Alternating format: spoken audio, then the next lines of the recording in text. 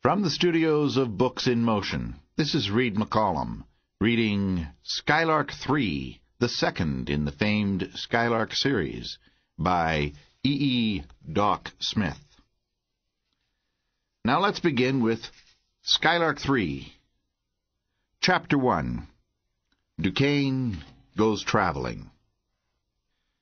In the innermost private office of Steele, Brookings and Duquesne stared at each other across the massive desk. Duquesne's voice was cold. His black brows were drawn together. Get this, Brookings, and get it straight. I'm shoving off at twelve o'clock tonight. My advice to you is to lay off Richard Seaton, absolutely. Don't do a thing. Nothing. Understand? Just engrave those two words upon your brain. Hold everything.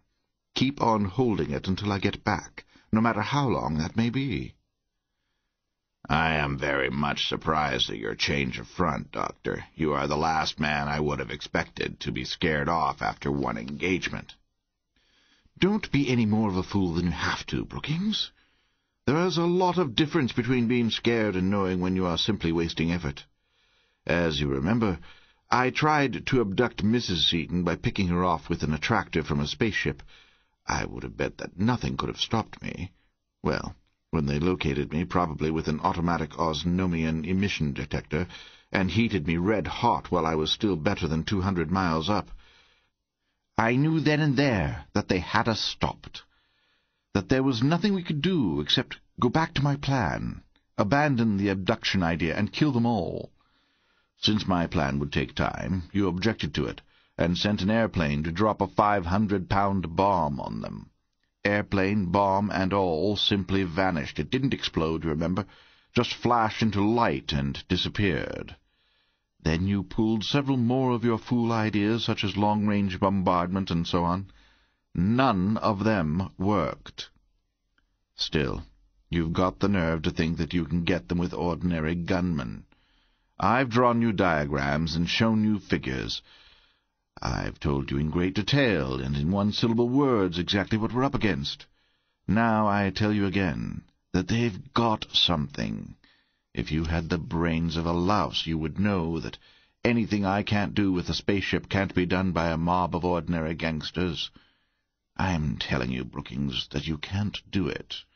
My way is absolutely the only way that will work. But five years, Doctor! I may be back in six months. But on a trip of this kind, anything can happen, so I am planning on being gone five years. Even that may not be enough. I am carrying supplies for ten years, and that box of mine in the vault is not to be opened until ten years from today. But surely we shall be able to remove the obstructions ourselves in a few weeks. We always have. Oh, quit kidding yourself, Brookings. There is no time for idiocy. You stand just as much chance of killing Seaton as... Please, Doctor, please don't talk like that. Still squeamish, eh? Your pussyfooting always did give me an acute pain. I'm for direct action, word and deed, first, last, and all the time. I repeat, you have exactly as much chance of killing Richard Seaton as a blind kitten has. How do you arrive at that conclusion, Doctor? You seem very fond of belittling our abilities. Personally, I think that we shall be able to obtain our objectives within a few weeks, certainly long before you can possibly return from such an extended trip as you have in mind. And since you are so fond of frankness, I will say that I think Seaton has you buffaloed, as you call it. Nine-tenths of these wonderful Osnomian things, I am assured by competent authorities, are scientifically impossible and I think that the other one-tenth exists only in your own imagination. Seaton was lucky in that the airplane bomb was defective and exploded prematurely, and your spaceship got hot because of your injudicious speed through the atmosphere. We shall have everything settled by the time you get back. If you have, I'll make you a present of the controlling interest in Steel, and buy myself a chair in some home for feeble-minded old women. Your ignorance and unwillingness to believe any new idea do not change the facts in any particular. Even before they went out to Osnomi, Seaton was hard to get, as you found out. On that trip he learned so much new stuff that it is now impossible to kill him by any ordinary means. You should realize the fact when he kills every gangster you send against him. At all events, be very, very careful not to kill nor even hurt his wife in any of your attacks, even by accident, until after you have killed him. Such an event would be regrettable, certainly, in that it would remove all possibility of the abduction. It would remove more than that. Remember the explosion in our laboratory that blew an entire mountain into impalpable dust? Draw in your mind a nice vivid picture of one ten times the size in each of our plants, and in this building. I know that you are fool enough to go ahead with your own ideas in spite of everything I've said, and since I do not yet actually control steel, I can't forbid you to officially. But you should know that I know what I'm talking about, and I say again that you're going to make an utter fool of yourself just because you won't believe anything possible that hasn't been done every day for a hundred years. I wish that I could make you understand that Seaton and Crane have got something that we haven't, but for the good of our plans, and incidentally for your own, you must remember one thing anyway, for if you forget it, we won't have a plant left, and you personally will be blown into atoms. Whatever you start, kill Seaton first, and be absolutely certain that he is definitely, completely, finally, and totally dead, before you touch one of Dorothy Seaton's red hairs. As long as you can only attack him personally, he won't do anything but kill every man you send against him. If you touch her while he's still alive, though. Bluey. And the saturnine scientist waved both hands in an expressive pantomime of wholesale destruction. Probably you are right in that. Brookings paled slightly. Yes, Seaton would do just that. We shall be very careful until after we succeed in removing him. Don't worry, you won't succeed. I shall attend to that detail myself as soon as I get back. Seaton and Crane and their families, the directors and employees of their plants, the banks that by any possibility may harbour their notes or solutions, in short, every person and everything standing between me and a monopoly of X, all shall disappear. That is a terrible program, Doctor. Wouldn't the late Perkins plan of an abduction, such as I have in mind, be better, safer, and quicker? Yes, except for the fact that it will not work. I've talked until I'm blue in the face. I've proved to you over and over that you can't abduct her now without first killing him, and that you can't even touch him. My plan is the only one that will work. Seaton isn't the only one who learned anything. I learned a lot myself. I learned one thing in particular. Only four other inhabitants of either Earth or Osnomi ever had even an inkling of it, and they died, with their brains disintegrated beyond reading. That thing is my ace in the hole. I'm going after it. When I get it, and not until then, I'll be ready to take the offensive. You intend starting open war upon your return? The war started when I tried to pick off the women with my attractor. That is why I'm leaving at midnight. He always goes to bed at eleven thirty, and I will be out of range of his object compass before he wakes up. Seaton and I understand each other perfectly. We both know that the next time we meet one of us is going to be resolved into his component ultra-microscopic constituents. He doesn't know that he's going to be the one, but I do. My final word to you is to lay off. If you don't, you and your competent authorities are going to learn a lot. You do not care to inform me more fully as to your destination or your plans? I do not. Goodbye. Chapter 2 Dunark Visits Earth Martin Crane reclined in a massive chair, the fingers of his right hand lightly touching those of his left, listening attentively. Richard Seaton strode up and down the room before his friend, his unruly brown hair on end, speaking savagely between teeth clenched upon the stem of his reeking, battered briar. brandishing a sheaf of papers. Mart, we're stuck. Stopped dead. If my head wasn't made of solid blue mush, I'd have figured a way out of this thing before now, but I can't. With that zone of force, the Skylark would have everything imaginable. Without it, we're exactly where we were before. That zone is immense, man. Terrific. Its possibilities are unthinkable. And I'm so damn dumb that I can't find out how to use it intelligently. Can't use it at all, for that matter. By its very nature, it is impenetrable to any form of matter, however applied. And this calculation here, shaking the sheaf of papers viciously, shows that it must also be opaque to any wave whatever, propagated through air or through ether, clear down to cosmic rays. Behind it, we would be blind and helpless, so we can't use it at all. It drives me frantic. Think of a barrier of pure force, impalpable, immaterial, and exerted along a geometrical surface of no thickness whatever, and yet actual enough to stop a radiation that travels a hundred million light-years and then goes through 27 feet of solid lead like it was just so much vacuum. That's what we're up against. However, I'm going to try out that model, Mart, right now. Let's go. You are getting idiotic again, Dick, Crane rejoined calmly without moving. You know even better than I do that you are playing with the most concentrated essence of energy that the world has ever seen. That zone of force probably can be generated. Probably nothing, barked Seaton. It's just as evident as fact as that stool, kicking the unoffending bit of furniture halfway across the room as he spoke. If you'd have let me, I'd have shown it to you yesterday. Undoubtedly, then. Grant that it is impenetrable to all matter and to all known wavelengths. Suppose that it should prove impenetrable also to gravitation and to magnetism. Those phenomena probably depend upon the ether, but we know nothing fundamental of their nature, nor of that of the ether. Therefore your calculations, comprehensive as they are, cannot predict the effect upon them of your zone of force.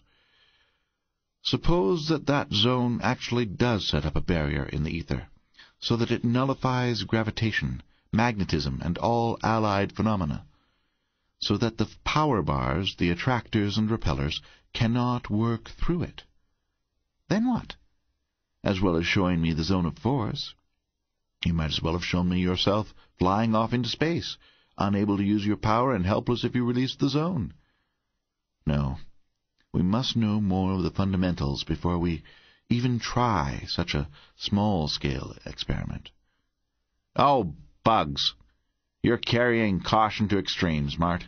What can happen? Even if gravitation should be nullified, I would rise only slowly, heading south, the angle of our latitude, that's 39 degrees, away from the perpendicular. I couldn't shoot off on a tangent, as some of these hopheads have been claiming. Inertia would make me keep pace, approximately, with the Earth in its rotation. I would rise slowly, only as fast as the tangent departs from the curvature of the Earth's surface. I haven't figured out how fast that is, but it must be pretty slow. Pretty slow? Crane smiled. Figure it out. All right, but I'll bet it's slower than the rise of a toy balloon. Seaton threw down the papers and picked up his slide rule a 20-inch Decitrig duplex. You'll concede that it is allowable to neglect the radial component of the orbital velocity of the Earth for a first approximation, won't you? Or shall I figure that in, too? You may neglect that factor. All right, let's see. Radius of rotation here in Washington would be cosine latitude times equatorial radius, approximately. Call it uh, 3,200 miles. Angular velocity, 15 degrees an hour. I want secant 15 less 1 times 3200, right? Secant equals 1 over cosine um, 1.035, then 0.035 times 3200, 112 miles first hour, velocity constant with respect to sun, accelerated respecting point of departure. Ouch. You win, Mart. I'd step out. Well, how about this, then? I'll put on a suit and carry rations. Harness outside with the same equipment I used in the test flights before we built Skylark 1, plus the new stuff. Then throw on the zone and see what happens. There can't be any jar in taking off, and with that outfit I can get back okay if I go clear to Jupiter. Crane sat in silence, his keen mind considering every aspect of the motions possible, of velocity, of acceleration, of inertia. He already knew well Seaton's resourcefulness in crises, and his physical and mental strength. As far as I can see, that might be safe, he admitted finally, and we really should know something about it besides the theory. Fine. I'll get at it. Be ready in five minutes. Yell at the girls, will you? They'd break us off at the ankles if we pull anything new without letting them in on it. A few minutes later, the girls strolled out into Crane Field, arms around each other. Dorothy Seaton, her gorgeous auburn hair framing violet eyes and vivid coloring, black-haired, dark-eyed Margaret Crane. Brr, it's cold, Dorothy shivered, wrapping her coat more closely about her. This must be the coldest day Washington has seen for years. It is cold, Margaret agreed. I wonder what they are going to do out here this kind of weather. As she spoke, the two men stepped out of the testing shed, the huge structure that housed their Osnomian-built space cruiser Skylark II. Seaton waddled clumsily, wearing as he did a crane spacesuit which, built of fur, canvas, metal, and transparent silica, braced by steel netting and equipped with air tanks and heaters, rendered its wearer independent of outside conditions of temperature and pressure. Outside this suit, he wore a heavy harness of leather, buckled about his body, shoulders, and legs, attached to which were numerous knobs, switches, dials, Bakelite cases, and other pieces of apparatus. Carried by a strong aluminum framework, which was in turn supported by the harness, the universal bearing of a small power bar rose directly above his grotesque-looking helmet. "'What do you think you're doing in that thing, Dickie?' Dorothy called. Then, thinking that he could not hear her voice, she turned to Crane. "'What are you letting that precious husband of mine do now, Martin? He looks like he's up to something.' While she was speaking, Seaton had snapped the release of his faceplate. "'Nothing much, Dottie. Just going to show you all the zone of force. Martin wouldn't let me turn it on unless I got all cocked and primed for a year's journey into space.' "'Dot, what is that zone of force, anyway?' Asked Margaret. "'Oh, it's something Dick got into his head during that awful fight they had on Osnomi. He hasn't thought of anything else since we got back. You know how the attractors and repellers work? Well, he found out something funny about the way everything acted while the Mardonalians were bombarding them with a certain kind of wavelength. He finally figured out the exact vibration that did it, and found out that if it was made strong enough, it acts as if a repeller and attractor were working together, only so much stronger that nothing can get through the boundary either way. In fact, it's so strong that it cuts anything in two that's in the way. And the funny thing is that there's nothing there at all, really. But Dick says that the forces meeting there or something make it act as though something really important were there. See? Uh-huh, assented Margaret, doubtfully, just as Crane finished the final adjustments and moved toward them. A safe distance away from Seaton, he turned and waved his hand. Instantly Seaton disappeared from view, and around the place where he had stood there appeared a shimmering globe some twenty feet in diameter, a globe apparently a perfect spherical mirror, which darted upward and toward the south. After a moment the globe disappeared, and Seaton was again seen. He was now standing upon a hemispherical mass of earth. He darted back toward the group upon the ground, while the mass of earth fell with a crash a quarter of a mile away. High above their heads, the mirror again encompassed Seaton, and again shot upward and southward. Five times this maneuver was repeated before Seaton came down, landing easily in front of them and opening his helmet. "'It's just what we thought it was, only worse,' he reported tersely. "'Can't do a thing with it. Gravitation won't work through it, bars won't, nothing will. And dark? Dark! Folks, you never saw real darkness nor heard real silence. It scared me stiff. Poor little boy, afraid of the dark, exclaimed Dorothy. We saw absolute blackness in space. Not like this, you didn't. I just saw absolute darkness and heard absolute silence for the first time in my life. I never imagined anything like it. Come on up with me, and I'll show it to you. No, you won't, his wife shrieked as she retreated toward Crane. Some other time, perhaps. Seaton removed the harness, and glanced at the spot from which he had taken off, where now appeared a hemispherical hole in the ground. "Let's see what kind of tracks I left, Mart." And the two men bent over the depression. They saw with astonishment that the cut surface was perfectly smooth, with not even the slightest roughness or irregularity visible. Even the smallest grains of sand had been sheared in two along a mathematically exact hemispherical surface by the inconceivable force of the disintegrating copper bar.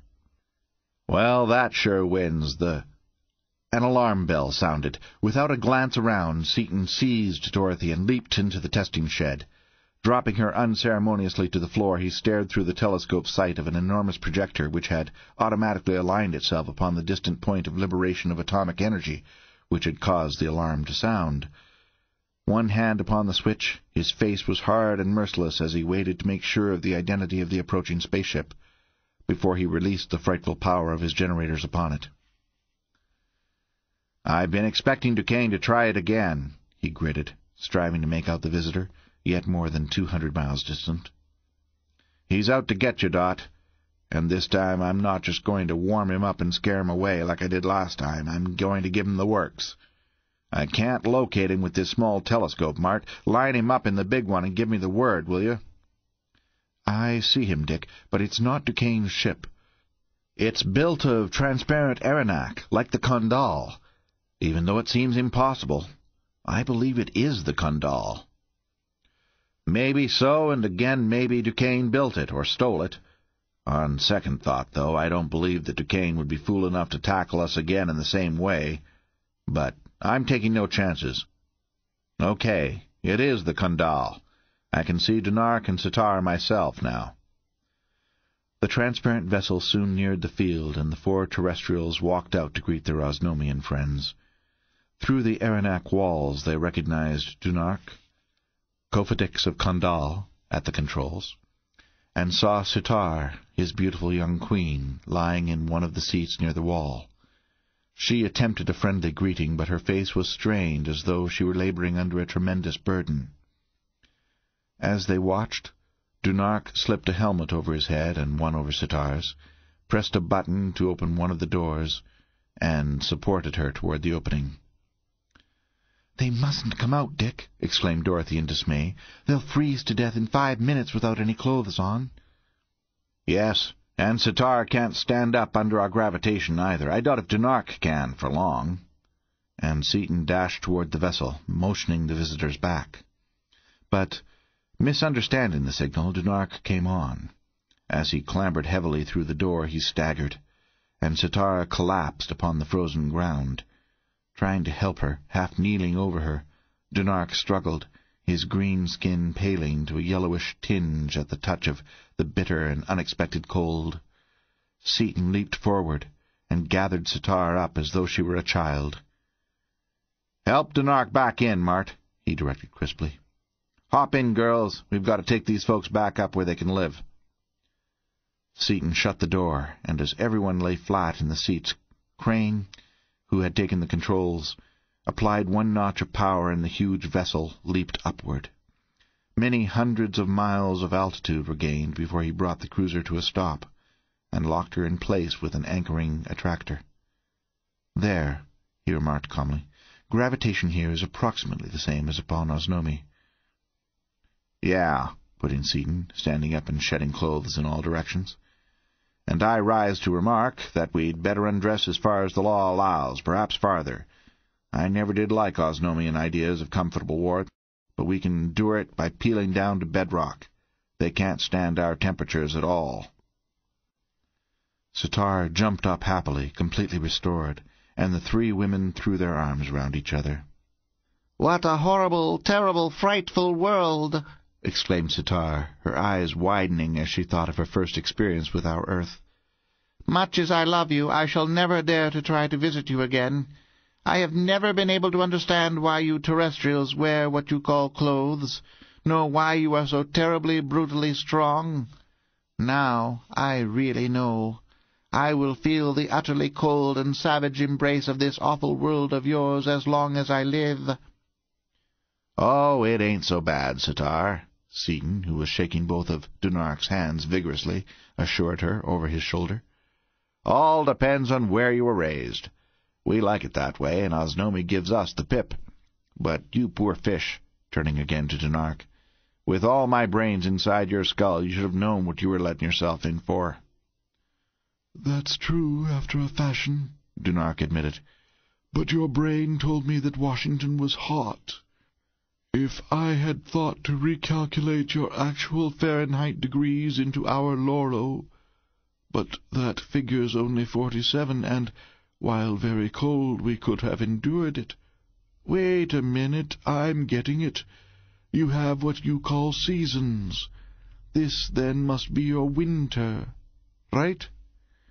Right the first time. That's the way your brain works in my skull, too. I could figure anything out all right after it happened, but hardly ever beforehand. So I guess I can't blame you much at that. But what I want to know is, how'd you get here? It'd take more than my brains. You can't see our sun from anywhere near Osnomi, even if you knew exactly where to look for it. Easy.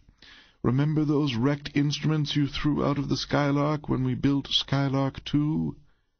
Having every minute detail of the configuration of Seaton's brain engraved upon his own, Dunark spoke English in Seaton's own characteristic, careless fashion. Only when thinking deeply or discussing abstruse matters did Seaton employ the carefully selected and precise phrasing which he knew so well how to use. Well, none of them were beyond repair, and the juice was still on most of them. One was an object compass bearing on the earth. We simply fixed the bearings, put on some minor improvements, and here we are. Let us all sit down and be comfortable, he continued, changing into the Kondalian tone without a break. And I will explain why we have come. We are in most desperate need of two things which you alone can supply salt and that strange metal, X. Salt I know you have in great abundance, but I know that you have very little of the metal. You have only the one compass upon that planet? That's all. One is all we set on it. However, if we've got close to half a ton of it on hand. You can have all you want. Even if I took it all, which I would not like to do, that would be less than half enough. We must have at least one of your tons, and two tons would be better. Two tons? Holy cat, are you going to plate a fleet of battle cruisers? More than that. We must plate an area of copper of some ten thousand square miles. In fact, the very life of our entire race depends upon it. It's this way, he continued, as the four human beings stared at him in wonder. Shortly after you left Osnomi, we were invaded by the inhabitants of the third planet of our fourteenth sun. Luckily for us, they landed upon Mardonale, and in less than two days there was not a single Osnomian left alive upon that half of the planet. They wiped out our grand fleet in one brief engagement, and it was only the Kondal and a few more like her that enabled us to keep them from crossing the ocean. Even with our full force of these vessels we cannot defeat them. Our regular Kondalian weapons were useless. We shot explosive copper charges against them of such size as to cause earthquakes all over Osnomi, without seriously crippling their defences. Their offensive weapons are almost irresistible. They have generators that burn Arenak as though it were so much paper, and a series of deadly frequencies against which only a copper-driven screen is effective, and even that does not stand up long. How come you lasted till now, then? asked Seaton. They have nothing like the Skylark, and no knowledge of atomic energy. Therefore their spaceships are of the rocket type, and for that reason they can cross only at the exact time of conjunction, or whatever you call it. No, not conjunction exactly either, since the two planets do not revolve around the same sun, but when they are closest together. Our solar system is so complex, you know, that unless the trips are timed exactly to the hour, the vessels will not be able to land upon Osnomi, but will be drawn aside and be lost, if not drawn into the vast central sun. Although it may not have occurred to you, a little reflection will show you that the inhabitants of all the central planets, such as Osnomi, must perforce be absolutely ignorant of astronomy, and of all the wonders of outer space. Before your coming, we knew nothing beyond our solar system, and very little of that. We knew of the existence of only such of the closest planets as were brilliant enough to be seen in our continuous sunlight, and they are few. Immediately after your coming, I gave your knowledge of astronomy to a group of our foremost physicists and mathematicians, and they have been working ceaselessly from spaceships, close enough so that observations could be recalculated to Osnomi, and yet far enough away to afford perfect seeing, as you call it. But I don't know any more about astronomy than a pig does about Sunday, protested Seaton. Your knowledge of details is, of course, incomplete, conceded Dunark. But the detailed knowledge of the best of your earthly astronomers would not help us a great deal, since we are so far removed from you in space. You, however, have a very clear and solid knowledge of the fundamentals of the science, and that is what we needed above all things. Yeah, maybe you're right at that. I do know the general theory of the motions, and I've been exposed to celestial mechanics. I'm awfully weak on advanced theory, though, as you'll find out when you get that far. Perhaps. But since our enemies have no knowledge of astronomy whatsoever, it is not surprising that their rocket ships can be launched only at one particularly favorable time, for there are many planets and satellites of which they can know nothing, to throw their vessels off the course. Some material essential to the operation of their war machinery apparently must come from their own planet, for they have ceased attacking, have dug in, and are simply holding their ground. It may be that they had not anticipated as much resistance as we could offer with spaceships and atomic energy.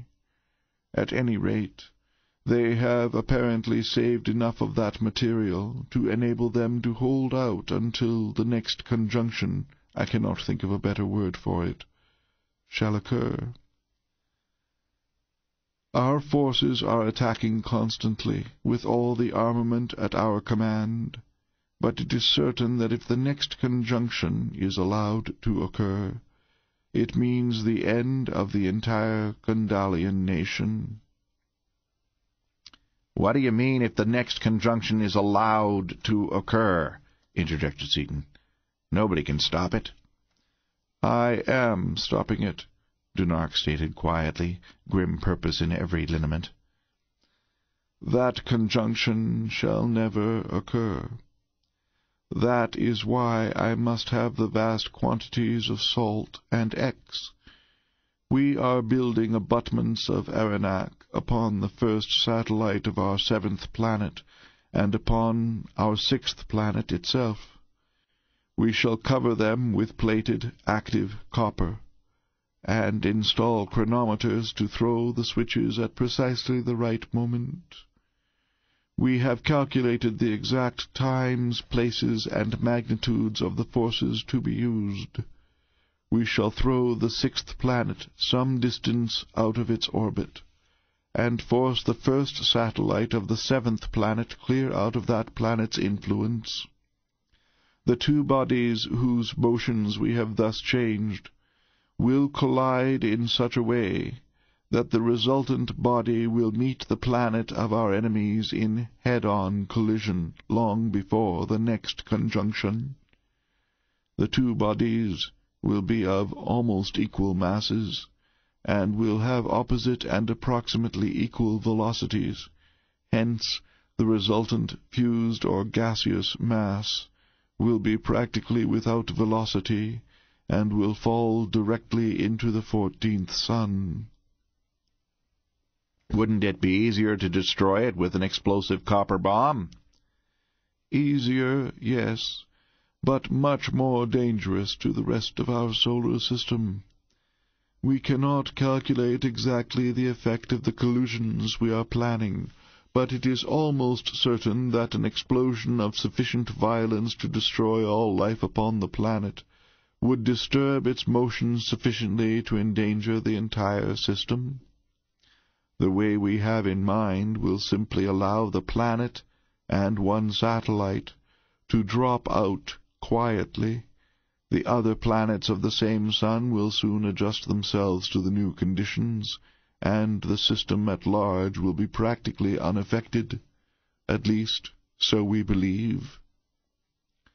Seaton's eyes narrowed as his thoughts turned to the quantities of copper and X required, and to the engineering features of the project. Crane's first thought was of the mathematics involved in a computation of that magnitude and character. Dorothy's quick reaction was one of pure horror. "He can't, Dick! He mustn't! It would be too ghastly! It's outrageous! It's unthinkable! It's... it's just simply too perfectly damned horrible!" Her violet eyes flamed, and Margaret joined in. That would be awful, Martin. Think of the destruction of a whole planet, of an entire world, with all its inhabitants. It makes me shudder even to think of it. Dunark leaped to his feet, ablaze. Before he could say a word, Seaton silenced him. "Shut up, Dunark! Pipe down! Don't say anything you'll be sorry for. Let me tell them. Close your pan, I tell you." As Dunark still tried to get a word in. "I'll tell you, I'll tell 'em. And when I tell 'em, they stay told. Now listen, you two girls. You're going off half-cocked, and you're both full of little red ants. What do you think Dunark is up against? Sherman chirped it when he described war, and this is a brand of war totally unknown on our Earth. It isn't a question of whether or not to destroy a population. The only question is which population is to be destroyed. One of 'em's got to go. Remember, those folks go into a war thoroughly. There isn't a thought in any of their minds even remotely resembling our conception of mercy on either side. If Dunark's plans go through, the enemy nation will be wiped out. That is horrible, of course. But on the other hand, if we block him off from Salt and X, the entire Kondalian nation will be destroyed, just as thoroughly and efficiently, and even more horribly. Not one man, woman, or child would be spared. Which nation do you want saved? Play that over a couple of times on your fiddle, Dot, and don't jump at conclusions.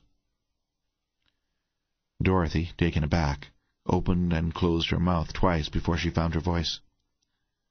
"But, Dick, they couldn't possibly. Would they kill them all, Dick? Surely they wouldn't. They couldn't." "Surely they would, and could. They do. It's good technique in those parts of the galaxy. Dunark has just told us of how they killed every member of the entire race of Mardonalians in forty hours. Kondal would go in the same way. Don't kid yourself, Dimples. Don't be a simp. War up there is no species of pink tea, believe me. Half of my brain has been through thirty years of Osnomian warfare, and I know precisely what I'm talking about. Let's take a vote. Personally, I'm in favor of Osnomi. Mart? Osnomi. Dottie? Peggy? Both remained silent for some time, then Dorothy turned to Margaret. "You tell him, Becky. We both feel the same way." "Dick, you know that we wouldn't want the Kondalians destroyed, but the other is so... such a... well... such an utter Schrecklichkeit. Isn't there some other way out?" "I'm afraid not. But if there is any other possible way out, I'll do my da I'll try to find it," he promised. "The ayes have it. Dunark will skip over to that X-planet and load you up." Dunark grasped Seaton's hand. "Thanks, Dick," he said simply. "But before you help me farther, and lest I might be in some degree sailing under false colours, I must tell you that, wearer of the seven discs though you are, overlord of Osnomi though you are, my brain brother though you are, had you decided against me, nothing but my death could have kept me away from that salt and your X compass." "Why, sure," assented Seaton in surprise. "Why not? Fair enough. Anybody would do the same. Don't let that gnaw on you." "How is your supply of platinum?" "Mighty low. We had about decided to hop over there after some. I want some of your textbooks on electricity and so on, too. I see you brought a load of platinum with you." "Yes, a few hundred tons. We also brought along an assortment of books I knew you would be interested in, a box of radium, a few small bags of gems of various kinds, and some of our fabrics Sitar thought your Karfedira would like to have. While we are here, I would like to get some books on chemistry and some other things." "We'll get you the Congressional Library if you want it, and anything else you think you'd like. Well, gang, let's go places and do things. What first, Mart?" "We had better drop back to Earth. Have the laborers unload the platinum and load on the salt, books, and other things. Then both ships will go to the X-planet, as we will want X compasses on it for future use. While we are loading, I should like to begin remodeling our instruments, to make them something like these, with Dunark's permission. These instruments are wonders, Dick, vastly ahead of anything I've ever seen. Come and look at them if you want to see something really beautiful. Coming up. But say, Mart, while I think of it, we mustn't forget to install a zone of force apparatus on this ship, too. Even though we can't use it intelligently, it certainly would be the cat's whiskers as a defense. We couldn't hurt anybody through it, of course, but if we should happen to be getting licked anywhere, all we'd have to do is wrap ourselves up in it. They couldn't touch us. Nothing I know of is corkscrewy enough to get through it. That's the second idea you've had since I've known you, Dickie. Dorothy smiled at Crane. Do you think he should be allowed to run at large, Martin? That is a real idea. We may need it. You never can tell.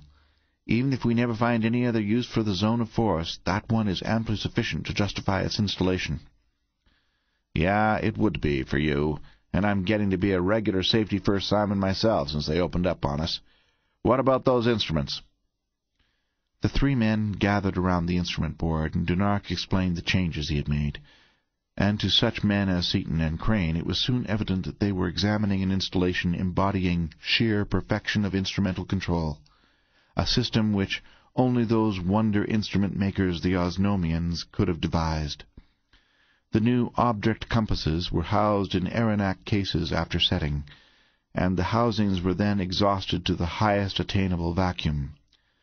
Oscillation was set up by means of one carefully standardized electrical impulse, instead of by the clumsy finger-touch Seaton had used. The bearings, built of Arenak and Osnomian jewels, were as strong as the axles of a truck, and yet were almost perfectly frictionless. "I like them myself," admitted Dunark. "Without a load the needles will rotate freely more than a thousand hours on the primary impulse, as against a few minutes in the old type. And under load they are many thousands of times as sensitive." "You're a blinding flash and a deafening report, Ace," declared Seaton enthusiastically. That compass is as far ahead of my model as the Skylark is ahead of Wright's first glider. The other instruments were no less noteworthy.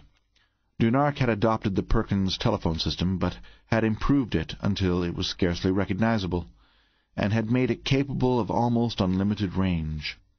Even the guns, heavy rapid fires, mounted in spherical bearings in the walls, were aimed and fired by remote control from the board. He had devised full automatic steering controls, and acceleration, velocity, distance, and flight angle meters and recorders.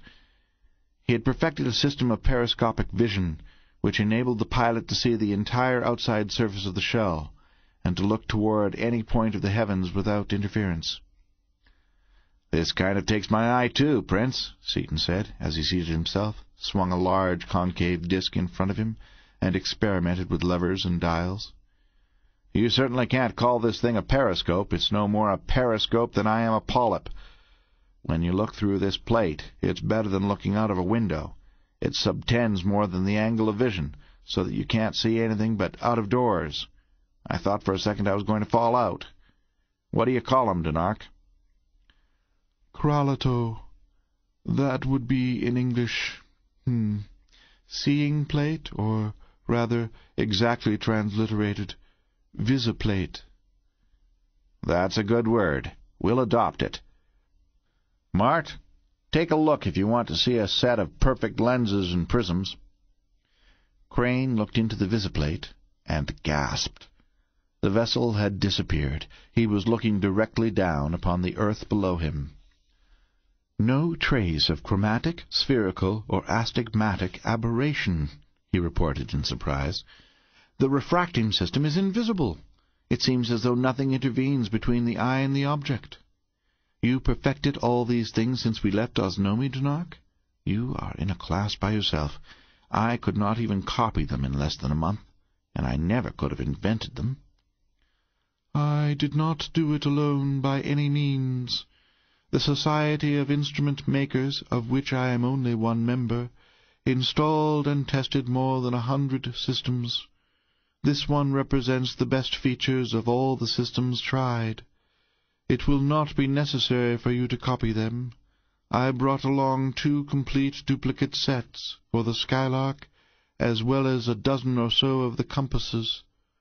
I thought that perhaps these particular improvements might not have occurred to you, since you terrestrials are not as familiar as we are with complex instrumental work. Crane and Seaton spoke together. That was thoughtful of you, Dunark, and we appreciate it fully. That puts four more palms on your croix de guerre, Ace. Thanks a lot. Say, Dick, called Dorothy from her seat near the wall, if we're going down to the ground, how about Sitar? By lying down and not doing anything, and by staying in the vessel where it is warm, she will be all right for the short time we must stay here, Dunark answered for his wife. I will help all I can, but I do not know how much that will be. It isn't so bad lying down, Sitar agreed. I don't like your earth a bit, but I can stand it a little while. Anyway, I must stand it, so I worry about it. Atta girl, cheered Seaton. And as for you, Dunark, you'll pass the time just like Sitar does. Lying down. If you do much chasing around down there where we live, you're apt to get your lights and liver twisted all out of shape, so you'll stay put horizontal. We've got men enough around the shop to eat this cargo in three hours, let alone unload it. While they unload it and load you up, we'll install the zone apparatus, put a compass on you, put one of yours on us, and then you can hop back up here, where you're comfortable. Then, as soon as we can, we'll get the lark ready for this trip and jump up here and be on our way. Everything clear? Cut the rope, Mart. Let the bucket drop.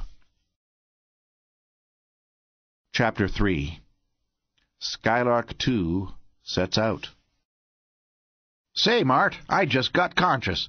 It never occurred to me until just now, as Dunark left, that I'm just as good an instrument maker as Dunark is. The same one, in fact. And I've got a hunch. You know that needle on Duquesne hasn't been working for quite a while? Well, I don't believe it's out of commission at all. I think he's gone somewhere, so far away that it Can't read on him. I'm going to house it in, rejewel it, and find out where he is. An excellent idea. He is even you worrying, and as for myself... Worrying? That bird is simply pulling my cork. I'm so scared he'll get dotty that I'm running around in circles and biting myself in the small of the back. He's working on something, you can bet your shirt on that. And what gripes me is he's aiming at the girls, not at us or the job. I should say that someone has aimed at you fairly accurately, judging by the number of bullets stopped lately by that Arenak armor of yours. I wish that I could take some of the strain, but they are centering all their attacks upon you. Yeah, I can't stick my nose outside our yard without somebody throwing lead at it. It's funny, too. You're more important to the power plant than I am. You should know why. They are not afraid of me. While my spirit is willing enough, it was your skill and rapidity with a pistol that frustrated four attempts at abduction in as many days. It is positively uncanny the way you explode into action. With all my practice, I didn't even have my pistol out until it was over yesterday and besides Prescott's guards, we had four policemen with us, detailed to guard us because of the number of gunmen you had had to kill before that. It ain't practice so much, Mart, it's a gift. I've always been fast, and I react automatically. You think first, that's why you're so slow. Those cops were funny. They didn't know what it was all about until it was all over, but calling the wagon. That was the worst yet. One of their slugs struck directly in front of my left eye. It was kind of funny, at that, seeing it splash, and I thought I was inside a boiler in a rivet shop when those machine guns cut loose. It was hectic, all right, while it lasted, but one thing I'll tell the attentive world, we ain't doing all the worrying. Very few, if any, of the gangsters they send after us are getting back. Wonder what they think when they shoot at us and we don't drop. But I'm afraid I'm beginning to crack, Mart, Seaton went on, his voice becoming grimly earnest. I don't like anything about this whole mess. I don't like all four of us wearing armor all the time. I don't like living constantly under guard. I don't like all this killing and this constant menace of losing Dorothy if I let her out of my sight for five seconds. That's driving me mad. Also, to tell you the truth, I'm devilishly afraid they'll figure out something that will work. I could grab off two women or kill two men if they had armor and guns enough to fight a war. I believe that Duquesne could, too. And the rest of that bunch aren't imbeciles either, by any means. I won't feel safe until all four of us are in the Skylark and a long ways from here. I'm glad we're pulling out, and I don't intend to come back until I find Duquesne. He's the bird I'm going to get. And when I get him, I'll tell the cockeyed world that he'll stay got. There won't be any two atoms of his entire carcass left in the same township. I meant that promise when I gave it to him, and I didn't mean maybe. He realizes that fully. He knows that it is now definitely either his life or our own, and he is really dangerous. When he took Steel over, and opened war upon us, he did it with his eyes wide open. With his ideas, he must have a monopoly of X or nothing, and he knows the only possible way of getting it. However, you and I both know that he would not let either one of us live even though we surrendered. You chirped it. But that guy is going to find out that he started something. But how about turning up a few RPMs? We don't want to keep Dunark waiting too long. There is very little to do beyond installing the new instruments, and that is nearly done. We can finish pumping out the compass en route. You have already installed every weapon of offense and defense known to either earthly or Osnomian warfare, including those generators and screens you moaned about, not having during the battle over Kondal. I believe that we have on board every article for which either of us has been able to imagine even the slightest use. Yeah, we've got her so full of plunder that there's hardly room left for quarters. You ain't figuring on taking anybody but Shiro along, are you? No. I suppose there is no real necessity for taking even him, but he very much wants to go, and may prove himself useful. I'll say he'll be useful. None of us really enjoys polishing brass or washing dishes.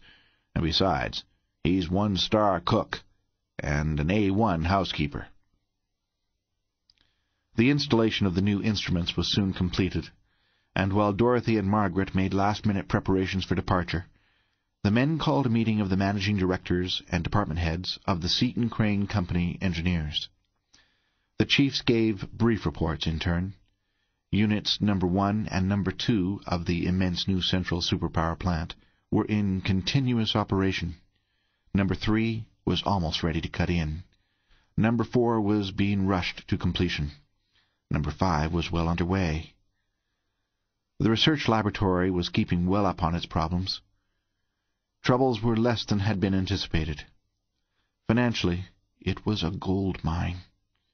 With no expense for boilers or fuel, and thus with a relatively small investment in plant and a very small operating cost, they were selling power at one-sixth of prevailing rates, and still profits were almost paying for all new construction. With the completion of number five, rates would be reduced still further. In short, Dad, everything's slick, remarked Seaton to Mr. Vaneman after the others had gone. Yes, your plan of getting the best men possible, paying them well, and giving them complete authority and sole responsibility has worked to perfection. I have never seen an undertaking of such size go forward so smoothly and with such fine cooperation. That's the way we wanted it. We hand-picked the directors and put it up to you strictly. You did the same to the managers. They passed it along. Everybody knows that his end is up to him and him alone, so he digs in. However, Dick, while everything at the works is so fine, when is this other thing going to break? We've won all the way so far, but I'm afraid something's about due. That's the big reason I want to get Dot away for a while. You know what they're up to. Too well, the older man answered. Dotty, or Mrs. Crane, or both. Her mother, she is telling her goodbye now, and I agree that the danger here is greater than out there. Danger out there? With the Skylark fixed the way she is now, Dot's a lot safer than you are in bed. Your house might fall down, you know. You're probably right, son. I know you and I know Martin Crane. Together, and in the Skylark, I believe you to be invincible. All set, Dick? asked Dorothy, appearing in the doorway. All set. You've the dope for Prescott and everybody, Dad. We may be back in six months, we may see something to investigate, and have to be gone a year or so. Don't begin to lose any sleep until after we've been out. Oh, say, three years. We'll make it a point to be back by then. Farewells were said, the party embarked, and Skylark, too, shot upward. Seaton flipped a phone set over his head and spoke. Dunark, coming out, heading directly for X. No, better stay quite a ways off, to one side, when we get going good. Yeah, I'm accelerating 26.000. Yes, I'll call you now and then until the radio waves get lost to check the course with you. After that, keep on the last course, reverse at the calculated distance, and by the time we're pretty well slowed down, we'll feel around for each other with the compasses and go in together. Yeah. Uh-huh. That's fine. So long. In order that the two vessels should keep reasonably close together, it had been agreed that each should be held at an acceleration of exactly 26 feet per second per second, positive and negative. This figure represented a compromise between the gravitational forces of the two worlds upon which the different parties lived. While considerably less than the acceleration of gravitation at the surface of the earth, the Tellurians could readily accustom themselves to it and it was not enough greater than that of Osnomi to hamper seriously the activities of the Green people. Well clear of the Earth's influence, Seaton assured himself that everything was functioning properly, then stretched to his full height, writhed his arms over his head, and heaved a deep sigh of relief. "Folks," he declared, "this is the first time I've felt right since we got out of this old bottle. Why, I feel so good a cat could walk up to me and scratch me right in the eye, and I wouldn't even scratch back. I'm a wild Siberian catamount, and this is my night to howl. Woo-hoo! Dorothy laughed a gay, lilting carol. Haven't I always told you he had cat blood in him, Peggy? just like all tomcats. Every once in a while he has to stretch his claws and yowl. But go ahead, Dickie. I like it. This is the first uproar you've made in weeks. I believe I'll join you. It most certainly is a relief to get this load off our minds. I could do a little ladylike yowling myself, Margaret said, and Crane, lying completely at ease, a thin spiral of smoke curling up from his cigarette, nodded agreement. Dick's yowling is quite expressive at times. All of us feel the same way, but some of us are unable to express ourselves quite so vividly. However, it is past bedtime, and we should organize our crew. Shall we do it as we did before? No, it isn't necessary. Everything is automatic. The bar is held parallel to the guiding compass, and signal bells ring whenever any of the instruments show a trace of abnormal behavior. Don't forget that there is at least one meter registering and recording every factor of our flight. With this control system, we can't get into any such jam as we did on the last trip. Surely you are not suggesting that we run all night with no one at the controls? Exactly that. A man camping at this board is painting the lily and gilding fine gold. Awake or asleep, nobody need to be closer to it than is necessary to hear a bell if one should ring, and you can hear them all over the ship. Furthermore, I'll bet a hat we won't hear a signal a week. Simply as added precaution, though, I've run lines so that any time one of these signals lets go, it sounds a buzzer on the head of our bed, so I'm automatically taking the night shift. Remember, Mart, these instruments are thousands of times as sensitive as the keenest human senses. They'll spot trouble long before we could, even if we were looking right at it. Of course, you understand these instruments much better than I do as yet. If you trust them, I am perfectly willing to do the same. Good night. Seaton sat down, and Dorothy nestled beside him, her head snuggled into the curve of his shoulder. Sleepy? Heavens, no, I couldn't sleep now. Could you? Not any. What's the use? His arm tightened around her. Apparently motionless to its passengers, the cruiser bored serenely on into space, with ever-mounting velocity. There was not the faintest sound, not the slightest vibration. Only the peculiar violet glow surrounding the shining copper cylinder in its massive universal bearing gave any indication of the thousands of kilowatts being generated in that mighty atomic power plant. Seaton studied it thoughtfully. You know, Dotty, if that violet aura and copper bar were a little different in hue and chroma, they'd be just like your eyes and hair, he remarked finally. What a comparison! Dorothy's entrancing low chuckle bubbled through her words. you say the weirdest things at times. Possibly they would. And if the moon were made of different stuff than it is, and had a different color, it might be green cheese, too. What say we go over and look at the stars? As you were, Rufus, he commanded sternly. Don't move a millimeter. You're a perfect fit right where you are. I'll get you any stars you want and bring them right in here to you. What constellation would you like? I'll even get you the Southern Cross. We never see it in Washington. No, I want something familiar. The Pleiades, or the Big Dipper. No, get me Canis Major, where Sirius, brightest jewel in the diadem of the firmament, holds sway, she quoted. There. Thought I'd forgotten all the astronomy you ever taught me, didn't you? Think you can find it? Sure. Declination about minus twenty, as I remember it, and right ascension between six and seven hours. Let's see, where would that be from our course? He thought for a moment, manipulated several levers and dials, snapped off the lights, and swung number one exterior visiplate around directly before their eyes. Oh, oh, this is magnificent, Dick, she exclaimed. It's stupendous. It seems as though we were right out there in space itself and not in here at all. It's it's perfectly wonderful. Although neither of them was unacquainted with deep space, it presents a spectacle that never fails to awe even the most seasoned observer. and no human being had ever before viewed the wonders of space from such a coign of vantage. Thus the two fell silent and awed as they gazed out into the abysmal depths of the interstellar void.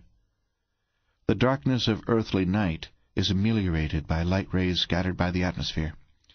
The stars twinkle and scintillate, and their light is diffused because of the same medium. But here, what a contrast! They saw the utter, absolute darkness of the complete absence of all light. And upon that indescribable blackness they beheld superimposed the almost unbearable brilliance of enormous suns concentrated into mathematical points, dimensionless. Sirius blazed in blue-white splendor, dominating the lesser members of his constellation, a minute but intensely brilliant diamond upon a field of black velvet, his refulgence unmarred by any trace of scintillation or distortion. As Seaton slowly shifted the field of vision, angling toward and across the celestial equator and the ecliptic, they beheld in turn mighty Rigel, the belt, headed by dazzlingly brilliant white Delta Orionis, red Betelgeuse, storied Aldebaran, the friend of mariners, and the astronomically constant Pleiades. Seaton's arm contracted, swinging Dorothy into his embrace. Their lips met and held. "Isn't it wonderful, lover?" she murmured. "To be out here in space this way together, away from all our troubles and worries? Really wonderful? I'm so happy, Dick." "So am I, sweetheart." The man's arm tightened. "I'm not going to try and say anything. I almost died every time they shot at you. Dorothy's mind went back to what they had gone through. Suppose that your armor had cracked or something. I wouldn't want to go on living. I would simply lie down and die. I'm glad it didn't crack. And I'm twice as glad that they didn't succeed in grabbing you away from me. His jaw set rigidly. His eyes became gray ice. Blackie Duquesne has got something coming to him. So far, I have always paid my debts, and I will settle with him in full. That was an awfully quick change of subject, he went on, his voice changing markedly. But that's the penalty we pay for being human. If we lived at peak all the time, there could be no thrill in it any time. And even though we have been married so long, I still get a tremendous kick out of those peaks. So long, Dorothy giggled. Of course we do. We're unique. I know that everybody thinks that they are, but you and I really are, and we know that we are. Also, Dick, I know that it's thinking of that Duquesne that keeps on dragging you down off the high points. Why wouldn't now be a good time to unload whatever it is that you've got on your mind besides that tangled mop of hair? Nothing much. Come on, fess up. Tell it to Red Top. Let me finish, woman. I was going to. Nothing much to go on but a hunch. But I think that Duquesne's somewhere out here in the great open spaces, where men are sometimes schemers as well as men. And if so, I'm after him. Foot, horse, and marines. That object compass? Yeah. You see, I built that thing myself, and I know darn well it isn't out of order. It's still on him, but doesn't indicate. Therefore he's too far away to reach, and with his mass I could find him anywhere up to about one and a half light years. If he wants to go that far away from home, where is his logical destination? It can't be anywhere but Osnome, since that's the only place we stopped for any length of time, the only place where he could have learned anything. He's learned something or found something useful to him there, just as we did. That's sure, since he is not the type of man to do anything without a purpose. Uncle Dudley is on his trail, and we'll be able to locate him pretty soon. When you get that new compass case exhausted to a skillionth of a whillometer or something, whatever it is, I thought Dunark said it took five hundred hours of pumping to get it where he wanted it. It did him, But while the Osnomians are wonders on some things, they aren't so hot on others. You see, I've got three pumps on that job in series. First, a Rotabush Metallic super pump. Then, backing that, an ordinary mercury vapor pump. And last, backing both the others, a Cenco Hyvac motor-driven oil pump. In less than fifty hours, that case will be emptier than any Dunark ever pumped. Just to make sure of cleaning up to the last infinitesimal traces, though. Painting the lily, as it were. I'm going to flash a getter charge in it. After that, the atmosphere in that case will be tenuous. Take my word for it. I'll have to, most of that contribution to science being over my head like a circus tent. What say we let Skylark 2 drift by herself for a while, and catch us some of nature's sweet restorer?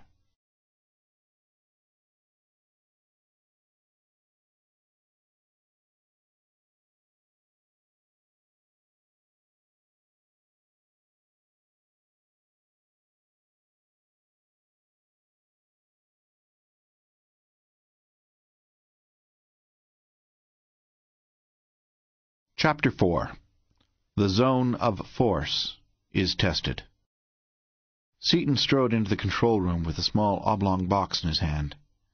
Crane was seated at the desk, poring over an abstruse mathematical treatise in science. Margaret was working upon a bit of embroidery. Dorothy, seated upon a cushion on the floor with one foot tucked under her, was reading, her hand straying from time to time to a box of chocolates conveniently near.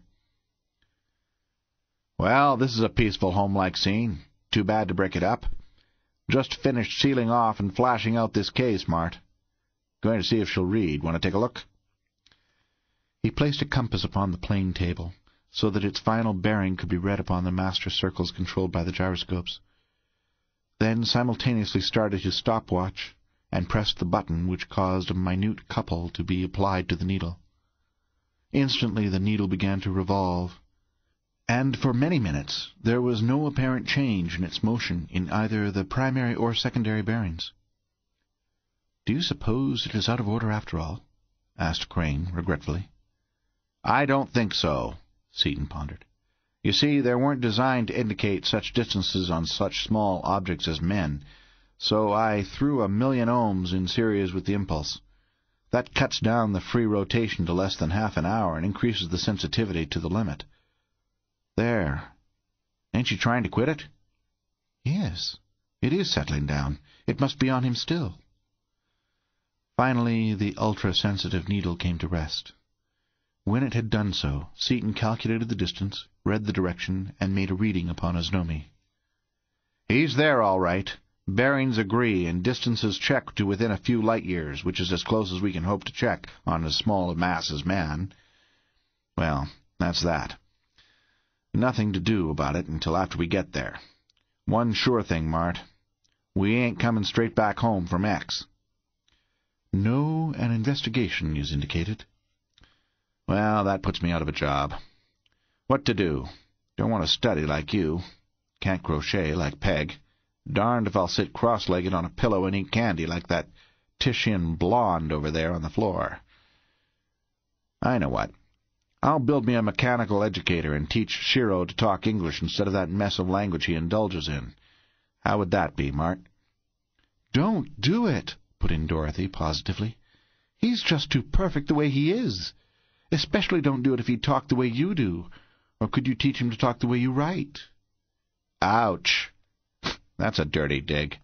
However, Mrs. Seaton, I am able and willing to defend my customary mode of speech you realize that the spoken word is ephemeral, whereas the thought whose nuances have once been expressed in imperishable print is not subject to revision. Its crudities can never be remodeled into more subtle, more gracious shading. It is my contention that, due to these inescapable conditions, the mental effort necessitated by the employment of nice distinctions in sense and meaning of words, and a slavish adherence to the dictates of the more precise grammarians, should be reserved for the print... He broke off as Dorothy, in one lithe motion, rose and hurled her pillow at his head. "Choke him, somebody!" Perhaps you had better build it, Dick, after all. I believe that Shiro would like it, Dick. He is trying hard to learn, and the continuous use of a dictionary is undoubtedly a nuisance to him. I'll ask him. Shiro! You have called, sir?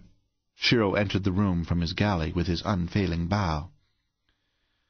Yes. How would you like to learn to talk English like Crane there does, without taking lessons? Shiro smiled doubtfully, unable to take such a thought seriously. Yes, it can be done, Crane assured him. Dr. Seaton can build a machine which will teach you all at once, if you like. I like, sir, enormously, yes, sir. I years study and poor, but honourable English extraordinary difference from Nipponese, no can do. Dictionary useful, but he flipped pages dexterously. Extremely cumbrous. If Honourable Seaton can do, shall be extreme gratification. He bowed again, smiled, and went out. I'll do just that little thing. So long, folks. I'm going up to the shop. Day after day, the Skylark plunged through the vast emptiness of the interstellar reaches. At the end of each second, she was traveling exactly 26 feet per second faster than she had been at its beginning. And as day after day passed, her velocity mounted into figures which became meaningless, even when expressed in thousands of miles per second. Still she seemed stationary to her occupants, and only different from a vessel motionless upon the surface of the earth in that objects within her hull had lost three-sixteenths of their normal weight.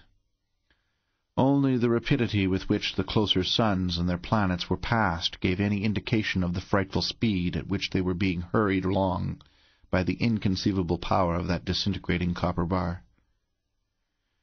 When the vessel was nearly halfway to X, the bar was reversed in order to change the sign of their acceleration and the hollow sphere spun through an angle of 180 degrees around the motionless cage which housed the enormous gyroscopes.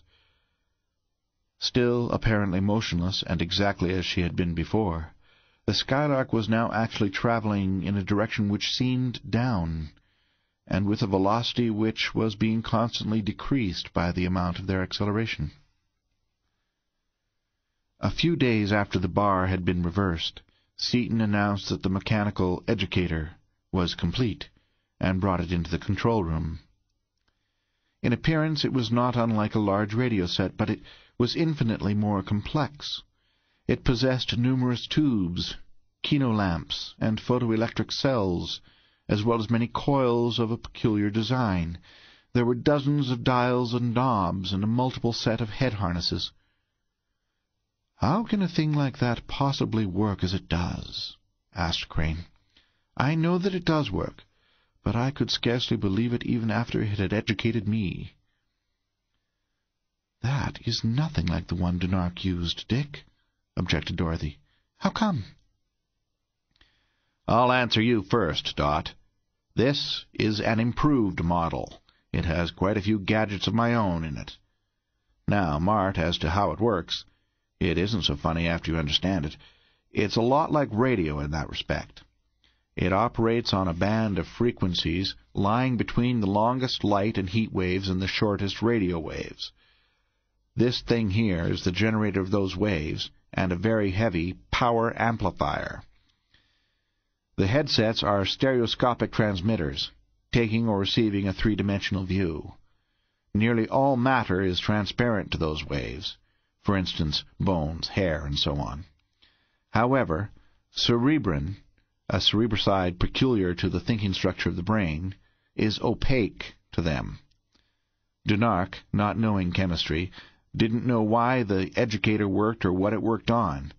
They found out by experiment that it did work, just as we found out about electricity. This three-dimensional model, or view, or whatever you want to call it, is converted into electricity in the headsets, and the resulting modulated wave goes back to the educator.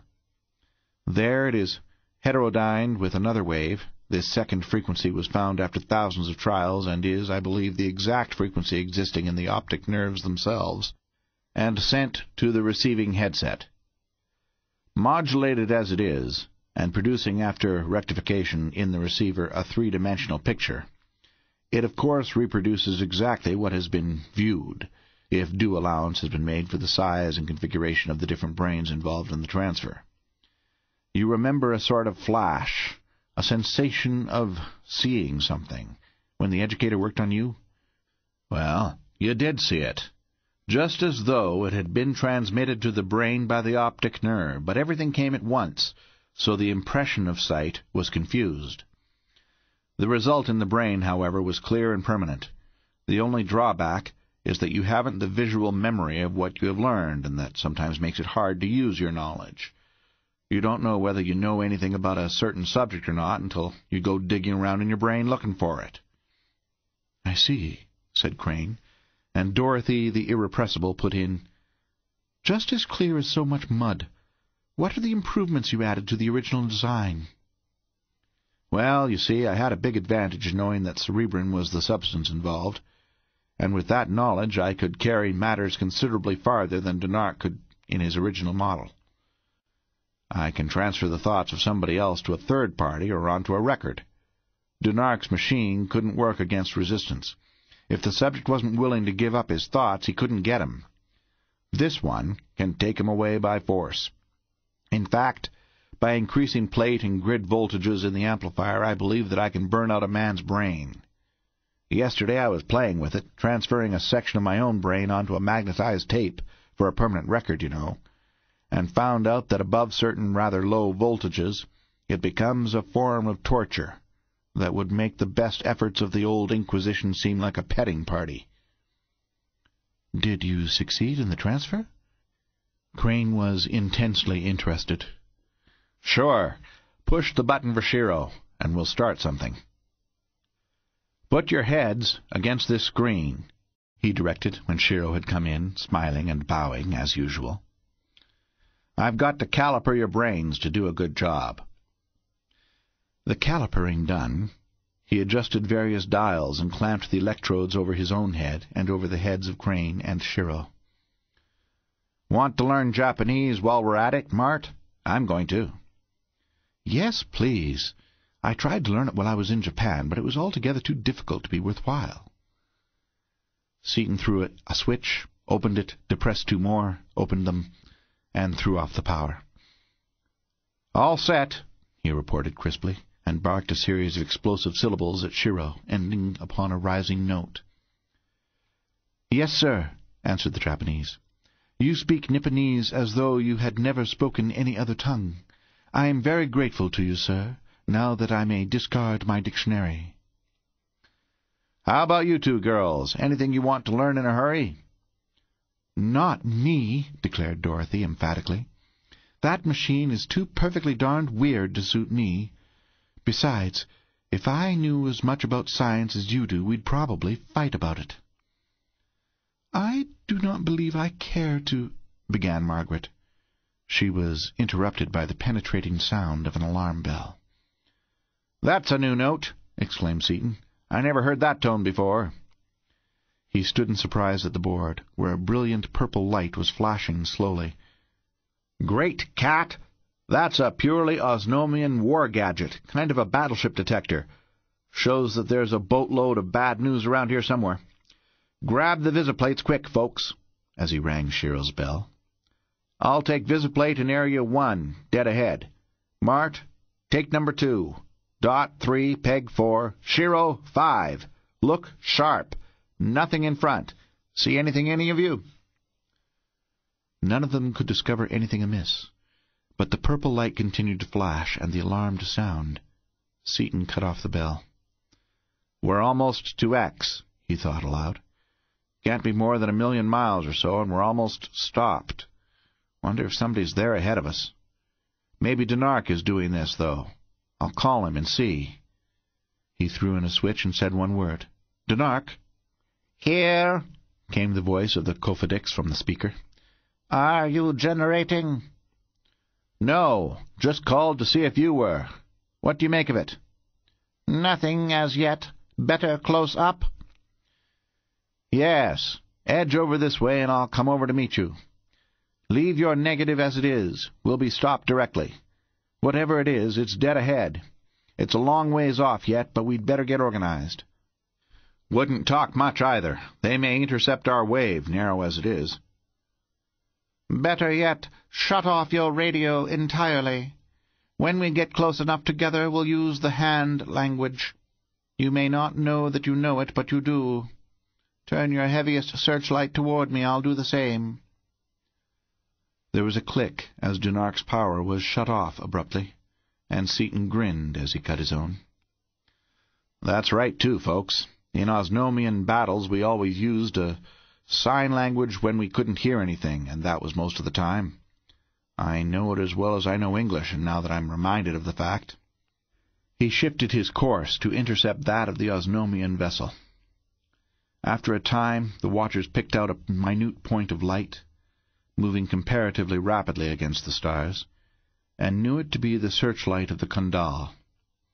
Soon the two vessels were almost side by side, moving cautiously forward, and Seaton set up a sixty-inch parabolic reflector, focused upon a coil.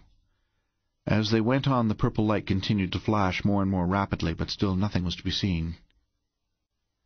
Take number six visiplate, will you, Mart? It's telescopic, equivalent to a twenty-inch refractor. I'll tell you where to look in a minute. This reflector increases the power of the regular indicator. He studied meters and adjusted dials. Set on 19 hours 43 minutes and 271 degrees. He's too far away yet to read exactly, but that'll put him in the field of vision. "Is this radiation harmful?" asked Margaret. Not yet. It's too weak. Pretty quick we may be able to feel it. Then I'll throw out a screen against it. When it's strong enough it's pretty deadly stuff. See anything, Mart?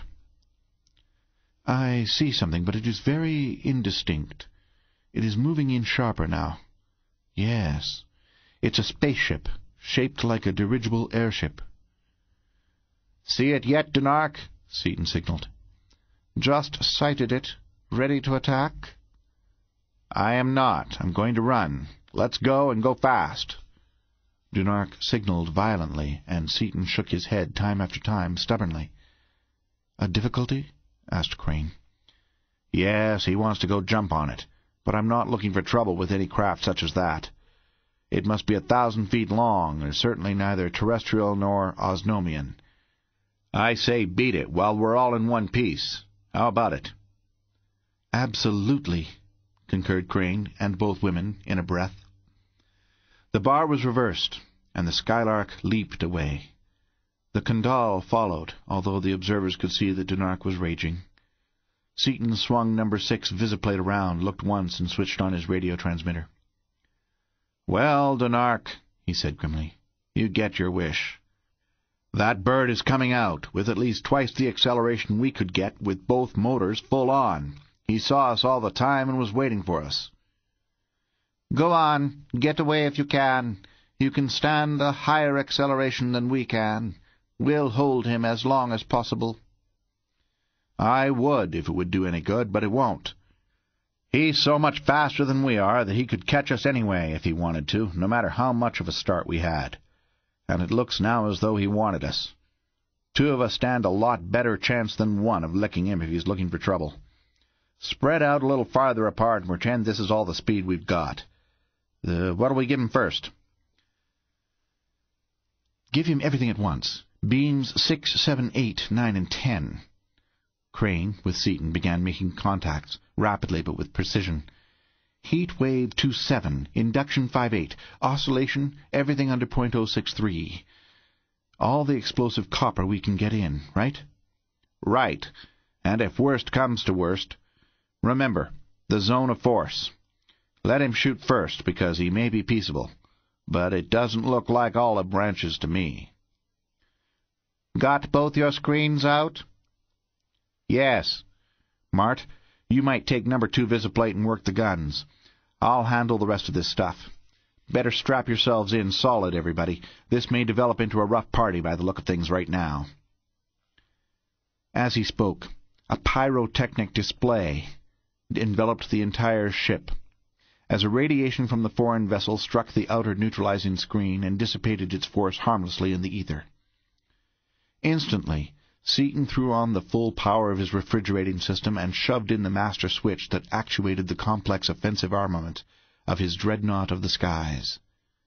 An intense, livid, violet glow hid completely main and auxiliary power bars, and long flashes leaped between metallic objects in all parts of the vessels.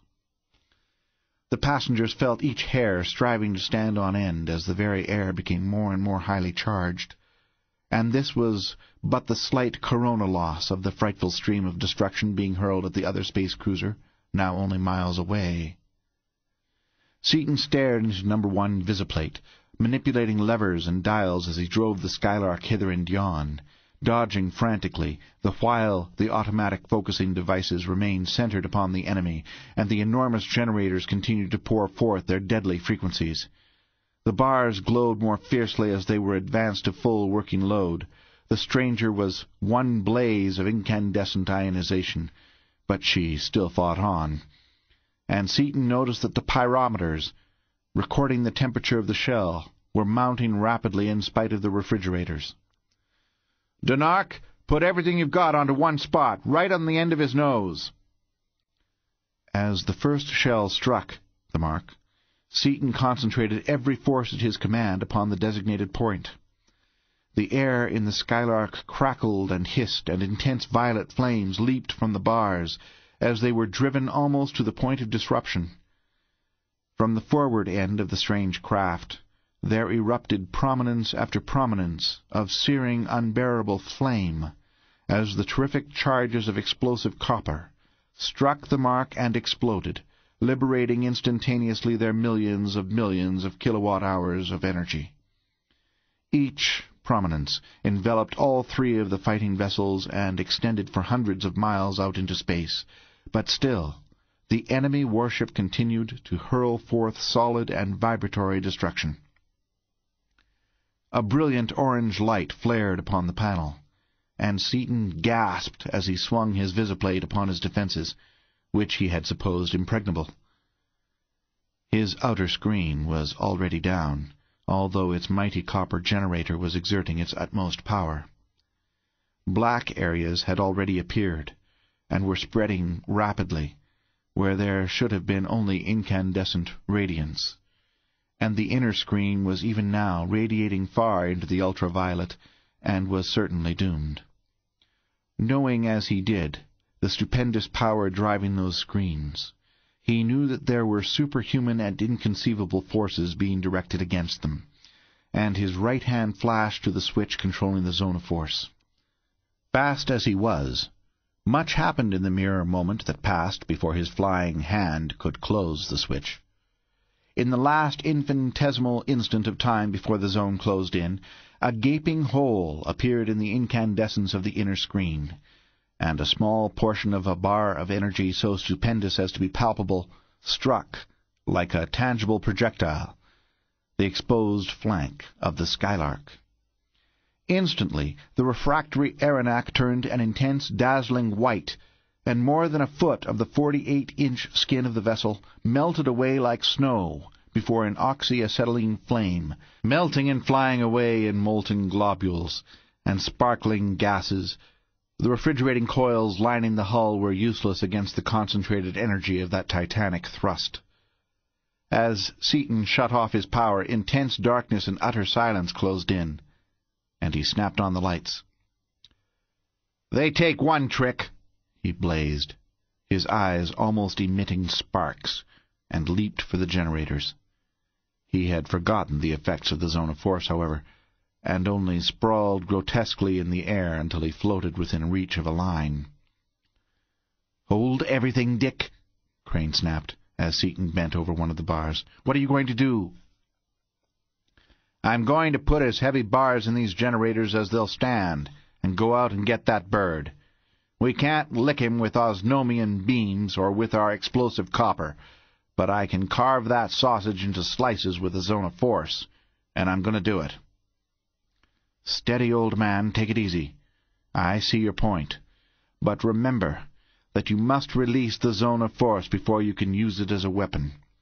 Furthermore, you must discover his exact location, and must get close enough to him to use the zone as a weapon, all without its protection. Can those screens be sufficiently powerful to withstand the beam they employed last? Even for a second? Hmm. Mm-hmm. Never thought of that, Mart, Seaton replied, the fire dying out of his eyes. Wonder how long the battle lasted. Eight and two-tenths seconds from first to last. But they had had that heavy ray in action only a fraction of one second when you cut in the zone of force. Either they underestimated our strength at first, or else it required about eight seconds to tune in their heavy generators, probably the former. But we've got to do something, man. We can't just sit here and twiddle our thumbs. Why? And why not? That course seems eminently wise and proper. In fact, at the present time, thumb-twiddling seems to me to be distinctly indicated. Oh, you're full of little red ants. We can't do a thing with that zone on, and you just say, sit here. Suppose they know all about that zone of force. Suppose they can crack it. Suppose they ram us. I shall take up your objections in order. Crane had lighted a cigarette and was smoking meditatively. First, they may or may not know about it. At present, that point is immaterial. Second, whether or not they know about it, it almost is a certainty that they cannot crack it. It has been up for more than three minutes, and they undoubtedly concentrated everything possible upon us during that time. It is still standing. I really expected it to go down in the first few seconds, but now that it has held this long, it will, in all probability, continue to hold indefinitely. Third, they most certainly will not ram us, for several reasons. They have probably encountered few, if any, foreign vessels able to stand against them for a minute, and will act accordingly. Then, too, it is probably safe to assume that their vessel is damaged, to some slight extent, at least. For I do not believe that any possible armament could withstand the forces we directed against them and escape entirely unscathed. Finally, if they ram us, what would happen? Would we feel the shock?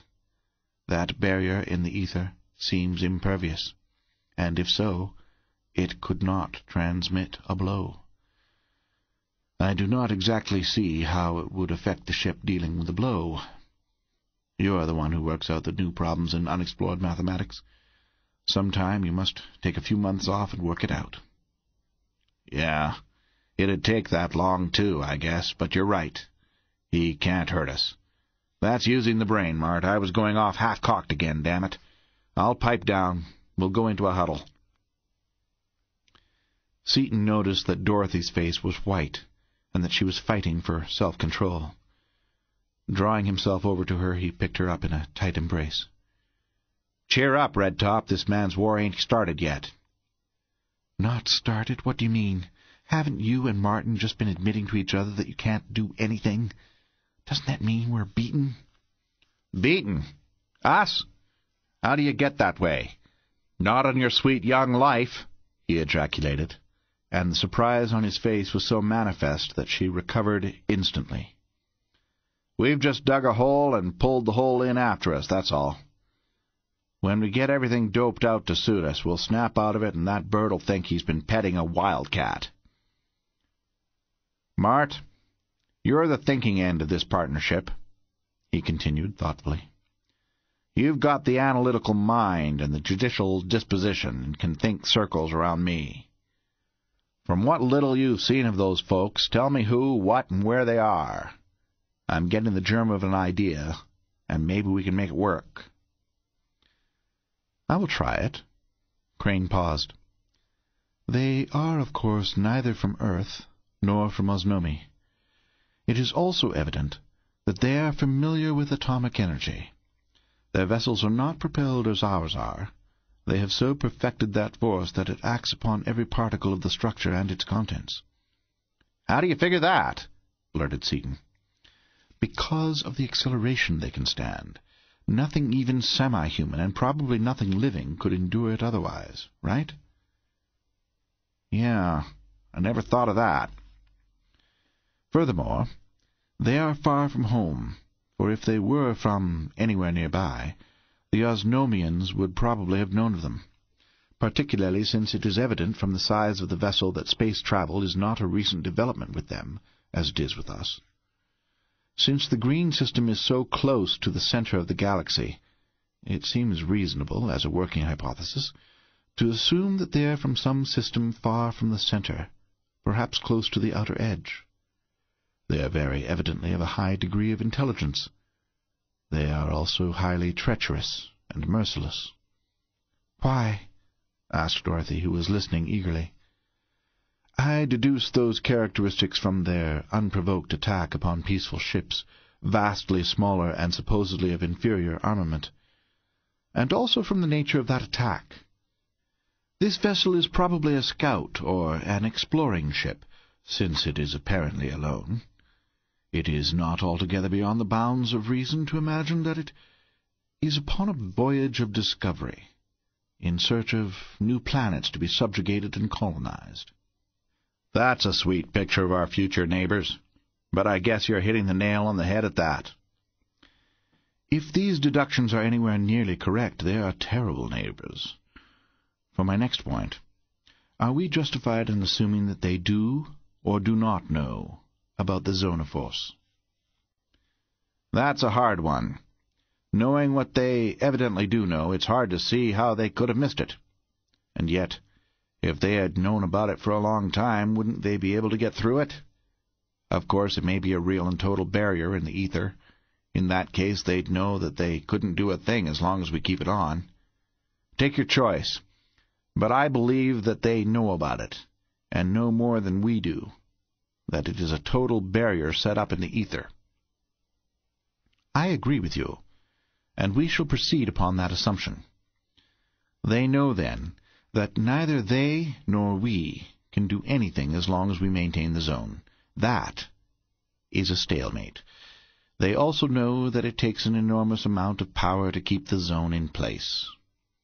Now we have gone as far as we can go upon the meager data we have, considerably farther than we are really justified in going. We must now try to come to some conclusion concerning their present activities. If our ideas as to their natures are even approximately correct, they are waiting, probably fairly close at hand, until we shall be compelled to release the zone, no matter how long that period of waiting shall be.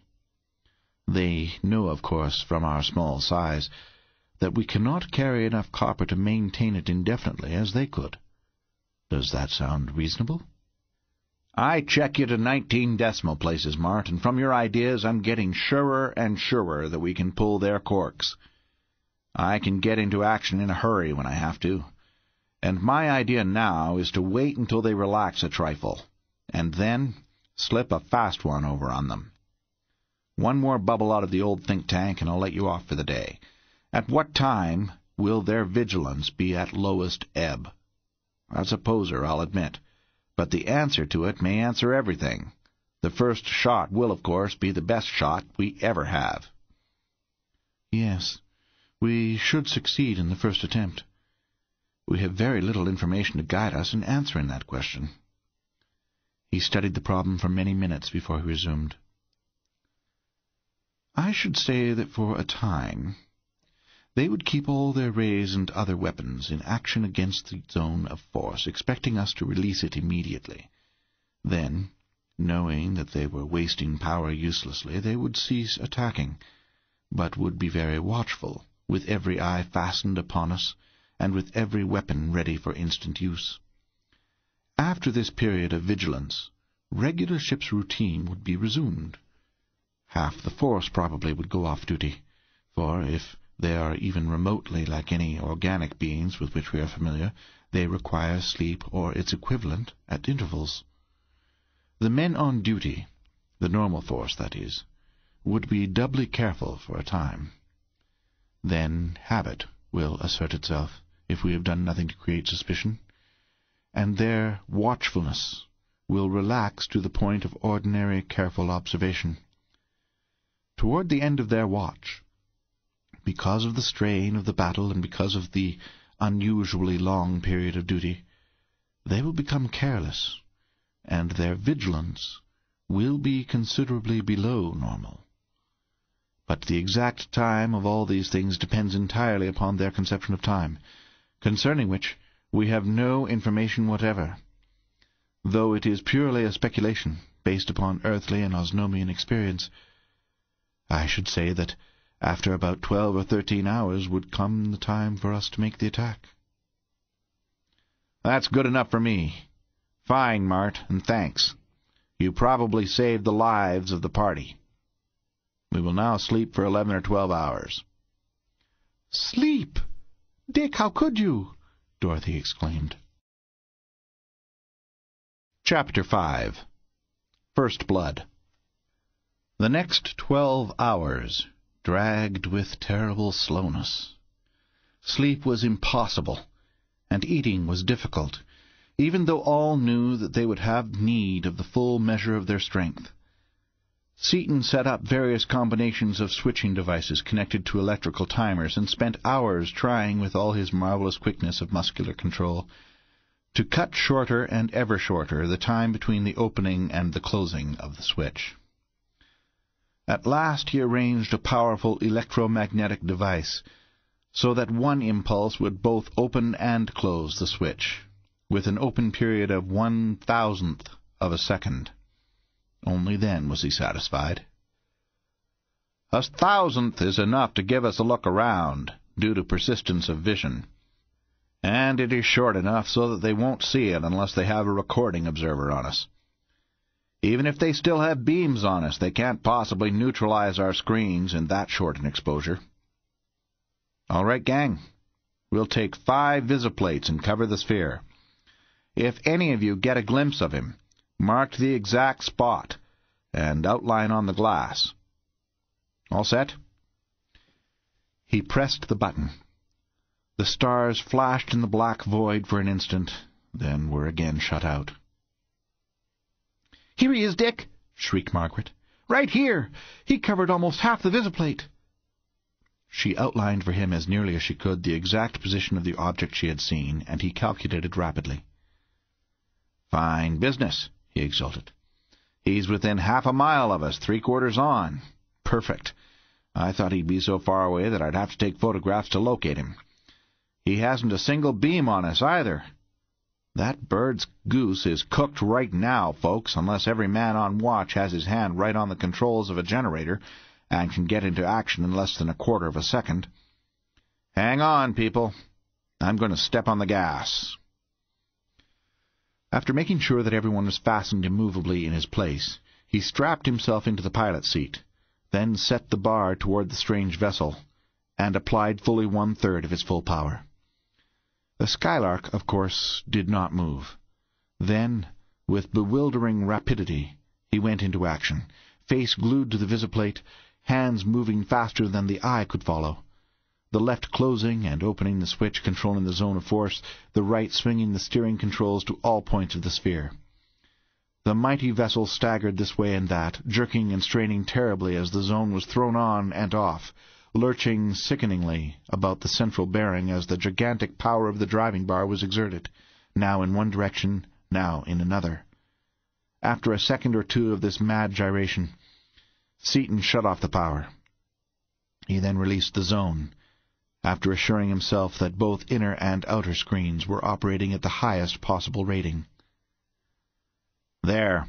That'll hold 'em for a while, I guess. This battle was even shorter than the other one, and a lot more decisive.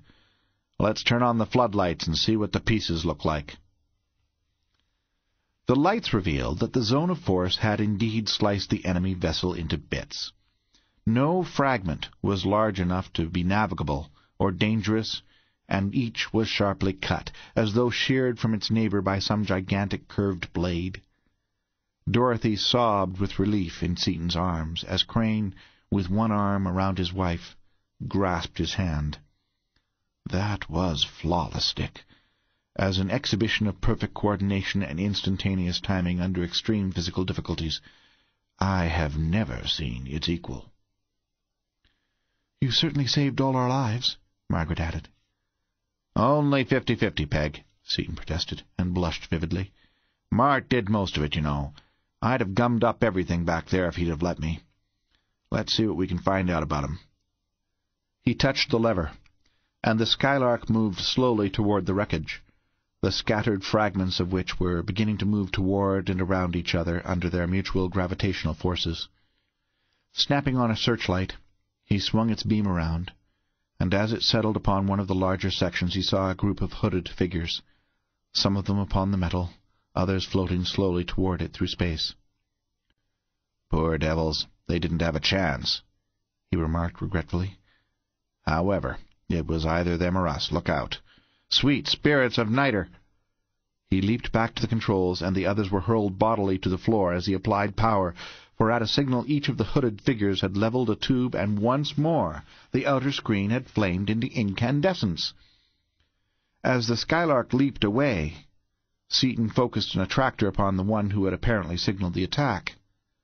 Rolling the vessel over in a short loop, so that the captive was hurled off into space upon the other side, he snatched the tube from the figure's grasp with one auxiliary attractor, and anchored head and limbs with the others, so that the prisoner could scarcely move a muscle. Then, while Crane and the women scrambled off the floor and hurried to the visiplates, Seaton cut in beams 6, 27, and 58. Number 6, the softener, was a band of frequencies extending from violet far up into the ultraviolet. When driven with sufficient power, this ray destroyed eyesight and nervous tissue, and, its power increased still further, actually loosened the molecular structure of matter. Ray 27 was operated in a range of frequencies far below the visible red. It was pure heat. Under its action, matter became hotter and hotter as long as it was applied, the upper limit being only the theoretical maximum of temperature. 5-8 was high-tension, high-frequency alternating current. Any conductor in its path behaved precisely as it would in the Ajax-Northrup induction furnace, which can boil platinum in ten seconds. These three items composed the beam which Seaton directed upon the mass of metal from which the enemy had elected to continue the battle. And behind each one, instead of the small energy at the command of the Osnomian inventor, were the untold millions of kilowatts developed by a 100-pound bar of disintegrating copper. There ensued a brief but appalling demonstration of the terrible effectiveness of those Osnomian weapons against anything not protected by ultra-powered screens. Metal and men, if men they were, literally vanished. One moment they were outlined starkly in the beam. There was a moment of searing, coruscating, blinding light. The next moment the beam bored on into the void, unimpeded. Nothing was visible save an occasional tiny flash, as some condensed or solidified droplet of the volatilized metal entered the path of that ravening beam. "We'll see if there's any more of 'em loose," Seaton remarked as he shut off the force and probed into the wreckage with the searchlight. No sign of life or of activity was revealed, and the light was turned upon the captive. He was held motionless in the invisible grip of the attractors, at the point where the force of those peculiar magnets was exactly balanced by the outward thrust of the repellers. By manipulating the attractor holding it, Seaton brought the strange tubular weapon into the control room through a small airlock in the wall, and examined it curiously but did not touch it.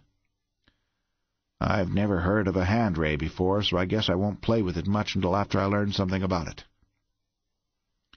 So you have taken a captive? asked Margaret. What are you going to do with him? I'm going to drag him in here and read his mind. He's one of the officers of that ship, I believe, and I'm going to find out how to build one exactly like it. Our Skylark is now as obsolete as a 1910 Flivver, and I'm going to make us a later model. How about it, Mart? Don't we want something really up-to-date if we're going to keep on space hopping? We certainly do. Those denizens seem to be particularly venomous, and we will not be safe unless we have the most powerful and most efficient spaceship possible. However, that fellow may be dangerous even now. In fact, it is practically certain that he is. You chirped it, Ace. I'd rather touch a pound of dry nitrogen iodide I've got him spread eagled so that he can't destroy his brain until after we've read it, though, so there's no particular hurry about him. We'll leave him out there for a while to waste his sweetness on the desert air. Let's all look around for the Kondal. I hope they didn't get her in that fracas. They diffused the rays of eight giant searchlights into a vertical fan, and with it swept slowly through almost a semicircle before anything was seen. Then there was revealed a cluster of cylindrical objects amid a mass of wreckage which Crane recognized at once. The Kondal is gone, Dick. There is what is left of her, and most of her cargo of salt in jute bags. As he spoke, a series of green flashes played upon the bags, and Seaton yelled in relief. Yes, they got the ship all right, but Dunark and Sitar got away. They're still with their salt. The Skylark moved over to the wreck, and Seaton, relinquishing the controls to Crane, donned a spacesuit, entered the main airlock, snapped on the motor which sealed off the lock, pumped the air into a pressure tank, and opened the outside door. He threw a light line to the two figures and pushed himself lightly toward them. He then talked briefly to Dunark in the hand language, and handed the end of the line to Sitar, who held it while the two men explored the fragments of the strange vessel, gathering up various things of interest as they came upon them. Back in the control room, Dunark and Sitar let their pressure decrease gradually to that of the terrestrial vessel, and removed the faceplates from their helmets. Again, O Karfido of Earth, we thank you for our lives, Dunark began, gasping for breath, when Seaton leaped to the air gauge with a quick apology. Never thought of the effect of our atmospheric pressure on you two. We can stand yours, but you'd pretty nearly pass out on ours. There, that'll suit you better. Didn't you throw out your zone of force? Yes, as soon as I saw that our screens were not going to hold. The Osnomian's labored breathing became normal as the air pressure increased to a value only a little below that of the dense atmosphere of their native planet. I then increased the power of the screens to the extreme limit, and opened the zone for a moment to see how the screens would hold with the added power. That moment was enough. In that moment a concentrated beam such as I had no idea could ever be generated went through the outer and inner screens as though they were not there, through the four-foot arenak of the hull, through the entire central installation, and through the hull on the other side. Sitar and I were wearing suits. Say, Mart, that's one bet we overlooked. It's a hot idea, too. Those strangers wore them all the time as regular equipment, apparently. Next time we get into a jam, be sure we do it. They might come in handy. Excuse me, Dunark. Go right ahead. We had suits on, so as soon as the ray was shut off, which was almost instantly, I phoned the crew to jump, and we leaped out through the hole in the hull. The air rushing out gave us an impetus that carried us many miles out into space, and it required many hours for the slight attraction of the mass here to draw us back to it. We just got back a few minutes ago. That air blast is probably what saved us, as they destroyed our vessel and sent out a party to hunt down the four men of our crew, who stayed comparatively close to the scene. They rayed you for about an hour with the most stupendous beams imaginable. No such generators have ever been considered possible of construction, but couldn't make any impression upon you. They shut off their power and stood by, waiting. I wasn't looking at you when you released your zone. One moment it was there, and the next the stranger had been cut into pieces. The rest you know. We're sure glad you two got away, Dunark. Well, Mart, what say we drag that guy in and give him the once-over? Seaton swung the attractors holding the prisoner until they were in line with the main airlock, then reduced the power of the repellers. As he approached the lock, various controls were actuated, and soon the stranger stood in the control room, held immovable against one wall, while Crane, with an .50 caliber elephant gun, stood against the other. "Perhaps you girls should go somewhere else," suggested Crane. "Not on your life!" protested Dorothy, who, eyes wide and flushed with excitement, stood near a door, with a heavy automatic pistol in her hand. "I wouldn't miss this for a farm!" "Got him solid!" Declared Seaton, after a careful inspection of the various attractors and repellers he had bearing upon the prisoner. "Now let's get him out of that suit. No, better read his air first, temperature and pressure. Might analyze it, too." Nothing could be seen of the person of the stranger, since he was encased in space armor, but it was plainly evident that he was very short, and immensely broad and thick. Drilling a hole through that armor took time and apparatus, but it was finally done. Seaton drew off a sample of the atmosphere within into an Orsat apparatus, while Crane made pressure and temperature readings. Temperature, 110 degrees. Pressure, Twenty-eight pounds, about the same as ours is, now that we have stepped it up to keep the Osnomians from suffering. Seaton soon reported that the atmosphere was quite similar to that of the Skylark, except that it was much higher in carbon dioxide and carried an extremely high concentration of water vapor. He brought in a power cutter and laid the suit open full length on both sides, while Crane at the controls of attractors and repellers held the stranger immovable. He then wrenched off the helmet and cast the whole suit aside, revealing the enemy officer, clad in a tunic of scarlet silk. He was less than five feet tall. His legs were merely blocks, fully as great in diameter as they were in length, supporting a torso of Herculean dimensions. His arms were as large as a strong man's thigh, and hung almost to the floor. His astounding shoulders, fully a yard across, merged into and supported an enormous head. The being possessed recognizable nose, ears, and mouth, and the great domed forehead and hulk cranium bespoke an immense and highly developed brain. But it was the eyes of this strange creature that fixed and held the attention. Large they were, and black, the dull, opaque, lustreless black of platinum sponge. The pupils were a brighter black, and in them flamed ruby lights, pitiless, mocking, cold. Plainly to be read in those sinister depths were the untold wisdom of unthinkable age, sheer ruthlessness, mighty power, and ferocity unrelieved. His baleful gaze swept from one member of the party to another, and to meet the glare of those eyes was to receive a tangible physical blow.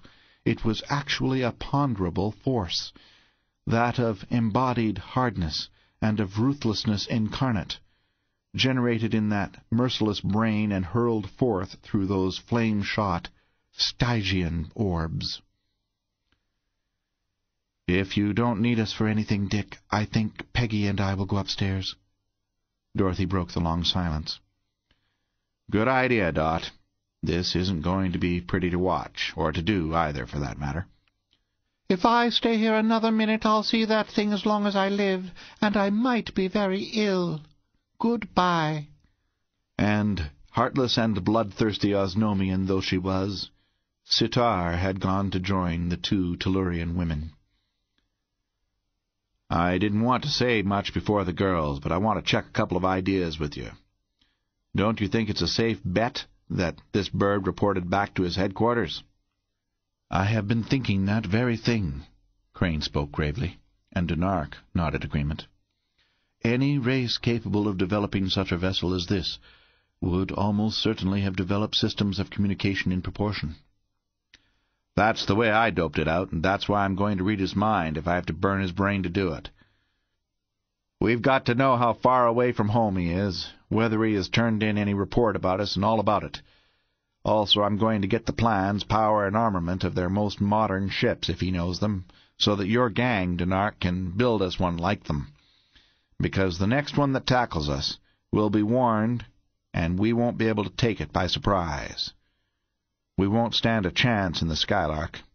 With a ship like theirs, however, we can run, or we can fight if we have to. Any other ideas, fellows?" As neither Crane nor Dunark had any other suggestions to offer, Seaton brought out the mechanical educator, watching the creature's eyes narrowly. As he placed one headset over that motionless head, the captive sneered in pure contempt. But when the case was opened and the array of tubes and transformers was revealed, that expression disappeared. And when he added a superpower stage by cutting in a heavy-duty transformer and a 5-kilowatt transmitting tube, Seaton thought that he saw an instantaneously suppressed flicker of doubt or fear. That headset thing was child's play to him, but he doesn't like the looks of all this other stuff at all. I don't blame him a bit. I wouldn't like to be on the receiving end of this hookup myself. I'm going to put him on the recorder and on the visualizer. Seaton continued as he connected spools of wire and tape, lamps, and lenses in an intricate system and donned a headset. I'd hate to have much of that brain in my own skull, afraid I'd bite myself. I'm just going to look on and when I see anything I want, I'll grab it and put it into my own brain. I'm starting off easy, not using the big tube. He closed several switches, lights flashed, and the wires and tapes began to feed through the magnets. Well, I've got his language, folks. He seemed to want me to have it. It's got a lot of stuff in it that I can't understand yet, though, so guess I'll give him some English. He changed several connections, and the captive spoke in a profoundly deep bass voice. You may as well discontinue your attempt, for you will gain no information from me. That machine of yours was out of date with us thousands of years ago. Save your breath or talk sense, said Seaton coldly. I gave you English so that you can give me the information I want. You already know what it is.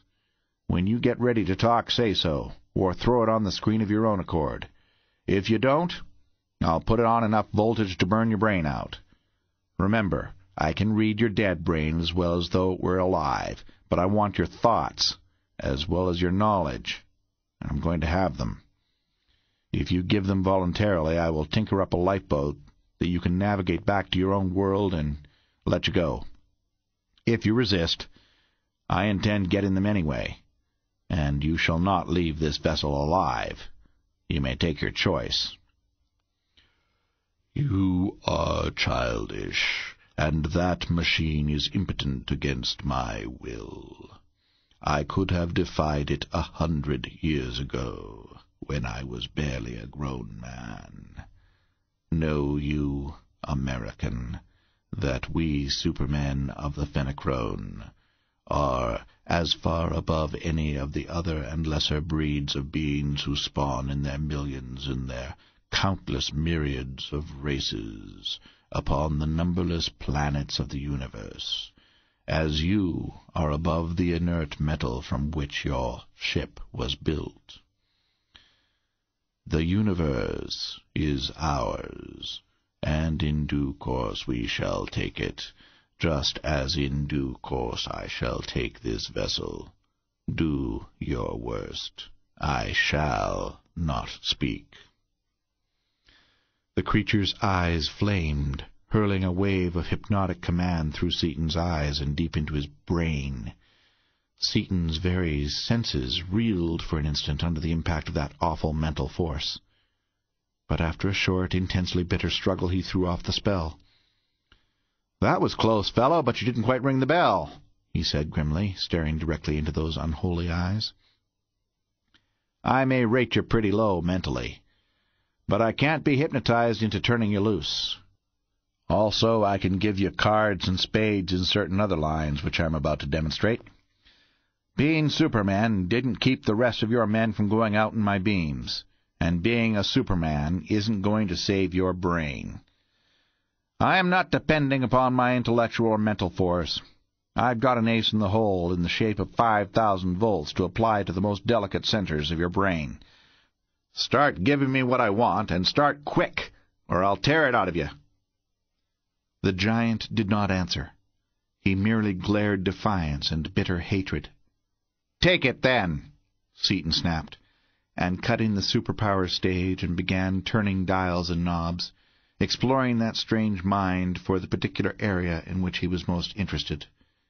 He soon found it, and cut in the visualizer, the stereographic device in parallel with Seaton's own brain recorder, which projected a three-dimensional picture into the viewing area or dark space of the cabinet. Crane and Dunark, tense and silent, looked on in strained suspense as minute after minute the silent battle of wills raged.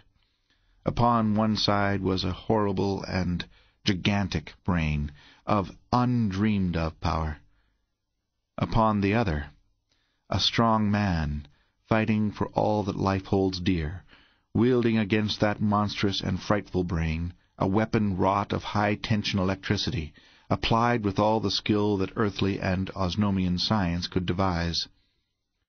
Seaton crouched over the amplifier, his jaw set and every muscle taut, his eyes leaping from one meter to another, his right hand slowly turning up the potentiometer, which was driving more and ever more of the searing, torturing output of his superpower tube into that stubborn brain. The captive was standing utterly rigid, eyes closed, every sense and faculty mustered to resist that cruelly penetrant attack upon the innermost recesses of his mind. Crane and Dunark scarcely breathed as the three-dimensional picture in the visualizer varied from a blank to the hazy outlines of a giant space cruiser. It faded out as the unknown exerted himself to withstand that poignant inquisition, only to come back in clearer outlines than before as Seaton advanced the potentiometer still farther. Finally, Flesh and blood could no longer resist that lethal probe, and the picture became clear and sharp.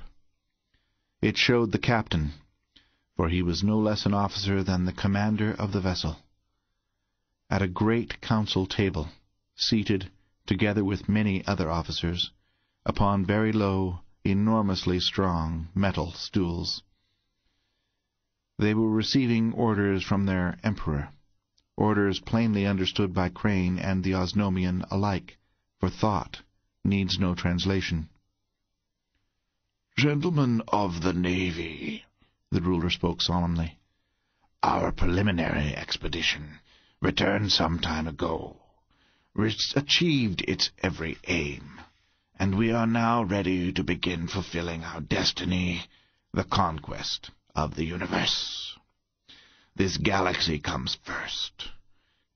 Our base of operations will be the largest planet of that group of brilliant green suns, for they can be seen from any point in the galaxy and are almost in the exact center of it.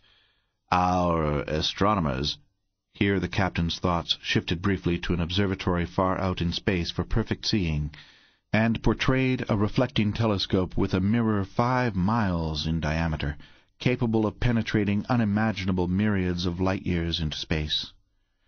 Have tabulated all the suns, planets, and satellites belonging to this galaxy, and each of you has been given a complete chart and assigned a certain area which he is to explore. Remember, gentlemen, that this first major expedition is to be purely one of exploration, the one of conquest will set out after you have returned with complete information. You will each report by torpedo every tenth of the year. We do not anticipate any serious difficulty, as we are of course the highest type of life in the universe. Nevertheless, in the unlikely event of trouble, report it. We shall do the rest. In conclusion, I warn you again. Let no people know that we exist.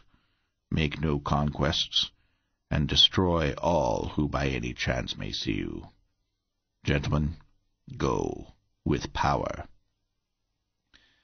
The captain embarked in a small airboat, and was shot to his vessel. He took his station at an immense control board, and the warship shot off into space instantly with unthinkable velocity, and with not the slightest physical shock. At this point, Seaton made the captain take them all over the ship. They noted its construction, its power plant, its controls. Every minute detail of structure, operation, and maintenance was taken from the captain's mind and was both recorded and visualized. The journey seemed to be a very long one, but finally the cluster of green suns became visible, and the Fenachrone began to explore the solar systems in the region assigned to that particular vessel. Hardly had the survey started, however, when the two globular space cruisers were detected and located. The captain stopped the ship briefly, then attacked. They watched the attack, and saw the destruction of the Kondal. They looked on while the captain read the brain of one of Dunark's crew, gleaning from it all the facts concerning the two spaceships, and thought with him that the two absentees from the Kondal would drift back in a few hours, and would be disposed of in due course. They learned that these things were automatically impressed upon the torpedo next to issue, as was every detail of everything that happened in and around the vessel. They watched him impress a thought of his own upon the record. The inhabitants of planet 3 of Sun 6473, Pillarone, show unusual development and may cause trouble, as they have already brought knowledge of the metal of power and of the impenetrable shield to the central system which is to be our base recommend volatilization of this planet by vessels sent on special mission. They saw the raying of the Skylark. They sensed him issue commands. Beam it for a time. He will probably open the shield for a moment as the other one did. Then, after a time skipped over by the mind under examination, Cease raying. No use wasting power. He must open eventually as he runs out of power. Stand by and destroy him when he opens. The scene shifted. The captain was asleep and was awakened by an alarm gong, only to find himself floating in a mass of wreckage. Making his way to the fragment of his vessel containing the torpedo port, he released the messenger, which flew with ever-increasing velocity back to the capital city of the Fenachrone, carrying with it a record of everything that had happened. That's what I want, thought Seaton. Those torpedoes went home fast. I want to know how far they have to go and how long it'll take them to get there. You know what distance a parsec is, since it's purely a mathematical concept, and you must have a watch or some similar instrument with which we can translate your years into ours. I don't want to have to kill you, fellow, and if you'll give it up even now, I'll spare you. I'll get it anyway, you know, and you also know that a few hundred volts more will kill you. They saw the thought received, and saw its answer. You shall learn no more. This is the most important of all, and I shall hold it to disintegration and beyond. Seaton advanced the potentiometer still farther, and the brain picture waxed and waned, strengthened and faded, Finally, however, it was revealed by flashes that the torpedo had about a 155,000 parsecs to go, and that it would take two-tenths of a year to make the journey, that the warships which would come in answer to the message were as fast as the torpedo, that he did indeed in his suit have a watch, a device of seven dials, each turning ten times as fast as its successor, and that one turn of the slowest dial measured one year of his time. Seaton instantly threw off his headset and opened the power switch. "Grab a stopwatch quick, Mart," he called as he leaped to the discarded vacuum suit and searched out the peculiar timepiece. They noted the exact time consumed by one complete revolution of the dials and calculated rapidly. "Better than I thought!" exclaimed Seaton. That makes his year about 410 of our days. That gives us 82 days before the torpedo gets there, longer than I dared hope. We've got to fight, too, not run. They figure on getting the Skylark, then volatilizing our world. Well, we can take time enough to grab off an absolutely complete record of this guy's brain. We'll need it for what's coming, and I'm going to get it if I have to kill him to do it. He resumed his place at the educator, turned on the power, and a shadow passed over his face. Poor devil, he's conked out. Couldn't stand the gaff, he remarked, half regretfully. However, that makes it easy to get what we want. And we would have had to kill him anyway, I guess, bad as I would have hated to bump him off in cold blood. He threaded new spools into the machine, and for three hours mile after mile of tape sped through the magnets, as Seaton explored every recess of that monstrous yet stupendous brain. Well, that's that, he declared finally, as the last bit of information gleaned and recorded upon that flying tape. He removed the body of the Fenachrone captain into space and blasted it out of existence. Now what? How can we get this salt to Osnome? asked Dunark, whose thoughts were never far from his store of precious chemical or of precious chemical, or of precious chemical, or of precious chemical, or of precious chemical, or a precious chemical, or a precious chemical, or a precious chemical, or a precious chemical, or a precious chemical, or a precious chemical, or a precious chemical, or a precious chemical, or a precious chemical, or a You are already crowded, and Sitar and I will crowd you still more. You have no room for additional cargo, and yet much valuable time would be lost in going to Osnome for another vessel. Yeah, and we've got a lot of X, too. Guess we'll have to take time to get another vessel. I'd like to drag in the pieces of that ship, too. His instruments and a lot of the parts could be used. Why not do it all at once? suggested Crane. We can start that whole mass toward Osnome by drawing it behind us until such a velocity has been attained that it will reach there at the desired time. We could then go to X and overtake this material near the green system. Right you are, Ace. That's a sound idea. But say, Dunark, it wouldn't be good technique for you to eat our food for any length of time. While we're figuring this out, you'd better hop over there and bring over enough to last you two until we get home. Give it to Shiro. After a couple of lessons, you'll find he'll be as good as any of your cooks. Faster and faster the Skylark flew, pulling behind her the mass of wreckage held by every available attractor. When the calculated velocity had been attained, the attractors were shut off, and the vessel darted away toward that planet still in the Carboniferous Age, which possessed at least one solid ledge of metallic X, the rarest metal known to Tellurian science. As the automatic controls held the cruiser upon her course, the six wanderers sat long in discussion as to what should be done, what could be done, to avert the threatened destruction of all the civilization of the galaxy, except the monstrous and unspeakable culture of the Fenachrone. They were approaching their destination when Seaton rose to his feet. As I see it, it's like this. We've got our backs to the wall. Dunark has troubles of his own. If the third planet doesn't get him, the Fenachrone will, and the third planet is the more pressing danger. That lets him out. We've got nearly six months before the Fenachrone can get back here. But how can they possibly find us here, or wherever we'll be by that time, Dick? asked Dorothy. The battle was a long way from here. With that much start, they probably couldn't find us, he replied soberly. It's the world I'm thinking about. They've got to be stopped, and stopped cold, and we've got only six months to do it in.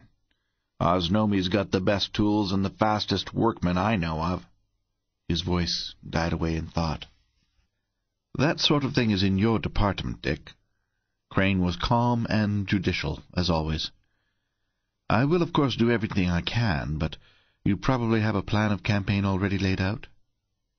After a fashion.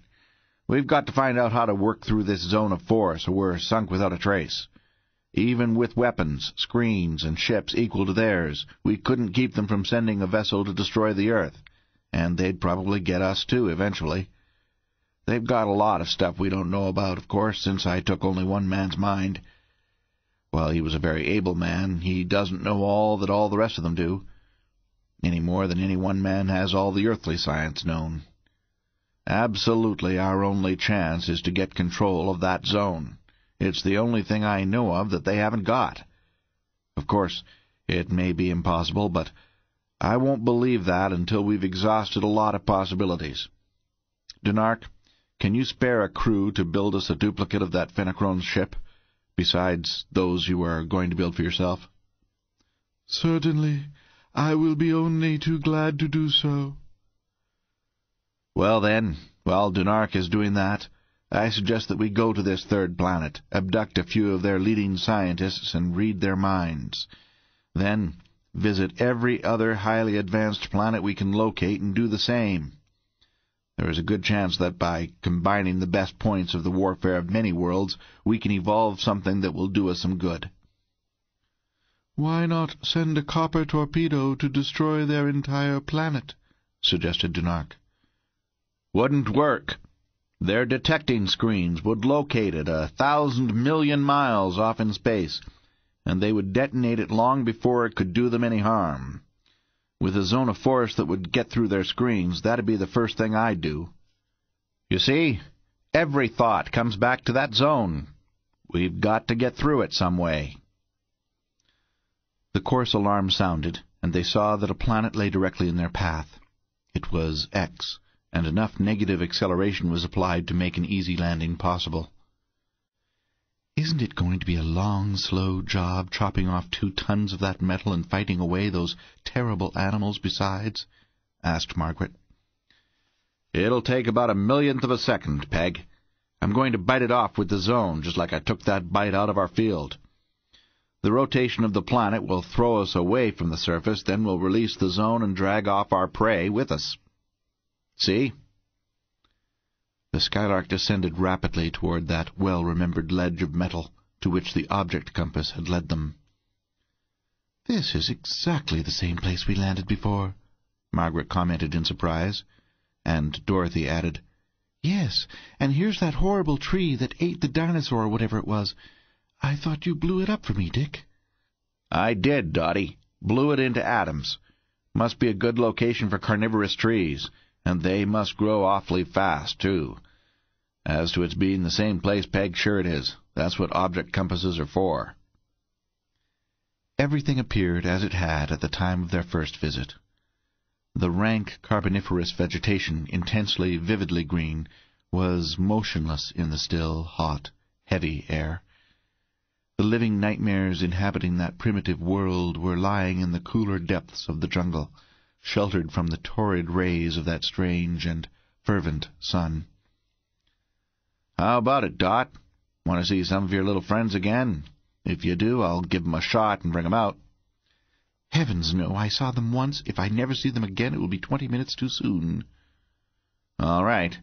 We'll grab us a piece of this ledge and beat it. Seaton lowered the vessel to the ledge, focused the main anchoring attractor upon it, and threw on the zone of force. Almost immediately he released the zone, pointed the bar parallel to the compass bearing upon Osnome, and slowly applied the power. "How much did you take, anyway?" asked Dunark in amazement. "It looks bigger than the Skylark." "It is. Considerably bigger. Thought we might as well take enough while we're here, so I set the zone for a seventy-five-foot radius. It's probably of the order of magnitude of half a million tons, since the stuff weighs more than half a ton to the cubic foot.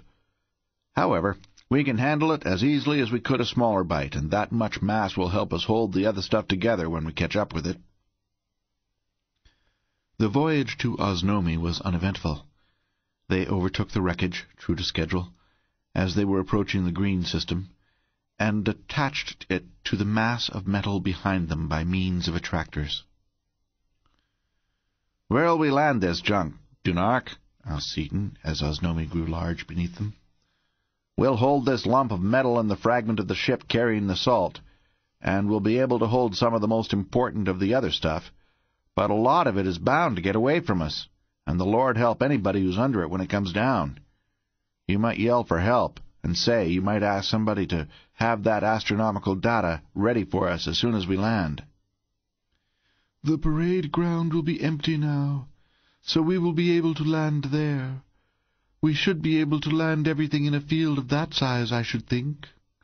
Dunark touched a sender at his belt, and in the general code notified the city of their arrival and warned everyone to keep away from the parade ground. He then sent several messages in the official code, concluding by asking that one or two spaceships come out and help lower the burden to the ground.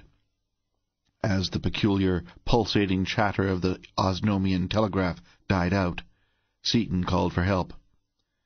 Come here, you two, and grab some of these attractors. I need about twelve hands to keep this plunder in the straight and narrow path. The course had been carefully laid, with allowances for the various velocities and forces involved, to follow the easiest path to the Kondalian parade ground. The hemisphere of X and the fragment of the Kondal which bore the salt were held immovably in place by the main attractor and one auxiliary, and many other auxiliaries held sections of the Fenachrone vessel. However, the resistance of the air seriously affected the trajectory of many of the irregularly shaped smaller masses of metal, and all three men were kept busy flicking attractors right and left, capturing those strays which threatened to veer off into the streets or upon the buildings of the Kondalian capital city, and shifting from one piece to another so that none of them could fall freely. Two sister ships of the Kondal appeared in answer to Dunark's call, and their attractors aided greatly in handling the unruly collection of wreckage. A few of the smaller sections and a shower of debris fell clear, however, in spite of all efforts, and their approach was heralded by a meteoric display unprecedented in that world of continuous daylight. As the three vessels with their cumbersome convoy dropped down into the lower atmosphere, the guns of the city roared a welcome. Banners and pennons waved. The air became riotous with color from hundreds of projectors and odorous with a bewildering variety of scents, while all around them played numberless aircraft of all descriptions and sizes. The space below them was carefully avoided, but on all sides of them and above them the air was so full that it seemed incredible that no collision occurred.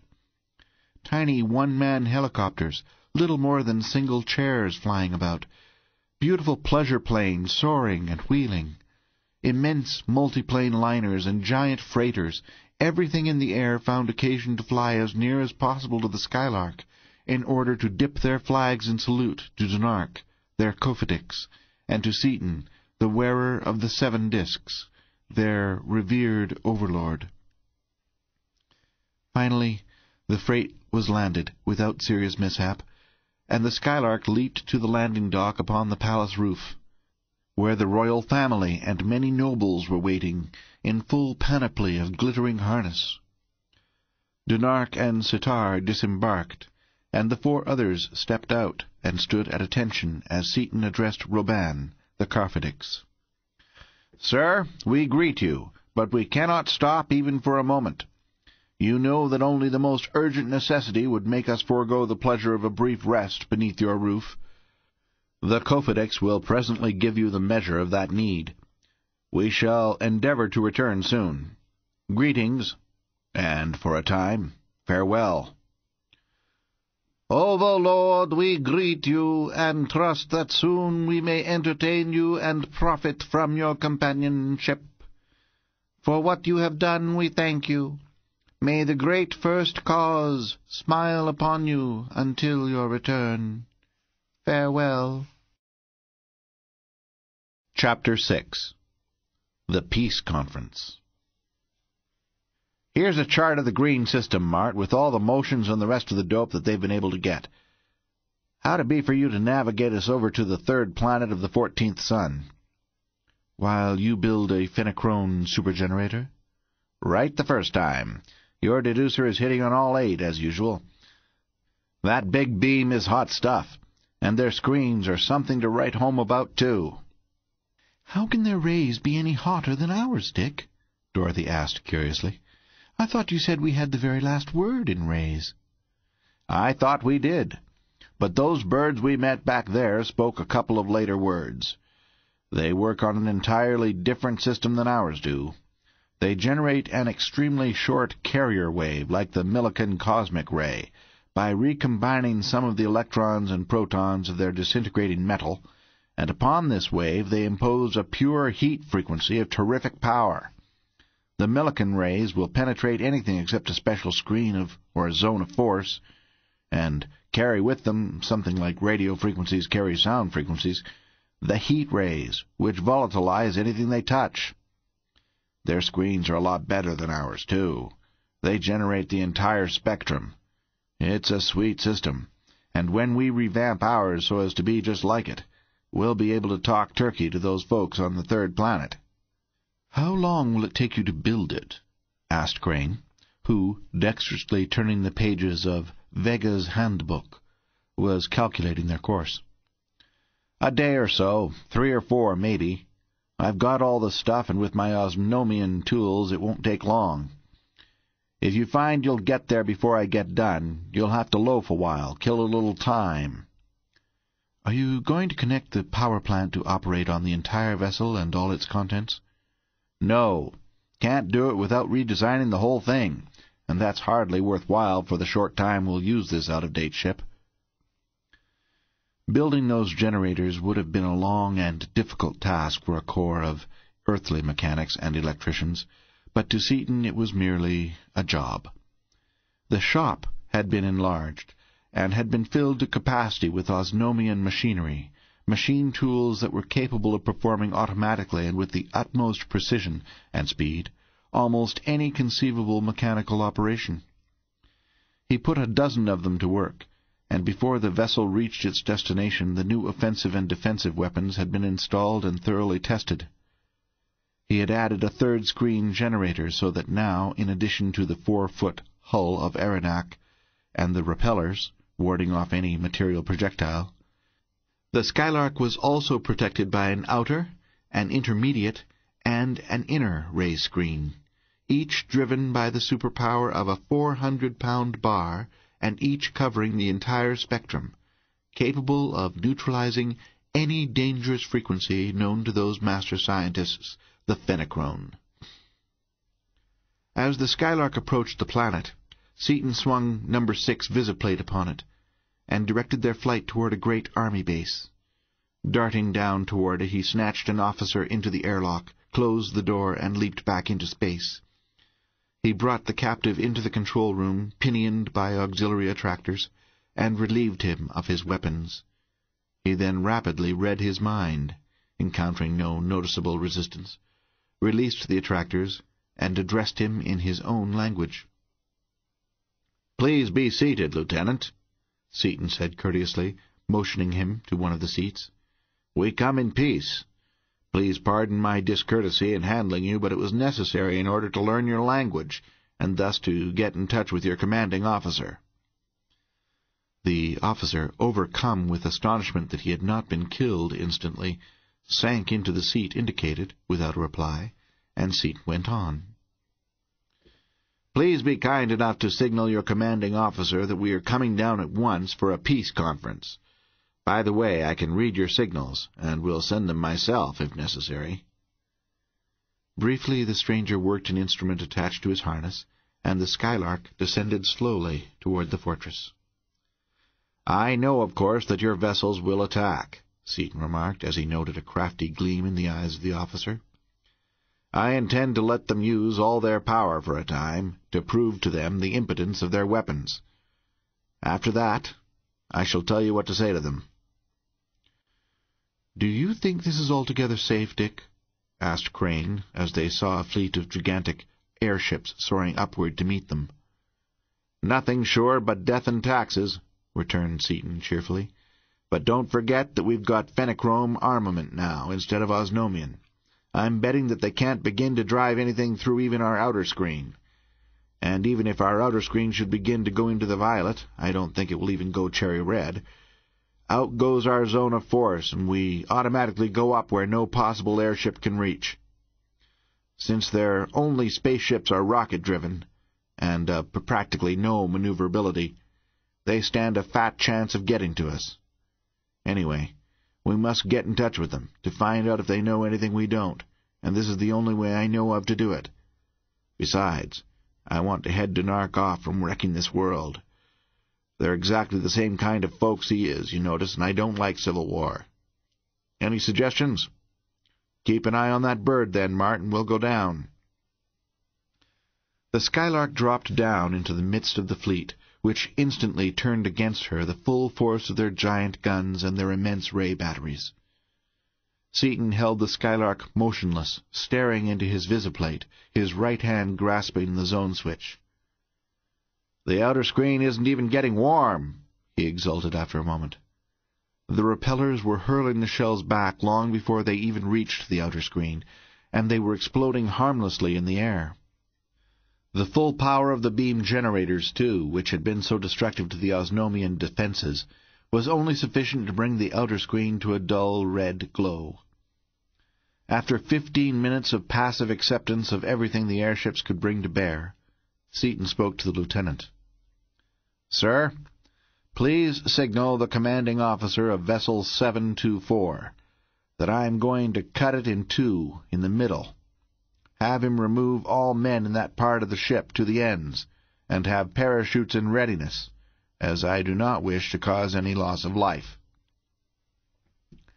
The signal was sent, and, the officer already daunted by the fact that their utmost efforts could not even make the stranger's screens radiate, it was obeyed. Seaton then threw on the frightful power of the Fenachrone supergenerators. The defensive screens of the doomed warship flashed once, a sparkling, coruscating display of incandescent brilliance, and in the same instant went down. Simultaneously the entire midsection of the vessel exploded into radiation and disappeared, completely volatilized. Sir, please signal the entire fleet to cease action and to follow me down. If they do not do so, I will destroy the rest of them. The Skylark dropped to the ground, followed by the fleet of warships who settled in a ring about her, inactive but ready. "Will you please loan me your sending instrument, sir?" Seaton asked. "From this point on I can carry on negotiations better direct than through you." The lieutenant found his voice as he surrendered the instrument. "Sir, are you the overlord of Osnome of whom we have heard?" We had supposed that one a mythical character, but you must be he. No one else would spare lives that he could take, and the Overlord is the only being reputed to have a skin the color of yours. Yes, Lieutenant, I am the Overlord, and I have decided to become the Overlord of the entire green system, as well as of Osnome. He then sent out a call to the commander-in-chief of all the armies of the planet, informing him that he was coming to visit him at once, and the Skylark tore through the air to the capital city. No sooner had the earthly vessel alighted upon the palace grounds than she was surrounded by a ring of warships who, however, made no offensive move. Seaton again used the telegraph. Commander-in-Chief of the Armed Forces of the planet Urbania. Greetings from the overlord of this solar system. I invite you to come into my vessel, unarmed and alone, for a conference. I come in peace, and, peace or war, as you decide, no harm shall come to you until after you have returned to your own command. Think well before you reply. If I refuse, I shall destroy one of the vessels surrounding me, and shall continue to destroy them one every ten seconds until you agree to come. If you still do not agree, I shall destroy all the armed forces upon this planet, then destroy all your people who are at present upon Osnome. I wish to avoid bloodshed and destruction, but I can and I will do as I have said. I will come. The general came out upon his field unarmed, escorted by a company of soldiers. A hundred feet from the vessel he halted the guards and came on alone, erect and soldierly. Seaton met him at the door and invited him to be seated. "What can you have to say to me?" the general demanded, disregarding the invitation. "Many things. First, let me say that you are not only a brave man, you are a wise general. Your visit to me proves it. It is a sign of weakness. but I believed when I heard those reports, and still believe, that a refusal would have resulted in a heavy loss of our men. It would have. I repeat that your act was not weakness, but wisdom. The second thing I have to say is that I had not planned on taking any active part in the management of things, either upon Osnome or upon this planet, until I learned of a catastrophe that is threatening all the civilizations in this galaxy, thus threatening my own distant world as well as those of this solar system. Third, only by superior force can I make either your race or the Osnomians listen to reason sufficiently to unite against a common foe. You have been reared in unreasoning hatred for so many generations that your minds are warped. For that reason, I have assumed control of this entire system, and shall give you your choice between cooperating with us or being rendered incapable of molesting us while our attention is occupied by this threatened invasion. We will have no traffic with the enemy whatever. This is final. You just think at present that is final. Here is a mathematical statement of what is going to happen to your world unless I intervene. He handed the general a drawing of Dunark's plan and described it in detail. That is the answer of the Osnomians to your invasion of their planet. I do not want this world destroyed. But if you refuse to make common cause with us against a common foe, it may be necessary. Have you forces at your command sufficient to frustrate this plan? No, but I cannot really believe that such a deflection of celestial bodies is possible. Possible or no, you realize that I could not yield to empty threats. Of course not. But you were wise enough to refuse to sacrifice a few ships and men in a useless struggle against my overwhelming armament. Therefore you are certainly wise enough to refuse to sacrifice your entire race. However, before you come to any definite conclusion, I will show you what threatens the galaxy. He handed the other a headset and ran through the section of the record showing the plans of the invaders. He then ran a few sections showing the irresistible power at the command of the Fenachrone. That is what awaits us all, unless we combine against them. What are your requirements? I request immediate withdrawal of all your armed forces now upon Osnome, and full cooperation with me in this coming war against the invaders. In return, I will give you the secrets I have just given the Osnomians, the power and the offensive and defensive weapons of this vessel. The Osnomians are now building vessels such as this one? They are building vessels a hundred times this size, with corresponding armament. For myself, I would agree to your terms. However, the word of the Emperor is law. I understand. Would you be willing to seek an immediate audience with him?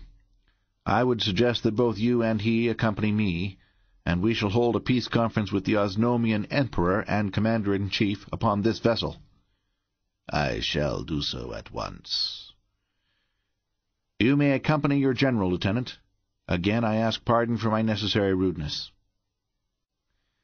As the two Urvanian officers hurried toward the palace, the other terrestrials who had been listening in from another room entered. It sounded as though you convinced him, Dick. But that language is nothing like Kondalian. Why don't you teach it to us? Teach it to Shiro, too, so he can cook for and talk to our distinguished guests intelligently if they're going back with us. As he connected up the educator, Seaton explained what had happened and concluded, I want to stop this civil war, keep Dunark from destroying this planet, preserve Osnome for Osnomians, and make them cooperate with us against the Fenachrone. That's one tall order, since these folks haven't the remotest notion of anything except killing. A company of soldiers approached, and Dorothy got up hastily. Stick around, folks. We can all talk to them. I believe that it would be better for you to be alone, Crane decided after a moment's thought. They are used to autocratic power, and can understand nothing but one-man control. The girls and I will keep out of it. That might be better at that. And Seaton went to the door to welcome the guests. Seaton instructed them to lie flat and put on all the acceleration they could bear. It was not long until they were back in Kondal, where Roban, the Karfedix, and Tarnan, the Karbix, accepted Seaton's invitation and entered the Skylark unarmed. Back out in space, the vessel stationary, Seaton introduced the emperors and commanders-in-chief to each other, introductions which were acknowledged almost imperceptibly. He then gave each a headset and ran the complete record of the Fenachrone brain. "Stop!" shouted Roban after only a moment. "Would you, the overlord of Osnome, reveal such secrets as this to the arch-enemies of Osnome?" "I would. I have taken over the overlordship of the entire green system for the duration of this emergency, and I do not want two of its planets engaged in civil war." The record finished, Seaton tried for some time to bring the four green warriors to his way of thinking, but in vain. Roban and Tarnan remained contemptuous. They would have thrown themselves upon him but for the knowledge that no fifty unarmed men of the green race could have overcome his strength, to them supernatural. The two Urvanians were equally obdurate. This soft earth being had given them everything. They had given him nothing, and would give him nothing. Finally Seaton rose to his full height and stared at them in turn, wrath and determination blazing in his eyes. I have brought you four together, here in a neutral vessel in neutral space, to bring about peace between you. I have shown you the benefits to be derived from the peaceful pursuit of science, knowledge, and power instead of continuing this utter economic waste of continual war. You close your senses to reason. You of Osnome accuse me of being an ingrate and a traitor. You of Urvania consider me a soft-headed, sentimental weakling who may safely be disregarded, all because I think the welfare of the numberless peoples of the universe more important than your narrow-minded, stubborn, selfish vanity. Think what you please. If brute force is your only logic, know now that I can and will use brute force. Here are the seven discs. And he placed the bracelet upon Roban's knee. If you four leaders are short-sighted enough to place your petty enmity before the good of all civilization, I am done forever with overlordship and with friendship. I have deliberately given you Urvanians precisely the same information that I have given the Osnomians, no more and no less. I have given neither of you all that I know, and I shall know much more than I do now before the time of the conquest shall have arrived. Unless you four men here and now renounce this war, and agree to a perpetual peace between your worlds, I shall leave you to your mutual destruction. Yet you do not realize the power of the weapons I have given you. When you do realize it, you will know that mutual destruction is inevitable if you continue this internecine war. I shall continue upon other worlds my search for the one secret standing between me and a complete mastery of power. That I shall find that secret I am confident, and, having found it, I shall, without your aid, destroy the Fenachrone. You have several times remarked with sneers that you are not to be swayed by empty threats. What I am about to say is no empty threat. It is a most solemn promise, given by one who has both the will and the power to fulfill his every given word. Now listen carefully to this, my final utterance.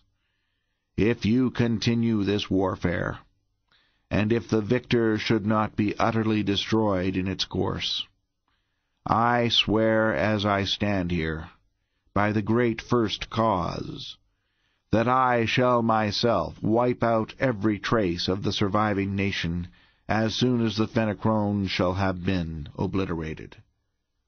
Work with each other, and with me, and we all will, in all probability, continue to live. Fight on, and both your nations, to the last person, will most certainly die. Decide now which it is to be.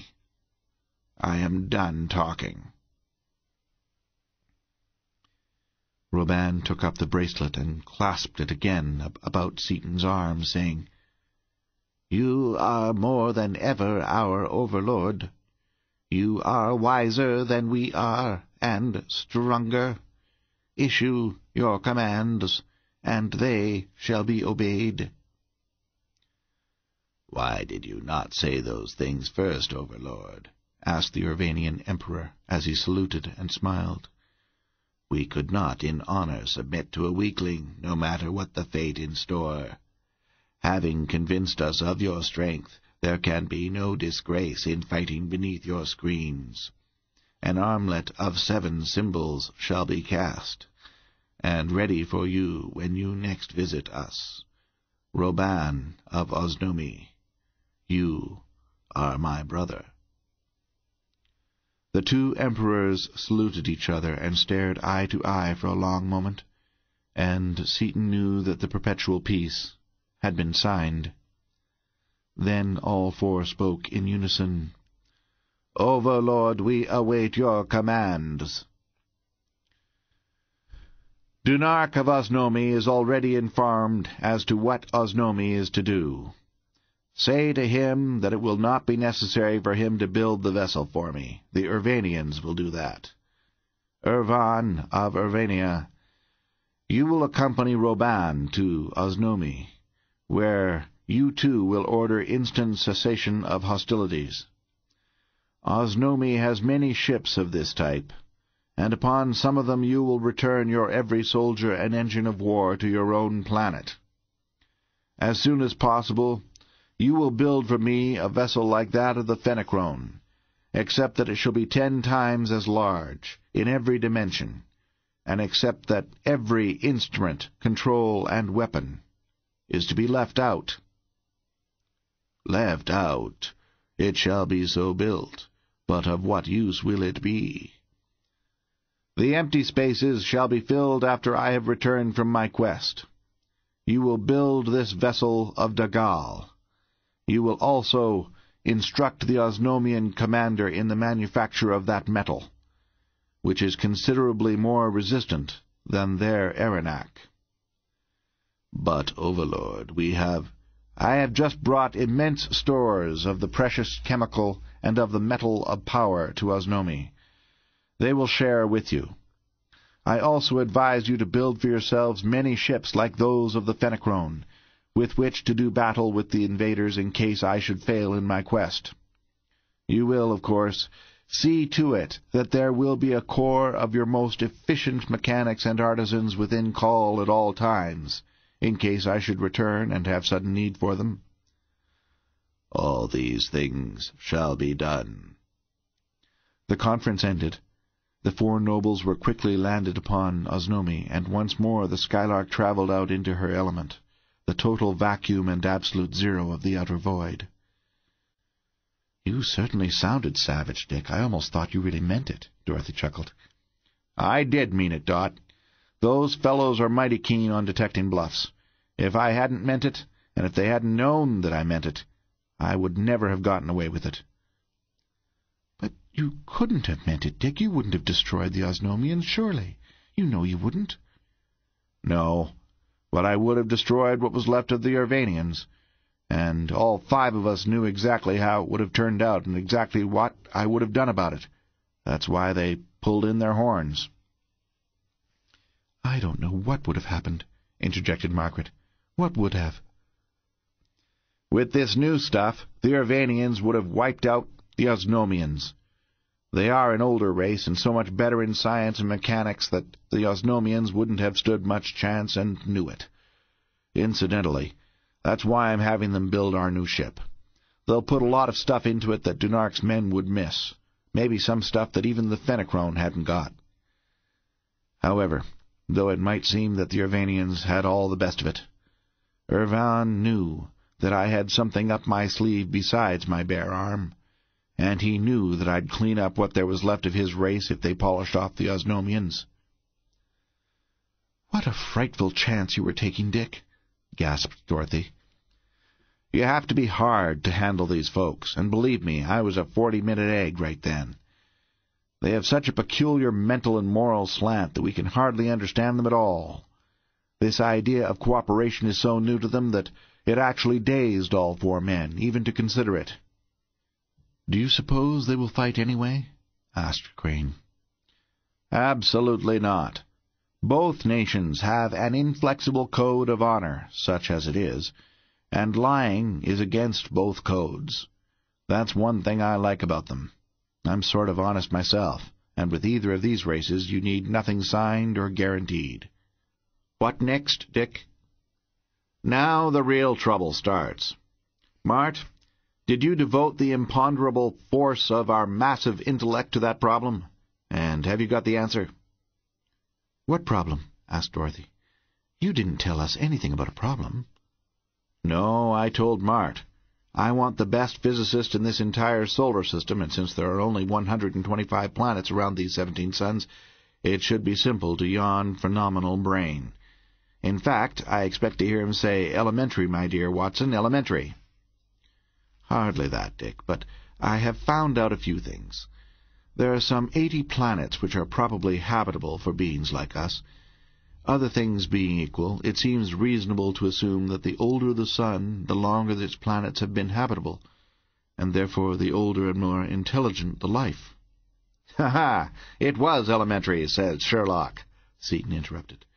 You're heading directly at that largest, oldest, and most intelligent planet, then, I take it, where I can catch me a physicist? Not directly at it, no.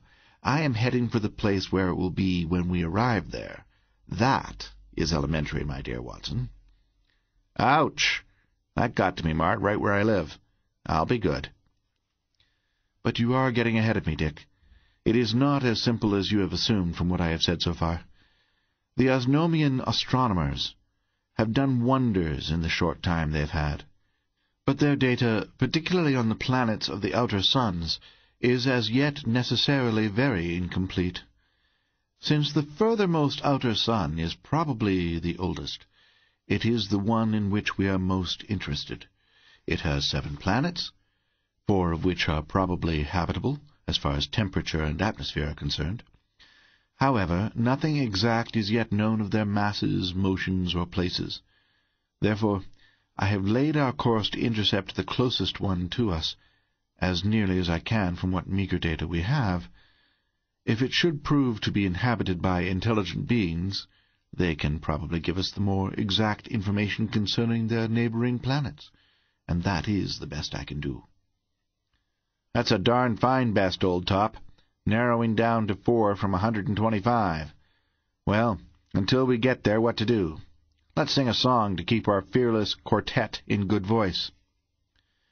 Before you do anything, said Margaret seriously, I would like to know if you really think there is a chance of defeating those monsters. In all seriousness, I do.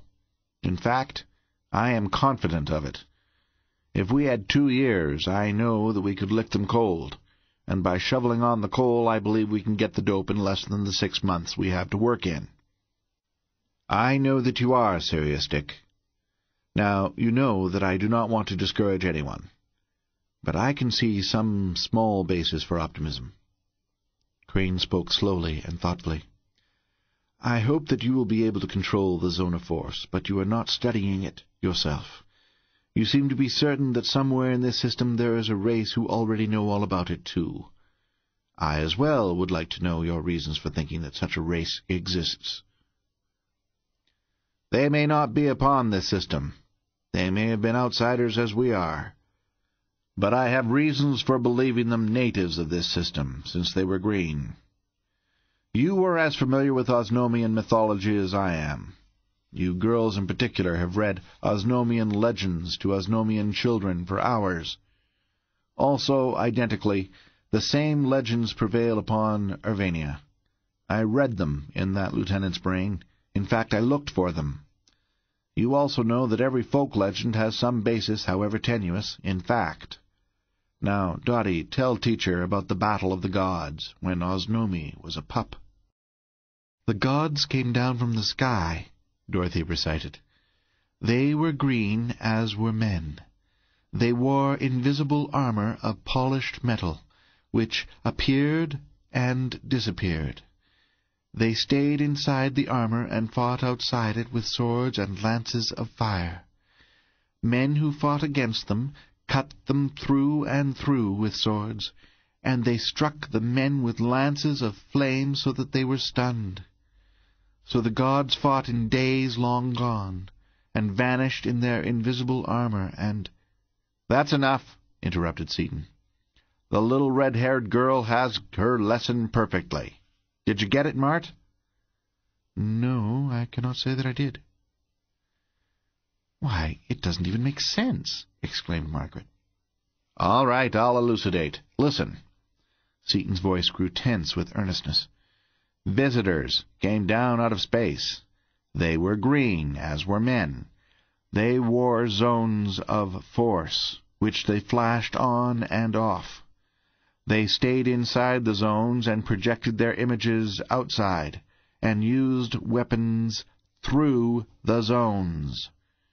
Men who fought against the images cut them through and through with swords, but could not harm them since they were not actual substance. And the images directed forces against the men, so that they were stunned. So the visitors fought in days long gone, and vanished in their zones of force. How does that sound? You have the most stupendous imagination the world has ever seen. But there may be some slight basis of fact there after all, Crane said, slowly. I'm convinced of it, for one reason in particular. Notice that it says specifically that the visitors stunned the natives. Now that thought is absolutely foreign to all Osnomian nature. When they strike, they kill, and always have. Now, if that myth had come down through so many generations without having that stunned changed to killed, I'm willing to bet a few weeks of time that the rest of it came down fairly straight too. Of course, what they have had may not have been the zone of force as we know it but it must have been a pure force of some kind, and believe me, that was one educated and talented force. Somebody certainly had something even way back in those days. And if they had anything at all back there, they must know a lot by now. That's why I want to look 'em up. As for working on this problem myself, I know just enough to realize exactly how hopeless it would be for me to try to do anything with it in six months. If a dozen of the best physicists on Earth were working on it and had twenty years, I'd say go ahead. As it is, we've got to locate that race that knows all about it already. But suppose they want to kill us off at sight, objected Dorothy. They might be able to do it, mightn't they? Sure, but they probably wouldn't want to any more than you would step on an ant who asked you to help him move a twig. That's about how much ahead of us they probably are. Of course, we struck a pure mentality once who came darn near dematerializing us entirely. But I'm betting that these folks haven't got that far along yet. By the way, I've got a hunch about those pure intellectuals. Oh, tell us about it, laughed Margaret. Your hunches are the world's greatest brainstorms. Well, I pumped out and rejeweled the compass we put on that funny planet, as a last resort. I thought we might maybe visit them and ask that bozo we had the argument with to help us out. I thought maybe he or it would show us everything about the zone of force we want to know. I don't think we'd be dematerialized either, because the situation would give him something more to think about for another thousand cycles, and thinking seemed to be his main object in life. However, to get back to the subject, I found that even with the new power of the compass, the entire planet was still out of reach. Unless they've dematerialized it, that means about 10 billion light-years as an absolute minimum. Think about that for a minute.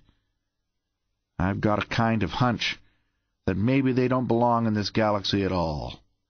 That they might be from some other galaxy, planet and all, just riding around on it like we, we are riding in the Skylark. Is the idea conceivable to a sane mind or not? Not, decided Dorothy promptly. We'd better go to bed. One more such idea, in progression with the last two you've had, would certainly give you a compound fracture of the skull. Good night, Cranes. Sweet dreams. Chapter 7 Duquesne's Voyage Far from our solar system, a cigar-shaped space cruiser slackened its terrific acceleration to a point at which human beings could walk, and two men got up, exercised vigorously to restore the circulation to their numbed bodies, and went into the galley to prepare their first meal since leaving the earth some eight hours before. Because of the long and arduous journey he had decided upon, Duquesne had had to abandon his custom of working alone and had studied all the available men with great care before selecting his companion and relief pilot. He finally had chosen Baby Doll Loring, so called because of the curly yellow hair, his pink and white complexion, his guileless blue eyes, his slight form of rather less than medium height. But never did outward attributes more belie the inner man. The yellow curls covered a brain agile, keen, and hard. The girlish complexion neither paled nor reddened under stress. The wide blue eyes had glanced along the barrels of so many lethal weapons that in various localities the noose yawned for him. The slender body was built of rawhide and whalebone and responded instantly to the dictates of the ruthless brain. Under the protection of steel, he flourished, and in return for that protection he performed quietly and with neatness and dispatch such odd jobs as were in his line. When they were seated at an excellent breakfast of ham and eggs, buttered toast, and strong aromatic coffee, Duquesne broke the long silence. "Do you want to know where we are?" I'd say we were a long ways from home, by the way this elevator of yours has been climbing all night. We are a good many millions of miles from Earth, and we are getting farther away at a rate that would have been measured in millions of miles per second. Duquesne, watching the other narrowly as he made this startling announcement, and remembering the effect of a similar one upon Perkins, saw with approval that the coffee cup in mid-air did not pause or waver in its course. Loring noted the bouquet of his beverage and took an appreciative sip before he replied. You certainly can make good coffee, Doctor, and good coffee is nine-tenths of a good breakfast. As to where we are, that's all right with me. I can stand it if you can. Don't you want to know where we're going, and why? I've been thinking about that. Before we started, I didn't want to know anything, because what a man doesn't know he can't be accused of spilling in case of a leak. Now that we are on our way, though, maybe I should know enough about things to act intelligently if something unforeseen should develop. If you'd rather keep it dark, and give me orders when necessary. That's all right with me, too. It's your party, you know. I brought you along because one man can't stay on duty twenty-four hours a day continuously. Since you are in as deep as you can get, and since this trip is dangerous, you should know everything there is to know. You are one of the higher-ups now, anyway and we understand each other pretty thoroughly, I believe. I believe so. Back in the bow control room, Duquesne applied more power, but not enough to render movement impossible. You don't have to drive her as hard all the way, then, as you did last night? No. I'm out of range of Seaton's instruments now, and we don't have to kill ourselves. High acceleration is punishment for anyone, and we must keep ourselves fit. To begin with, I suppose that you are curious about that object compass? That and other things. An object compass is a needle of specially treated copper, so activated that it points always toward one certain object after being once set upon it. Seaton undoubtedly has one upon me, but, sensitive as they are, they can't hold on a mass as small as a man at this distance. That was why we left at midnight, after he had gone to bed, so that we'd be out of range before he woke up. I wanted to lose him, as he might interfere if he knew where I was going. Now I'll go back to the beginning and tell you the whole story. Tersely, but vividly, he recounted the tale of the first interstellar cruise, the voyage of the Skylark of Space. When he had finished, Loring smoked for a few minutes in silence. There's a lot of stuff there that's hard to understand all at once. Do you mind if I ask a few foolish questions to get things straightened out in my mind? Go ahead. Ask as many as you want to. It is hard to understand a lot of that Osnomian stuff. A man can't get it all at once. Osnome is so far away. How are you going to find it? With one of the object compasses I mentioned. I had planned on navigating from notes I took on the trip back to Earth, but it wasn't necessary. They tried to keep me from finding out anything, but I learned all about the compasses, built a few of them in their own shop, and set one on Osnome. I had it, among other things, in my pocket when I landed. In fact, the control of that explosive copper bullet is the one thing they had that I wasn't able to get, and I'll get that on this trip. What is that Arenak armor they're wearing? Arenak is a synthetic metal, almost perfectly transparent. It has practically the same refractive index as air, therefore it is, to all intents and purposes, invisible. It's about five hundred times as strong as chrome vanadium steel, and even when you've got it to the yield point it doesn't break, but stretches out and snaps back like rubber, with the strength unimpaired. It's the most wonderful thing I saw on the whole trip. They make complete suits of it. Of course they aren't very comfortable, but since they are only a tenth of an inch thick, they can be worn. And a tenth of an inch of that stuff will stop a steel-nosed machine-gun bullet? Stop it? a tenth of an inch of Arenak is harder to pierce than fifty inches of our hardest, toughest armor steel. A sixteen-inch armor-piercing projectile couldn't get through it. It's hard to believe, but it's nevertheless a fact. The only way to kill Seaton with a gun would be to use one heavy enough so that the shock of the impact would kill him, and it wouldn't surprise me a bit if he had his armor anchored with an attractor against that very contingency. Even if he hasn't, you can imagine the chance of getting action against him with a gun of that size. Yes, I've heard that he is fast. That doesn't tell half of it. You know that I'm handy with a gun myself. You're faster than I am, and that's saying something. You're chain lightning. Well, Seaton is at least that much faster than I am. You've never seen him work. I have. On that Osnomian dock he shot once before I started, and shot four times to my three from then on. I must have been shooting a full second after he had his side all cleaned up. To make it worse, I missed once with my left hand. He didn't. There's absolutely no use tackling Richard Seaton without something at least as good as full Osnomian equipment. But, as you know, Brookings always has been and always will be a complete damned fool. He won't believe anything new until after he has actually been shown.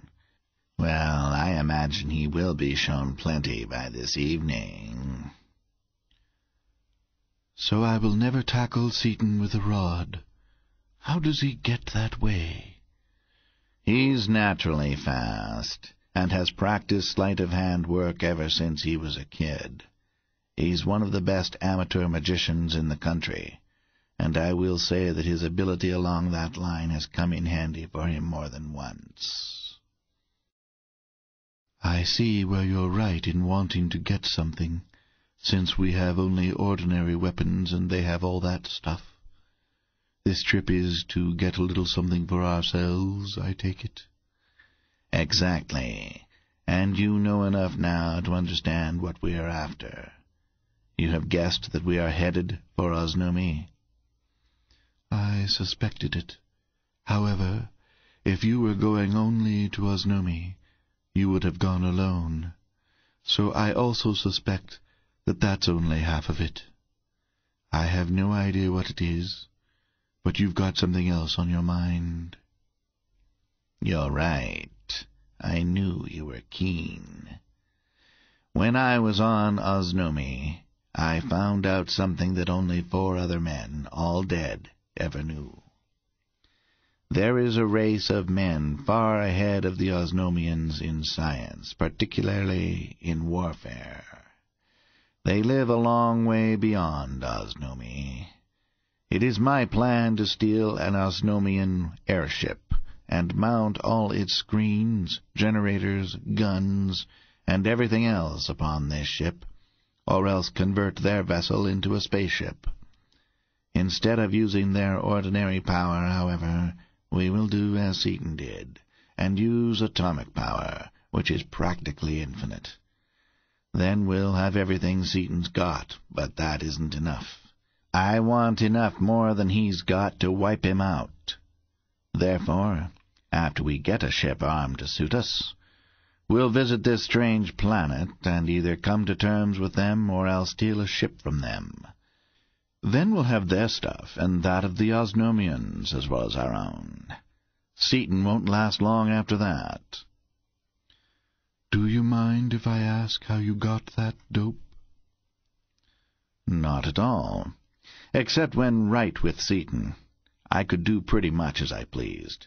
And I used to take long walks or exercise. The Osnomians tired very easily, being so weak, and because of the light gravity of the planet I had to do a lot of work or walking to keep in any kind of condition at all. I learned Kondalian quickly, and got so friendly with the guards that pretty quick they quit trying to keep me in sight but waited at the edge of the palace grounds until I came back and joined them. Well, on one trip, I was fifteen miles or so from the city when an airship crashed down in the woods about half a mile from me. It was in an uninhabited district, and nobody else saw it. I went over to investigate it, on the chance that I could find out something useful, it had the whole front end cut or broken off, and that made me curious, because no imaginable fall will break an aeronaut hull. I walked in through the hole, and saw that it was one of their fighting tenders, a combination warship and repair shop, with all of the stuff in it that I've been telling you about. The generators were mostly burned out, and the propelling and lifting motors were out of commission. I prowled around, getting acquainted with it, and found a lot of useful instruments, and, best of all, one of Dunark's new mechanical educators, with complete instructions for its use. Also, I found three bodies, and I thought I'd try it out. Just a minute. Only three bodies on a warship? And what good could a mechanical educator do if all the men were dead? Three is all I found then, but there was another one. Three men and a captain compose an Osnomian crew for any ordinary vessel. Everything is automatic, you know. As for the men being dead, that doesn't make any difference. You can read their brains just the same if they haven't been dead too long. However, when I tried to read theirs, I found only blanks. Their brains had been destroyed, so that nobody could read them. That did look funny, so I ransacked the ship from truck to keelson, and finally found another body wearing an air helmet, in a sort of closet off the control room. I put the educator on it. This is getting good. It sounds like a page out of the old Arabian Nights that I used to read when I was a boy. You know, It really isn't that surprising that Brookings didn't believe a lot of this stuff. As I've said, a lot of it is hard to take. But I'm going to show it to you, all that, and a lot more. Oh, I believe it all right. After riding in this boat and looking out the windows, I'll believe anything. Reading a dead man's brain is steep, though. I'll let you do it after we get there. I don't understand exactly how it works myself, but I know how to operate one. Well, I found out that this man's brain was in good shape, and I got a shock when I read it. Here's what they had been through. They had been flying very high on their way to the front when their ship was seized by an invisible force and thrown upward or pulled. He must have thought faster than the others because he put on an air helmet and dived into this locker, where he hid under a pile of gear, fixing things so that he could see out through the transparent arenak of the wall. No sooner was he hidden than the front end of the ship went up in a blaze of light, in spite of their ray screens going full blast. They were up so high by that time that when the bow was burned off, the other three fainted from lack of air. Then their generators went out, and pretty soon two peculiar-looking strangers entered. They were wearing vacuum suits, and were very short and stocky, giving the impression of enormous strength. They brought an educator of their own with them, and read the brains of the three men. They then dropped the ship a few thousand feet, and revived the three with a drink of something out of a flask. Potent, huh? Find out what it was, the stuff we've been getting lately would make a man more unconscious than ever. Some powerful drug, probably, but the Osnomian didn't know anything about it. After the men revived, the strangers, apparently from sheer cruelty and love of torturing their victims, informed them in the Osnomian language that they were from another world near the edge of the galaxy. They even told them, knowing that the Osnomians knew nothing of astronomy, exactly where they were from. Then they went on to say that they wanted the entire green system for themselves, and that in something like two years of our time they were going to wipe out all the present inhabitants of the system and take it over as a base for further operations. After that, they had amused themselves by describing exactly the kinds of death and destruction they were going to use. They described most of it in great detail. It's too involved to tell you about now, but they've got rays, force weapons, generators, and screens that even the Osnomians never heard of. And of course they've got atomic energy, the same as we have. After telling them all this and watching them suffer, they put a machine up to their heads and they dropped dead. That's probably what disintegrated their brains. Then they looked the ship over rather casually, as though they didn't see anything they were interested in, crippled the motors, and went away. The vessel was then released and crashed. This man, of course, was killed by the fall. I buried the men. I didn't want anyone reading that brain. Hid some of the stuff I wanted most, and camouflaged the ship so that I'm fairly sure that it's there yet. I decided then to make this trip. I see, Loring's mind was grappling with these new and strange facts. That news is staggering, Doctor. Think of it. Everybody thinks our own world is everything there is. Our world is simply a grain of dust in the universe. Most people know it academically, but very few ever have given the fact any actual consideration. But now that you've had a little time to get used to the idea of there being other worlds, and some of them as far ahead of us in science as we are ahead of the monkeys, what do you think of it? I agree with you that we've got to get their stuff. However, it occurs to me as a possibility that they may have so much stuff that we won't be able to make the approach.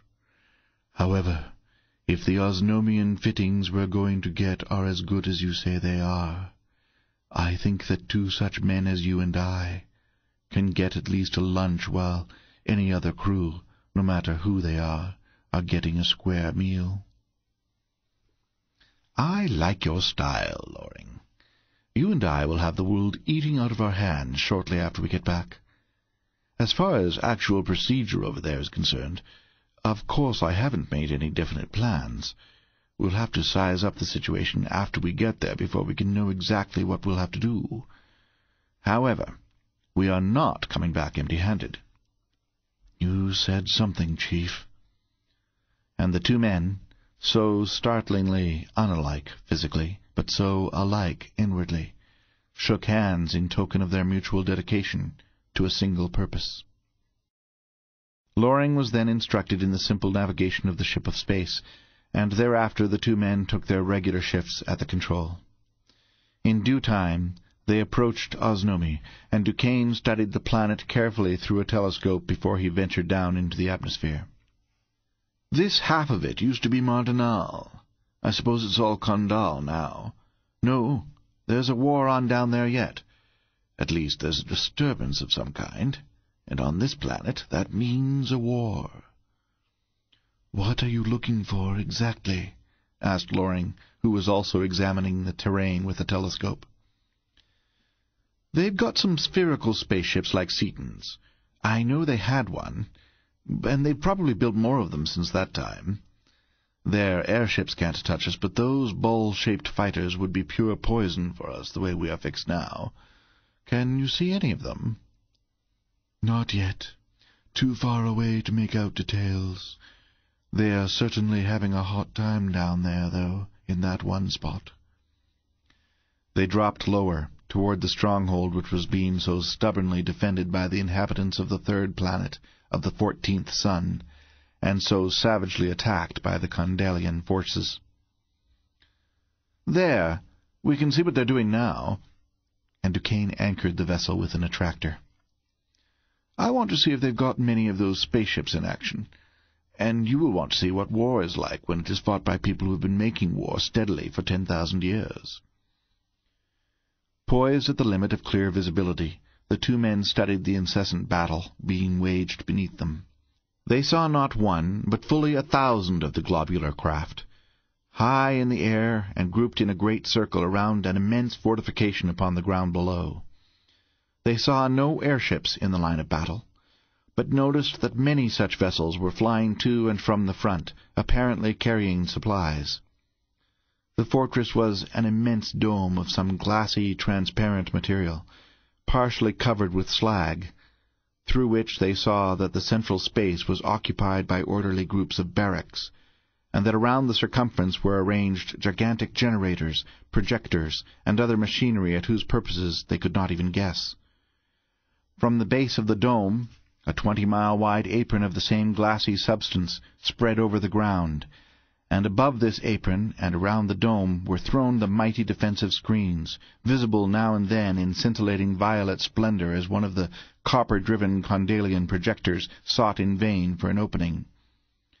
But the Earthmen saw with surprise that the main attack was not being directed at the dome, that only an occasional beam was thrown against it in order to make the defenders keep their screens up continuously.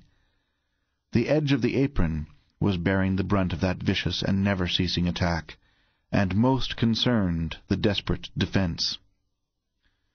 For miles beyond the edge, and as deep under it as frightful beams and enormous charges of explosive copper could penetrate, the ground was one seething, flaming volcano of molten lava, lava constantly being volatilized by the unimaginable heat of those forces, and being hurled for miles in all directions by the inconceivable power of those explosive copper projectiles, the heaviest projectiles that could be used without endangering the planet itself, being directed under the exposed edge of that unbreakable apron, which was in actuality anchored to the solid core of the planet itself.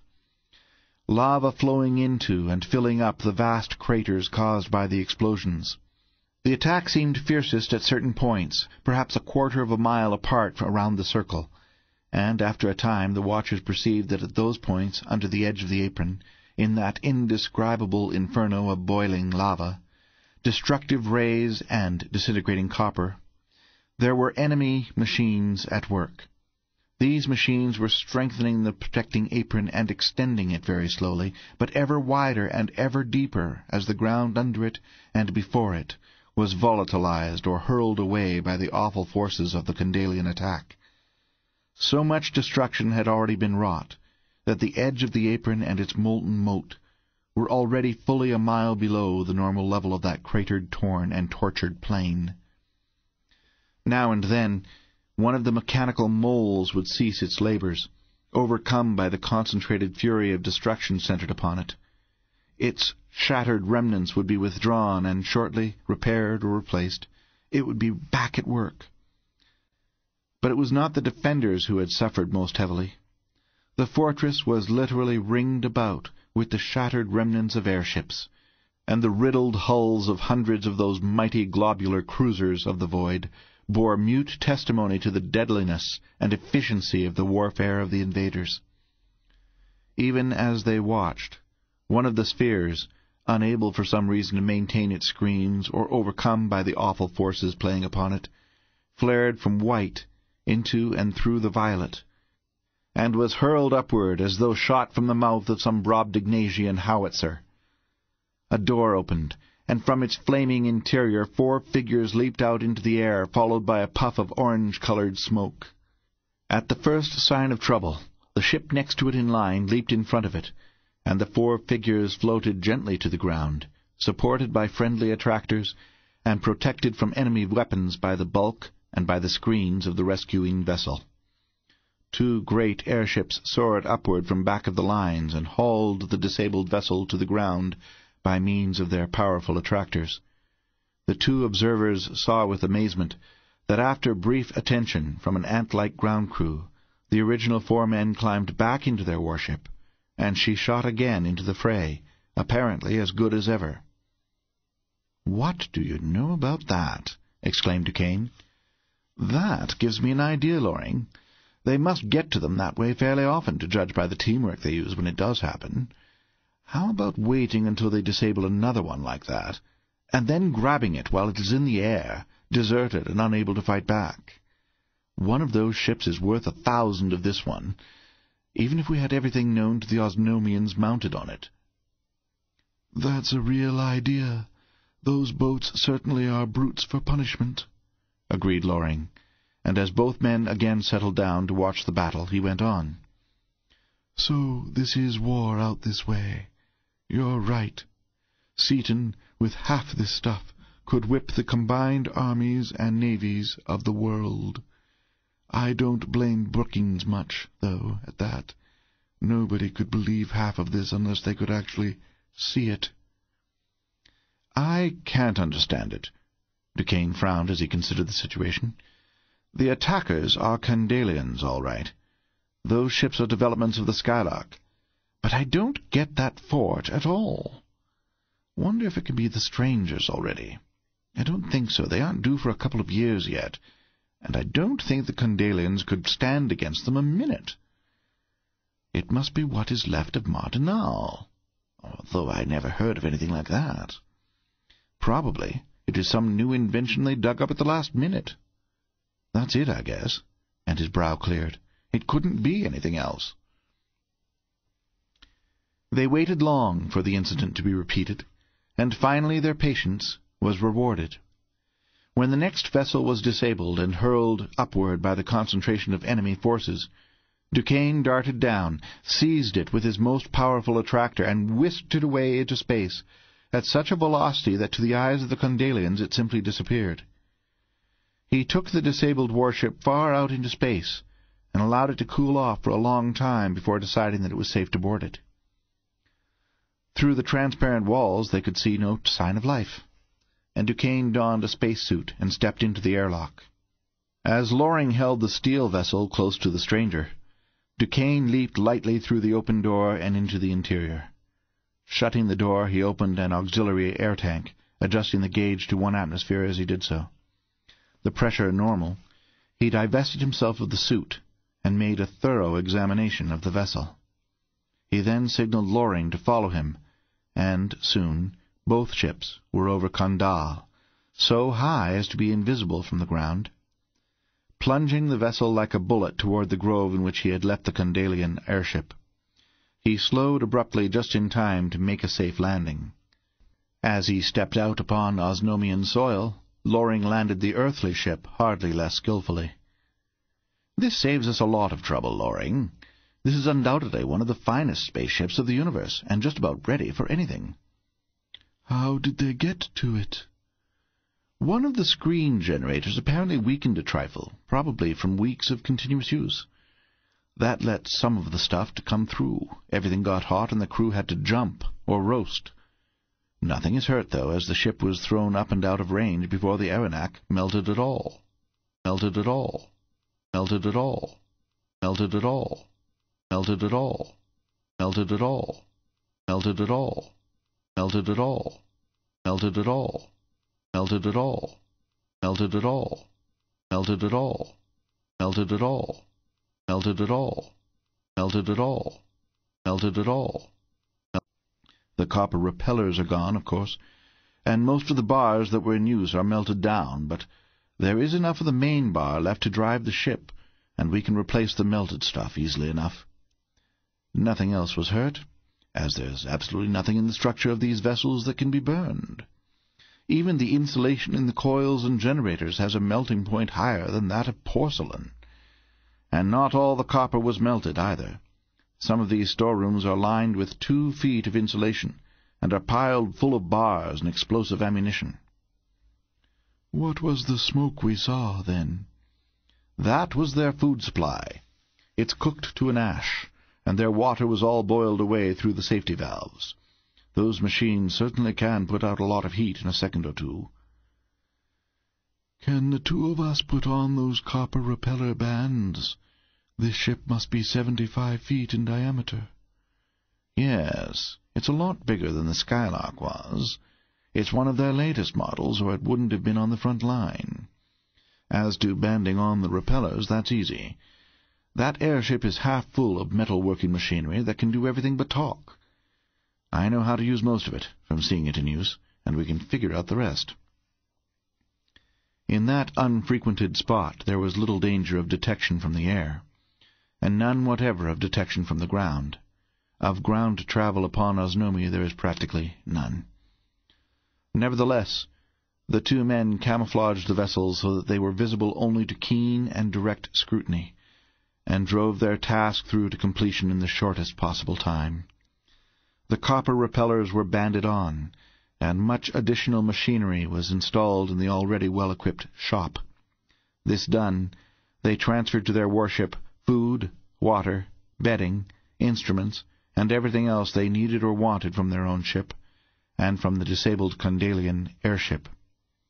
They made a last tour of inspection to be sure they had overlooked nothing useful, then embarked. Think anybody will find those ships? They could get a good line on what we've done. Probably, eventually, so we'd better destroy them. We'd better take a short hop first, though, to test everything out. Since you're not familiar with the controls of a ship this type, you need practice.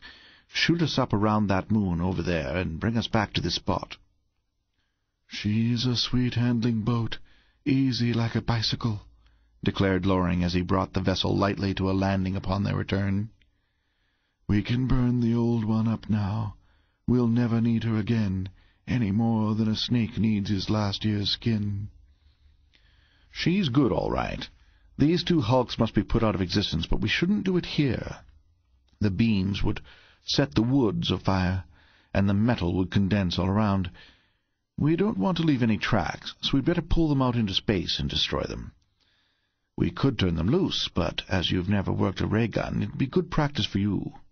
Also, I want you to see for yourself just what our best armor plate amounts to compared with Arenak. When they had towed the two vessels far out into space, Loring put into practice the instruction he had received from Duquesne concerning the complex armament of their vessel. He swung the beam projector upon the Kondalian airship, pressed three buttons. In little more than a second, the entire hull became blinding white, but it was several more seconds before the extremely refractory metal began to volatilize. Though the metal was less than an inch thick, it retained its shape and strength stubbornly, and only slowly did it disappear in flaming, flaring gusts of incandescent gas. "There, you've seen what an inch of Arenak is like," said Duquesne when the destruction was complete. "Now, Shine it on that 60-inch chrome vanadium armor hull of our old bus and see what happens. Loring did so. As the beam touched it, the steel disappeared in one flare of radiance. As he swung the projector in one flashing arc from the stem to the stern, there was nothing left. Loring, swinging the beam, whistled in amazement. What a difference! And this ship of ours has a skin of Arenak, six feet thick. Yes, now you understand why I didn't want to argue with anybody out here as long as we were in our own ship. I understand that all right, but I can't understand the power of these machines. Suppose I had had all twenty of them on instead of only three. In that case, I think that we could have whipped even the short, thick strangers. You and me both. But say, every ship's got to have a name. This new one of ours is such a sweet, harmless, inoffensive little thing. We'd better name her the Violet, hadn't we? Duquesne started the Violet off in the direction of the solar system occupied by the warlike strangers, but he did not hurry.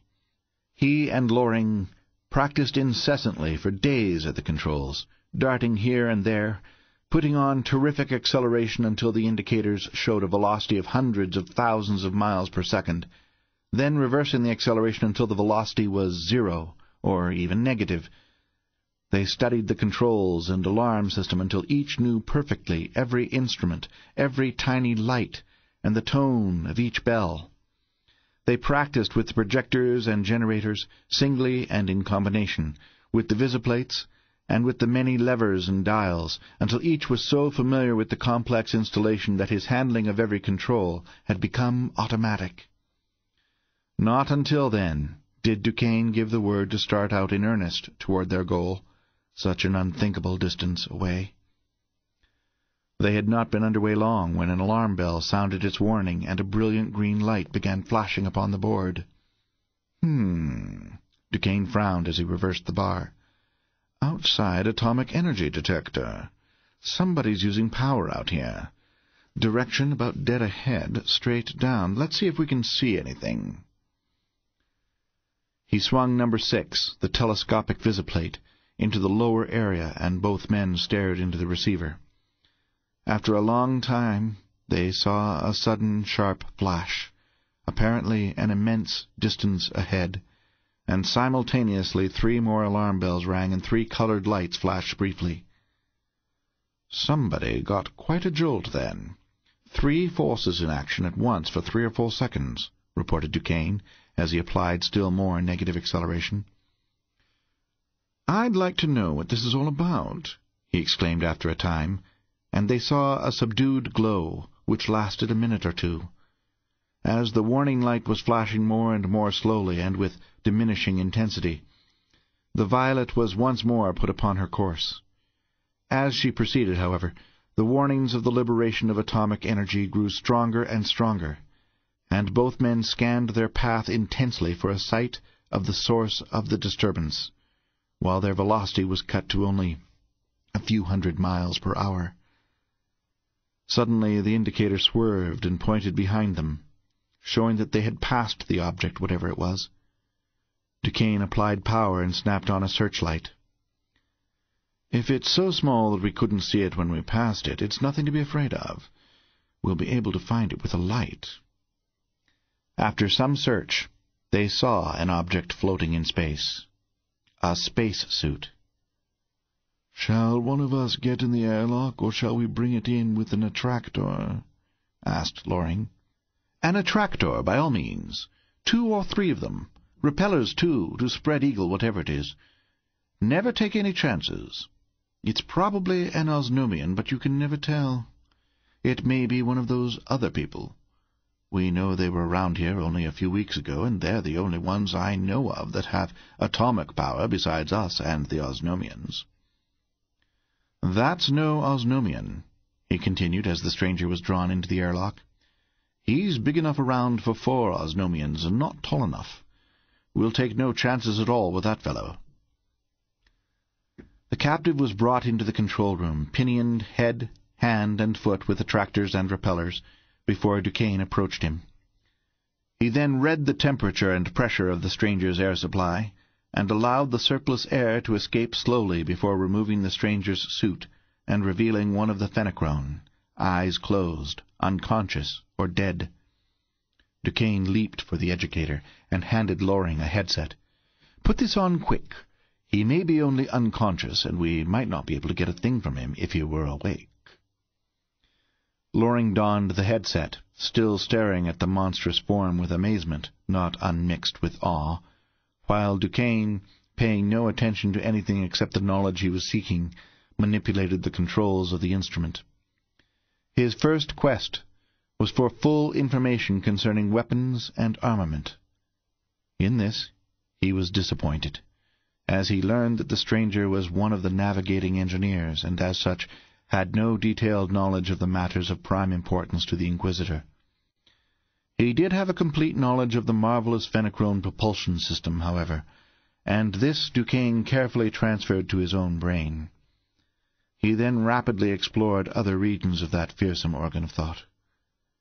As the gigantic and inhuman brain was spread before them, Duquesne and Loring read not only the language, customs, and culture of the Fenachrone, but all their plans for the future, as well as the events of the past.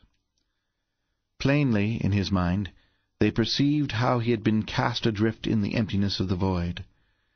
They saw the Fenachrone cruiser lying in wait for the two globular vessels. Looking through an extraordinarily powerful telescope with the eyes of their prisoner, they saw them approach, all unsuspecting. Duquesne recognized all five persons in the Skylark, and Dunark and Sitar in the Kondal. Such was that unearthly optical instrument, and so clear was the impression upon the mind before him. They saw the attack and the battle. They saw the Skylark throw off her zone of force of attack. Saw this one survivor standing directly in line with a huge projector spring, under thousands of pounds of tension. They saw the spring cut in two by the zone. The severed end, flying free, struck the being upon the side of the head, and the force of the blow, only partially blocked by the heavy helmet, hurled him out through the yawning gap in the wall and hundreds of miles out into space. Suddenly the clear view of the brain of the Fenachrone became blurred and meaningless and the flow of knowledge ceased. The prisoner had regained consciousness, and was trying with all his gigantic strength to break away from those intangible bonds that held him. So powerful were the forces upon him, however, that only a few twitching muscles gave evidence that he was struggling at all. Glancing about him, he recognized the attractors and repellers bearing upon him, ceased his efforts to escape, and hurled the full power of his baleful gaze into the black eyes so close to his own. But Duquesne's mind, always under perfect control and now amply reinforced by a considerable portion of the stranger's own knowledge and power, did not waver under the force of even that hypnotic glare. "It is useless, as you observe," he said coldly in the stranger's own tongue, and sneered. "You are perfectly helpless. Unlike you of the Fenachrone, however, men of my race do not always kill strangers at sight, merely because they are strangers. I will spare your life, if you can give me anything of enough value to make the extra time and trouble worthwhile. You read my mind while I could not resist your childish efforts. I will have no traffic whatever with you who have destroyed my vessel. If you have mentality enough to understand any portion of my mind, which I doubt, you already know the fate in store for you. Do with me what you will. Duquesne pondered long before he replied, considering whether or not it was to his advantage to inform this stranger of the facts of the case. Finally, he decided. Sir, neither I nor this vessel had anything to do with the destruction of your warship. Our detectors discovered you floating in empty space. We stopped and rescued you from death. We have seen nothing else save what we saw pictured in your own brain. I know that, in common with all of your race, you possess neither conscience nor honor, as we understand the terms. An automatic liar by instinct and training whenever you think lies will best serve your purpose, you may yet have intelligence enough to recognize simple truth when you hear it. You already have observed that we are of the same race as those who destroyed your vessel, and have assumed that we are with them. In that you are wrong. It is true that I am acquainted with those others, but they are my enemies. I am here to kill them, not to aid them. You have already helped me in one way. I know as much as does my enemy concerning the impenetrable shield of force. If I will return you unharmed to your own planet, will you assist me in stealing one of your ships of space, so that I may destroy that Earth vessel the Fenachrone, paying no attention to Duquesne's barbed comments concerning his honor and veracity, did not hesitate an instant in his reply. I will not. We supermen of the Fenachrone will allow no vessel of ours, with its secrets unknown to any others of the universe, to fall into the hands of any of the lesser breeds of man. Well, you didn't try to lie that time, anyway. But think a minute. Seaton, my enemy, already has one of your vessels. Don't think he is too much of a fool to put it back together and to learn its every secret. Then, too, remember that I have your mind, and can get along even without you, even though I am willing to admit that you could be of enough help to me so that I would save your life in exchange for that help. Also, remember that, Superman though you may be, your mentality cannot cope with the forces I have bearing upon you. Neither will your being a Superman enable your body to retain life after I've thrown you out into space without your armor. I have the normal love of life, but some things cannot be done, even with life at stake. Stealing a vessel of the Fenachrone is one of those things. I can, however, do this much if you will return me to my own planet you two shall be received as guests aboard one of our vessels, and shall be allowed to witness the vengeance of the Fenachrone upon your enemy. Then you shall be returned to your vessel, and allowed to depart unharmed. Now you are lying by rote. I know just what you do. Get that idea out of your head right now. The attractors now holding you will not be released until after you have paid your way. Then, and only then, will I try to discover a way of returning you to your own world without risking my own neck. Incidentally, I warn you that your first attempt to play false with me in any way will also be your last. The prisoner remained silent, analyzing every feature of the situation, and Duquesne continued coldly. Here's something else for you to think about. If you are unwilling to help us, what is to prevent me from killing you, and then hunting up Seaton and making peace with him for the duration of this forthcoming war? With the fragments of your vessel, which he has, with my knowledge of your mind, reinforced by your own dead brain, and with the vast resources of all the planets of the green system, I do not believe that even you could ever conquer us. In fact, it is quite possible, even probable, that we could be able to eventually destroy your entire race. Understand, however, that I care nothing for the green system. You are welcome to it if you do as I ask. If you do not, I shall warn them, and help them simply to protect my own world, which is now my own personal property.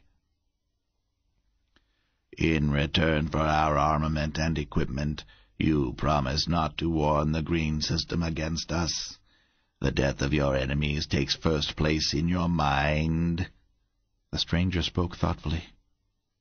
In that, I understand your viewpoint thoroughly. But after I have remodeled your power plant into ours, and have piloted you to our planet, what assurance have I that you will liberate me, as you have said?' None whatever. I have made and am making no promises, since I cannot expect you to trust me any more than I can trust you. Enough of this argument. I am master here, and I am dictating terms. We can get along without you, therefore you must decide quickly whether you would rather die suddenly and surely, here in space right now, or help us, as I demand, and live until you get back home, enjoying meanwhile your life and whatever chance you think you may have of being liberated within the atmosphere of your own planet. Just a minute, Chief, Loring said, in English, his back to the prisoner. Wouldn't we gain more by killing him and going back to Seaton and the Green System as you suggested? No. Duquesne also turned away to shield his features from the mind-reading gaze of the Fenachrone. That was pure bluff. I don't want to get within a million miles of Seaton until after we have the armament of this fellow's ships. I couldn't make peace with Seaton now, even if I wanted to, and I haven't the slightest intention of trying. I intend killing him on sight. Here's what we're going to do. First, We'll get what we came after. Then we'll find the Skylark and blow her out of space, and take over the pieces of that Fenachrone ship. After that we'll head for the Green System, and with their own stuff and what we'll give them, they'll be able to give the Fenachrone a hot reception. By the time they finally destroy the Osnomians, if they do, we'll have the world ready for them. He turned to the captive. What is your decision? I submit in the hope that you will keep your promise, since there is no alternative but death. Then, still loosely held by the attractors and carefully watched by Duquesne and Loring, the creature tore into the task of rebuilding the Osnomian power plant into the space-annihilating drive of the Fenachrone. Nor was he turning traitor for he well knew one fact that Duquesne's hurried inspection had failed to glean from the labyrinth intricacies of his brain. That once within the detector screens of that distant solar system, these Earth beings would be utterly helpless before the forces which would be turned upon them. And time was precious. For the good of his own race, he must drive the Violet so unmercifully that she would overtake even that fleeing torpedo now many hours upon its way, the torpedo bearing news for the first time in Fenachrone history of the overwhelming defeat and capture of one of its mighty engines of interstellar war. In a very short time, considering the complexity of the undertaking, the conversion of the power plant was done, and the repellers, already supposed the ultimate in protection, were reinforced by ten thousand pound mass of activated copper effective for untold millions of miles. Their monstrous pilot then set the bar, and advanced both levers of the dual power control out to the extreme limit of their travel. There was no sense of motion or of acceleration, since the new system of propulsion acted upon every molecule of matter within the radius of activity of the bar, which had been set to include the entire hull. The passengers felt only the utter lack of all weight, and the other peculiar sensations with which they were already familiar. But in spite of the lack of apparent motion, the Violet was now leaping through the unfathomable depths of interstellar space with the unthinkable acceleration of five times the velocity of light. Chapter 8 The Porpoise Men of Dasor how long do you figure it's going to take us to get there, Mart? Seaton asked from a corner, where he was bending over his apparatus table. About three days at this acceleration. I set it at what I thought the safe maximum for the girls. Should we increase it? Probably not. Three days isn't too bad. Anyway, to save even one day, we'd have to double the acceleration, so we'd better let it ride. How are you making it, Peg? I'm getting used to weighing a ton now. My knees buckled only once this morning from my forgetting to watch them when I tried to walk. Don't let me interfere, though. If I'm slowing us down, I'll go to bed and stay there. It'll hardly pay. We can use the time to good advantage. Look here, Mart. I've been looking over this stuff I got out of their ship, and here's something I know you'll eat up. They refer to it as a chart, but it's three-dimensional and almost incredible. I can't say that I understand it, but I get an awful kick out of looking at it. I've been studying it a couple of hours and haven't started yet. I haven't found our solar system, the green one, or our own. It's too heavy to move around now because of the acceleration we're using. Come on over here and give it a look. The chart was a strip of film, apparently miles in length, wound upon reels at each end of the machine. One section of the film was always under the viewing mechanism, an optical system projecting an undistorted image into a visiplate somewhat similar to their own and at the touch of a lever a small motor moved the film through the projector. It was not an ordinary star chart. It was three-dimensional, ultra-stereoscopic.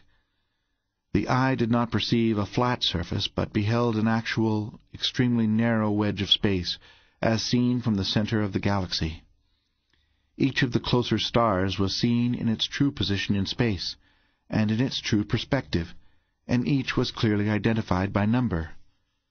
In the background were faint stars and nebulous masses of light, too distant to be resolved into separate stars, a true representation of the actual sky. As both men stared, fascinated into the visiplate, Seaton touched the lever, and they apparently travelled directly along the centre line of that ever-widening wedge. As they proceeded, the nearer stars grew brighter and larger, soon becoming suns, with their planets and then the satellites of the planets plainly visible, and finally passing out of the picture behind the observers. The fainter stars became bright, grew into suns and solar systems, and were passed in turn. The chart still unrolled. The nebulous masses of light were approached, became composed of faint stars, which developed as had the others, and were passed. Finally, when the picture filled the entire visiplate, they arrived at the outermost edge of the galaxy. No more stars were visible. They saw empty space stretching for inconceivably vast distances before them. But beyond that indescribable and incomprehensible vacuum, they saw faint lenses and dull spots of light, which were also named, and which each man knew to be other galaxies, charted by the almost unlimited power of the Fenachrone astronomers, but not as yet explored. As the magic scroll unrolled still farther, they found themselves back in the center of the galaxy, starting outward in the wedge adjacent to the one which they had just traversed. Seaton cut off the motor and wiped his forehead. "Wouldn't that break you off at the ankles, Mart? Did you ever conceive the possibility of such a thing?" I did not. There are literally miles of film in each of those reels, and I see that cabinet is practically full of reels. There must be an index or a master chart. Yes, there's a book in this slot here, but we don't know any of their names or numbers. Wait a minute. How did he report our Earth on that torpedo? Planet number three of Sun 64 something Pilarone, wasn't it? I'll get the record. 6473 Pilarone it was. Pilarone. Let's see. Seaton studied the index volume. Reel 20, scene 51, I'd translate it. They found the reel, and scene 51 did indeed show that section of space in which our solar system is. Seaton stopped the chart when star 6473 was at its closest range, and there was our sun, with its nine planets and their many satellites accurately shown and correctly described. They know their stuff all right, you've got to hand it to them. I've been straightening out that brain record, cutting out the hazy stretches and getting his knowledge straightened out so that we can use it, and there's a lot of this kind of stuff in the record you can get. Suppose that you can figure out exactly where he comes from with this dope and with his brain record. Certainly. I may be able to get more complete information upon the green system than the Osnomians have, too, which will be very useful indeed. You are right. I am intensely interested in this material, and if you do not care particularly about studying it any more at the moment, I believe that I should begin to study it now. Take over. I'm going to study that record some more. Don't know whether a human brain can take it all, especially all at once, but I'm going to sort of peck around the edges and get some dope that we need pretty badly. We've got a lot of information from that wampus. About sixty hours out, Dorothy, who had been observing the planet through number six visiplate, called Seaton away from the Fenachrone brain record, upon which he was still concentrating. "Come here a minute, Dickie. Haven't you got that knowledge all packed away in your skull yet?" "I'll say I haven't. That bird's brain was three or four sizes larger than mine, and loaded Plimsoll down. I'm just nibbling around the edges yet." "I've always heard that the capacity of even the human brain was almost infinite. Isn't that true?" asked Margaret. "Maybe it is, if the knowledge were built up gradually over generations. I think maybe I can get most of this stuff stowed away so that I can use it, but it's going to be an awful job." "Is their brain really as far ahead of ours as I gathered from what I saw of it?" asked Crane. That's a hard one to answer. They're so different. I wouldn't say that they are any more intelligent than we are. They know more about some things than we do, less about others, but they have very little in common with us. They don't belong to the genus Homo at all, really. Instead of having a common ancestor with the anthropoids, as we did, they evolved from a genus which combined the worst traits of the cat tribe and the carnivorous lizards, the two most savage and bloodthirsty branches of the animal kingdom. And instead of getting better as they went along, they got worse, in those respects at least. But they do not know a lot. When you get a month or so to spare, you'll want to put on this harness and grab his knowledge, being very careful to steer clear of his mental traits and so on. Then when we get back to Earth, we'll simply tear it apart and rebuild it. You'll know what I mean when you get this stuff transplanted into your own skull. But to cut out the lecture, what's on your mind, Dotty Dimple? This planet Martin picked out is all wet, literally. The visibility is fine, very few clouds, but this whole half of it is solid ocean. If there are any islands even, they're mighty small. All four looked into the receiver. With the great magnification employed, the planet almost filled the visiplate. There were a few fleecy wisps of cloud but the entire surface upon which they gazed was one sheet of the now familiar deep and glorious blue, peculiar to the waters of that cuprous solar system, with no markings whatever. What do you make of it, Mart? That's water, all right. Copper sulfate solution, just like the Osnomian and Urvanian oceans, and nothing else visible. How big would an island have to be for us to see it from here? So much depends upon the contour and nature of the island that it's hard to say. If it were low and heavily covered with their green-blue vegetation, we might not be able to see a rather large one, whereas if it were hilly and bare, we could probably see one only a few miles in diameter. As it turns and as we get closer, we'll see what we can see. Better take turns watching it, hadn't we? It was so decided, and while the Skylark was still some distance away, several small islands became visible and the period of rotation of the planet was determined to be in the neighborhood of fifty hours. Margaret, then at the controls, picked out the largest island visible and directed the bar toward it. As they dropped down close to their objective, they found that the air was of the same composition as that of Osnome, but had a pressure of only seventy-eight centimeters of mercury, and that the surface gravity of the planet was ninety-five hundredths that of the Earth. Fine business, exulted Seaton. Just about like home, but I don't see much of a place to land without getting wet, do you? Those reflectors are probably solar generators, and they cover the whole island except for that lagoon right under it. The island, perhaps ten miles long and half that in width, was entirely covered with great hyperbolic reflectors, arranged so closely together that little could be seen between them. Each reflector apparently focused upon an object in the center, a helix, which seemed to writhe in that flaming focus, glowing with a nacreous, opalescent green light. "Well, nothing much to see there. Let's go down," remarked Seaton as he shot the Skylark over to the edge of the island and down to the surface of the water. But here again nothing was to be seen of the land itself. The wall was one vertical plate of seamless metal, supporting huge metal guides between which floated metal pontoons. From these gigantic floats, metal girders and trusses went through slots in the wall in the darkness of the interior. Close scrutiny revealed that the large floats were rising steadily, although very slowly, while smaller floats bobbed up and down upon each passing wave. "Solar generators, tide motors, and wave motors all at once!" ejaculated Seaton. That's some power plant. Folks, I'm going to take a look at that if we have to blast our way in.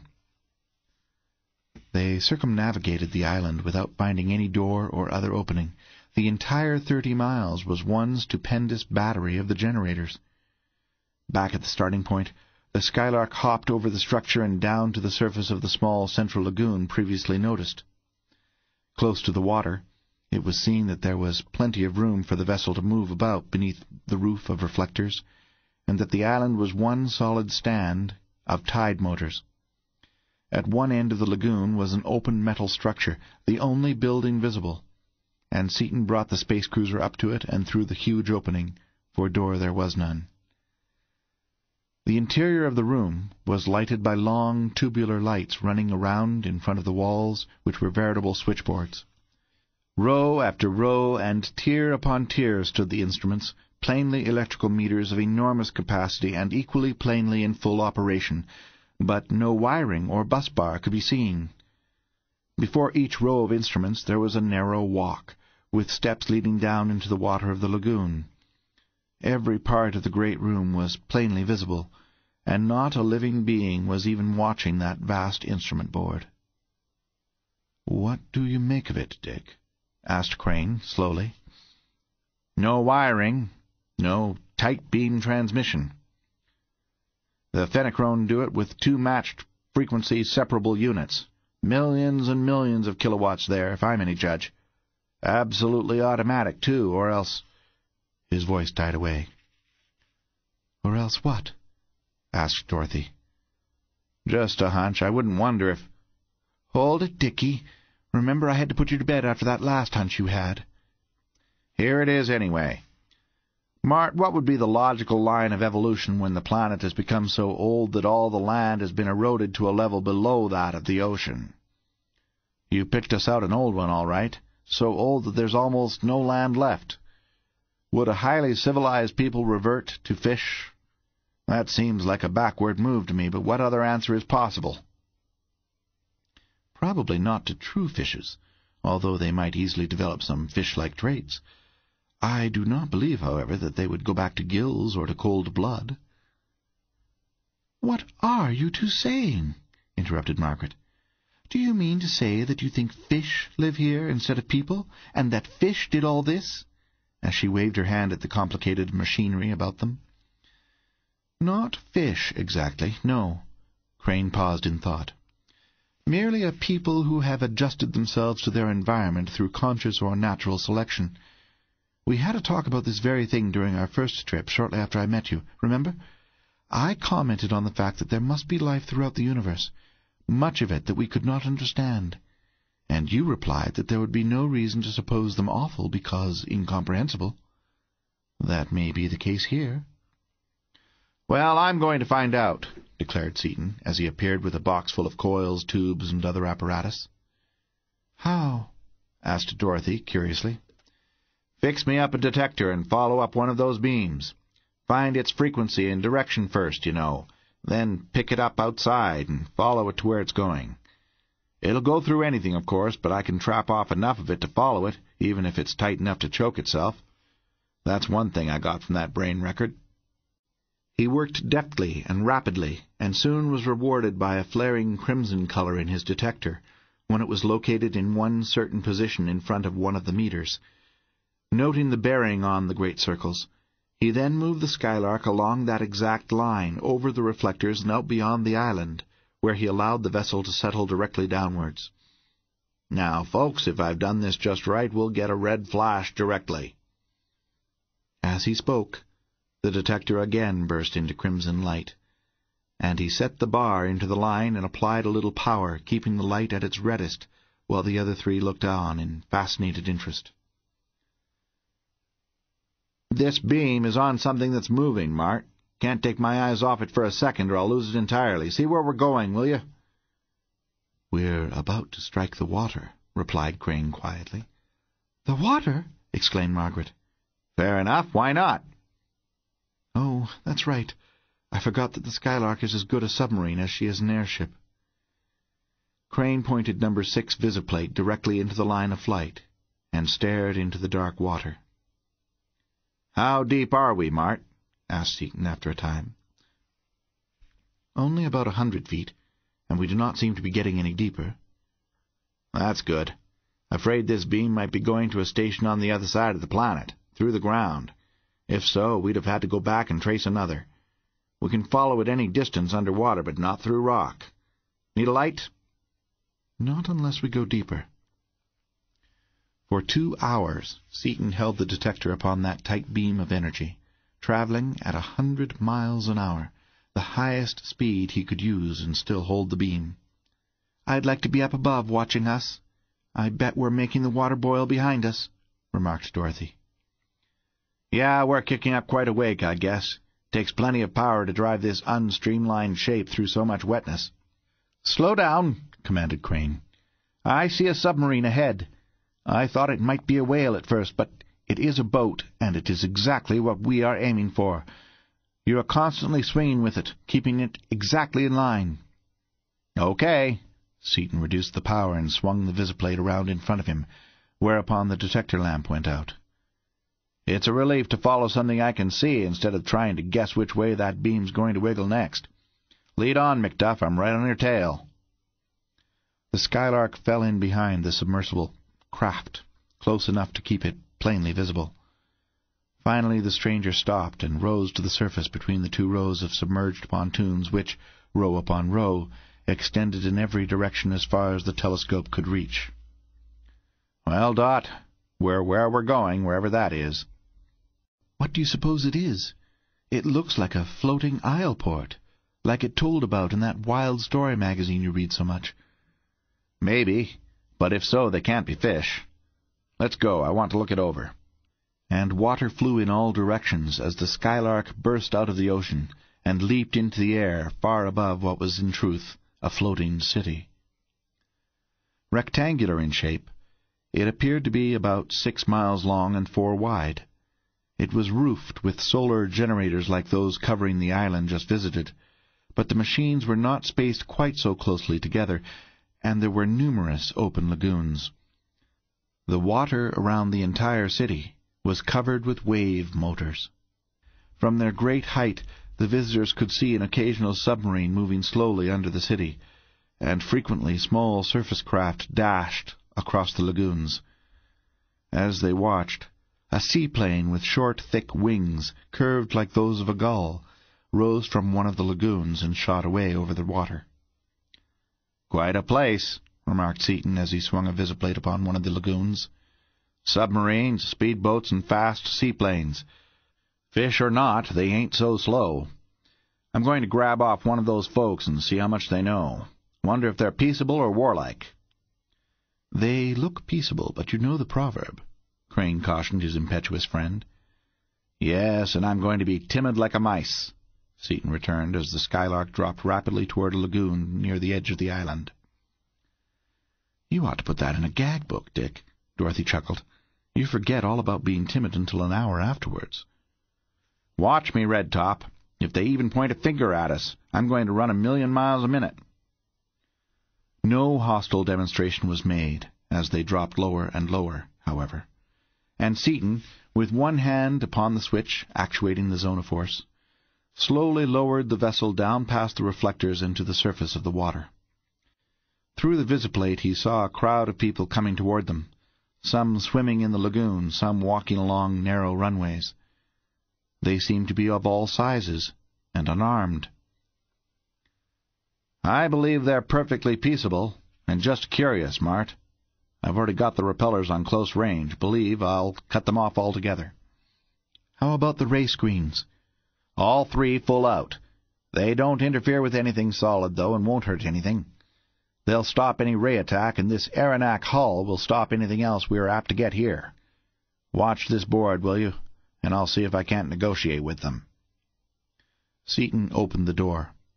As he did so, a number of the smaller beings dived headlong into the water, and a submarine rose quietly to the surface less than fifty feet away, with a peculiar tubular weapon and a huge beam projector trained upon the Skylark.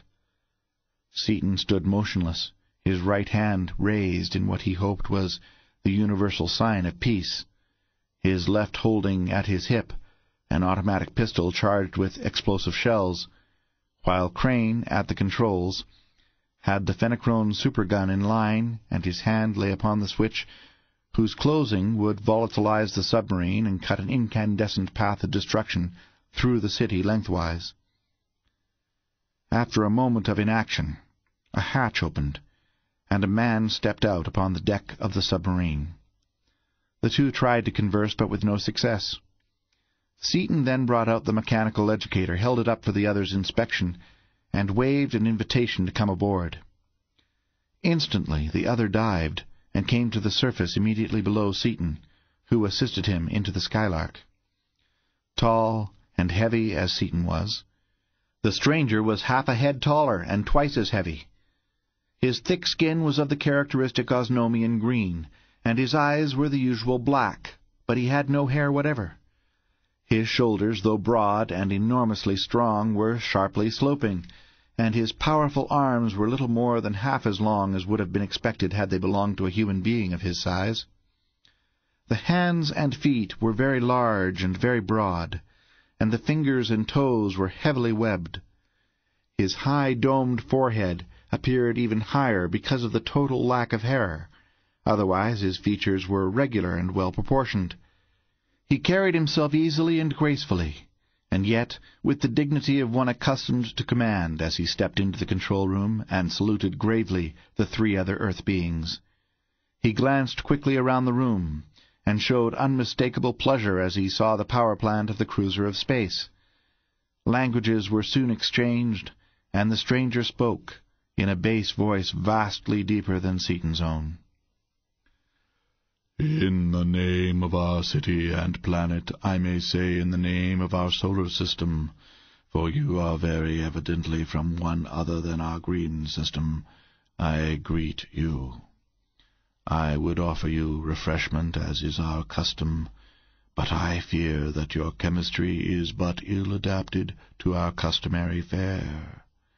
If there be aught in which we can be of assistance to you, our resources are at your disposal. Before you leave us, I shall wish to ask from you a great gift. Sir, we thank you. We are in search of knowledge concerning forces which we cannot as yet control. From the power systems you employ, and from what I have learned of the composition of your suns and planets, I presume you have none of the metal of power, and it is a quantity of that element that is your greatest need. Yes, power is our only lack. We generate all we can with the materials and knowledge at our disposal, but we never have enough. Our development is hindered. Our birth rate must be held down to a minimum. New cities cannot be built, and new projects cannot be started, all for lack of power. For one gram of that metal I see plated upon that copper cylinder, of whose very existence no scientist upon Dasor has had even an inkling, we would do almost anything. In fact, if all else failed, I would be tempted to attack you, did I not know that our utmost power could not penetrate even your outer screen, and that you could volatilize the entire planet if you so desired. Great cat! In his surprise, Seaton lapsed from the formal language he had been employing. Have you figured us all out already from a standing start? We know electricity, chemistry, physics, and mathematics fairly well. You see, our race is many millions of years older than is yours. You're the man I've been looking for, I guess. We have enough of this metal with us so that we can spare you some as well as not. But before I get it, I'll introduce you. Folks, this is Sacner Carfon, Chief of the Council of the planet Dasor. They saw us all the time, and when we headed for this, the sixth city, he came over from the capital, or first city, in the flagship of his police fleet, to welcome us or to fight us as we pleased. Carfon, this is Martin Crane. Or say, better than introductions, put on the headsets, everybody, and get really acquainted. Acquaintance made and the apparatus put away, Seaton went to one of the storerooms and brought out a lump of X weighing about a hundred pounds. There's enough to build your power plants from now on. It would save time if you were to dismiss your submarine. With you to pilot us, we can take you back to the first city a lot faster than your vessel can travel. Carfon took a transmitter from a pouch under his armpit and spoke briefly, then gave Seaton the course. In a few minutes the first city was reached. The Skylark descended rapidly to the surface of a lagoon at one end of the city. Short as had been the time consumed by their journey from the sixth city, they found a curious and excited crowd awaiting them. The central portion of the lagoon was almost covered by the small surface craft, while the sides, separated from the sidewalks by metal curbs, were full of swimmers. The peculiar Dasorian equivalents of whistles, bells, and gongs were making a deafening uproar, and the crowd was yelling and cheering in much the same fashion as do earthly crowds upon similar occasions. Seaton stopped the Skylark and took his wife by the shoulder, swinging her around in front of the visiplate. "Look at that, Dot. Talk about rapid transit. They could give the New York subway a flying start and beat them hands down." Dorothy looked into the visiplate and gasped. Six metal pipes, one above the other, ran above and parallel to each sidewalk lane of water. The pipes were full of ocean water, water racing along at fully fifty miles an hour and discharging each stream a small waterfall into the lagoon. Each pipe was lighted in the interior, and each was full of people, heads almost touching feet, unconcernedly being borne along, completely immersed in that mad current. As the passenger saw daylight and felt the stream begin to drop, he righted himself, apparently selecting an objective point, and rode the current down into the ocean. A few quick strokes, and he was either at the surface or upon one of the flights of stairs leading up to the platforms. Many of the travellers did not even move as they left the orifice. If they happened to be on their backs, they entered the ocean backward and did not bother about righting themselves or about selecting a destination until they were many feet below the surface. Good heavens, Dick! They'll kill themselves or drown. Not these birds. Notice their skins? They've got a hide like a walrus, and a terrific layer of subcutaneous fat. Even their heads are protected that way. You could hardly hit one of them hard enough with a baseball bat to hurt him. And as for drowning, they can outswim a fish, and can stay under water for more than an hour without coming up for air. Even one of those youngsters can swim the full length of the city without taking a breath. How do you get that velocity of flow, Carfon? asked Crane. By means of pumps. These channels run all over the city, and the amount of water running in each tube and the number of tubes in use are regulated automatically by the amount of traffic.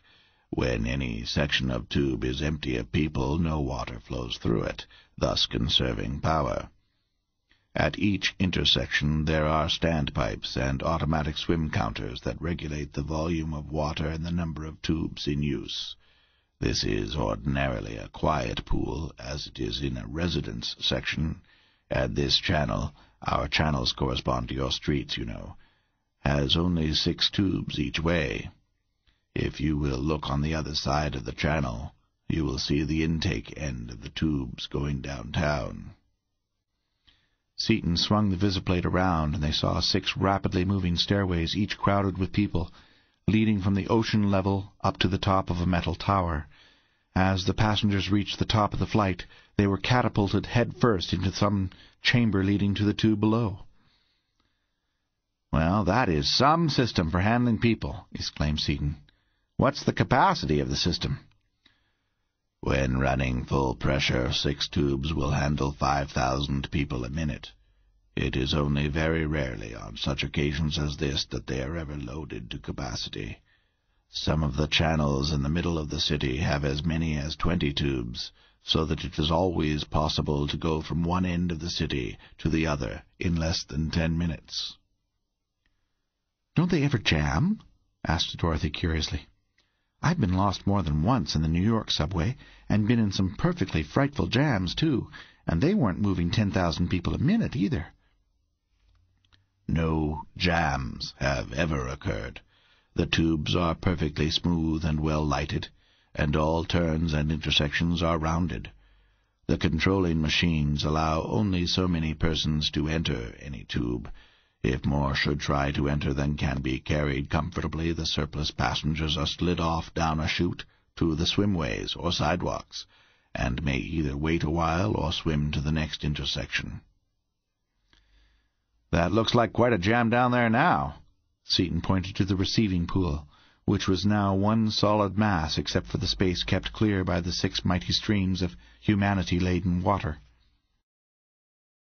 If the newcomers can't find room to come to the surface, they will swim over to some other pool. Carfon shrugged indifferently. My residence is the fifth cubicle on the right side of this channel. Our custom demands that you accept the hospitality of my home, if only for a moment, and only for a beaker of distilled water. Any ordinary visitor would be received in my office, but you must enter my home. Seaton steered the Skylark carefully, surrounded as she was by a tightly packed crowd of swimmers, to the indicated dwelling, and anchored her so that one of the doors was close to a flight of steps leading from the corner of the building down into the water. Carfon stepped out, opened the door of his house, and preceded his guests within. The room was large and square, and built of synthetic, non-corroding metal, as was the entire city. The walls were tastefully decorated with striking geometrical designs in vari-coloured metal, and upon the floor was a softly woven metal rug. Three doors leading into other rooms could be seen, and strange pieces of furniture stood here and there. In the centre of the floor space was a circular opening some four feet in diameter, and there, only a few inches below the level of the floor, was the surface of the ocean. Carfon introduced his guests to his wife, a feminine replica of himself, although she was not of quite such heroic proportions. "I don't suppose that Seven is far away, is he?" Carfon asked the woman. "Probably he is outside, near the flying ball. If he has not been touching it ever since he came down, it is only because someone stronger than he pushed him aside. You know how boys are." Turning to Dorothy with a smile as she spoke. "Boy nature is probably universal." "Pardon my curiosity, but why seven?" asked Dorothy as she returned the smile. "He is the two thousand three hundred and forty-seventh Sacner Carfon in direct male line of descent," she explained. "But perhaps six has not explained these things to you. Our population must not be allowed to increase. Therefore each couple can only have two children. It is customary for the boy to be born first, and is given the name of his father. The girl is younger and is given her mother's name.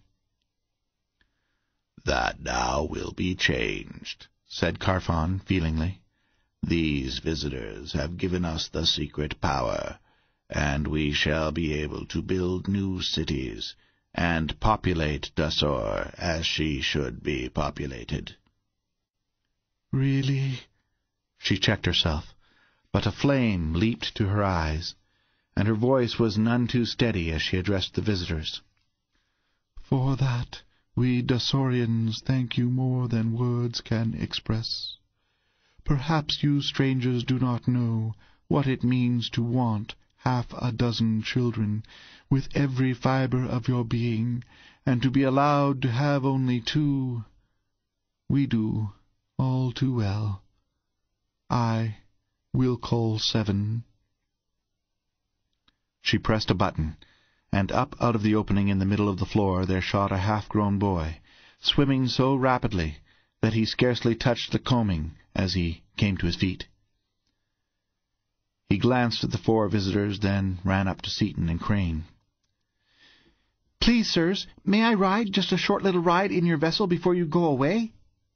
"Seven!" boomed Carfon sternly, and the exuberant youth subsided. "Pardon me, sirs, but I was so excited." All right, son, no harm done at all.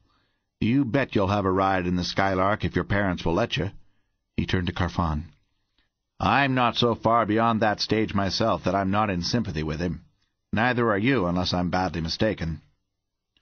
I am very glad that you feel as you do. He would be delighted to accompany us down to the office, and it will be something to remember all the rest of his life. You have a little girl, too? Dorothy asked the woman. Yes. Would you like to see her? She is asleep now. And without waiting for an answer, the proud Dasorian mother led the way into a bedroom. Of beds there were none, for Dasorians sleep floating in thermostatically controlled tanks, buoyed up in the water of the temperature they like best, in a fashion that no earthly springs and mattresses can approach. In a small tank in a corner reposed a baby, apparently about a year old, over whom Dorothy and Margaret made the usual feminine ceremony of delight and approbation. Back in the living room, after an animated conversation in which much information was exchanged concerning the two planets and their races of peoples, Carfon drew six metal goblets of distilled water and passed them around. Standing in a circle, the six touched goblets and drank.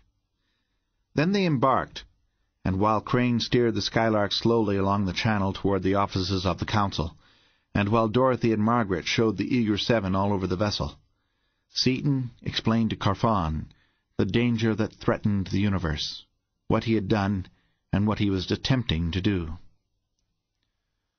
Dr. Seaton, I wish to apologize to you, the Dasorian said when Seaton had done. Since you are evidently still land animals, I had supposed you of inferior intelligence. It is true that your younger civilization is deficient in certain respects, but you have shown a depth of vision, a sheer power of imagination and grasp that no member of our older civilization could approach. I believe that you are right in your conclusions. We have no such forces or screens upon this planet and never have had. But the sixth planet of our own sun has. About fifty of your years ago, when I was a boy, such a projection visited my father. It offered to rescue us from our watery planet, and to show us how to build rocket ships to move us to three, which is half land, and which is inhabited only by lower animals. And he didn't accept? Certainly not. Then as now our sole lack was power, and the strangers did not show us how to increase our supply. Perhaps they had no more power than we. Perhaps because of the difficulty of communication our want was not made clear to them. But of course we did not want to move to three, and we had already had rocket ships for hundreds of generations. We have never been able to reach six with them, but we visited three long ago, and everyone who went there came back as soon as he could. We detest land. It is hard, barren, unfriendly. We have everything here upon Dasor. Food is plentiful, synthetic or natural as we prefer. Our watery planet supplies our every need and wish, with one exception. And now that we are assured of power, even that one exception vanishes, and Dasor becomes a very paradise. We can now lead our natural lives, work and play to our fullest capacity. We would not trade our world for all the rest of the universe. I never thought of it that way, but you're right at that, Seaton conceded. You are ideally suited to your environment. But how do I get to Planet 6? Its distance is terrific, even as planetary distances go. You won't have any night until Dasor swings out of the orbit of your sun, and until then, Six will be invisible, even to our most powerful telescope. I do not know myself, but I will send out a call for the chief astronomer. He will meet us at the office, and will give you a chart and the exact course. At the office, the earthly visitors were welcomed formally by the Council, the nine men in control of the entire planet. The ceremony over, and their course carefully plotted, Carfon stood at the door of the Skylark a moment before it was closed. We thank thee with all force, Earthmen, for what you have done for us this day. Please remember and believe that this is no idle word. If we can assist you in any way in this conflict which is to come, the resources of this planet are at your disposal. We join Osnome and the other planets of this system in declaring you, Dr. Seaton, our overlord. Chapter 9 The Welcome to Norlamin The Skylark days upon her way toward the sixth planet. Seaton gave the visiplate and the instrument board his customary careful scrutiny, and rejoined the others. "Still talking about the human fish, Dotty Dimple?" he asked as he stoked his villainous pipe. Peculiar tribe of porpoises, but they made a hit with me. They're the most like our own kind of people, in everything that counts, of anybody we've seen yet. In fact, they're more like us than a lot of human beings we all know. I like them immensely. You couldn't like 'em any other way, the size of them. Terrible, Dick, just terrible. Easy as I am, I can't stand for any such pun as that. But really, I think they're just perfectly fine in spite of their being so funny-looking. Mrs. Carfon is just simply sweet, even if she does look like a walrus, and that cute little seal of a baby was just too perfectly darn cunning for words. That boy Seven is keen as mustard, too. He should be, put in Crane, dryly. He probably has as much intelligence now as any one of us. Do you think so? asked Margaret. He acted like any other boy, but he did seem to understand things remarkably well. He would. They're way ahead of us in most things. Seaton glanced at the two women quizzically and turned to Crane. And as for their being bald, this was one time, Mart, when those two phenomenal heads of hair our two little girlfriends are so proud of didn't make any kind of a hit at all.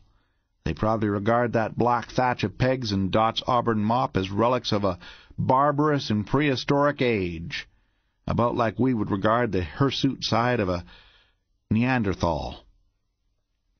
That may be so, too, Dorothy replied unconcernedly. But we aren't planning on living there, so why worry about it? I like them anyway, and I believe that they like us.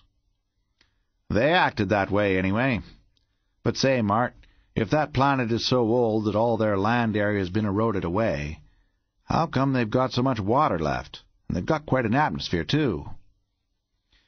The air pressure, while greater than that now obtaining upon Earth, was probably of the order of magnitude of three meters of mercury originally.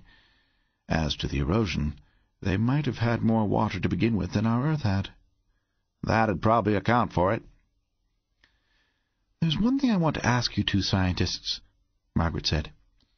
Everywhere we've gone, except on that one world that Dick thinks is a wandering planet, we've found the intelligent life quite remarkably like human beings.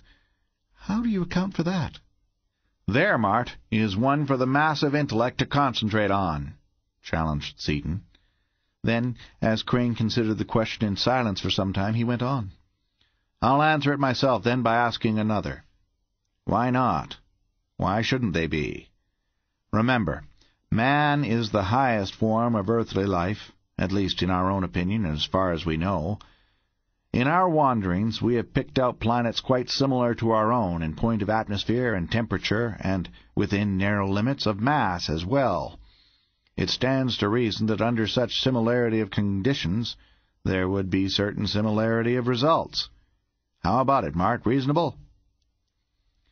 It seems plausible, in a way, conceded Crane but it probably is not universally true. Sure not. Couldn't be, hardly. No doubt we could find a lot of worlds inhabited by all kinds of intelligent things, freaks that we can't even begin to imagine now. But they probably would be occupying planets entirely different from ours in some essential feature of atmosphere, temperature, or mass. But the Fenachrone world is entirely different, Dorothy argued. And they're more or less human. They're bipeds, anyway, with recognizable features. I've been studying that record with you, you know, and their world has so many times more mass than ours that their gravitation is simply frightful. That much difference is comparatively slight, not a real fundamental difference. I meant a hundred or so times either way, greater or less. And even their gravitation has modified their structure a lot. Suppose it had been fifty times as great as it is. What would they have been like? Also, their atmosphere is very similar to ours in composition, and their temperature is bearable. It's my opinion that atmosphere and temperature have more to do with evolution than anything else, and that of the mass of the planet runs a poor third. Poor third. Poor third. Poor third. Poor third. Poor third. Poor third. Poor third. Poor third. Poor third. Poor third. Poor third. Poor third. Poor third. Poor third. You may be right, admitted Crane. But it seems to me that you're arguing from insufficient premises. Sure I am. Almost no premises at all. I would be just about as well justified in deducting the structure of a range of mountains from a superficial study of three pebbles picked up in a creek. However, we can get an idea sometime when we have a lot of time. How? Remember that planet we struck on the first trip that had an atmosphere composed mostly of gaseous chlorine? In our ignorance, we assumed that life there was impossible and didn't stop. Well, it may be just as well that we didn't. If we go back there, protected as we are with our screens and stuff, it wouldn't surprise me a bit to find life there, and lots of it. And I've got a hunch that it'll be a form of life that'd make your grandfather's whiskers curl right up into a ball. You get the weirdest ideas, Dick, protested Dorothy. I hope you aren't planning on exploring it just to prove your point. Never thought of it before. Can't do it now anyway. Got our hands full.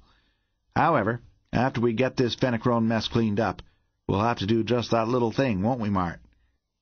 As that intellectual guy said when he was insisting upon dematerializing us, science demands it.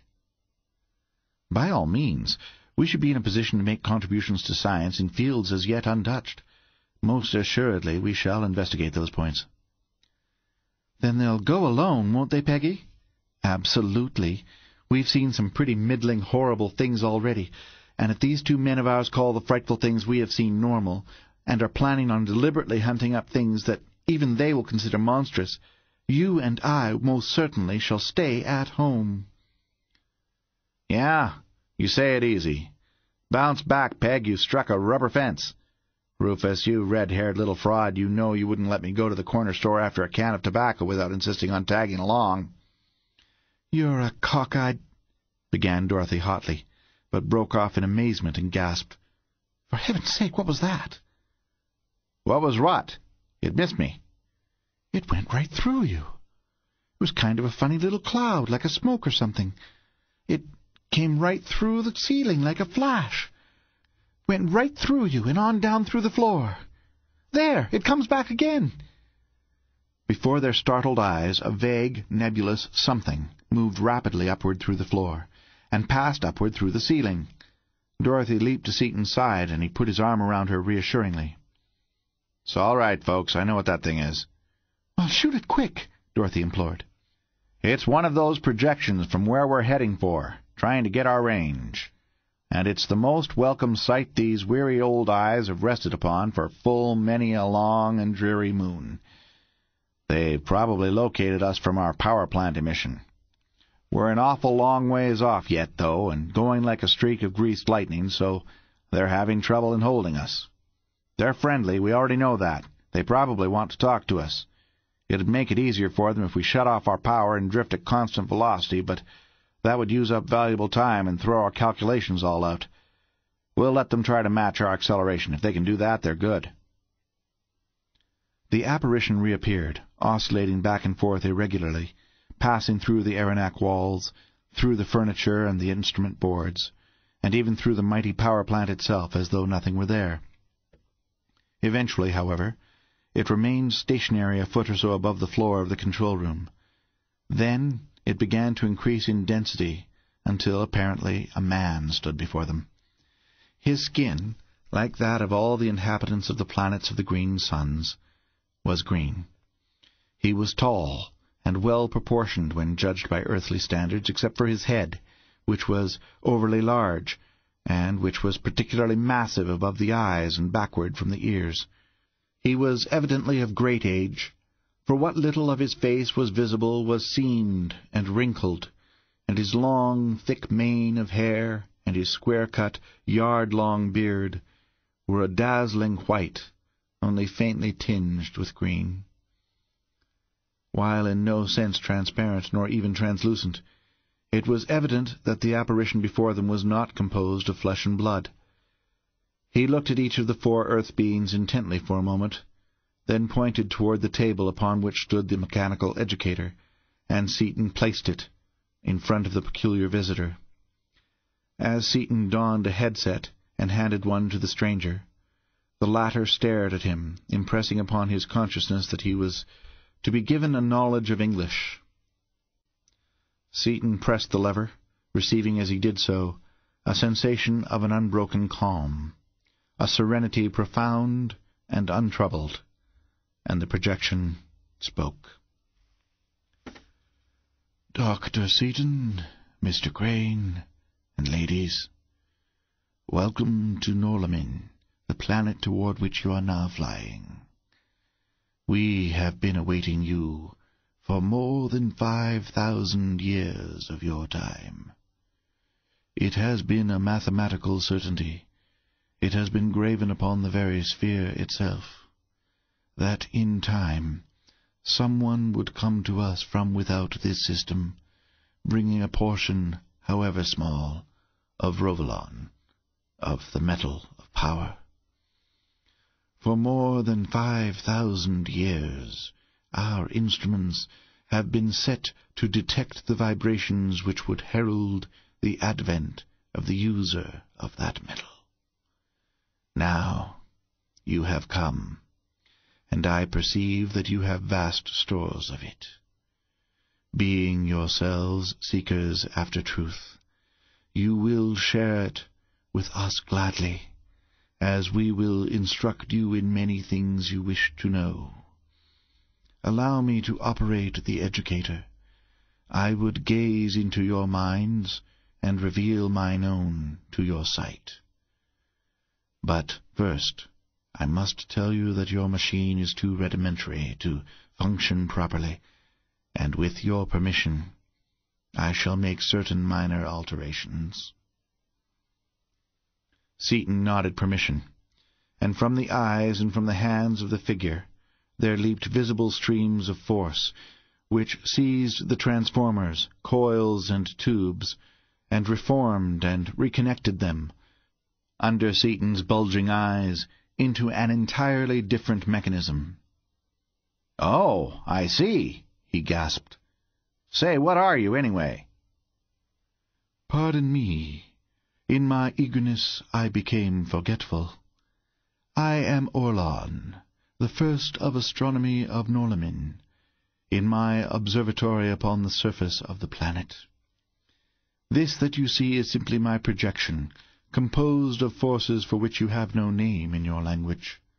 You can cut it off if you wish with your screens, which even I can see are of a surprisingly high order of efficiency.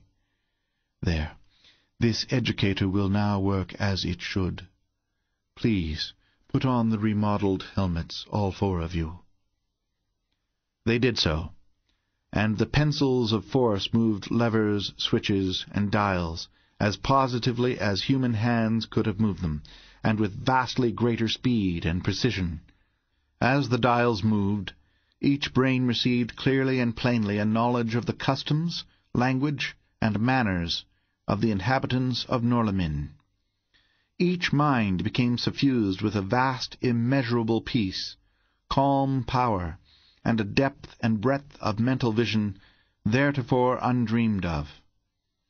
Looking deep into his mind, they sensed a quiet, placid certainty, beheld power and knowledge to them illimitable, perceived depths of wisdom to them unplumbable. Then from his mind into theirs there flowed smoothly a mighty stream of comprehension of cosmic phenomena. They hazily saw infinitely small units grouped into planetary formations to form practically dimensionless aggregates. These in turn grouped to form slightly larger ones, and after a long succession of such groupings, they knew that the comparatively gigantic bodies which then held their attention were in reality electrons, the smallest units recognized by earthly science.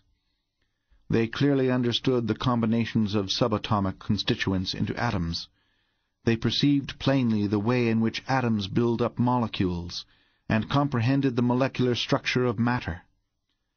In mathematical thoughts only dimly grasped, even by Seaton and Crane, were laid before them the fundamental laws of physics, of electricity, of gravitation, and of chemistry. They saw globular masses of matter, the suns and their planets, comprising solar systems, saw solar systems in accordance with those immutable laws, grouped into galaxies. Galaxies, in turn, here the flow was suddenly shut off, as though a valve had been closed, and the astronomer spoke. Pardon me. Your brains should be stored only with the material you desire most and can use to the best advantage for your mental capacity is even more limited than my own. Please understand that I speak in no derogatory sense. It is only that your race has many thousands of generations to go before your minds should be stored with knowledge indiscriminately. We ourselves have not yet reached that stage, and we are perhaps millions of years older than are you. And yet, he continued musingly, I envy you. Knowledge is, of course, relative, and I can know so little. Time and space have yielded not an iota of their mystery to our most penetrant minds, and whether we delve baffled into the unknown smallness of the small, or whether we peer blind and helpless into the unknown largeness of the large, it is the same. Infinity is comprehensible only to the infinite One, the all-shaping force directing and controlling the universe and the unknowable sphere. The more we know, the vaster the virgin fields of investigation opened to us, and the more infinitesimal becomes our knowledge. But I am perhaps keeping you from more important activities as you approach Norlamin more nearly, I shall guide you to my observatory. I am glad indeed that it is in my lifetime that you have come to us, and I await anxiously the opportunity of greeting you in the flesh. The years remaining to me of this cycle of existence are few, and I had almost ceased hoping to witness your coming. The projection vanished, instantaneously, and the four stared at each other in an incredulous daze of astonishment. Seaton finally broke the stunned silence. "Well, I'll be kicked to death by little red spiders," he ejaculated. "Mart, did you see what I saw? I thought, hoped, maybe, that I was expecting something like that, but I wasn't. It breaks me off at the ankles yet, just to think of it." Crane walked over to the educator in silence. He examined it, felt of the changed coils and transformers, and gently shook the new insulating base of the great power tube. Still in silence, he turned his back, walked around the instrument board, read the meters, then went back and again inspected the educator. It was real, and not a higher development of hypnotism as I thought at first it must be, he reported seriously. Hypnotism, if sufficiently advanced, might have affected us in that fashion, even to teaching us all a strange language. But by no possibility could it have had such an effect upon copper, steel, bakelite, and glass. It was certainly real, and while I cannot begin to understand it, I will say that your imagination has certainly vindicated itself. A race who can do such things as that can do almost anything. You have been right from the start. Then you can beat those horrible Fenachrone after all, cried Dorothy, and threw herself into her husband's arms. Do you remember, Dick, that I hailed you once as Columbus at San Salvador? asked Margaret unsteadily from Crane's encircling arms. What could a man be called who, from the sheer depths of his imagination, called forth the means of saving from destruction all the civilizations of millions of entire worlds? Don't talk that way, please, folks. Seaton was plainly uncomfortable. He blushed, the burning red tide rising in waves up to his hair as he wriggled in embarrassment like any schoolboy. Mart done most of it anyway, you know, and even at that we aren't out of the woods yet by forty-seven rows of apple trees. You will admit, will you not, that we can see our way out of those woods, at least, and that you yourself feel rather relieved? asked Crane. I'll say I'm relieved. We ought to be able to take 'em with the Norlaminians backing us. If they haven't already got the stuff we need, they will know how to make it. Even if that zone actually is impenetrable, I'll bet they'll be able to work out some solution. Relieved? that don't half tell it, Guy. I feel like I just pitched off the old man of the sea who's been riding on my neck.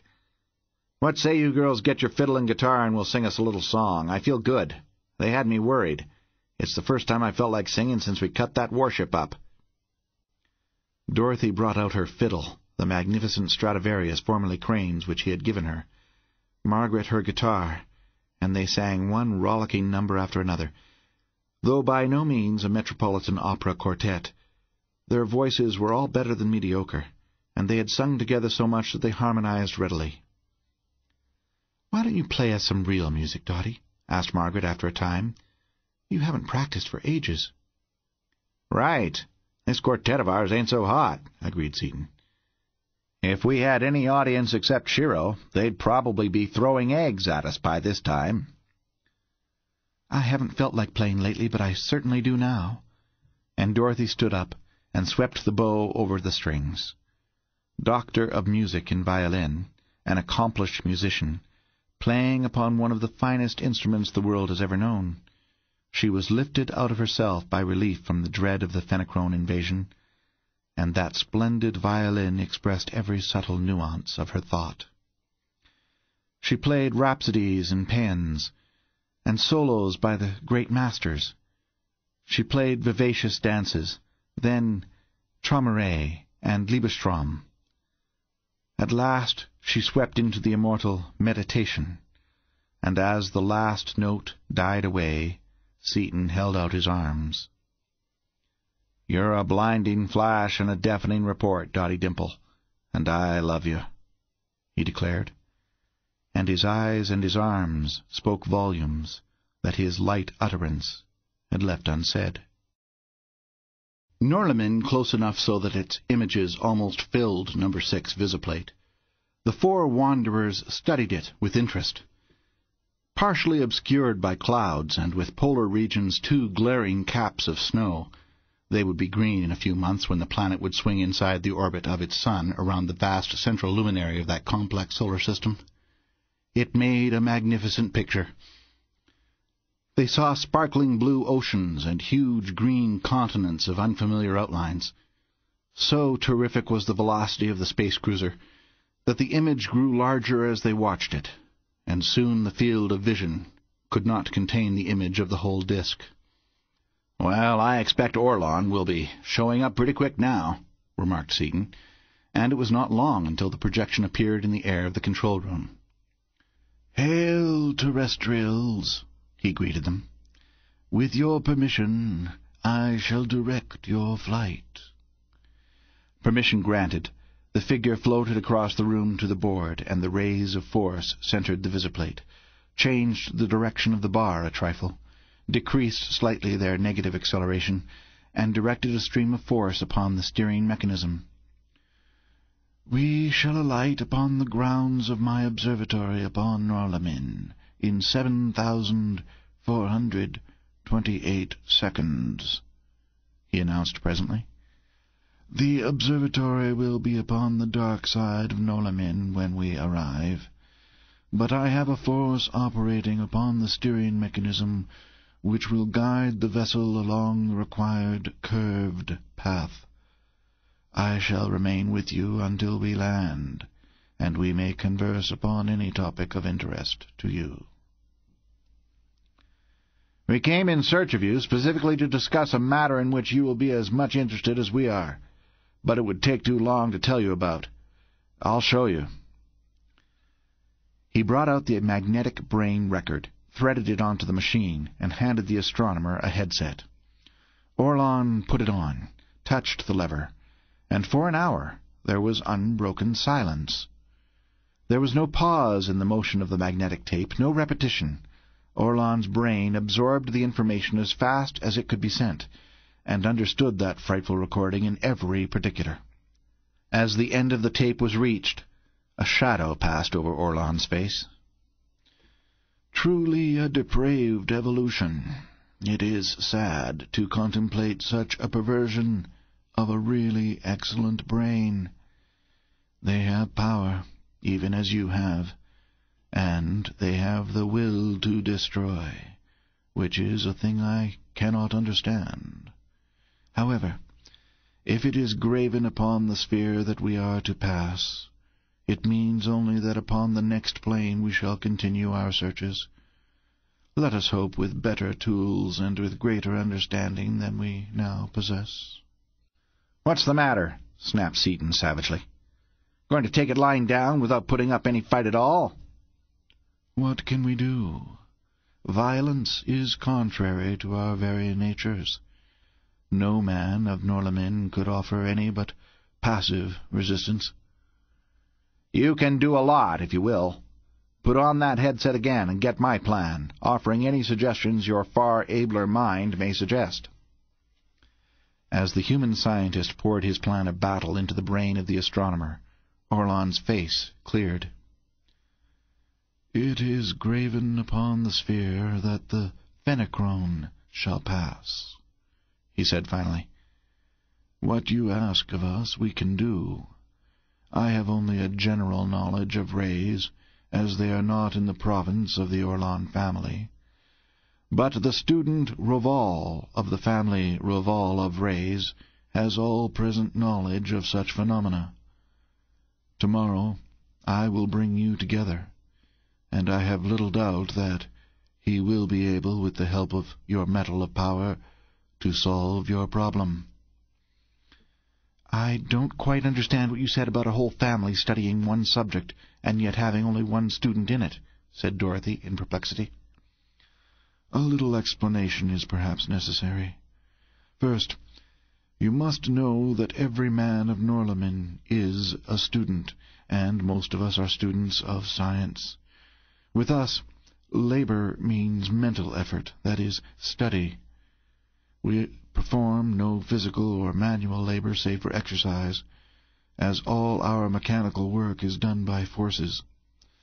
This state of things having endured for many thousands of years, it long ago became evident that specialization was necessary in order to avoid duplication of effort, and to ensure complete coverage of the field.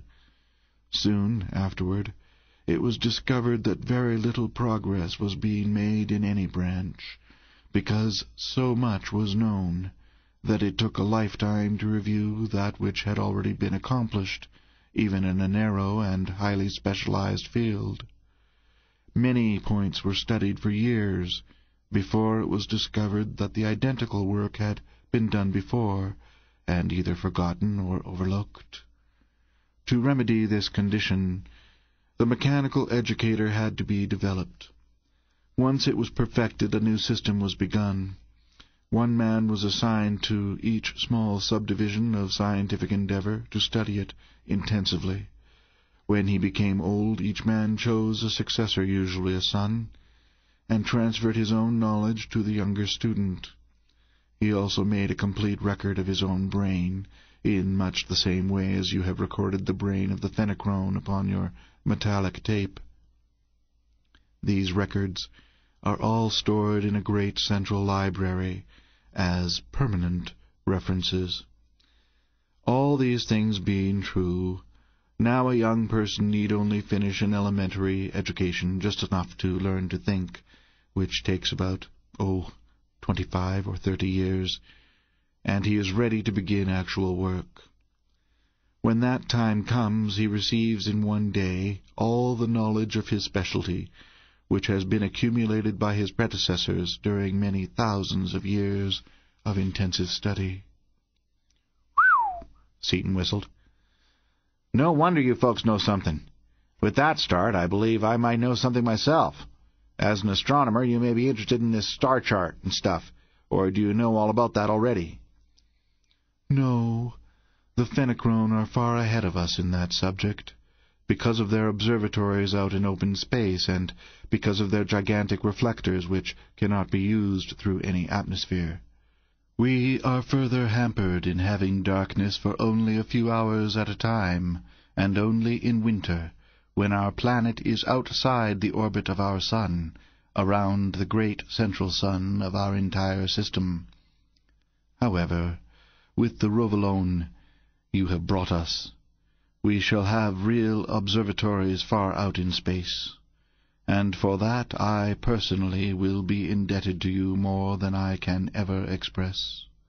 As for the chart, I hope to have the pleasure of examining it while you are conferring with Rovol of Rays. How many families are working on rays? Just one? One upon each kind of rays. That is, each of the ray families knows a great deal about all kinds of vibrations of the ether, but is specializing upon one narrow field. Take, for instance, the rays you are most interested in, those able to penetrate a zone of force. From my own slight and general knowledge, I know that it would of necessity be a ray of the fifth order. These rays are very new. They have been under investigation only a few thousands of years, and the Rovol is the only student who would be at all well informed upon them. Shall I explain the orders of rays more fully than I did by means of the educator? Please. You assume that we knew more than we do, so a little explanation would help. All ordinary vibrations, that is, all molecular and material ones, such as light, heat, electricity, radio, and the like, were arbitrarily called waves of the first order, in order to distinguish them from waves of the second order, which are given off by particles of the second order, which you know as protons and electrons, in their combination to form atoms. Your scientist, Millikan, discovered these rays for you, and in your language they are known as Millikan or cosmic rays. Some time later, when sub-electrons of the first and second levels were identified, the energies given off by their combinations or disruptions were called rays of the third and fourth orders. These rays are most interesting and most useful. In fact, they do all our mechanical work. They are, as a class, called proto-electricity, and bear the same relation to ordinary electricity that electricity does to torque. Both are pure energy, and they are interconvertible. Unlike electricity, however, it may be converted into many different forms by fields of force, in a way comparable to that in which white light is resolved into colours by a prism, or, rather, more like the way alternating current is changed to direct current by a motor generator set with attendant changes in properties. There are two complete spectra of about five hundred and fifteen hundred bands, respectively, each as different from the others as red is different from green. Thus, the power that propels your space vessel, your attractors, your repellers, your object compass, your zone of force. All these things are simply a few of the fifteen hundred wave bands of the fourth order, all of which you doubtless would have worked out for yourselves in time. Since I know practically nothing of the fifth, the first subethereal level, and since that order is to be your prime interest, I will leave it entirely to Rovol. If I knew a fraction of your practically nothing, I'd think I knew a lot. But about this fifth order, is that as far as they go? My knowledge is slight and very general, only such as I must have in order to understand my own subject. The fifth order certainly is not the end. It is probably scarcely a beginning. We think now that the orders extend to infinite smallness, just as the galaxies are grouped into larger aggregations, which are probably in their turn only tiny units in a scheme infinitely large. Over six thousand years ago the last fourth-order rays were worked out, and certain peculiarities in their behavior led the then Rovol to suspect the existence of the fifth order. Successive generations of the Rovol proved their existence, determined the conditions of their liberation, and found that this metal of power was the only catalyst able to liberate them in usable quantity. This metal, which was called Rovolon after the Rovol, was first described upon theoretical grounds, and later was found, by spectroscopy, in certain stars, notably in one star only eight light-years away. And a few micrograms have been obtained from meteorites, enough for study, and to perform a few tests but not enough to be of any real practical use. Ah, I see. Those visits, then, were real. You Norlaminians did operate through a zone of force on Osnome and Dervania. In a very small way, yes. On those planets and elsewhere, specifically to attract the attention of such visitors as you and ever since that time the family Rovol have been perfecting the theory of the fifth order and waiting for your coming. The present Rovol, like myself and many others whose work is almost at a standstill, is waiting with all-consuming eagerness to greet you as soon as the Skylark can be landed upon our planet. Neither your rocket ships nor projections could get you any Rovolon? Except for the minute quantities already mentioned, no. Every hundred years or so someone develops a new type of rocket that he thinks may stand a slight chance of making the journey to that Rovolon-bearing solar system, but not one of those venturesome youths has as yet returned. Either that sun has no planets, or else the rocket ships have failed. Our projections are useless, as they can be driven only a very short distance upon our present carrier wave.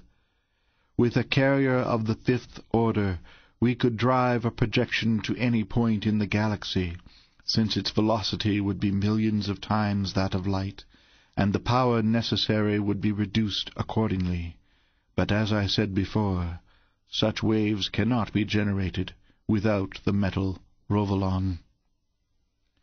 I hate to break this up. I'd like to listen to you talk for a week, but we're going to land pretty quick, and it looks as though we're going to land pretty hard.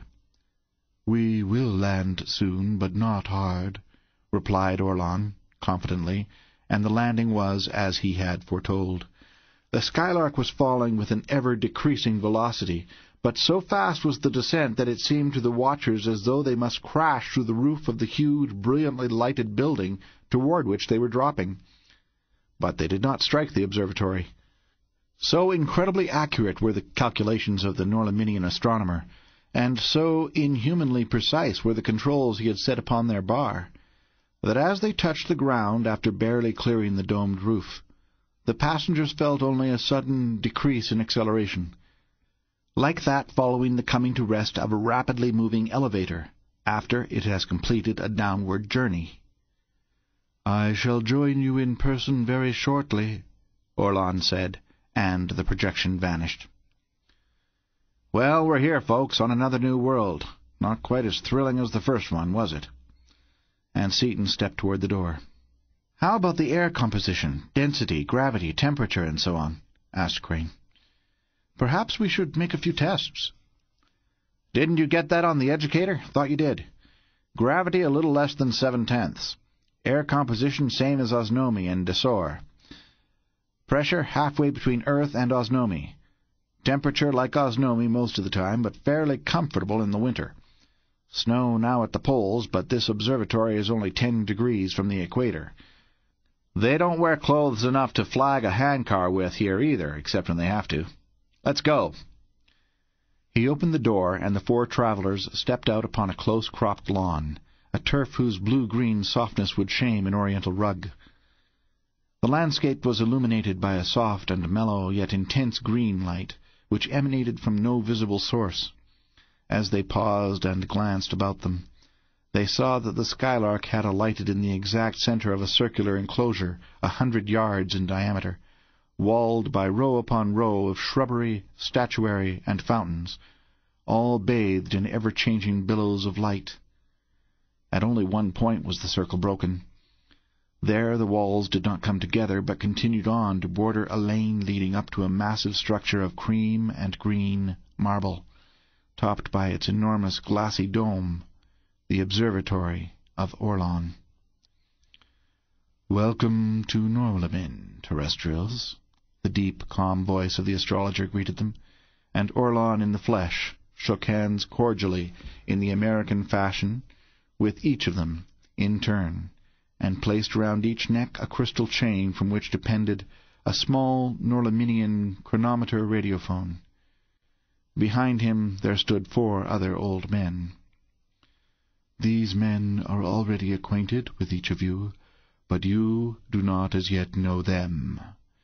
I present Fodan, chief of the five Norlamin, Rovol, about whom you know, Astron, the first of energy, Satrazon, the first of chemistry. Orlon fell in beside Seaton, and the party turned toward the observatory. As they walked along, the Earth people stared, held by the unearthly beauty of the grounds. The hedge of shrubbery, from ten to twenty feet high, and which shut out all sight of everything outside it, was one mass of vivid green and flaring crimson leaves, each leaf and twig groomed meticulously into its precise place, in a fantastic geometrical scheme. Just inside this boundary there stood a ring of statues of heroic size. Some of them were single figures of men and women, some were busts, some were groups in natural or allegorical poses, all were done with consummate skill and feeling. Between the statues there were fountains, magnificent bronze and glass groups of the strange aquatic denizens of this strange planet, bathed in geometrically shaped sprays, screens, and columns of water. Winding around between the statues and the fountains there was a moving, scintillating wall, and upon the waters and upon the wall there played torrents of colour, cataracts of harmoniously blended light. Reds, blues, yellows, greens, every colour of the peculiar green spectrum, and every conceivable combination of those colours writhed and flamed in ineffable splendour upon those deep and living screens of falling water and upon that shimmering wall. As they entered the lane, Seaton saw with amazement that what he had supposed a wall, now close at hand, was not a wall at all. It was composed of myriads of individual sparkling jewels, of every known colour, for the most part self-luminous, and each gem, apparently entirely unsupported, was dashing in and out and among its fellows weaving and darting here and there, flying at headlong speed along an extremely tortuous but evidently carefully calculated course. "What can that be, anyway, Dick?" whispered Dorothy, and Seaton turned to his guide. "Pardon my curiosity, Orlon, but would you mind explaining that moving wall?" "Not at all. This garden has been the private retreat of the family Orlon for many thousands of years and women of our house have been beautifying it since its inception.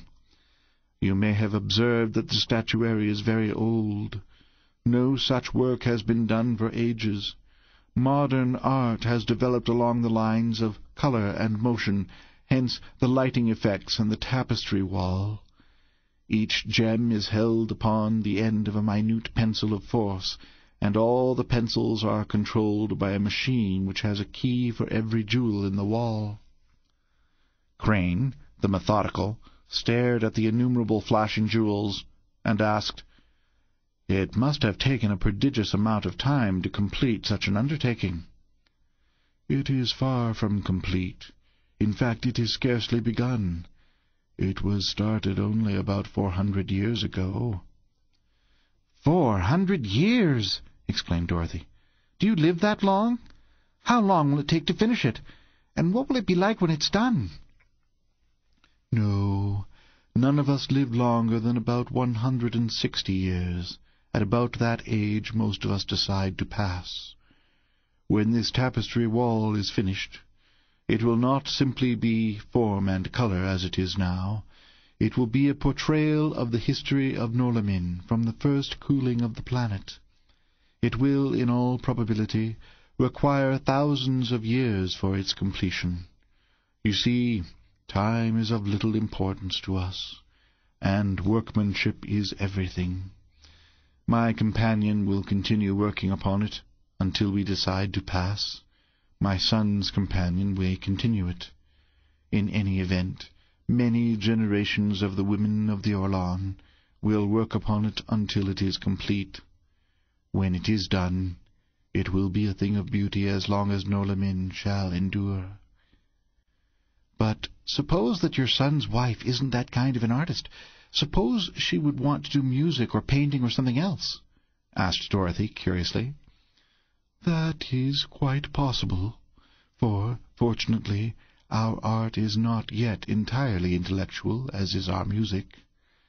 There are many unfinished artistic projects in the house of Orlon, and if the companion of my son should not find one to her liking, she will be at liberty to continue anything else she may have begun, or to start an entirely new project of her own. You have a family, then? asked Margaret. I'm afraid I didn't understand things very well when you gave them to us over the educator. I sent things too fast for you, not knowing that your educator was new to you, a thing with which you were not thoroughly familiar. I will therefore explain some things in language, since you are not familiar with the mechanism of thought transference. The five do what governing is necessary for the entire planet. Their decrees are founded upon self-evident truth and are therefore the law. Population is regulated according to the needs of the planet, and since much work is now in progress, an increase in population was recommended by the five. My companion and I therefore had three children instead of the customary two. By lot, it fell to us to have two boys and one girl. One of the boys will assume my duties when I pass. The other will take over a part of some branch of science that has grown too complex for one man to handle, as a specialist should. In fact, he has already chosen his specialty and been accepted for it. He is to be the nine hundred sixty-seventh of chemistry, the student of the asymmetric carbon atom, which will thus be a specialty from this time henceforth. It was learned long ago that the most perfect children were born of parents in the full prime of mental life, that is, at about one hundred years of age. Therefore, with us each generation covers one hundred years. The first twenty-five years of a child's life are spent at home with his parents, during which time he acquires his elementary education in the common schools. Then boys and girls alike move to the country of youth, where they spend another twenty-five years. There they develop their brains and initiative by conducting any researches they choose. Most of us, at that age, solve the most baffling problems of the universe, only to discover later that our solutions have been fallacious. However, much really excellent work is done in the country of youth, primarily because of the new and unprejudiced viewpoints of the virgin minds there at work. In that country also each finds his life's companion, the one necessary to round out mere existence into a perfection of living that no person, man or woman, can ever know alone.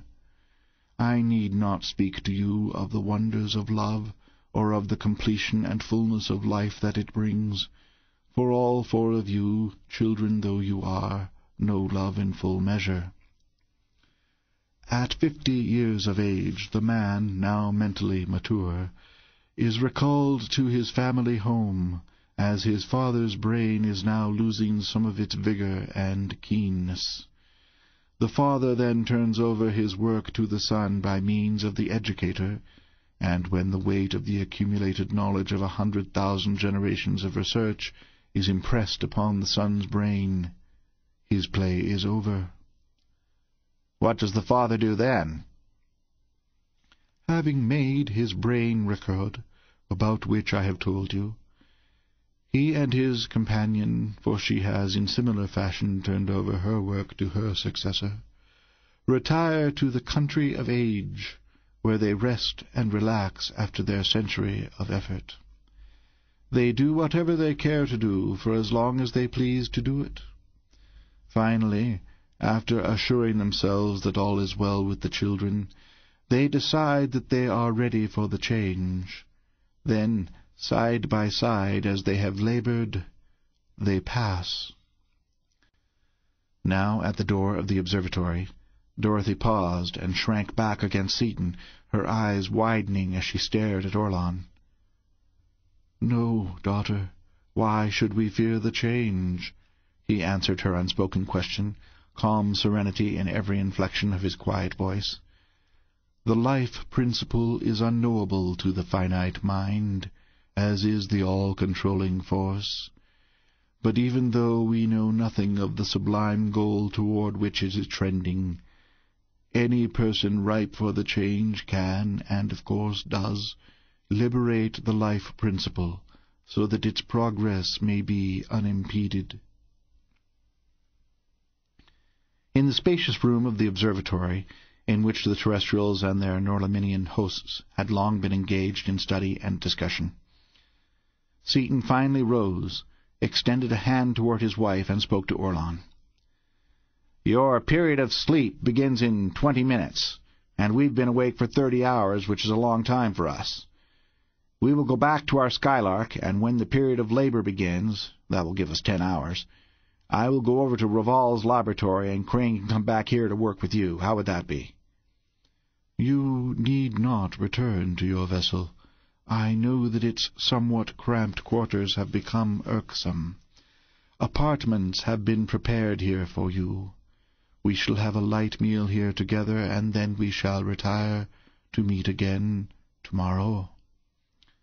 As he spoke, a tray laden with appetizing dishes appeared in the air in front of each person. As Seaton resumed his seat, the tray followed him, remaining always in the most convenient position. Crane glanced at Seaton questioningly, and Satrazon, the first of chemistry, answered his thought before he could voice it. The food before you, unlike that which is before us of Norlamin, is wholesome for you. It contains no copper, no arsenic, no heavy metal. In short, nothing in the least harmful to your chemistry. It is balanced as to carbohydrates, proteins, fats, and sugars, and contains the due proportion of each of the various accessory nutritional factors. You will also find that the flavors are agreeable to each of you. Synthetic, eh? You've got us analyzed, Seaton stated, rather than asked as with knife and fork he attacked the thick, rare, and beautifully broiled steak which, with its mushrooms and other delectable trimmings, lay upon his rigid, although unsupported, tray, noticing, as he did so, that the Norlaminians ate with tools entirely different from those they had supplied to their earthly guests. "Entirely synthetic," Satrazon made answer, "except for the sodium chloride necessary. As you already know, sodium and chlorine are very rare throughout our system. Therefore the force upon the food supply took from your vessel the amount of salt required for the formulae. We have been unable to synthesize atoms for the same reason that the labours of so many others have been hindered, because of the lack of Rovolon. Now, however, my science shall progress as it should, and for that I join my fellow scientists in giving you thanks for the service you have rendered us. We thank you instead, for the service we have been able to do you is slight indeed compared to what you are giving us in return. But it seems that you speak quite impersonally of the force upon the food supply. Did not you yourself direct the preparation of these meats and vegetables? Oh, no.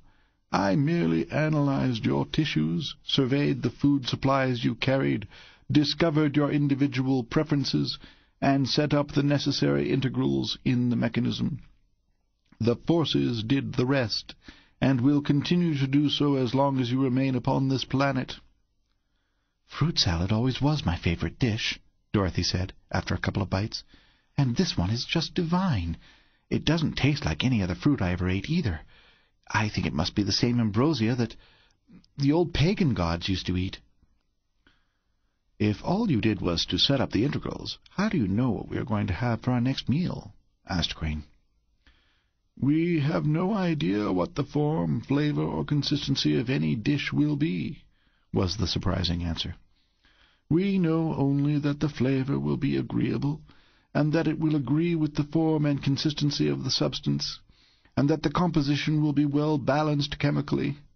You see, all the details of flavor, form, texture, and so on are controlled by a device something like one of your kaleidoscopes. The integrals render impossible any unwholesome, unpleasant, or unbalanced combination of any nature, and everything else is left to the mechanism which operates upon pure chance.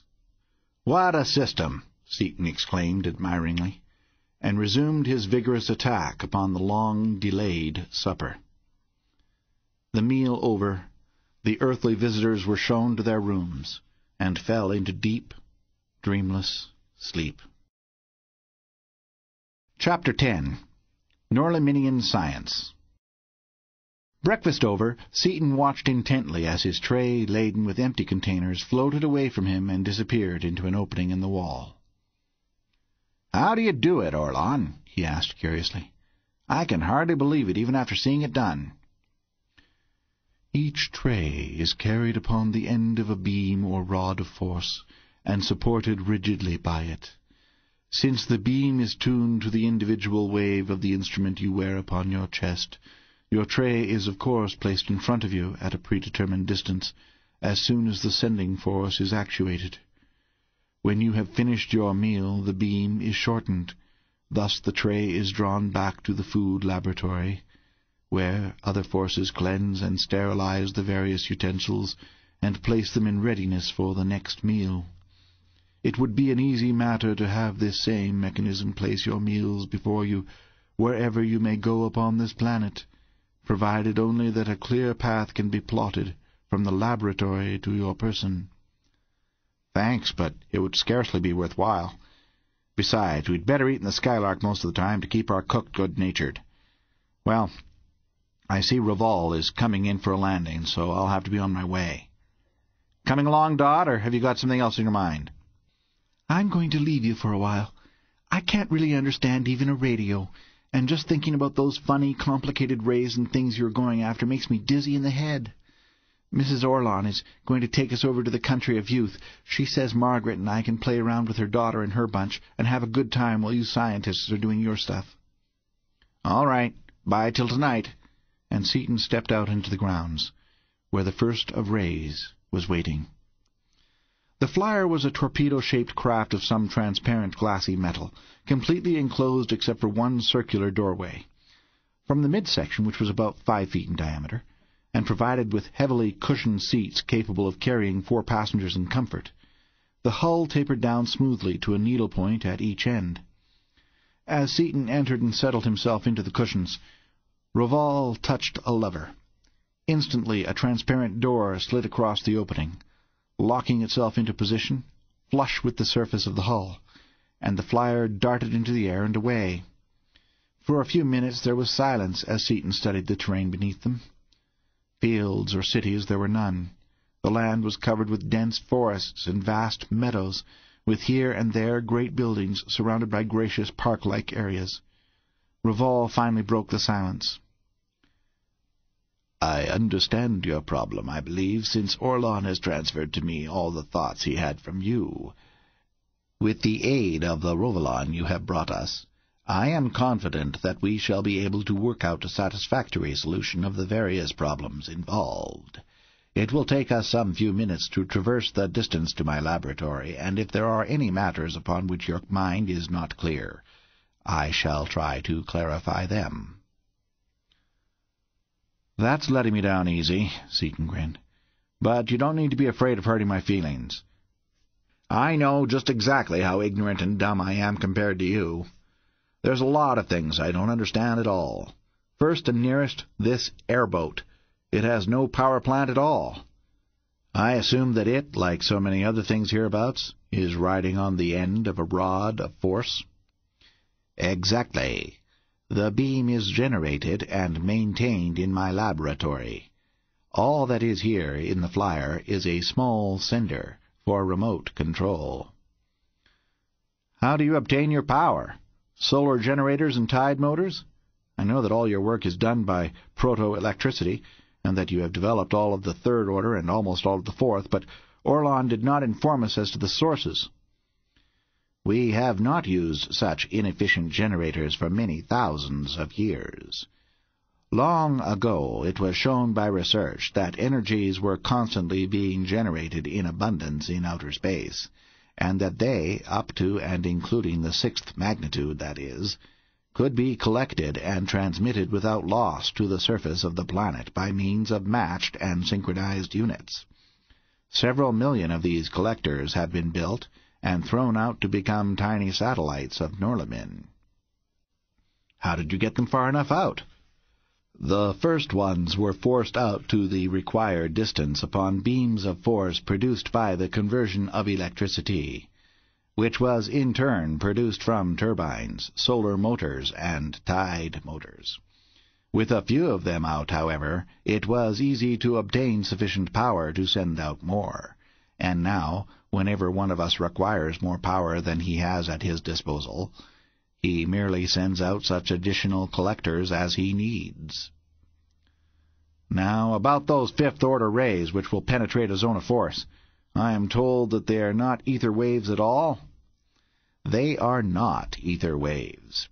The fourth-order rays are the shortest vibrations that can be propagated through the ether, for the ether itself is not a continuous medium. We do not know its nature exactly, but it is an actual substance, and is composed of discrete particles of the fourth order. Now the zone of force, which is itself a fourth-order phenomenon, sets up a condition of stasis in the particles composing the ether. These particles are relatively so coarse that rays and particles of the fifth order will pass through the fixed zone without retardation. Therefore, if there is anything between the particles of the ether, this matter is being debated hotly among us at the present time, it must be a sub-ether, if I may use that term. We have never been able to investigate any of these things at all fully, not even such a relatively coarse aggregation as is the ether. But now, having Rovolon, it will not be many thousands of years until we shall have extended our knowledge many orders farther in both directions. Just how will Rovolon help you? It will enable us to generate an energy of the ninth magnitude. That much power is necessary to work effectively with that which you have so aptly named a zone of force, and will give us a source of fifth, and probably higher orders of vibrations, which, if they are generated in space at all, are beyond our present reach. The zone of force is necessary to shield certain items of equipment from ether vibrations, as any such vibration inside the controlling fields of force renders observation or control of the higher orders of rays impossible. Hmm. I see. I'm learning something, Seaton replied cordially. Just as the higher powered a radio set is, the more perfect must be its shielding? Yes.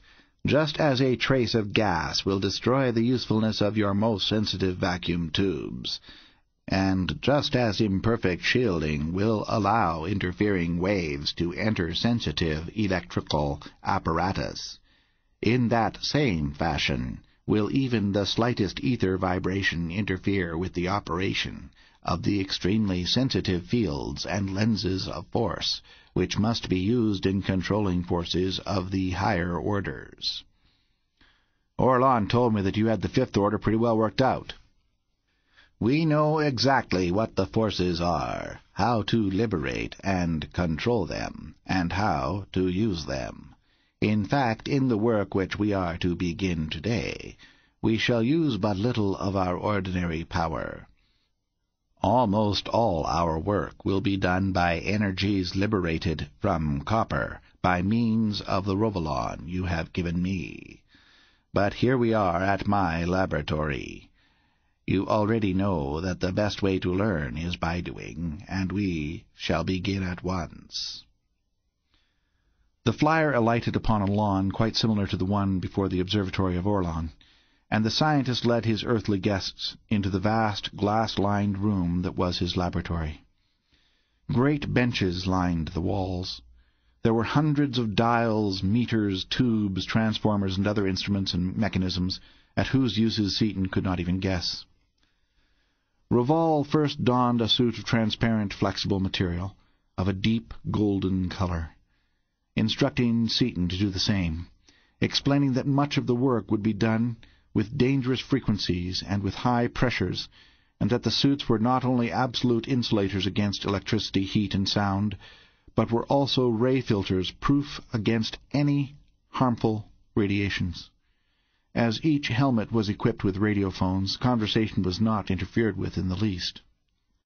Rovol took a tiny flash pencil, and with it deftly cut off a bit of Rovolon, almost microscopic in size. This he placed upon a great block of burnished copper, and upon it played a force. As he manipulated two levers, two more beams of force flattened out the particle of metal, spread it out over the copper, and forced it onto the surface of the block until the thin coating was at every point in molecular contact with the copper beneath it. A perfect job of plating, and one done in the twinkling of an eye. He then cut out a piece of the treated copper the size of a pea, and other forces rapidly built around it a structure of coils and metallic tubes. This apparatus he suspended in the air at the extremity of a small beam of force. The block of copper was next cut in two, and Rovol's fingers moved rapidly over the keys of a machine which resembled slightly an overgrown and exceedingly complicated bookkeeping machine. Streams and pencils of force flashed and crackled, and Seaton saw raw materials transformed into a complete power plant, in its center the two hundred pound lump of plated copper, where an instant before there had been only empty space upon the massive metal bench. Rovol's hands moved rapidly from keys to dials and back, and suddenly a zone of force as large as a basketball appeared around the apparatus poised in the air. "But it'll fly off, and we can't stop it with anything," Seaton protested, and it did indeed dart rapidly upward. The old man shook his head as he manipulated still more controls, and Seaton gasped as nine stupendous beams of force hurled themselves upon that brilliant spherical mirror of pure energy, seized it in mid-flight, and shaped it resistlessly, under his bulging eyes, into a complex geometrical figure of precisely the desired form. Intense violet light filled the room, and Seaton turned toward the bar. That two hundred pound mass of copper was shrinking visibly second by second, so vast were the forces being drawn from it, and the searing, blinding light would have been intolerable but for the protective color filters of his helmet. Tremendous flashes of lightning ripped and tore from the relief points of the bench, to the ground rods, which flared at blue-white temperature under the incessant impacts. Knowing that this corona loss was but an infinitesimal fraction of the power being used, Seaton's mind staggered as he strove to understand the magnitude of the forces at work upon that stubborn sphere of energy. The aged scientist used no tools whatever, as we understand the term. His laboratory was a powerhouse. At his command were the stupendous forces of a battery of planetoid accumulators, and added to these were the fourth-order, ninth-magnitude forces of the disintegrating copper bar. Electricity and proto-electricity, under millions upon millions of kilovolts of pressure, leaped to do the bidding of that wonderful brain, stored with the accumulated knowledge of countless thousands of years of scientific research. Watching the ancient physicist work, Seaton compared himself to a schoolboy, mixing chemicals indiscriminately and ignorantly, with no knowledge whatever of their properties, occasionally obtaining a reaction by pure chance. Whereas he had worked with atomic energy schoolboy fashion, the master craftsman before him knew every reagent, every reaction, and worked with known and thoroughly familiar agencies to bring about his exactly predetermined ends, just as calmly certain of the results as Seaton himself would have been in his own laboratory, mixing equivalent quantities of solutions of barium chloride and of sulfuric acid to obtain a precipitate of barium sulfate. Hour after hour Rovol laboured on, oblivious to the passage of time in his zeal of accomplishment, the while carefully instructing Seaton, who watched every step with intense interest and did everything possible for him to do. Bit by bit, a towering structure arose in the middle of the laboratory. A metal foundation supported a massive compound bearing, which in turn carried a tubular network of latticed metal, mounted like an immense telescope. Near the upper outer end of this openwork tube, a group of nine forces held the field of force rigidly in place in its axis. At the lower extremity were mounted seats for two operators and the control panels necessary for the operation of the intricate system of forces and motors which would actuate and control that gigantic projector. Immense hour and declination circles could be read by optical systems from the operators' seats circles fully forty feet in diameter, graduated with incredible delicacy and accuracy into decimal fractions of seconds of arc, and each driven by variable speed motors through gear trains and connections having the absolute minimum of backlash. While Rovol was working upon one of the last instruments to be installed upon the controlling panel, a mellow note sounded throughout the building, and he immediately ceased his labours and opened the master switches of his power plant.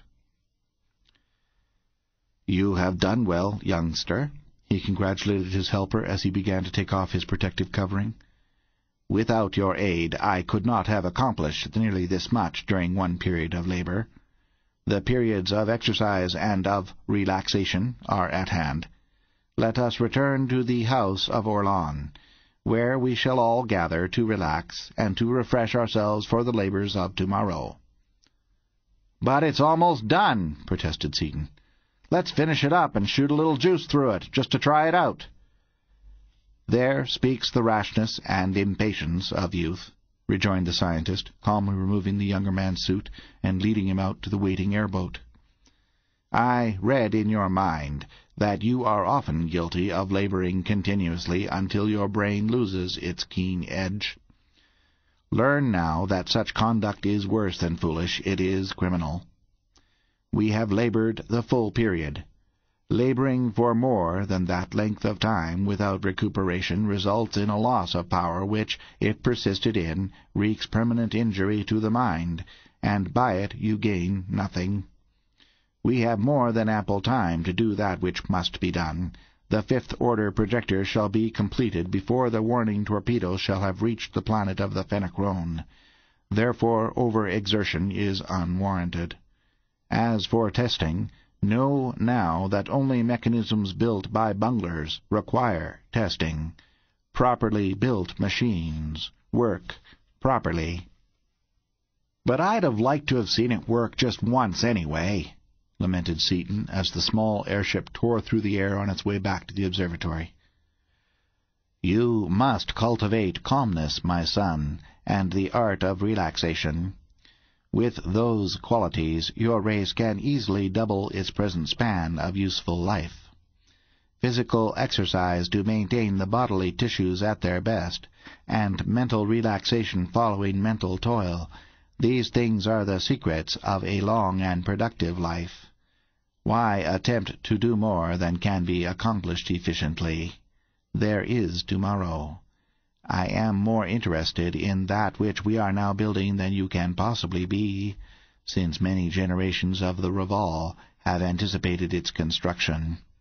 Yet I realize that in the interest of our welfare and for the progress of civilization, today's labors must not be prolonged beyond today's period of work.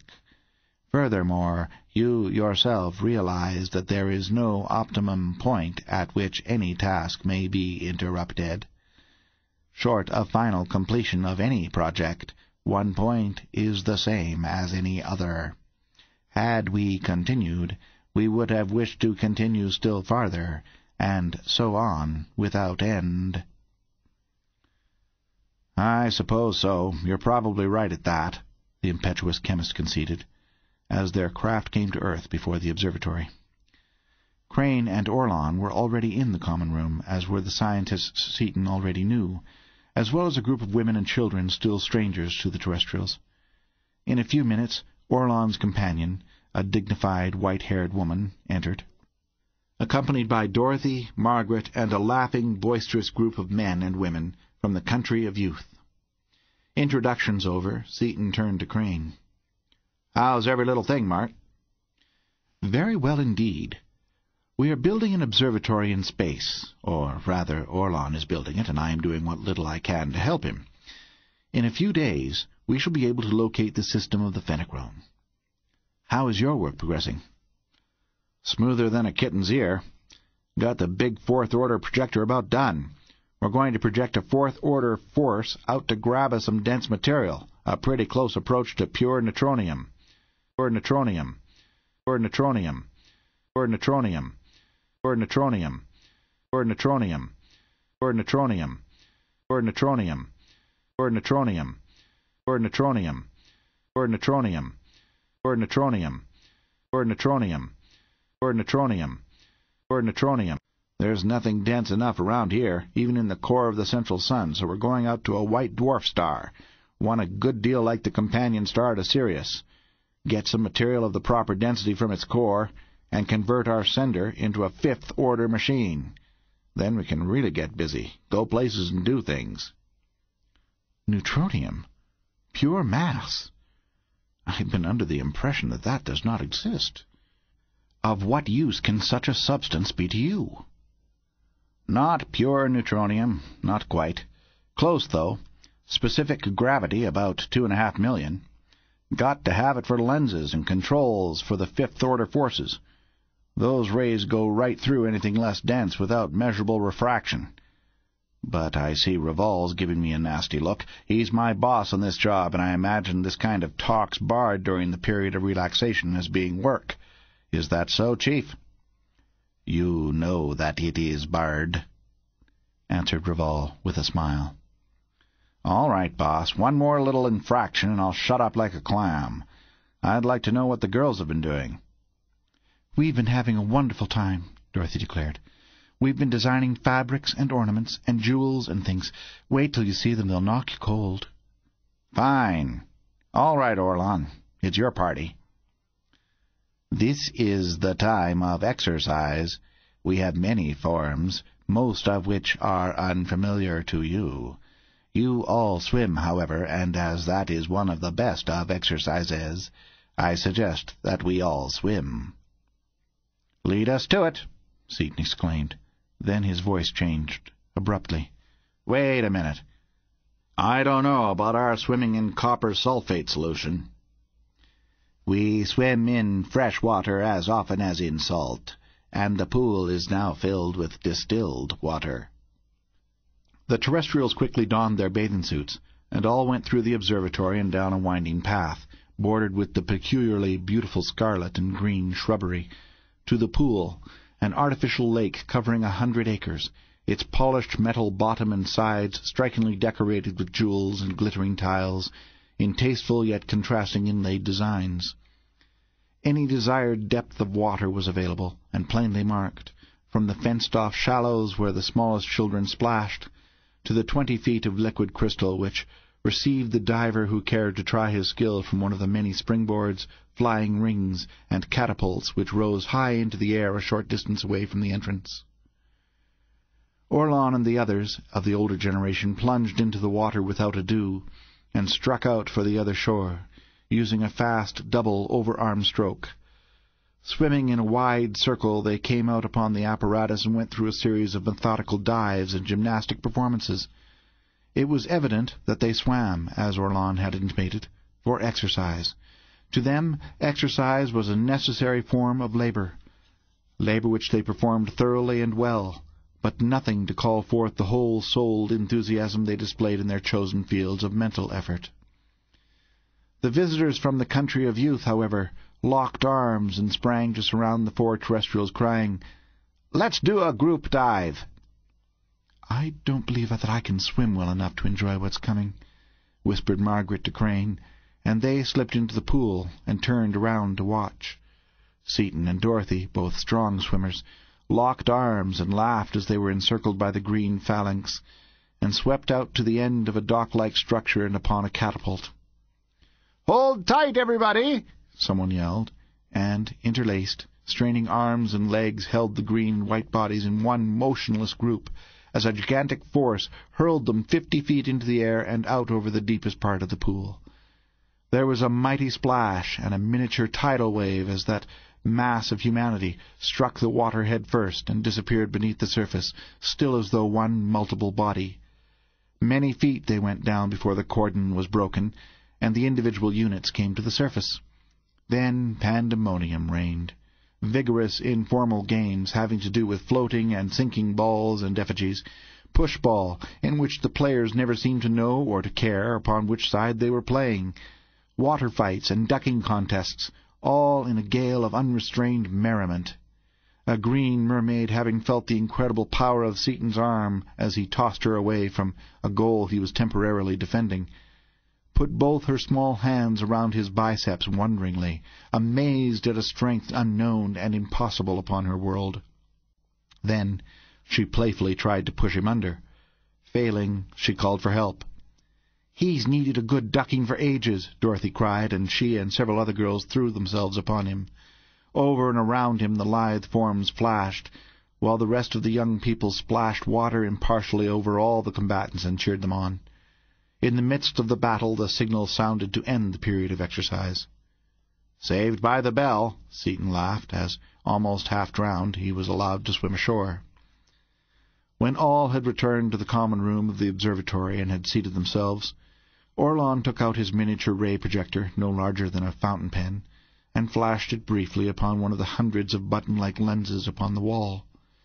Instantly each chair converted itself into a form-fitting divan, inviting complete repose. I believe that you of Earth would perhaps enjoy some of our music during this, the period of relaxation and repose.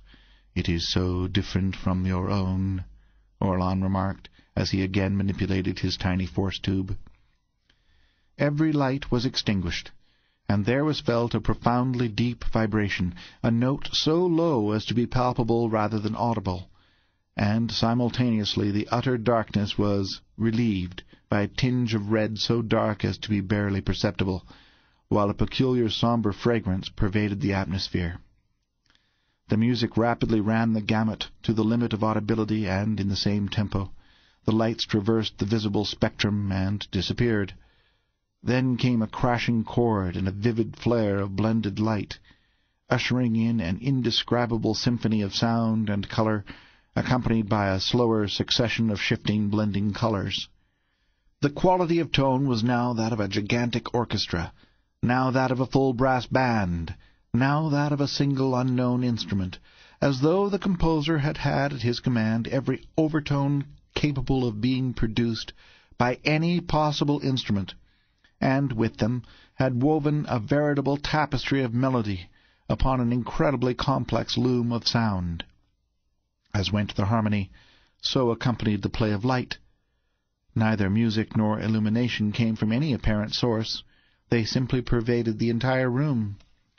When the music was fast, and certain passages were of a rapidity impossible for any human fingers to attain, the lights flashed in vivid tiny pencils, intersecting each other in sharply drawn brilliant figures, which changed with dizzying speed. When the tempo was slow, the beams were soft and broad, blending into each other to form sinuous, indefinite, writhing patterns whose very vagueness was infinitely soothing. "What do you think of it, Mrs. Seaton?" Orlon asked when the symphony was ended. "Marvellous!" breathed Dorothy, awed. "I never imagined anything like it. I can't begin to tell you how much I like it. I never dreamed of such absolute perfection of execution, and the way the lighting accompanies the theme is just too perfectly wonderful for words. It was wonderfully, incredibly brilliant." "Brilliant, yes. Perfectly executed, yes. But I notice that you say nothing of depth, or feeling, or of emotional appeal. Dorothy blushed uncomfortably and started to say something, but Orlon silenced her and continued. You need not apologize. I had a reason for speaking as I did, for in you I recognize a real musician, and our music is indeed entirely soulless. That is the result of our ancient civilization. We are so old that our music is purely intellectual, entirely mechanical, instead of emotional. It is perfect, but, like most of our other arts, it is almost completely without feeling. But your statues are wonderful. As I told you, those statues were made myriads of years ago. At that time we also had real music, but unlike statuary, music at that time could not be preserved for posterity. That is another thing you have given us. Attend. At one end of the room, as upon a three-dimensional screen, the four terrestrials saw themselves seated in the control room of the Skylark. They saw and heard Margaret take up her guitar and strike four sonorous chords in A. Then, as if they had been there in person, they heard themselves sing the Bullfrog and all the other songs they had sung far off in space. They heard Margaret suggest that Dorothy play some real music, and heard Seaton's comments upon the quartet. "In that, youngster, you were entirely wrong," said Orlon, stopping the reproduction for a moment. "The entire planet was listening to you very attentively. We were enjoying it as no music has been enjoyed for thousands of years." "The whole planet!" gasped Margaret. Were you broadcasting it? How could you? Easy, grinned Seaton. They can do practically anything. When you have time, in some period of labor, we would appreciate it very much if you four would sing for us again, would give us more of your vast store of youthful music, for we can now preserve it exactly as it is sung. But much as we enjoyed the quartet, Mrs. Seaton, it was your work upon the violin that took us by storm. Beginning with tomorrow, my companion intends to have you spend as many periods as you will playing for our records. We shall now have your music. If you like it so well, wouldn't you rather I'd play you something I hadn't played before? That is labor we could not... Piffle! Dorothy interrupted. Don't you see that I could really play right now to somebody who really enjoys music, whereas if I tried to play in front of a recorder I'd be perfectly mechanical? a girl, Doc. I'll get your fiddle. Keep your seat, son, instructed Orlon, as the case containing the Stradivarius appeared before Dorothy, borne by a pencil of force. While that temperament is incomprehensible to one of us, it is undoubtedly true that the artistic mind does operate in that manner. We listen. Dorothy swept into the Melody in F, and as the poignantly beautiful strains poured forth from that wonderful violin she knew that she had her audience with her. Though so intellectual that they themselves were incapable of producing real music of depth and feeling, they could understand and could enjoy such music with an appreciation impossible to a people of lesser mental attainments. And their profound enjoyment of her playing burned into her mind by the telepathic, almost hypnotic power of the Norlaminian mentality, raised her to heights she had never before attained.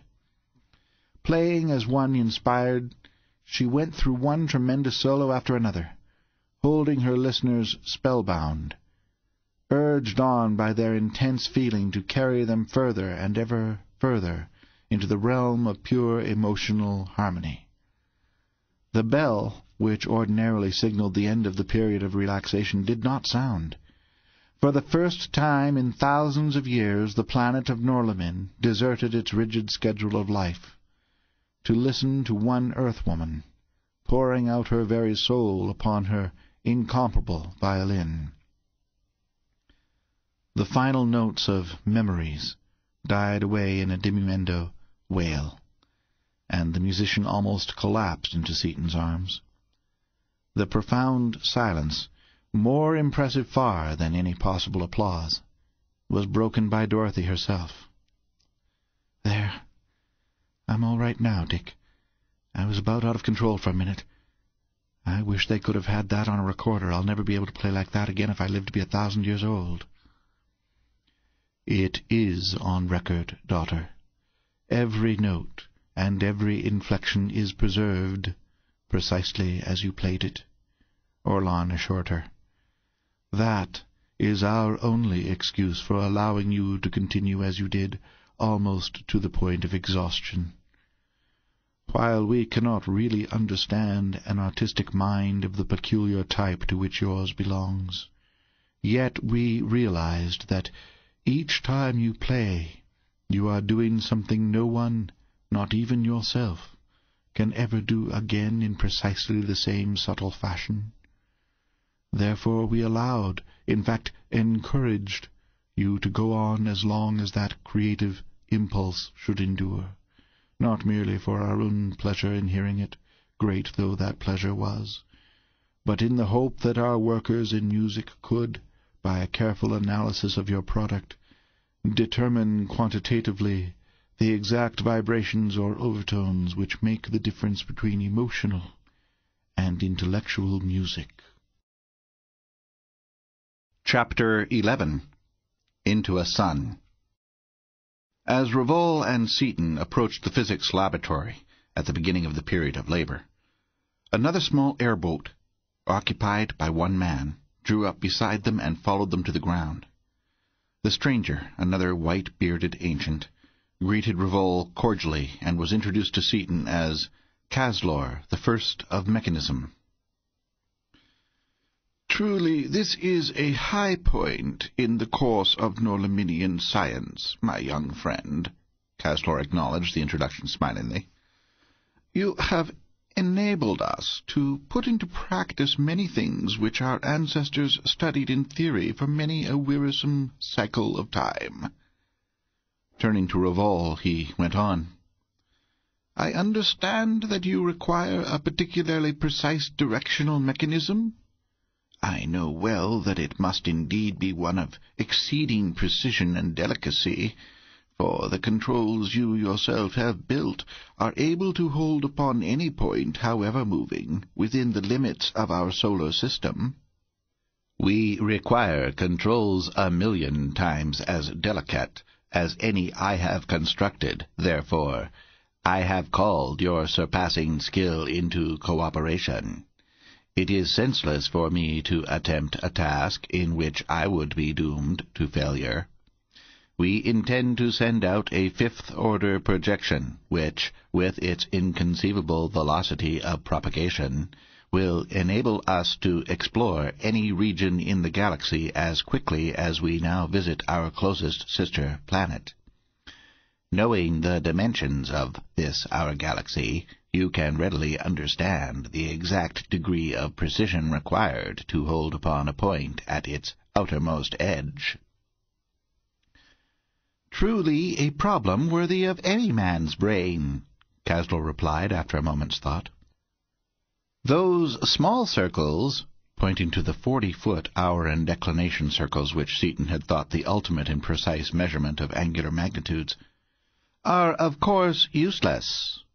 I shall have to construct large and accurate circles, and in order to produce the slow and fast motions of the required nature without creep, slip, play, or backlash, I shall require a pure torque, capable of being increased by infinitesimal increments.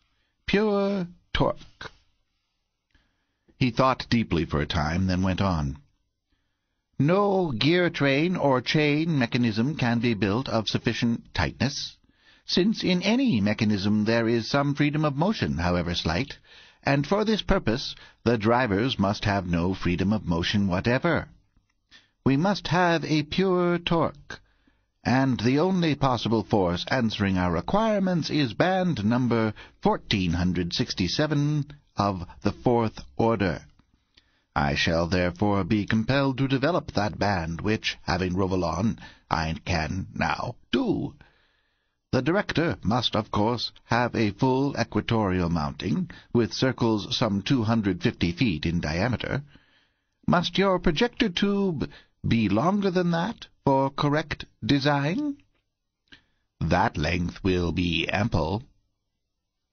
The mounting must be capable of rotation through the full circle of arc in either plane, and must be driven in precisely the motion required to neutralize the motion of our planet, which, as you know, is somewhat irregular. Additional fast and slow motions must of course be provided to rotate the mechanism upon each graduated circle at the will of the operator. It is my idea to make the outer supporting tube quite large, so that you will have full freedom with your inner or projector tube proper. It seems to me that dimensions X37, B42, J867 would perhaps be as good as any. Perfectly satisfactory. You have the apparatus well in mind. These things will consume some time. How soon will you require this mechanism? We also have much to do. Two periods of labor, let us say, or, if you require them, three. It is well. Two periods will be ample time.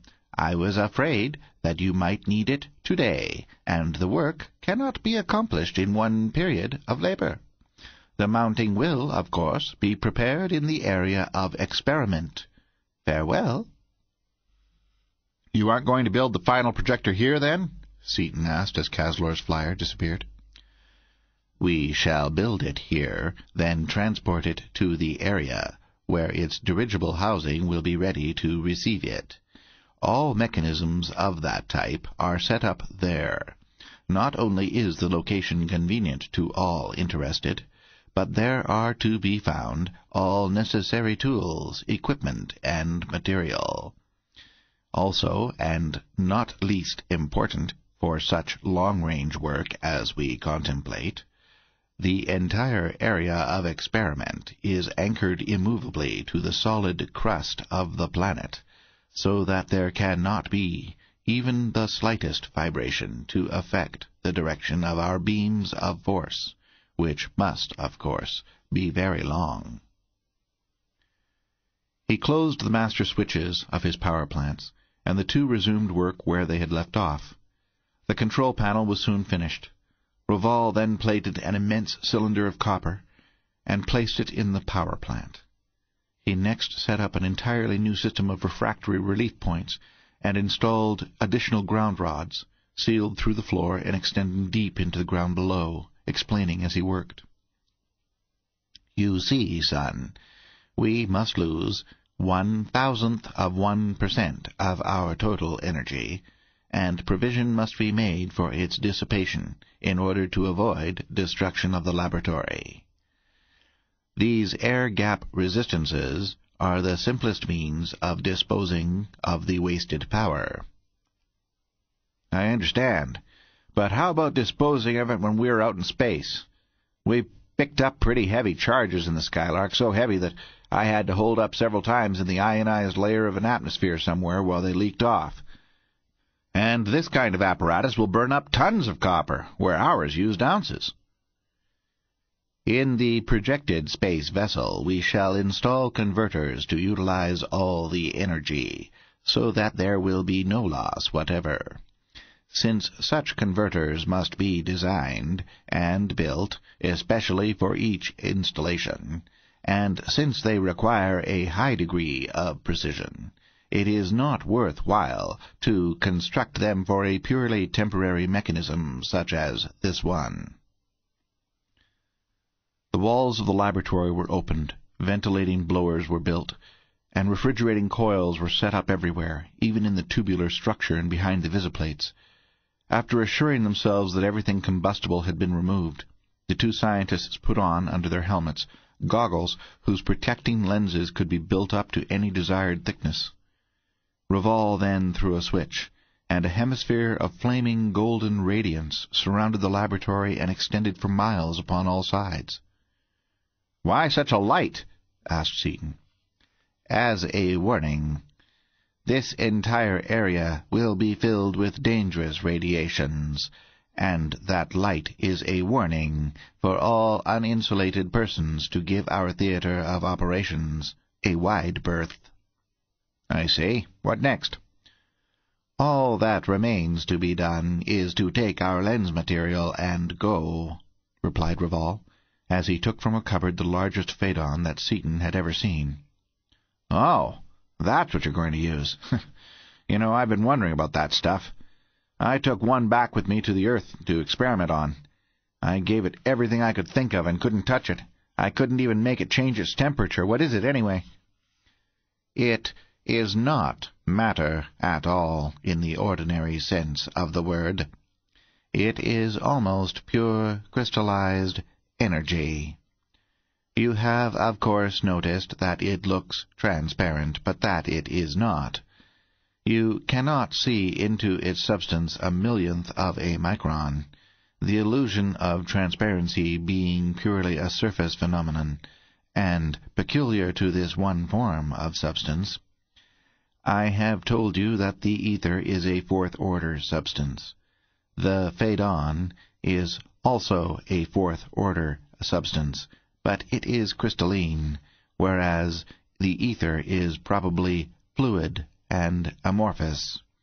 You might call this phaedon crystallized ether without being too wrong. But it should weigh tons, and it's hardly heavier than air. Or no, wait a minute. Gravitation is also a fourth-order phenomenon, so it might not weigh anything at all, but it would have terrific mass. Or would it, not having protons? Crystallized ether would displace fluid ether, so it might. I'll give up. It's too deep for me.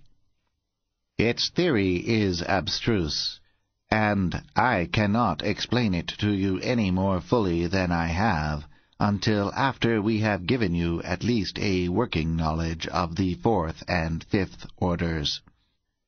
Pure fourth-order material would be without weight and without mass, but these crystals, as they are found, are not absolutely pure. In crystallizing from the magma, they entrapped sufficient numbers of particles of other orders to give them the characteristics which you have observed. The impurities, however, are not sufficient in quantity to offer any point of attack to ordinary reagents. But how could such material possibly be formed? It can be formed only in some gigantic cosmic body as this, our green system, formed incalculable ages ago, when all the mass comprising it existed as one colossal sun. Picture for yourself the condition in the center of that sun. It has attained the theoretical maximum of temperature, some seventy million of your centigrade degrees. The electrons have been stripped from the protons until the entire central core is one solid ball of neutronium, and can be compressed no more without destruction of the protons themselves.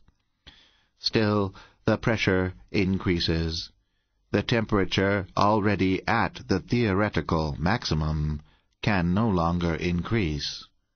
What happens? Disruption? Precisely.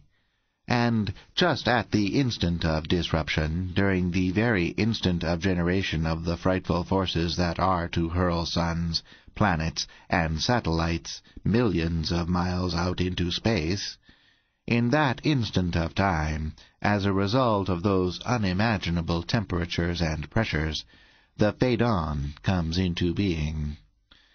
It can be formed only by the absolute maximum of temperature, and at a pressure which can exist only momentarily, even in the largest conceivable masses. Then how can you make a lens of it? It must be impossible to work it in any way. It cannot be worked in any ordinary way, but we shall take this crystal into the depths of that white dwarf star, into a region in which obtain pressures and temperatures only less than those giving it birth. There we shall play upon it forces which, under those conditions, will be able to work it quite readily. Mm-hmm. That I want to see. Let's go. They seated themselves at the panels, and Rovol began to manipulate keys, levers, and dials. Instantly a complex structure of visible force, rods, beams, and flat areas of flaming scarlet energy appeared at the end of the tubular, telescope-like network. Why red? Merely to render them visible.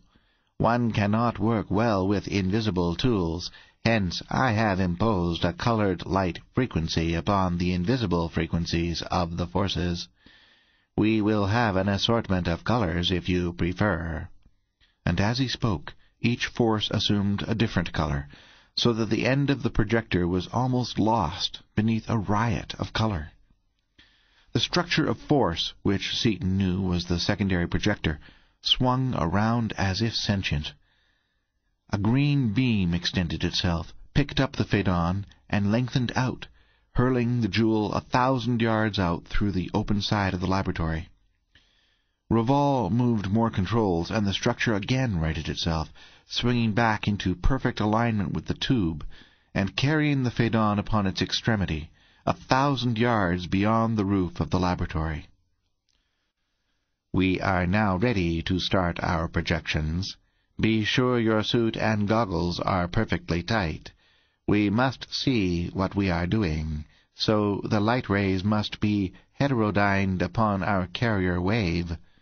Therefore the laboratory and all its neighborhood will be flooded with dangerous frequencies from the sun we are to visit, as well as with those from our own generators.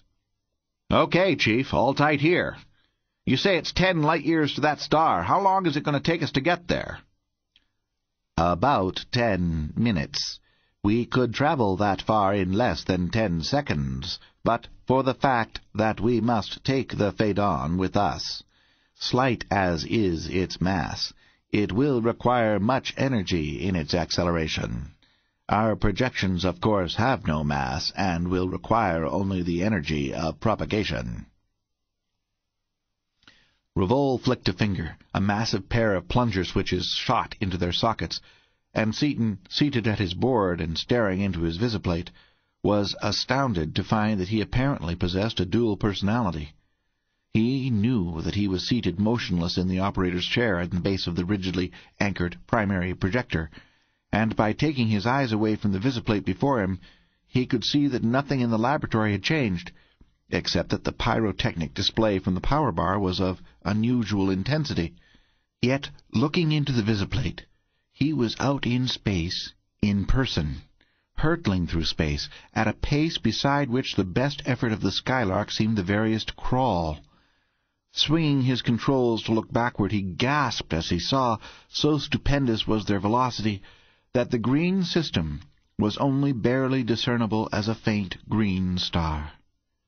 Again looking forward, it seemed as though a fierce white star had now become separated from the immovable firmament, and was so close to the structure of force in which he was riding that it was already showing a disk perceptible to the unaided eye. A few moments more, and the violet-white splendor became so intense that the watchers began to build up, layer by layer, the protective goggles before their eyes. As they approached still closer, falling with their unthinkable velocity into that incandescent inferno, a sight was revealed to their eyes such as man had never before been privileged to gaze upon. They were falling upon a white dwarf star could see everything visible during such an unheard-of journey, and would live to remember what they had seen. They saw the magnificent spectacle of solar prominences shooting hundreds of thousands of miles into space, and directly in their path they saw an immense sunspot, a combined volcanic eruption and cyclonic storm, in a gaseous liquid medium of blinding incandescence. Better dodge that spot, hadn't we, Rovol? Mightn't it be generating interfering fourth-order frequencies? It is undoubtedly generating fourth-order rays, but nothing can interfere with us, since we are controlling every component of our beam from Norlamin. Seaton gripped his handrail violently and involuntarily drew himself together into the smallest possible compass, as, with their awful speed unchecked, they plunged through that flaming incandescent photosphere and on, straight down, into the unexplored, unimaginable interior of that frightful mass.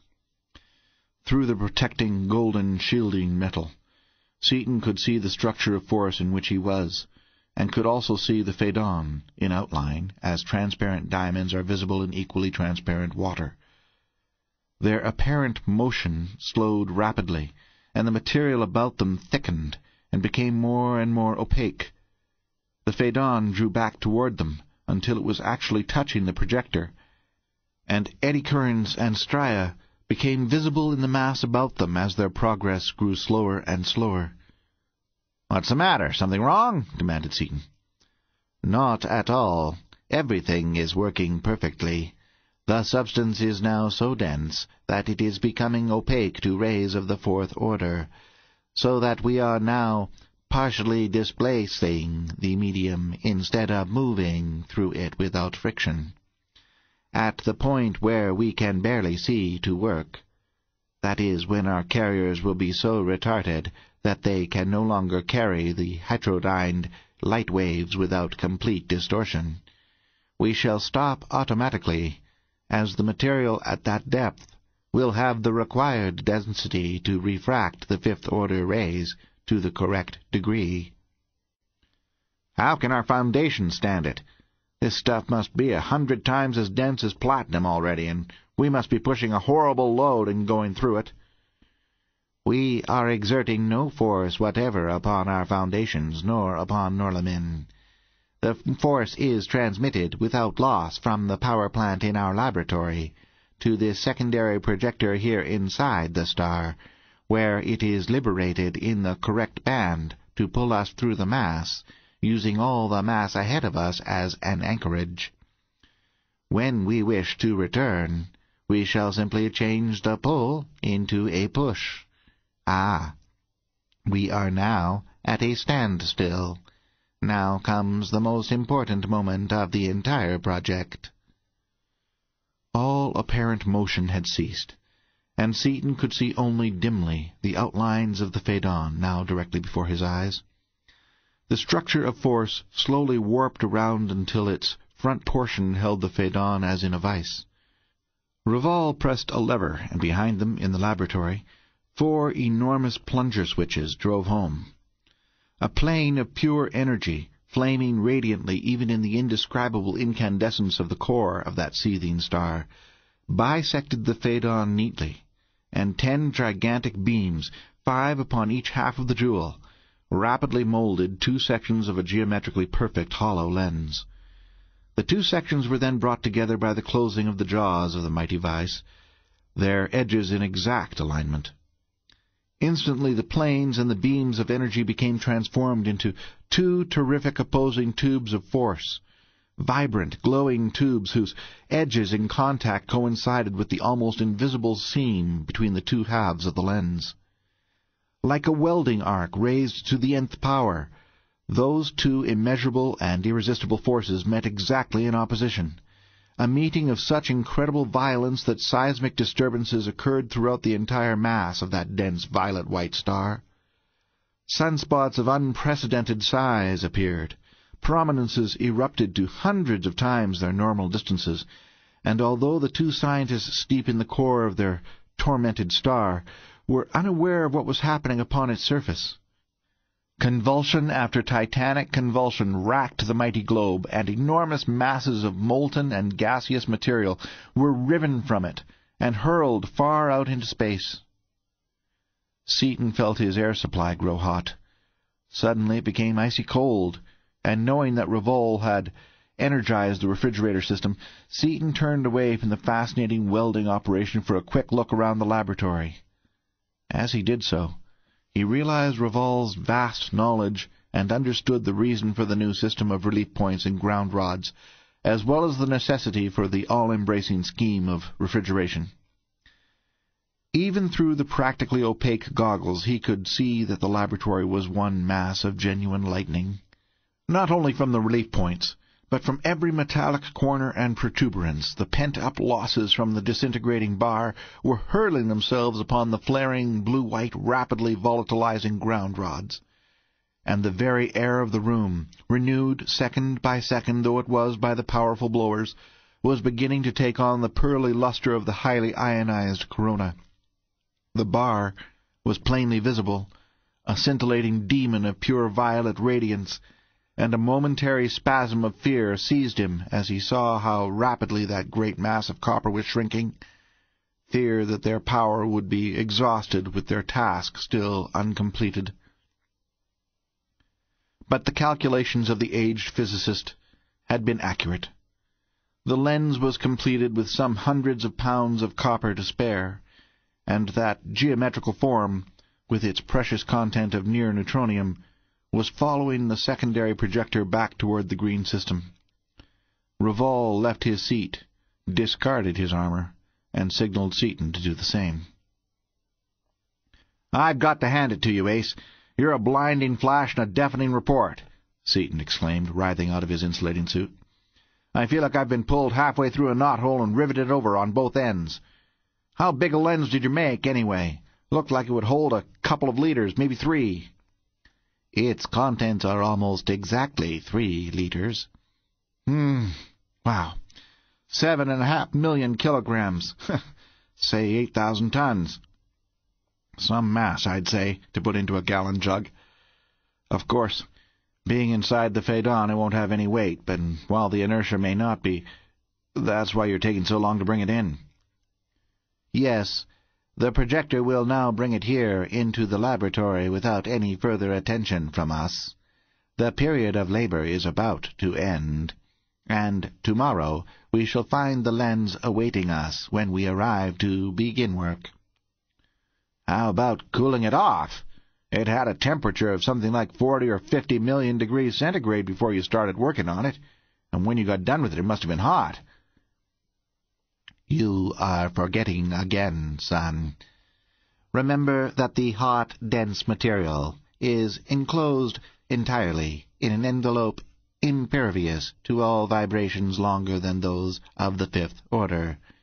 You could put your hand upon it now without receiving any sensation either of heat or of cold.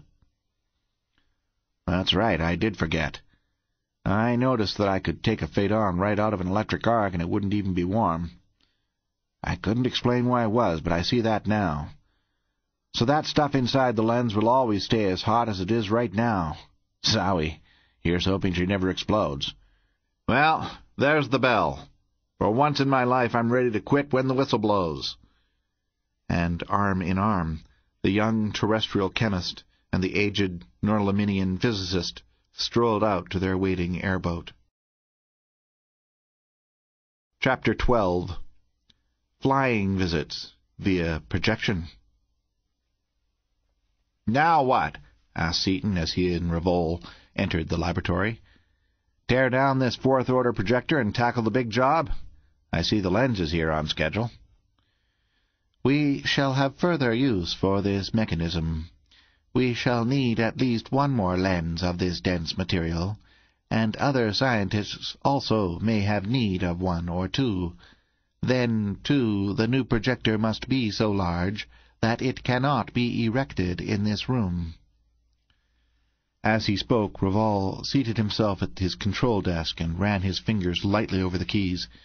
The entire wall of the laboratory disappeared. Hundreds of beams of force darted here and there, seizing and working raw materials, and in the portal there grew up, to Seaton's amazement, a keyboard and panel installation such as the Earthman in his wildest moments had never imagined.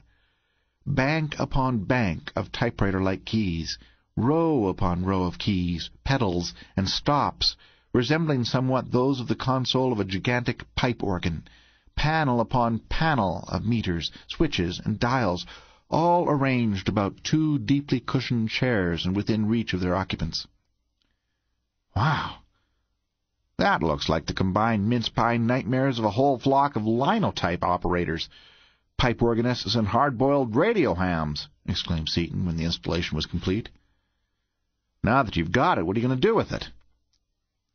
There is not a control system upon Norlamin adequate for the task we face, since the problem of the projection of rays of the fifth order has heretofore been of only academic interest. Therefore it will become necessary to construct such a control. This mechanism will, I am confident, have a sufficiently wide range of application to perform any operation we shall require of it. It looked as though it could do anything, provided the man behind it knows how to play a tune on it. But if that rumble seat is for me, you'd better count me out. I followed you for about fifteen seconds and lost you completely. That is, of course, true, and is a point I was careless enough to overlook. Rovol thought for a moment, and then got up, crossed the room to his control desk, and continued. We shall dismantle the machine, and rebuild it at once. Oh, no, too much work, protested Seaton. You've got it about done, haven't you? It is hardly started. Two hundred thousand bands of force must be linked to it, each in its proper place, and it is necessary that you should understand thoroughly every detail of this entire projector. Why? I'm not ashamed to admit that I haven't got brains enough to understand a thing like that. You have sufficient brain capacity. It is merely undeveloped. There are two reasons why you must be as familiar with this mechanism as you are with the controls of your own Skylark. The first is that a similar control is to be installed in your new space vessel, since by its use you can attain a perfection of handling impossible by any other system. The second and more important reason is that neither I nor any other man of Norlamin could compel himself by any force of will to direct a ray that would take away the life of any fellow man. While Rovol was speaking, he had reversed his process, and soon the component parts of the new control had been disassembled and piled in orderly array around the room. Uh-huh. Never thought of that. It's right, too, mused Seaton.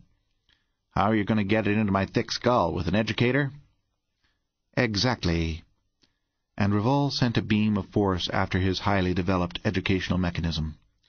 Dials and electrodes were adjusted, Connections were established, and the beams and pencils of force began to reconstruct the great central controlling device. But this time, instead of being merely a bewildered spectator, Seaton was an active participant in the work. As each key and meter was wrought and mounted, there were indelibly impressed upon his brain the exact reason for and function of the part, and later, when the control itself was finished and the seemingly interminable task of connecting it up to the output force bands of the transformers had begun. He had a complete understanding of everything with which he was working, and understood all the means by which the ends he had so long desired were to be attained. For to the ancient scientist, the tasks he was then performing were the merest routine, to be performed in reflex fashion, and he devoted most of his attention to transferring from his own brain to that of his young assistant all of his stupendous knowledge which the smaller brain of the terrestrial was capable of absorbing. More and more rapidly as the work progressed, the mighty flood of knowledge poured into Seaton's mind. After an hour or so, when enough connections had been made so that automatic forces could be so directed as to finish the job, Rovol and Seaton left the laboratory and went into the living room. As they walked, the educator accompanied them, borne upon a beam of force. Your brain is behaving very nicely indeed. Much better than I would have thought possible from its size. In fact, it may be possible for me to transfer to you all the knowledge I have which might be of use to you. That is why I took you away from the laboratory. What do you think of the idea?' Our psychologists have always maintained that none of us ever uses more than a minute fraction of the actual capacity of his brain, Seaton replied after a moment's thought.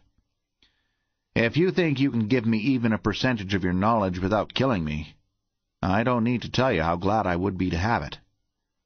Knowing that you would be, I have already requested Drasnik, the first of psychology, to come here, and he has just arrived, answered Rovol and as he spoke, that personage entered the room.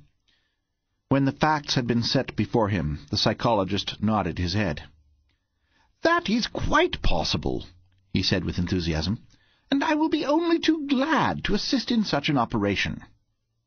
"But listen," protested Seaton. "You'll probably change my whole personality. Rovol's brain is three times the size of mine."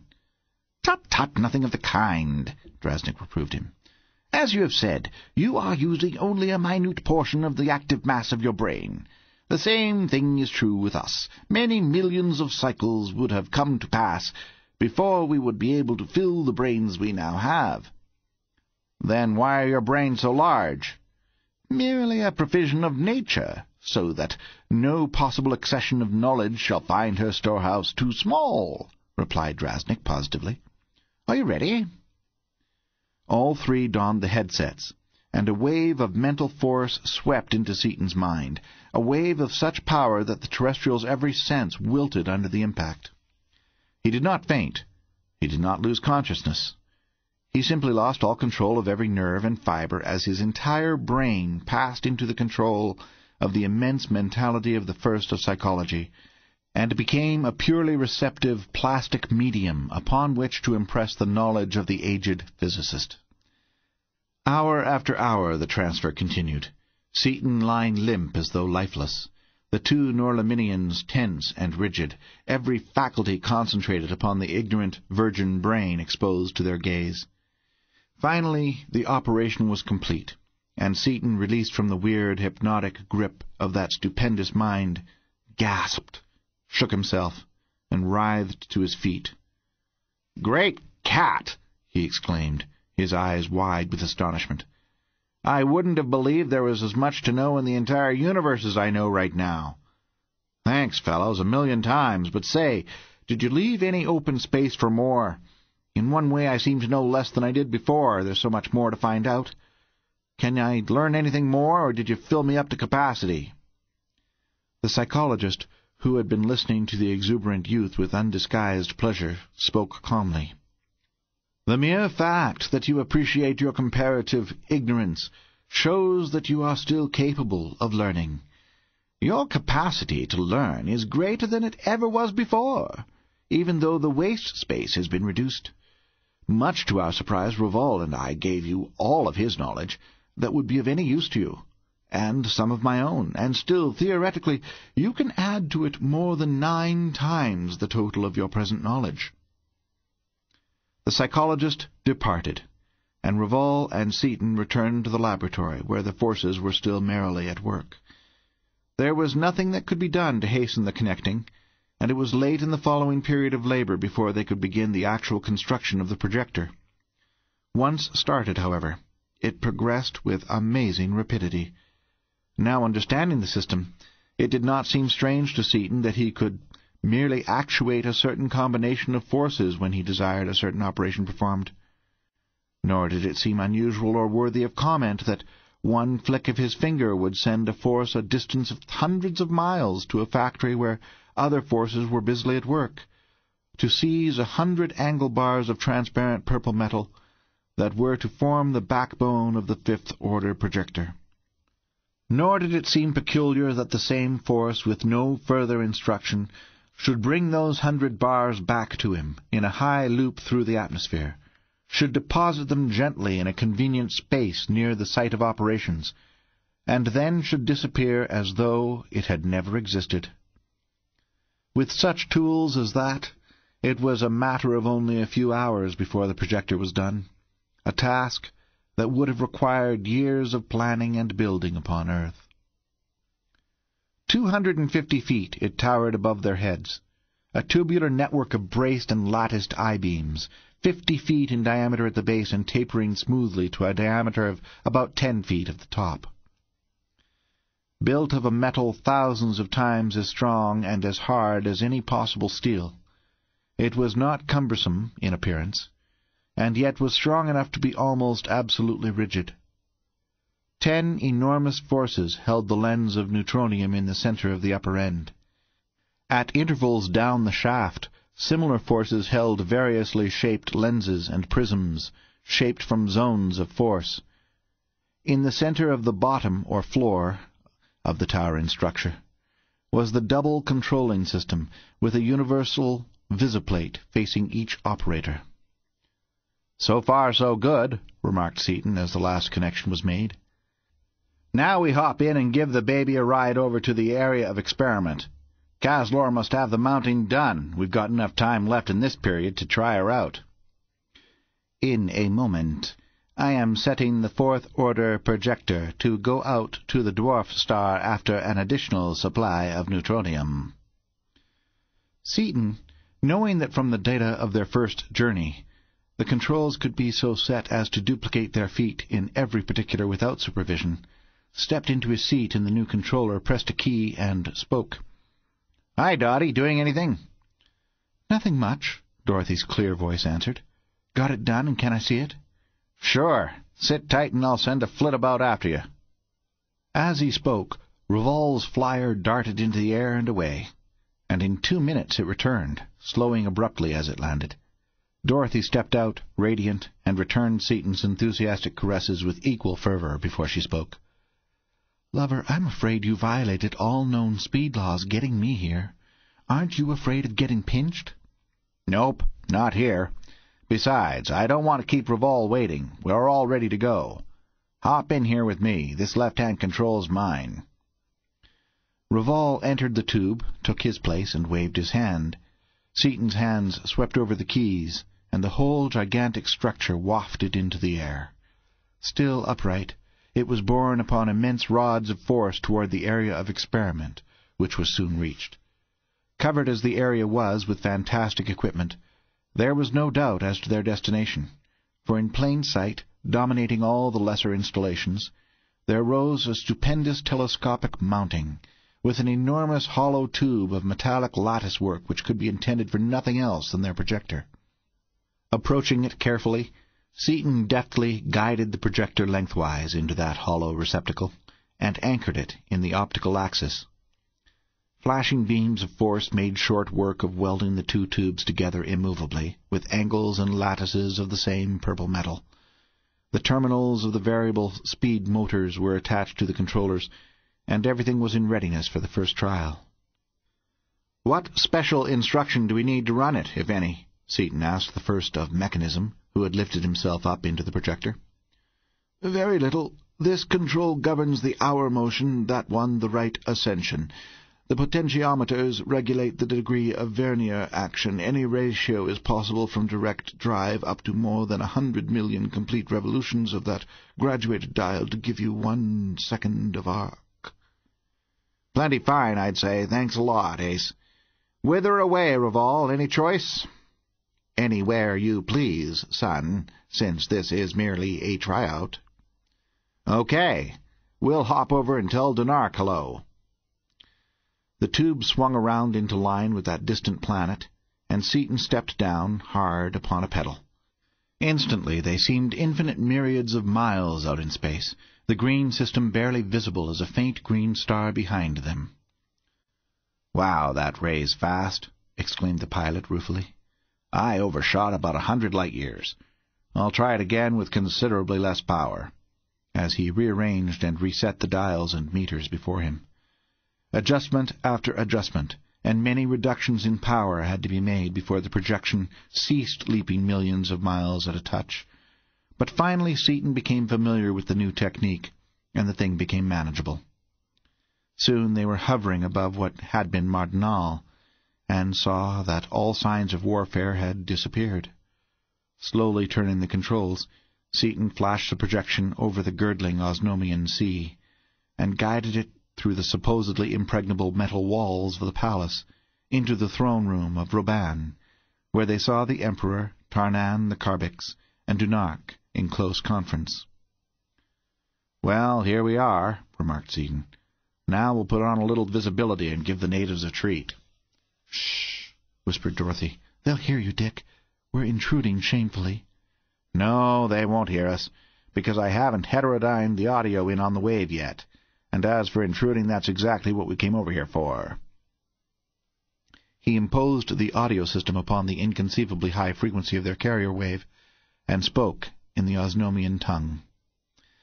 "Greetings, Roban, Dunark, and Tarnan, from Seaton." All three jumped to their feet, amazed, staring about the empty room, as Seaton went on. "I am not here in person. I am simply sending you my projection. Just a moment, and I'll put on a little visibility." He brought more forces into play, and solid images of force appeared in the great hall, images of the three occupants of the controller.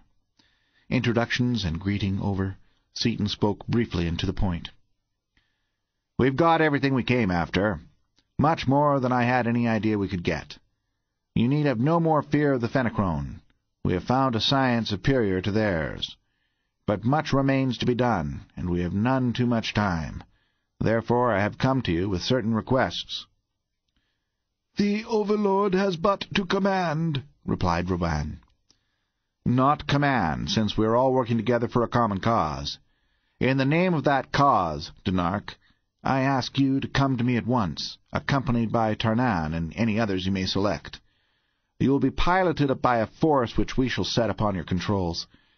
Upon your way here, you will visit the first city of Dasor, another planet, where you will pick up Sacner Carfon, who will be awaiting you there. As you direct, so shall it be and Seaton flashed the projector to the neighboring planet of Urvania. There he found that the gigantic space cruiser he had ordered had been completed, and requested Urvan and his commander-in-chief to tow it to Norlamin. He then jumped to Dasor, there interviewing Carfon, and being assured of the full cooperation of the Porpoise men. "Well, that's that, folks," said Seaton as he shut off the power. We can't do much more for a few days until they get here for the Council of War. How would it be, Rovol, for me to practice with this outfit while you are finishing up the odds and ends you want to clean up? You might suggest to Orlon, too, that it would be a good idea for him to pilot our visitors over here. As Rovol wafted himself to the ground from their lofty station, Crane and Margaret appeared, and were lifted up to the place formerly occupied by the physicist. "How's tricks, Mart?" I hear you're quite an astronomer. Yes, thanks to Orlon and the First of Psychology.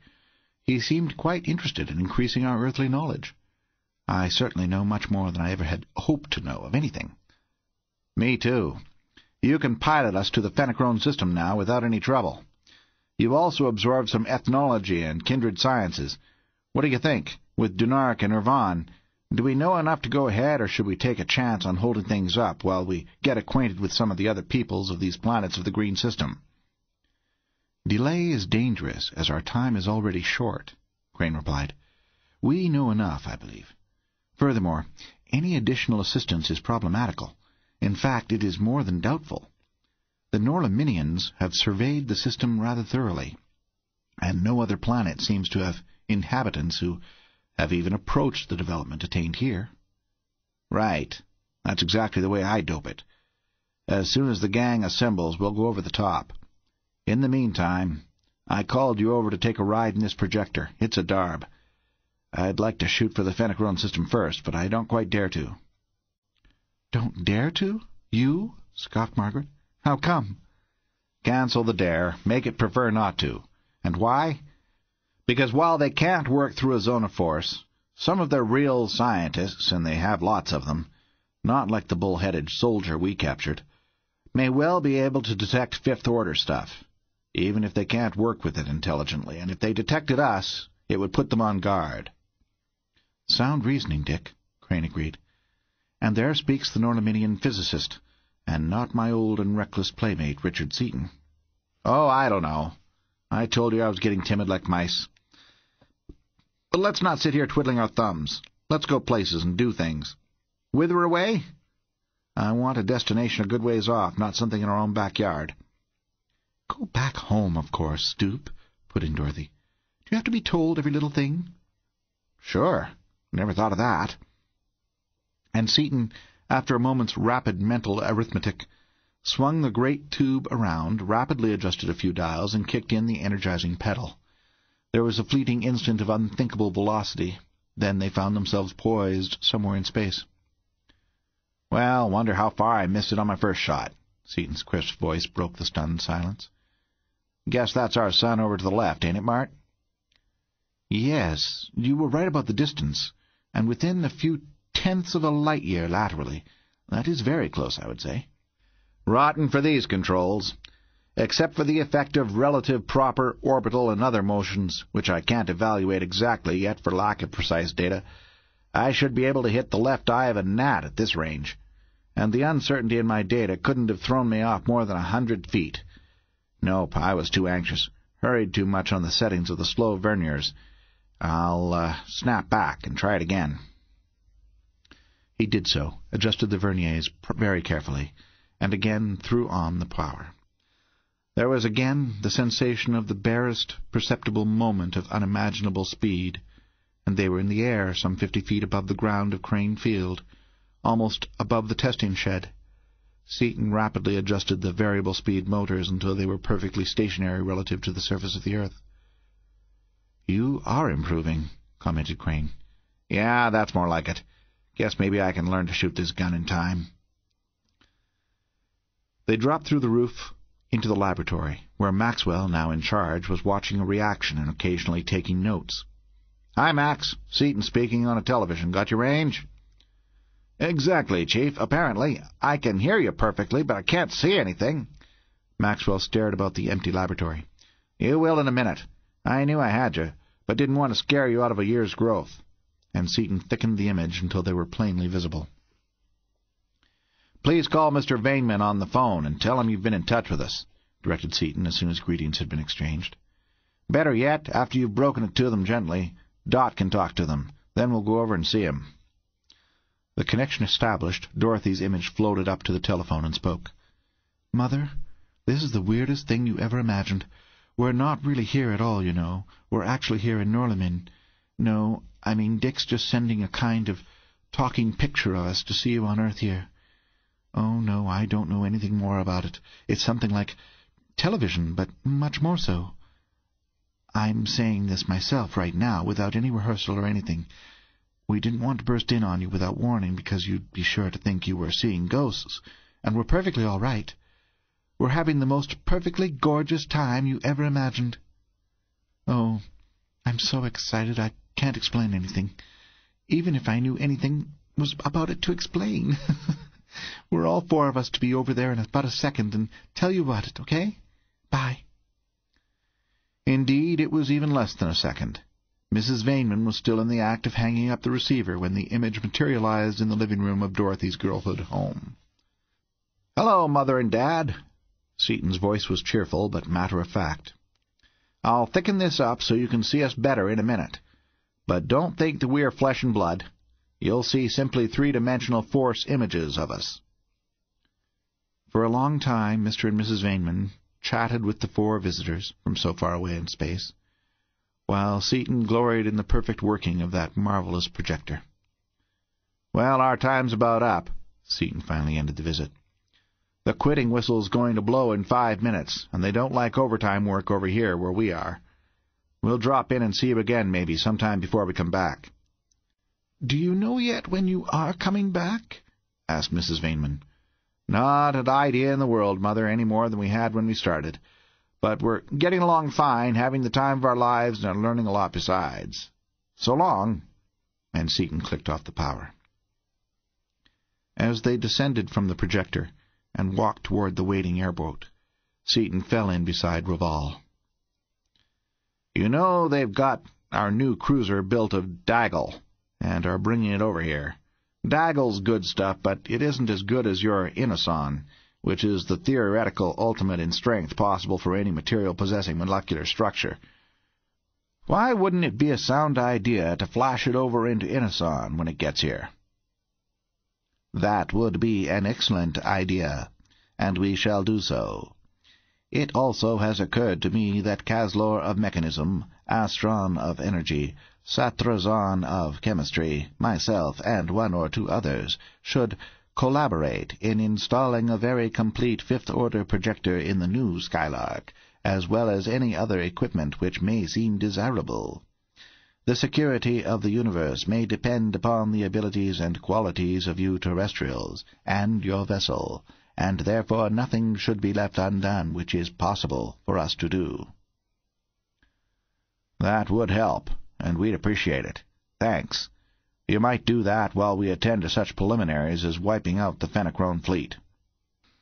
In due time, the reinforcements from the other planets arrived, and the mammoth space cruiser attracted attention even before it was landed. So enormous was she in comparison with the tiny vessels having her in tow. Resting upon the ground, it seemed absurd that such a structure could possibly move under her own power. For two miles that enormous mass of metal extended over the countryside, and while it was very narrow for its length, still its fifteen hundred feet of diameter dwarfed everything nearby. But Rovol and his aged co-workers smiled happily as they saw it, erected their keyboards, and set to work with a will. Meanwhile, a group had gathered about a conference table, a group such as had never before been seen together upon any world. There was Fodan, the ancient chief of the Five of Norlamin, huge-headed, with his leonine mane and flowing beard of white. There were Dunark and Tarnan of Osnome, and Urvan of Urvania, smooth-faced and keen, utterly implacable and ruthless in war. There was Sacner Carfon, 2346, the immense, porpoise-like, hairless Dasorian. There were Seaton and Crane, representatives of our own earthly civilization. Seaton opened the meeting by handing each man a headset and running a reel showing the plans of the Fenachrone. Not only as he had secured them from the captain of the marauding vessel, but also everything the First of Psychology had deduced from his own study of that inhuman brain. He then removed the reel and gave them the tentative plans of battle. Headsets removed, he threw the meeting open for discussion, and discussion there was in plenty. Each man had ideas, which were thrown upon the table and studied, for the most part calmly and dispassionately. The conference continued until only one point was left, upon which argument waxed so hot that everyone seemed shouting at once. "Order!" Commanded Seaton, banging his fist upon the table. Osnome and Urvania wish to strike without warning. Norlamin and Dasor insist upon a formal declaration of war. Earth has the deciding vote. Mart, how do we vote on this? I vote for formal warning, for two reasons, one of which I believe will convince even Dunark. First, because it is the fair thing to do, which reason is, of course, the one actuating the Norlaminians, but which would not be considered by Osnome, nor even remotely understood by the Fenachrone. Second, I am certain that the Fenachrone will merely be enraged by the warning, and will defy us. Then what will they do? You have already said that you have been able to locate only a few of their exploring warships. As soon as we declare war upon them, they will almost certainly send out torpedoes to every one of their ships of war. We can then trace the torpedoes, and thus will be enabled to find and to destroy their vessels. Vessels. Vessels. Vessels. Vessels. Vessels. Vessels. Vessels. Vessels. Vessels. Vessels. Vessels. Vessels. Vessels.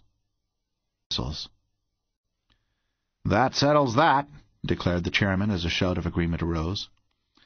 We shall now adjourn to the projector and send the warning.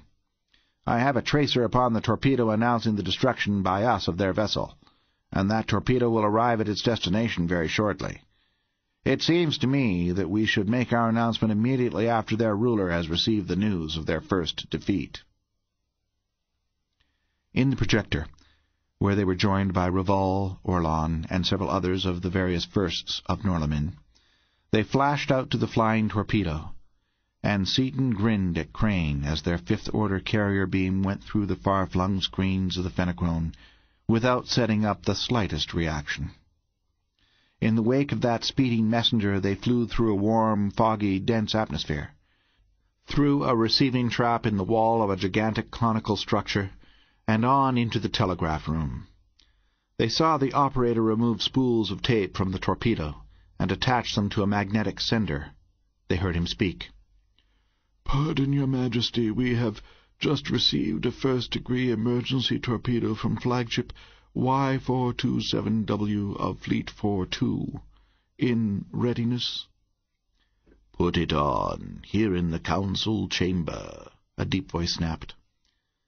If he's broadcasting it, we're in for a spell of hunting, Seaton remarked. Ah, he's putting it on a tight beam. That's fine. We can trace it. And with a narrow detector beam, he traced the invisible transmission beam into the council room. That's funny. This place seems awfully familiar. I swear I'd seen it before, lots of times. Seems like I'd been in it, more than once, Seaton remarked, puzzled, as he looked around the somber room, with its dull, panelled metal walls covered with charts, maps, screens, and speakers, and with its low, massive furniture. Oh, sure. I'm familiar with it from studying the brain of that Fenachrone captain. Well, while his nibs is absorbing the bad news, we'll go over this once more. You, Carfon, having the biggest voice any of us ever heard uttering intelligible language, are to give the speech. You know what to say. When I say go ahead, do your stuff. Now, everybody else, listen. While he's talking, I've got to have audio waves heterodyned both ways in the circuit and they'll be able to hear any noise any of us make. So all of us except Carfon want to keep absolutely quiet, no matter what happens or what we see. As soon as he's done, I'll cut off our audio and say something to let you all know we're off the air. You got it? One point has occurred to me about handling the warning, boomed Carfon. It should be delivered from apparently empty air, directly at those we wish to address. It would give the enemy an insight into our methods, which might be undesirable. Hmm, never thought of that. It sure would, and it would be undesirable. Agreed, Seaton. Let's see. We can get away from that by broadcasting it. They have a very complete system of speakers. But no matter how many private band speakers a man may have, he always has one on the general wave, which is used for very important announcements of wide interest. I'll broadcast you on that wave, so that every general wave speaker on the planet will be energized. That way, it'll look like we're shooting from a distance. You might talk accordingly.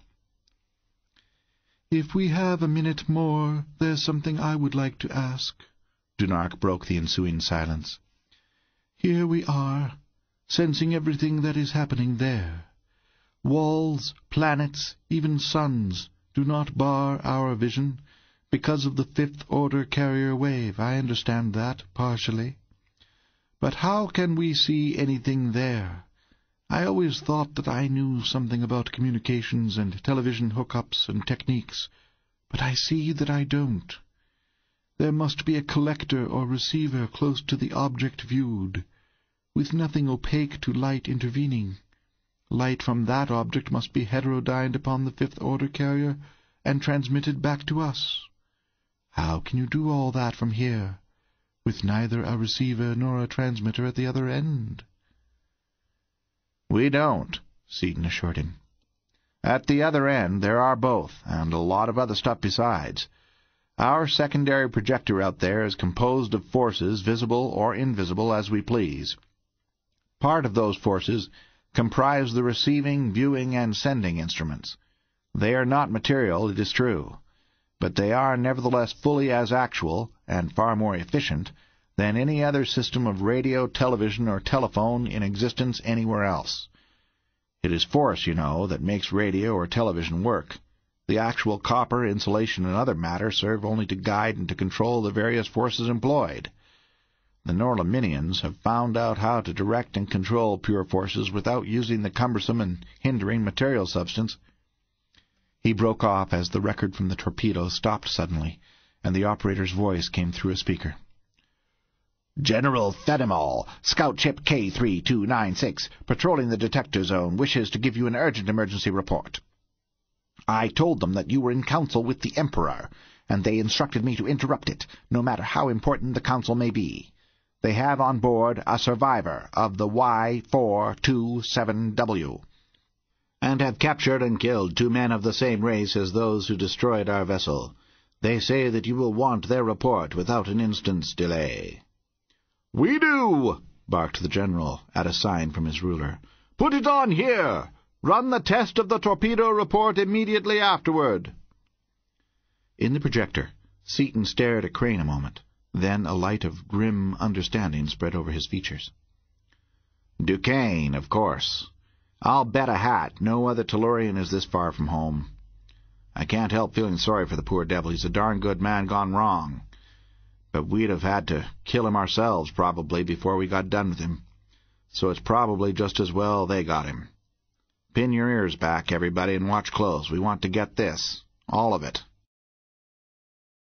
Chapter 13 The Declaration of War The capital city of the Fenachrone lay in a jungle plain surrounded by towering hills. A perfect circle of immense diameter, its buildings of uniform height, of identical design, and constructed of the same dull grey, translucent metal, were arranged in concentric circles, like the annular rings seen upon the stump of a tree.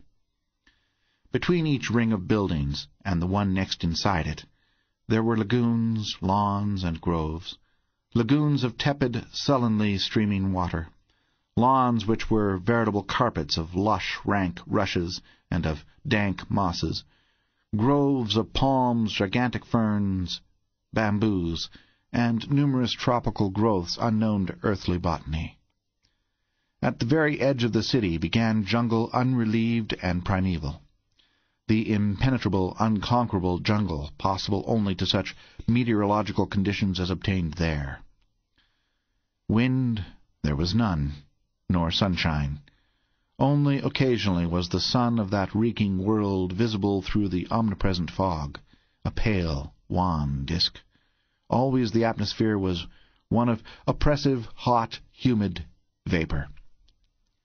In the exact center of the city rose an immense structure, a terraced cone of buildings, as though immense disks of smaller and smaller diameter had been piled one upon the other. In these apartments dwelt the nobility and the high officials of the Fenachrone. In the highest disk of all, invisible always from the surface of the planet because of the all-enshrouding mist, were the apartments of the emperor of that monstrous race. Seated upon low, heavily built metal stools about the great table in the council room were Fenor, emperor of the Fenachrone, Fenimol, his general in command, and the full council of eleven of the planet.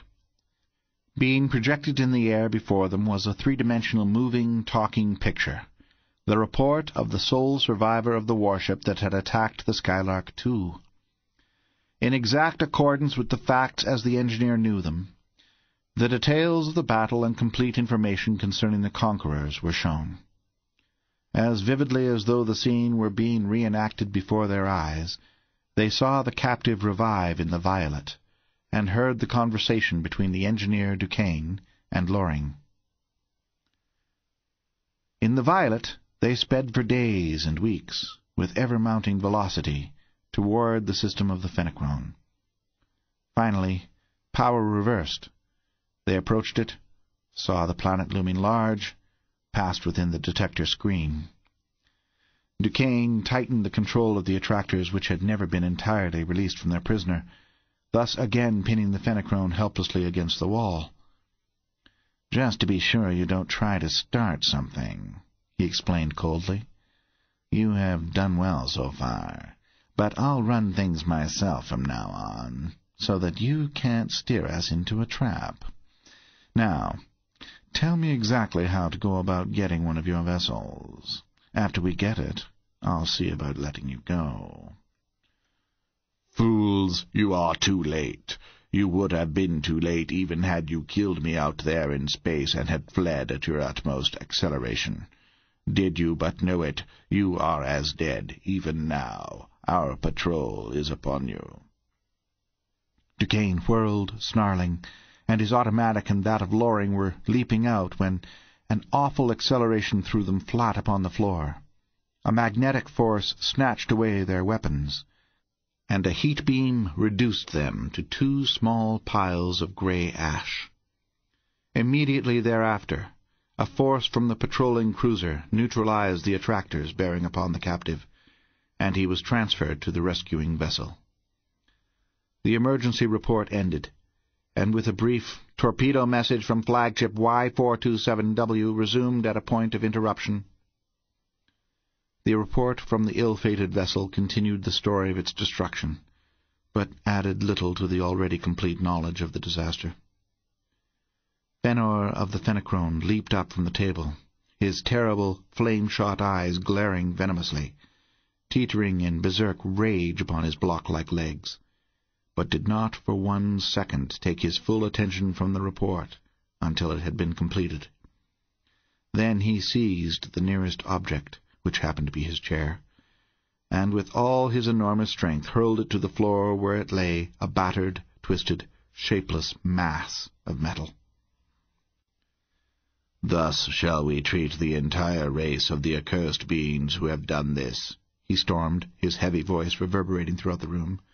Torture, dismemberment, and annihilation to every Fenor of the Fenachrone! A tremendous voice, a full octave lower than Fenor's own terrific bass, and of ear-shattering volume and timbre in that dense atmosphere, boomed from the general wave speaker, its deafening roar drowning out Fenor's raging voice and every other lesser sound.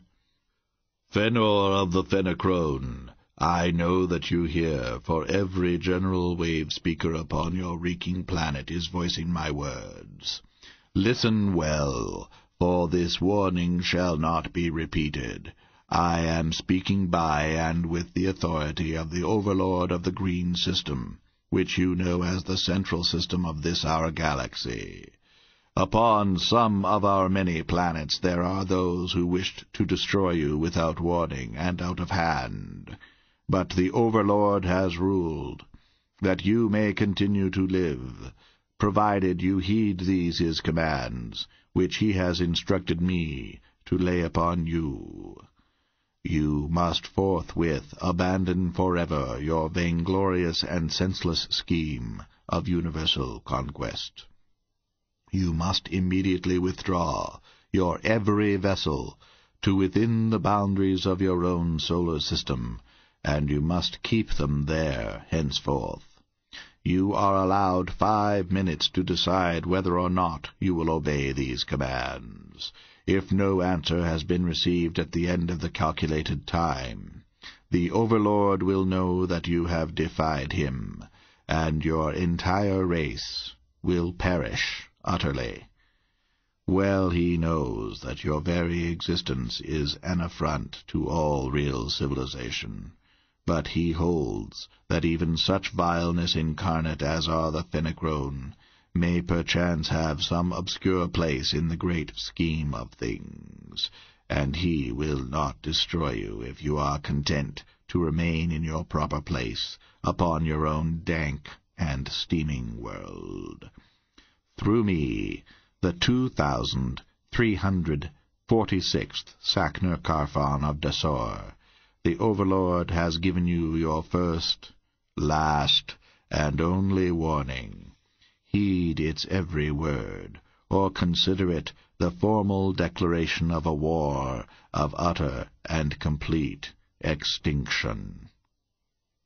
The awful voice ceased, and pandemonium reigned in the council hall. Obeying a common impulse, each Fenachrone leaped to his feet, raised his huge arms aloft, and roared out rage and defiance.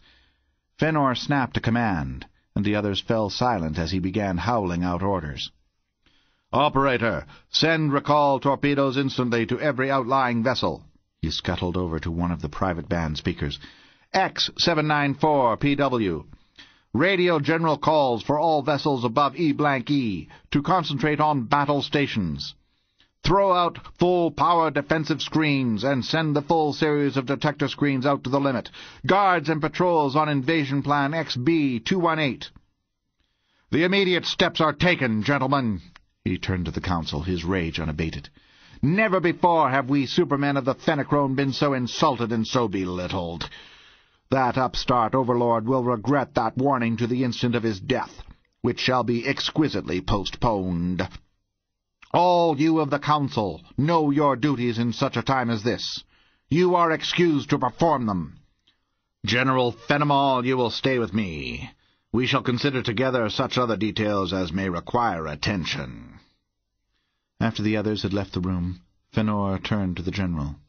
Have you any immediate suggestions?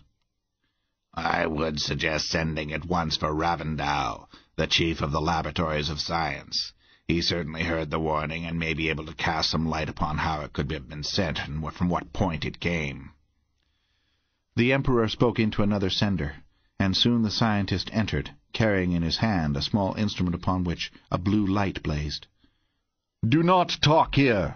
There is a grave danger of being overheard by that self-styled overlord," he directed tersely, and led the way into a ray-proof compartment of his private laboratory several floors below. It may interest you to know that you have sealed the doom of our planet and of all the Fenachrone upon it, Ravindau spoke savagely. Dare you speak thus to me, your sovereign? roared Fenor. I so dare, replied the other coldly. When all the civilization of a planet has been given to destruction by the unreasoning stupidity and insatiable rapacity of its royalty, allegiance to such royalty is at an end. Sit down! he thundered as Fenor sprang to his feet. You are no longer in your throne room, surrounded by servile guards and by automatic devices. You are in my laboratory, and by a movement of my finger I can hurl you into eternity. The general, aware now that the warning was of much more serious import than he had suspected, broke into the acrimonious debate. "Never mind questions of royalty," he snapped. "The safety of the race is paramount. Am I to understand that the situation is really grave?" It is worse than grave, it is desperate. The only hope for even ultimate triumph is for as many of us as possible to flee instantly clear out of this galaxy, in the hope that we may escape the certain destruction to be dealt out to us by the overlord of the green system. You speak folly, surely, returned Fenimol. Our science is, must be, superior to any other in the universe. So thought I until this warning came in and I had an opportunity to study it. Then I knew that we are opposed to a science immeasurably higher than our own. Such vermin as those two whom one of our smallest scouts captured without a battle, vessel and all? In what respects is their science even comparable to ours? Not those vermin, no. The one who calls himself the Overlord, that one is our master. He can penetrate the impenetrable shield of force, and can operate mechanisms of pure force beyond it. He can heterodyne, transmit, and use the infra rays of whose very existence we were in doubt until recently. While that warning was being delivered, he was, in all probability, watching you and listening to you face to face. You, in your ignorance, supposed his warning borne by the ether, and thought, therefore, he must be close to this system. He is very probably at home in the central system, and is at this moment preparing the forces he intends to hurl against us. The Emperor fell back into his seat, all his pomposity gone. But the general stiffened eagerly, and went straight to the point. "'How do you know of these things?' "'Largely by deduction. We of the school of science have cautioned you repeatedly to postpone the day of conquest until we should have mastered the secrets of sub-rays and of infra-rays. Unheeding, you of war have gone ahead with your plans, while we of science have continued to study.' We know little of the sub-rays, which we use every day, and practically nothing of the infra-rays.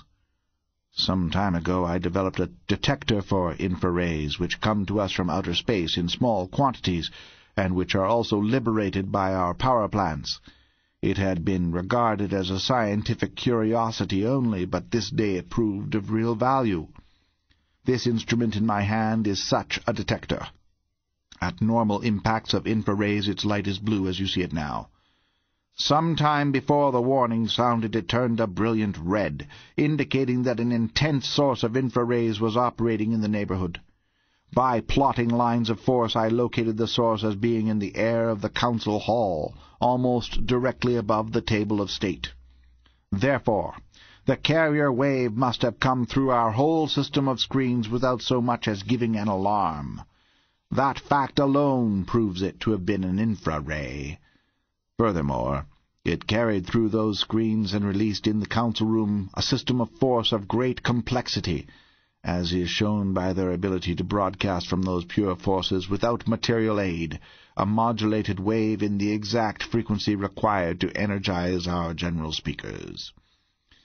As soon as I perceived these facts, I threw about the council room a screen of force entirely impervious to anything longer than infra-rays. The warning continued, and I then knew that our fears were only too well grounded, that there is in this galaxy somewhere a race vastly superior to ours in science, and that our destruction is only a matter of hours, perhaps only of minutes. "'Are these infra-rays, then, of such a dangerous character?' asked the General. "'I had supposed them to be of such infinitely high frequency that they would be of no practical use whatever.' "'I have been trying for years to learn something of their nature, but beyond working out a method for their detection and analysis, I can do nothing with them. It is perfectly evident, however, that they lie below the level of the ether, and therefore have a velocity of propagation infinitely greater than that of light.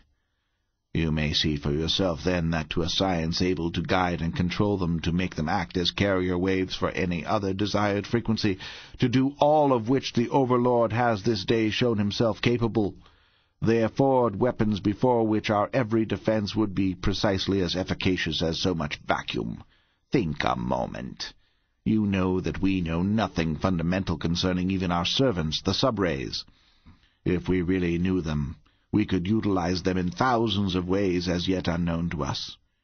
We work with the merest handful of forces, empirically, while it is practically certain that the enemy has at his command the entire spectrum, embracing untold thousands of bands of unknown but terrific potentiality.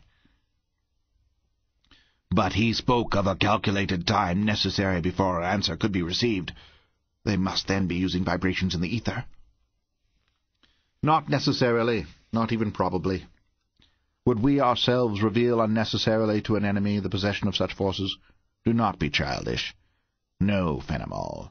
And you, Fenor of the Fenachrone. Instant and headlong flight is our only hope of present salvation and of ultimate triumph flight to a far distant galaxy, since upon no point in this one shall we be safe from the infra-beams of that self-styled overlord. You snivelling coward! You pusillanimous bookworm! Fenor had regained his customary spirit as the scientist explained upon what grounds his fears were based. Upon such a tenuous fabric of evidence would you have such a people as ours turn tail like beaten hounds? Because, forsooth, you detect a peculiar vibration, will you have it, that we are to be invaded and destroyed forthwith by a race of supernatural ability? Bah! Your calamity-howling clan has delayed the day of conquest from year to year. I more than half believe that you yourself or some other treacherous poltroon of your ignominious breed prepared and sent that warning in a weak and rat-brained attempt to frighten us into again postponing the day of conquest. Know now, spineless weakling, that the time is ripe, and that the Fenachrone in their might are about to strike. But you, traducer of your emperor, shall die the death of the cur you are. The hand within his tunic moved, and a vibrator burst into operation. Coward I may be, and pusillanimous, and other things as well, the scientist replied stonily. But unlike you, I am not a fool. These walls, this very atmosphere, are fields of force that will transmit no forces directed by you. You weak-minded scion of a depraved and obscene house, arrogant, overbearing, rapacious, ignorant, your brain is too feeble to realize that you are clutching at the universe hundreds of years before the time has come. You, by your overweening pride and folly, have doomed our beloved planet the most perfect planet in the galaxy in its grateful warmth and wonderful dampness and fogginess, and our entire race to certain destruction. Therefore you, fool and dolt that you are, shall die. Far too long already have you ruled. He flicked a finger, and the body of the monarch shuddered, as though an intolerable current of electricity had traversed it, collapsed, and lay still. It was necessary to destroy this that was our ruler, Ravindau explained to the general. I have long known that you are not in favour of such precipitate action in the conquest. Hence all this talking upon my part. You know that I hold the honour of the Fenachrone dear, and that all my plans are for the ultimate triumph of our race. Yes, and I begin to suspect that those plans have not been made since the warning was received. My plans have been made for many years, and ever since an immediate conquest was decided upon, I have been assembling and organizing the means to put them into effect. I would have left this planet in any event shortly after the departure of the Grand Fleet upon its final expedition. Fenor's senseless defiance of the Overlord has only made it necessary for me to expedite my leave-taking. What do you intend to do? I have a vessel twice as large as the largest warship Fenor boasted, completely provisioned, armed, and powered for a cruise of one hundred years at high acceleration. It is hidden in a remote fastness of the jungle. I am placing in that vessel a group of the finest, brainiest, most highly advanced and intelligent of our men and women with their children. We shall journey at our highest speed to a certain distant galaxy, where we shall seek out a planet similar in atmosphere, temperature, and mass to the one upon which we now dwell. There we shall multiply and continue our studies, and from that planet, on the day when we shall have attained sufficient knowledge, there shall descend upon the central system of this galaxy the vengeance of the Fenachrone. That vengeance will be all the sweeter for the fact that it shall have been delayed. But how about libraries, apparatus, and equipment? Suppose that we do not live long enough to perfect that knowledge, and with only one vessel and a handful of men we could not cope with that accursed overlord and his navies of the void. Libraries are aboard, so are much apparatus and equipment. What we cannot take with us we can build. As for the knowledge I mentioned, it may not be attained in your lifetime or in mine, but the racial memory of the Fenachrone is long, as you know. And even if the necessary problems are not solved until our descendants are sufficiently numerous to populate an entire planet, yet will those descendants wreak the vengeance of the Fenachrone upon the races of that hated one, the Overlord, before they go on with the conquest of the universe. Many problems will arise, of course, but they shall be solved. Enough. Time passes rapidly, and all too long have I talked. I am using this time upon you because in my organization there is no soldier, and the Fenachrone of the future will need your great knowledge of warfare. Are you going with us? Yes. Very well. Ravindau led the general through a door and into an airboat, lying upon the terrace outside the laboratory. Drive us at speed to your home, where we shall pick up your family. Fenimol took the controls and laid a pencil of force to his home, a beam serving a double purpose. It held the vessel upon its predetermined course through that thick and sticky fog, and also rendered collision impossible, since any two of these controllers repelled each other to such a degree that no two vessels could take paths which would bring them together.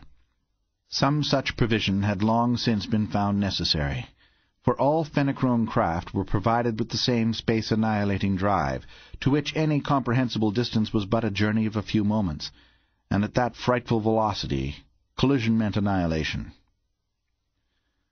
I understand that you could not take one of the military into your confidence until you were ready to put your plans into effect, the general conceded. How long will it take you to get ready to leave? You have said that haste is imperative, and I therefore assume that you have already warned the other members of the expedition.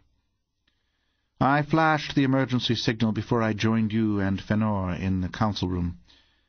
Every man of the organization has received that signal, wherever he may have been, and by this time most of them with their families are on the way to the hidden cruiser. We shall leave this planet in fifteen minutes from now at the most.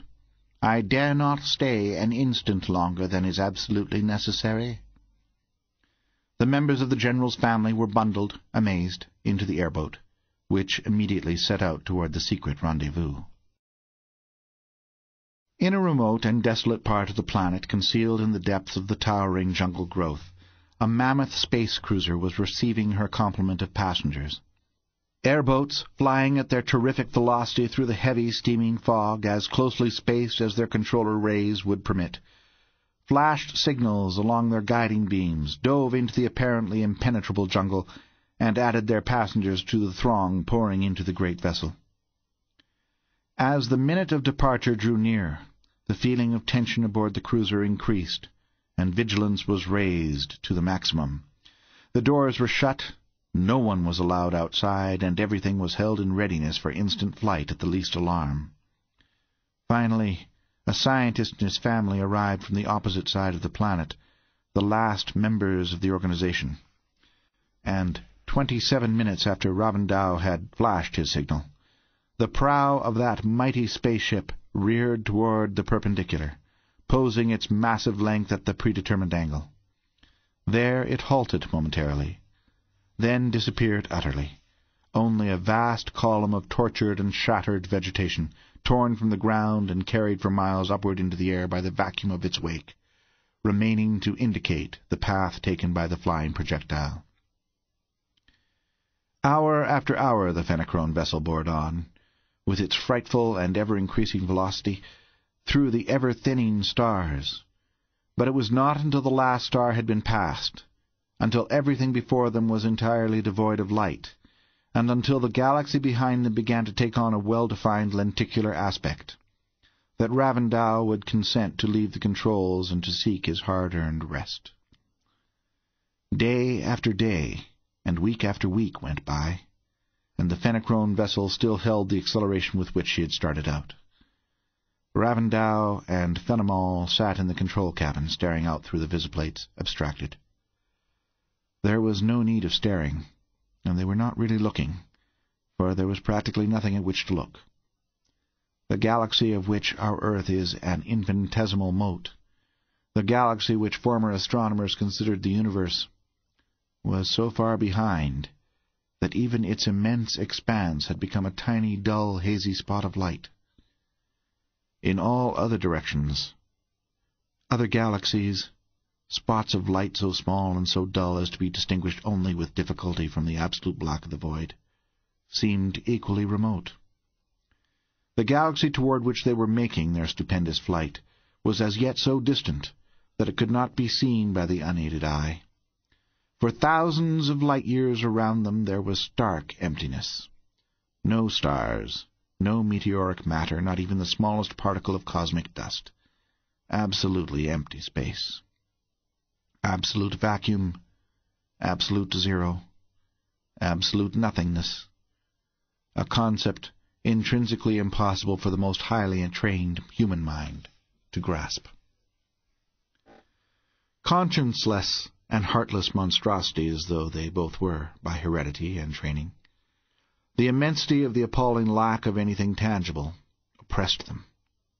Ravindau was stern and serious, Fenimol moody, Finally, the latter spoke. It would be endurable if we knew what had happened, or if we could ever know definitely one way or the other whether this was all necessary. We shall know, General, definitely. I am certain in my own mind. But after a time, when we have settled upon our new home, and when the Overlord shall have relaxed his vigilance, you shall come back to the solar system of the Fenachrone in this vessel, or a similar one, I know what you shall find. But the trip shall be made, and you shall yourself see what was once our home planet, a seething sun, second only in brilliance to the parent sun about which she shall still be revolving. Are we safe even now? What of possible pursuit? asked Fenimol, and the monstrous flame-shot wells of black that were Ravindau's eyes almost emitted tangible fires as he made reply. We are far from safe, but we grow stronger minute by minute. Fifty of the greatest minds our world has ever known have been working from the moment of our departure upon a line of investigation suggested to me by certain things my instruments recorded during the visit of the self-styled Overlord. I cannot say anything yet, even to you, except that the day of conquest may not be so far in the future as we have supposed. Chapter 14 Interstellar Extermination I hate to leave this meeting. It's great stuff, Seaton remarked, as he flashed down to the torpedo room when Fenor decided to recall out outlying vessels. But this machine isn't designed to let me be in more than two places at once. Wish it was. Maybe after this fracas is over we'll be able to incorporate something like that into it. The Fenachrone operator touched a lever, and the chair upon which he sat, with all its control panels, slid rapidly across the floor toward an apparently blank wall. As he reached it, a port opened, a metal scroll appeared, containing the numbers and last reported positions of all Fenachrone vessels outside the detector zone. A vast magazine of torpedoes came up through the floor, with an automatic loader to place a torpedo under the operator's hand the instant its predecessor had been launched. Get Peg here quick, Mart. We need a stenographer, bad. Until she gets here, see what you can do in getting those first numbers before they roll off the end of the scroll. No, hold it, as you were. I've got controls enough to put the whole thing on a recorder so we can study it at our leisure. Haste was indeed necessary, for the operator worked with uncanny quickness of hand. One fleeting glance at the scroll, a lightning adjustment of dials in the torpedo, a touch upon a tiny button, and a messenger was upon its way. But, quick as he was, Seaton's flying fingers kept up with him, and before each torpedo disappeared through the ether gate, there was fastened upon it a fifth-order tracer that would never leave it until the force had been disconnected at the gigantic control board of the Norlaminian projector. One flying minute passed, during which seventy torpedoes had been launched, before Seaton spoke. Wonder how many ships they've got out anyway. Didn't get any idea from the brain record. Anyway, Rovol, it might be a sound idea for you to install me some tracers on this board. I've got only a couple of hundred, and that may not be enough, and I've got both hands full. Rovol seated himself beside the younger man, like one organist joining another at the console of a tremendous organ. Seaton's nimble fingers would flash here and there, depressing keys and manipulating controls until he had exactly the required combination of forces centered upon the torpedo next to issue. He then would press a tiny switch, and upon a panel full of red-topped, numbered plungers, the one next in series would drive home, transferring to itself the assembled beam and releasing the keys for the assembly of other forces. Rovol's fingers were also flying, but the forces he directed were seizing and shaping materials, as well as other forces.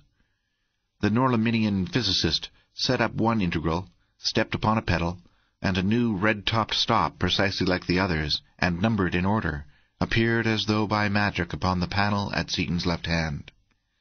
Rovol then leaned back in his seat. But the red-topped stops continued to appear, at the rate of exactly seventy per minute, upon the panel, which increased in width sufficiently to accommodate another row as soon as a row was completed. Rovol bent a quizzical glance upon the younger scientist, who blushed a fiery red, rapidly set up another integral, then also leaned back in his place, while his face burned deeper than before. That is better, son. Never forget that it is a waste of energy to do the same thing twice and that if you know precisely what is to be done, you need not do it personally at all. Forces are faster than human hands. They are tireless, and they neither slip nor make mistakes. Thanks, Rovol. I'll bet this lesson will make it stick in my mind, too. You are not thoroughly accustomed to using all your knowledge as, as yet. That will come with practice, however and in a few weeks you will be as thoroughly at home with forces as I am. Hope so, Chief, but it looks like a tall order to me. Finally, the last torpedo was dispatched. The tube closed. Seaton moved the projection back up into the council chamber, finding it empty. Well, the conference is over. Besides, we've got more important fish to fry. War has been declared on both sides, and we've got to get busy. They've got 906 vessels out, and every one of them has got to go to Davy Jones' locker before we can sleep sound of nights. My first job will have to be untangling those 906 forces, getting lines on each one of them, and seeing if I can project straight enough to find the ships before the torpedoes overtake them. Mart, you and Orlon, our astronomers, had better figure out the last reported positions of each of those vessels, so we'll know about where to hunt for them. Rovol, you might send out a detector screen a few light years in diameter to be sure none of them slip a fast one over on us. By starting it right here and expanding it gradually, you can be sure that no Fenachrone is inside it. Then we'll find a hunk of copper on that planet somewhere, plate it with some of their own X-metal, and blow them into Kingdom Come. May I venture a suggestion? asked Drasnik, the first of psychology. Absolutely. Nothing you've said so far has been idle chatter. You know, of course, that there are real scientists among the Fenachrone, and you yourself have suggested that while they cannot penetrate the zone of force, nor use fifth-order rays, yet they might know about them in theory, might even be able to know when they are being used, detect them, in other words. Let us assume that such a scientist did detect your forces while you were there a short time ago. What should he do? Search me. What should he do? He might do any one of several things, but if I read their nature aright, such a one would gather up a few men and women, as many as he could, and migrate to another planet for he would of course grasp instantly the fact that you had used fifth-order rays as carrier waves, and would be able to deduce your ability to destroy. He would also realize that in the brief time allowed him, he could not hope to learn to control those unknown forces, and with his terribly savage and vengeful nature and intense pride of race, he would take every possible step both to perpetuate his race and to obtain revenge. Am I right? Seaton swung his controls savagely and manipulated dials and keys. Right as rain, Drasnik. There. I've thrown a fifth-order detector screen that they can't possibly neutralize around them. Anything that goes out through it will have a tracer slapped onto it. But say, it's been half an hour or so since war was declared. Suppose we're too late. Maybe some of them have gotten away already. And if one couple escapes, we'll have the whole thing to do over again a thousand years or so from now. You've got the massive intellect, Drasnik. What can we do about it? We can't throw a detector screen around the whole galaxy. I would suggest that since you now have guarded against further exodus, it is not necessary to destroy the planet for a time. Rovol and his co-workers have the other projector nearly done. Let them project me to the world of the Fenachrone, where I shall conduct a thorough mental investigation. By the time you have taken care of the raiding vessels, I believe that I shall have learned everything we need to know. Fine. Hop to it. And may there be lots of bubbles in your think tank. Anybody else know of any other loopholes I've left open? No other suggestions were made, and each man bent to his particular task. Crane at the star chart of the galaxy and Orlon at the Fenachrone operator's dispatching scroll rapidly worked out the approximate positions of the Fenachrone vessels, and marked them with tiny green lights in a vast model of the galaxy which they had already caused forces to erect in the air of the projector's base. It was soon learned that a few of the ships were exploring quite close to their home system, so close that the torpedoes, with their unthinkable acceleration, would reach them within a few hours. Ascertaining the stop number of the tracer upon the torpedo which should first reach its destination, Seaton followed it from its panel out to the flying messenger. Now moving with a velocity many times that of light, it of course was invisible to direct vision, but to the light waves heterodyned upon the fifth-order forces it was as plainly visible as though it were stationary. Lining up the path of the projectile accurately, he then projected himself forward in that exact line, with a flat detector screen thrown out for half a light-year upon each side of him. Setting the controls, he flashed ahead, the detector stopping him instantaneously upon encountering the power plant of the exploring raider. An oscillator sounded a shrill and rising note, and Seaton slowly shifted his controls until he stood in the control room of the enemy vessel. The Fenachrone ship, a thousand feet long and more than a hundred feet in diameter, was tearing through space toward a brilliant blue-white star. Her crew were at battle stations, her navigating officers peering intently into the operating visiplates, all oblivious to the fact that a stranger stood in their very midst. Well, here's the first one. I hate like the devil to do this. It's altogether too much like pushing baby chickens into a creek. But it's a dirty job that's got to be done. As one man, Orlon and the other remaining Norlaminians leaped out of the projector and floated to the ground below. I expected that, Seaton said. They can't even think of a thing like this without getting the blue willies. I don't blame them much at that. How about you, Carfon? You can be excused if you like.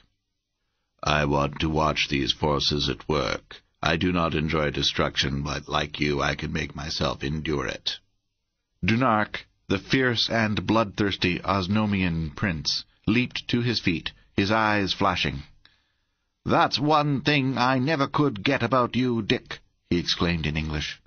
How a man with your brains can be so soft, so sloppily sentimental, gets clear past me. You remind me of a bowl of mush. You wade around in slush clear to your ears. Ha! It's their lives or ours. Tell me what button to push, and I'll be only too glad to push it. Cut out the sob-sister act, and for cat's sake, let's get busy. Atta boy, Dunark. That's telling him. But it's all right with me. I'll be glad to let you do it. When I say shoot, throw in that plunger there, number 63. Seaton manipulated controls until two electrodes of force were clamped in place, one at either end of the huge power bar of the enemy vessel adjusted rheostats and forces to send a disintegrating current through that massive copper cylinder, and gave the word. Dunark threw in the switch viciously, as though it were an actual sword which he was thrusting through the vitals of one of the hideous crew. and the very universe exploded around them, exploded into one mad, searing coruscation of blinding, dazzling light as the gigantic cylinder of copper resolved itself instantaneously into the pure energy from which its metal originally had come into being. Seaton and Dunark staggered back from the visiplates, blinded by the intolerable glare of light, and even Crane, working at his model of the galaxy, blinked at the intensity of the radiation. Many minutes passed before the two men could see through their tortured eyes. Zowie, that was fierce! Exclaimed Seaton, when a slowly returning perception of things other than dizzy spirals and balls of flame assured him that his eyesight was not permanently gone. It's nothing but my own fool carelessness, too. I should have known that with the visible spectrum in heterodyne for visibility, enough of that stuff would leak through to raise hell on our plates. That bar weighed a hundred tons, and would liberate energy enough to blow a planet from here to Arcturus. How are you coming, Dunark? See anything yet? Coming along now, I guess, but for a couple of minutes it had me guessing. I'll do better next time. I'll cut out the visible before the flash, and convert and reconvert the infrared. That'll let us see what happens without any direct effect. What's my force number on the next nearest one, Mart? Twenty-nine. Seaton fastened a detector ray upon stop 29 of the tracer beam panel, and followed its pencil of force out to the torpedo hastening upon its way toward the next doomed cruiser. Flashing ahead in its line, as he had done before, he located the vessel and clamped the electrodes of force upon the prodigious driving bar. Again, as Dunark drove home the detonating switch, there was a frightful explosion and a wild glare of frenzied incandescence far out in that desolate region of interstellar space. But this time, the eyes behind the visiplates were not torn by the high frequencies, and everything that happened was plainly visible. One instant there was an immense space cruiser boring on through the void upon its horrid mission, with its full complement of the hellish Fenachrone performing their routine tasks. The next instant there was a flash of light extending for thousands upon untold thousands of miles in every direction. That flare of light vanished as rapidly as it had appeared, instantaneously, and throughout the entire neighborhood of the place where the Fenachrone cruiser had been there was nothing.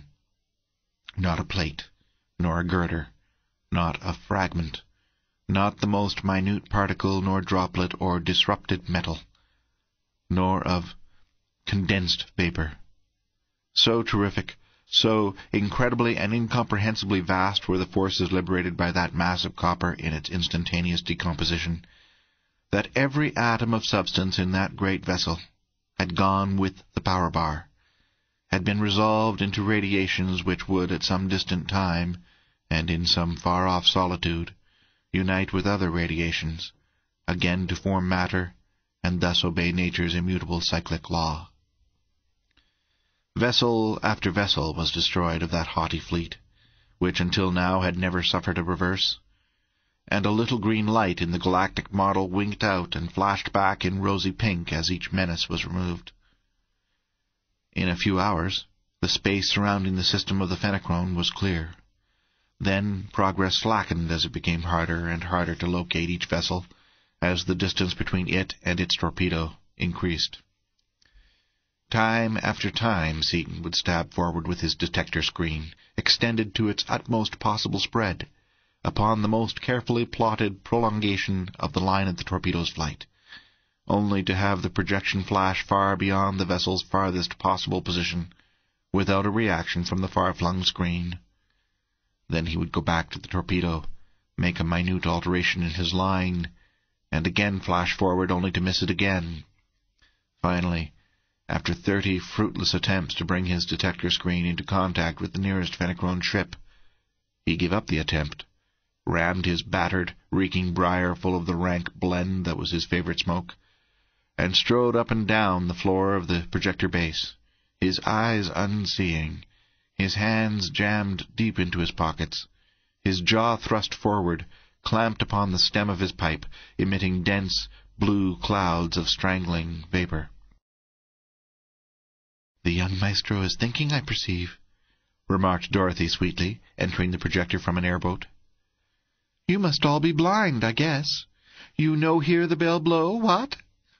I've come after you. It's time to eat. Atta girl, Dot. Never miss the eats. Thanks. And Seaton, with a visible effort, put his problem away. This is going to be a job, Mart. He went back to it as soon as they were seated in the airboat, flying toward home. I can nail them, with an increasing shift in azimuth, up to about 30,000 light-years. But after that, it gets awfully hard to get the right shift, and up around a 100,000 it seems to be impossible. Gets to be pure guesswork. It can't be the controls because they can hold a point rigidly at 500,000. Of course, we've got a pretty short backline to sight on, but the shift is more than a hundred times as great as the possible error in my backsight could account for. And there's apparently nothing either regular or systematic about it that I can figure out. But I don't know. Space is curved in the fourth dimension, of course. I wonder... I wonder if... Hmm... Hmm... He fell silent, and Crane made a rapid signal to Dorothy, who was opening her mouth to say something. She shut it, feeling ridiculous, and nothing was said until they had disembarked at their destination. "Did you solve the puzzle, Dickie?" "Don't think so. Got myself in deeper than ever, I'm afraid," he answered, then went on, thinking aloud rather than addressing anyone in particular. "Space is curved in the fourth dimension, and fifth-order tracers with their velocity may not follow the same path in that dimension that light does. In fact, they don't. If that path is to be plotted, it requires the solution of five simultaneous equations, each complete and general, and each of the fifth degree, and also an exponential series with the unknown in the final exponent, before the fourth dimensional concept can be derived. Hmm. Mm-hmm. No use. We've struck something not even Norlaminian theory can handle. You surprise me, Crane said. I supposed that they had worked everything out. Not on fifth-order stuff. It begins to look as though we'd have to stick around until every one of those torpedoes gets somewhere near its mothership. Hate to do it, too. It'll take a long time to reach the vessels clear across the galaxy. I'll put it up to the gang at dinner. Guess they'll let me talk business a couple of minutes over time, especially after they find out what I've got to say. He explained the phenomenon to an interested group of white-haired scientists as they ate. Rovol, to Seaton's surprise, was elated and enthusiastic. "Wonderful, my boy," he breathed. "Marvelous. A perfect subject for year after year of deepest study and the most profound thought. Perfect." "But what can we do about it?" Seaton demanded.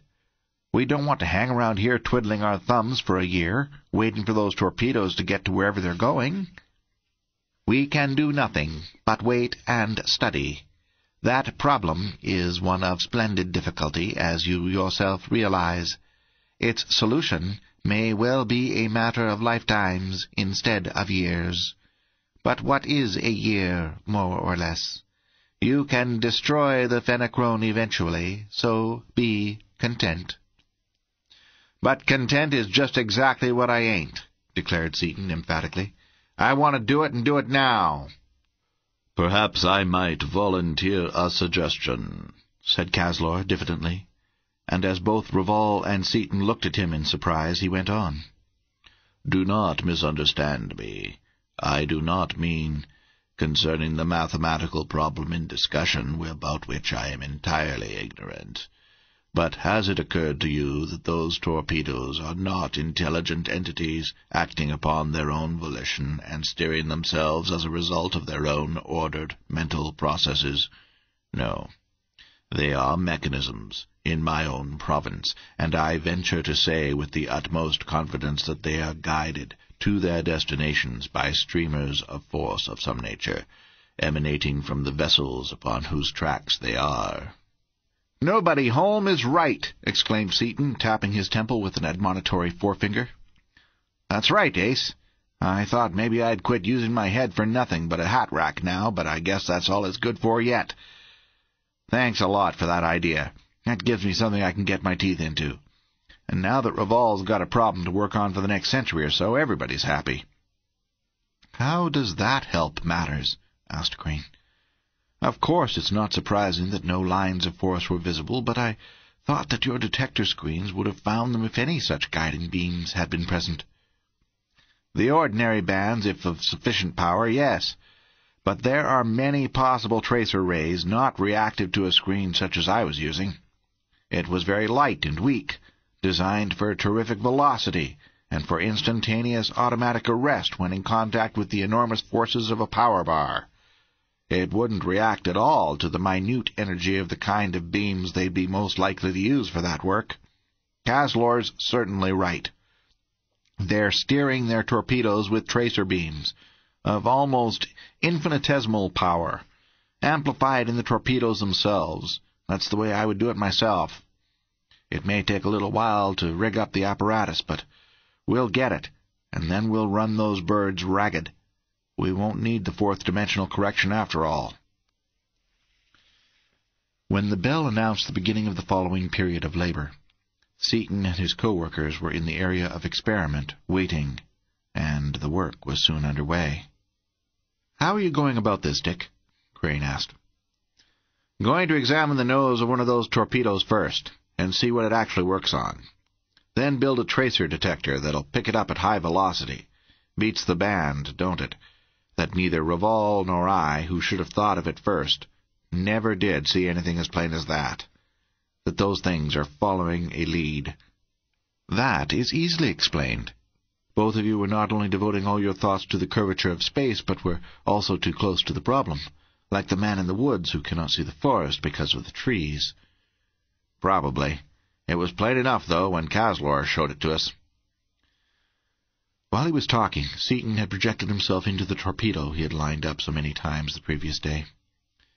With the automatic motions set to hold him stationary in the tiny instrument compartment of the craft, now traveling at a velocity many thousands of times that of light, he set to work. A glance located the detector mechanism, a set of short-wave coils and amplifiers, and a brief study made plain to him the principles underlying the directional loop finders and the controls which guided the flying shell along the path of the tracer. He then built a detector structure of pure force immediately in front of the torpedo, and varied the frequency of his own apparatus until a meter upon one of the panels before his eyes informed him that his detector was in perfect resonance with the frequency of the tracer. He then moved ahead of the torpedo, along the guiding pencil of force. "Getting it, eh?" Dunark congratulated him.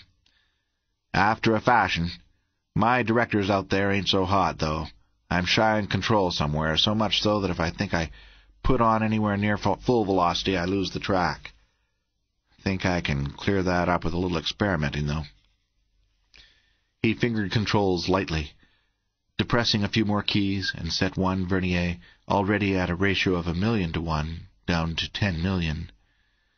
He then stepped up his velocity and found that the guides worked well up to a speed much greater than any ever reached by the Fenachrone vessels or torpedoes, but failed utterly to hold at anything approaching the full velocity possible to his fifth-order projector.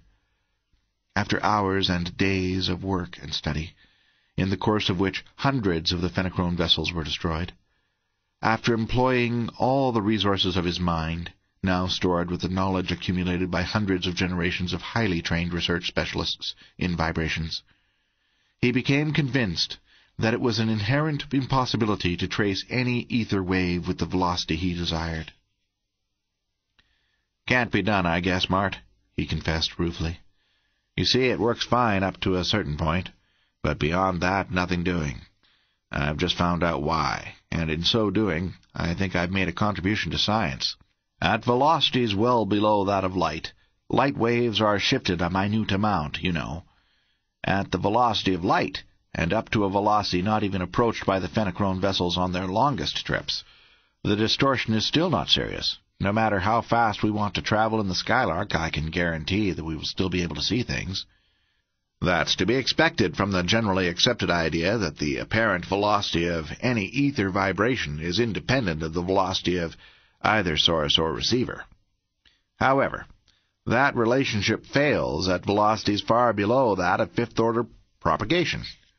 And only at a very small fraction of that speed the tracers I am following are so badly distorted that they disappear altogether, and I have to distort them backwards. That wouldn't be too bad, but when I get up to about 1% of the velocity I want to use, I can't calculate a force that will operate to distort them back into recognizable waveforms. There's another problem for Rovol to chew on for another hundred years. That will, of course, slow up the work of clearing the galaxy of the Fenachrone, but at the same time I see nothing about which to be alarmed, Crane replied. You are working very much faster than you could have done by waiting for the torpedoes to arrive. The present condition is very satisfactory, I should say. And he waved his hand at the galactic model, in nearly three-fourths of whose volume the green lights had been replaced by pink ones. Yeah, pretty fair as far as that goes. We'll clean up in ten days or so, but I hate to be licked. However, I might as well quit sobbing and get to work. In due time, the 906th Fenachrone vessel was checked off on the model and the two Tellurians went in search of Drasnik, whom they found in his study, summing up and analyzing a mass of data, facts, and ideas which were being projected in the air around him. Well, our first job's done, Seaton stated. Did you find out anything that you feel like passing around? My investigation is practically complete, replied the first of psychology gravely. I have explored many Fenachrone mines, and, without exception, I have found them chambers of horror of a kind unimaginable to one of us. However, you are not interested in their psychology, but in facts bearing upon your problem. While such facts were scarce, I did discover a few interesting items. I spied upon them in public and in their most private haunts. I analyzed them individually and collectively, and from the few known facts and from the great deal of guesswork and conjecture there available to me, I have formulated a theory. I shall first give you the known facts. Their scientists cannot direct nor control any ray not propagated through the ether, but they can detect one such frequency or band of frequencies which they call infra-rays, and which are probably the fifth-order rays, since they lie in the first level below the ether. The detector proper is a type of lamp, which gives us a blue light at the ordinary intensity of such rays as received from space or an ordinary power plant, but gives a red light under stronger excitation. Uh-huh. I get that okay. Rovol's great-great-great-grandfather had 'em. I know all about them. Seaton encouraged Drasnik, who had paused with a questioning glance. I know exactly how and why such a detector works. We gave them an alarm, all right. Even though we were working on a tight beam from here to there, our secondary projector there was radiating enough to affect every such detector within a million miles. Another significant fact is that a great many persons, I learned of some five hundred, and there were probably many more, have disappeared without explanation and without leaving a trace. And it seems that they disappeared very shortly after our communication was delivered. One of these was Fenor, the Emperor. His family remain, however, and his son is not only ruling in his stead, but is carrying out his father's policies. The other disappearances are all alike, and are peculiar in certain respects. First, every man who vanished belonged to the party of postponement, the minority party of the Fenachrone, who believe that the time for the conquest has not yet come. Second, every one of them was a leader of thought in some field of usefulness, and every such field is represented by at least one disappearance. Even the army, as General Fenimol, the commander-in-chief, and his whole family are among the absentees. Third, and most remarkable, each such disappearance included an entire family, clear down to children and grandchildren, however young. Another fact is that the Fenachrone Department of Navigation keeps a very close check upon all vessels, particularly vessels capable of navigating outer space. Every vessel built must be registered, and its location is always known from its individual tracer. No Fenachrone vessel is missing. I also sifted a mass of gossip and conjecture, some of which may bear upon the subject. One belief is that all the persons were put to death by Fenor's secret service, and that the Emperor was assassinated in revenge. The most widespread belief, however, is that they have fled. Some hold that they are in hiding in some remote shelter in the jungle, arguing that the rigid registration of all vessels renders a journey of any great length impossible, and that the detector screens would have given warning of any vessel leaving the planet. Others think that persons as powerful as Fenimol and Ravindau could have built any vessel they chose with neither the knowledge nor consent of the Department of Navigation, or that they could have stolen a Navy vessel destroying its records, and that Ravindau certainly could have so neutralized the screens that they would have given no alarm. These believe that the absent ones have migrated to some other solar system, or to some other planet of the same sun. One old general loudly gave it as his opinion that the cowardly traitors had probably fled clear out of the galaxy, and that it would be a good thing to send the rest of the party a postponement after them. There, in brief, are the salient points of my investigations insofar as it concerns your immediate problem. A good many straws pointing this way and that, Seaton commented.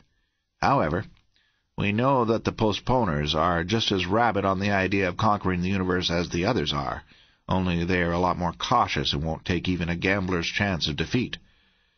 But you formed a theory. What is it?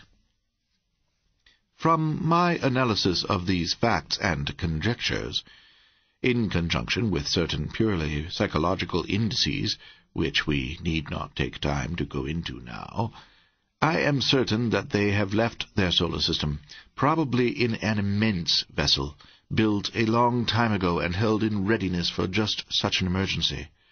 I am not certain of their destination, but it is my opinion that they left this galaxy and are planning upon starting anew upon some suitable planet in some other galaxy, from which at some future date the conquest of the universe shall proceed as it was originally planned. Planned. Planned. Planned. Planned. Planned. Planned. Planned. Planned. Planned. Planned. Planned planned, planned, planned. Great balls of fire, blurted Seaton. They couldn't, not in a million years. He thought a moment, then continued more slowly. But they could. And, with their dispositions, they probably would. You're 100% right, Drasnik. We've got a real job of hunting on our hands now. So long. Thanks a lot.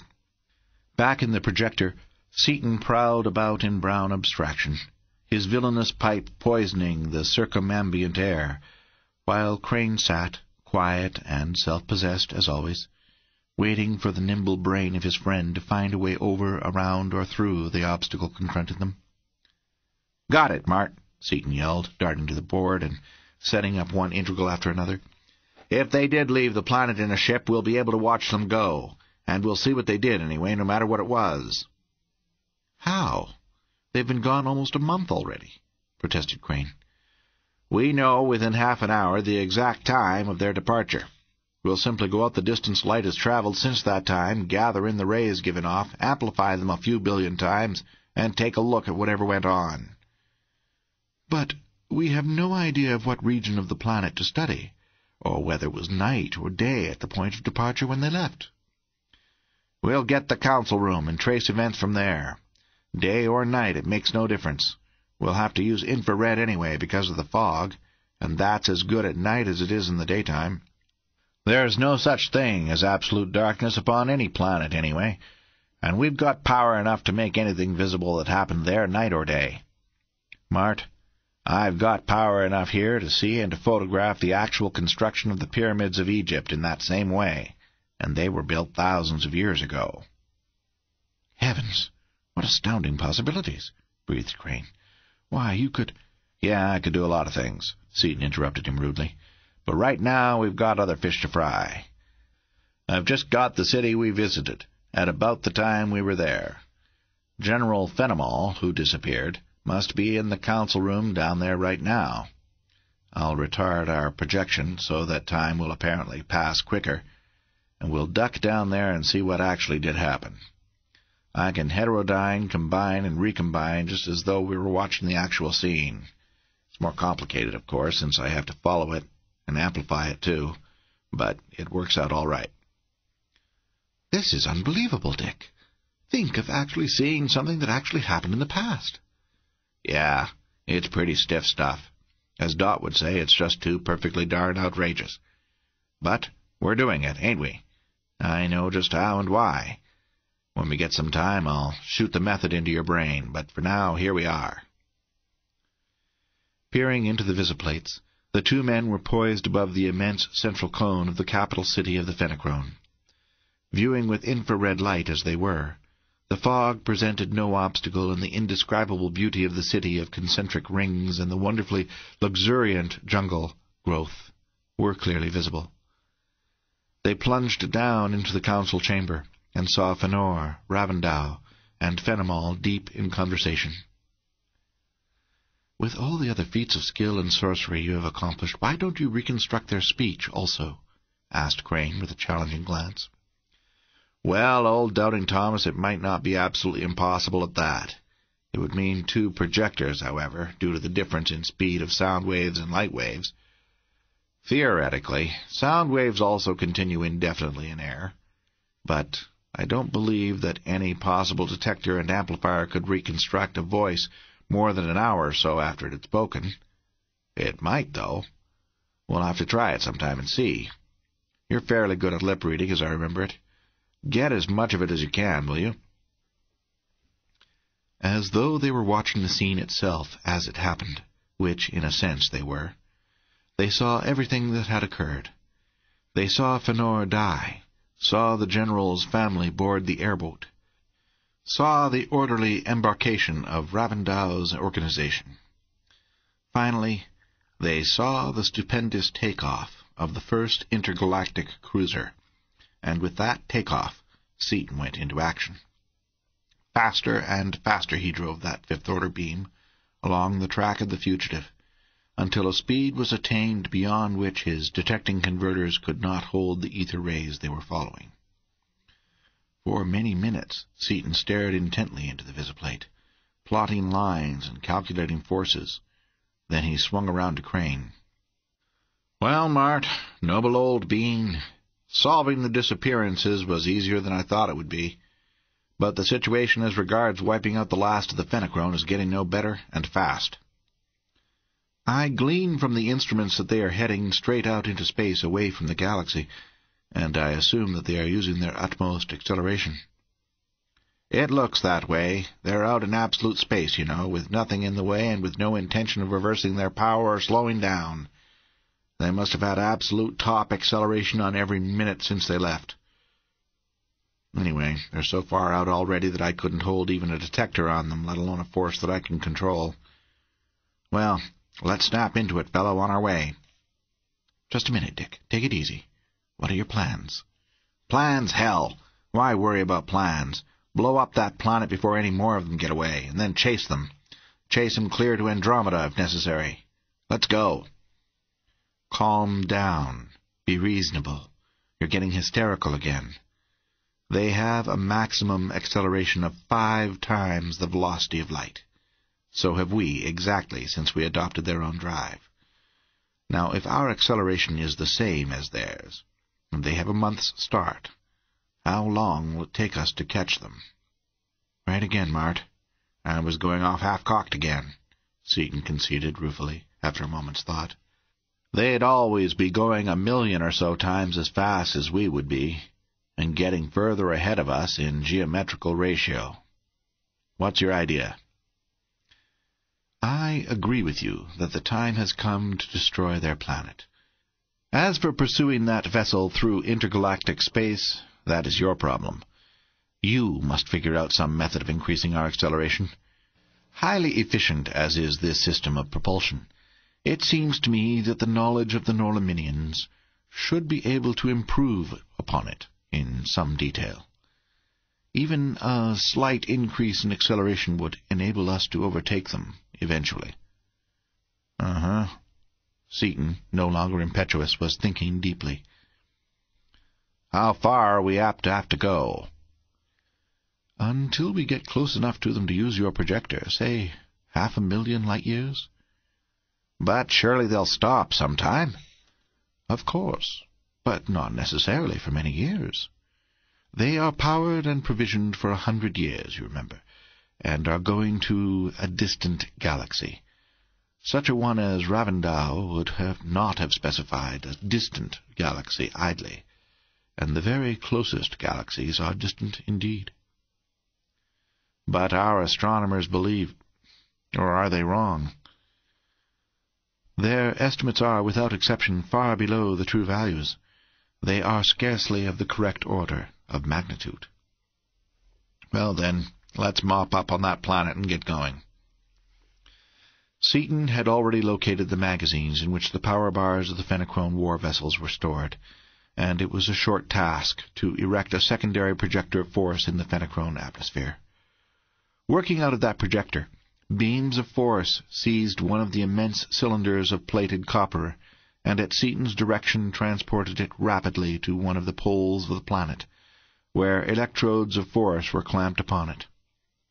In a similar fashion, seventeen more of the frightful bombs were placed, equal distant over the surface of the world of the Fenachrone, so that when they were simultaneously exploded, the downward forces would be certain to meet sufficient resistance to secure complete demolition of the entire globe. Everything in readiness, Seaton's hand went to the plunger switch and closed upon it. Then his face white and wet, he dropped his hand. No use, Mart. I can't do it. It pulls my cork. I know that you can't either. I'll yell for help. Have you got it on the infrared? Asked Dunark calmly, as he shot up into the projector in reply to Seaton's call. I want to see this, all of it. It's on. You're welcome to it. And, as the terrestrials turned away, the whole projector base was illuminated by a flare of intense, though subdued, light. For several minutes Dunark stared into the visiplate, savage satisfaction in every line of his fierce green face, as he surveyed the havoc wrought by those eighteen enormous charges of incredible explosive. "A nice job of clean-up, Dick," the Osnomian prince reported, turning away from the visiplate. It made a sun of it. The original sun is now quite a splendid double star. Everything was volatilized clear out, far beyond their outermost screen. It had to be done, of course. It was either them or else all the rest of the universe, Seaton said jerkily. However, even that fact doesn't make it go down easy. Well, we're done with this projector. From now on, it's strictly up to us and Skylark 3. Let's beat it over there and see if they've got her done yet. They were due to finish up today, you know. It was a silent group who embarked in the little airboat. Halfway to their destination, however, Seaton came out of his blue mood with a yell. Mart, I've got it! We can give the Skylark a lot more acceleration than they are getting, and won't need the assistance of all the mines of Norlamin, either. How?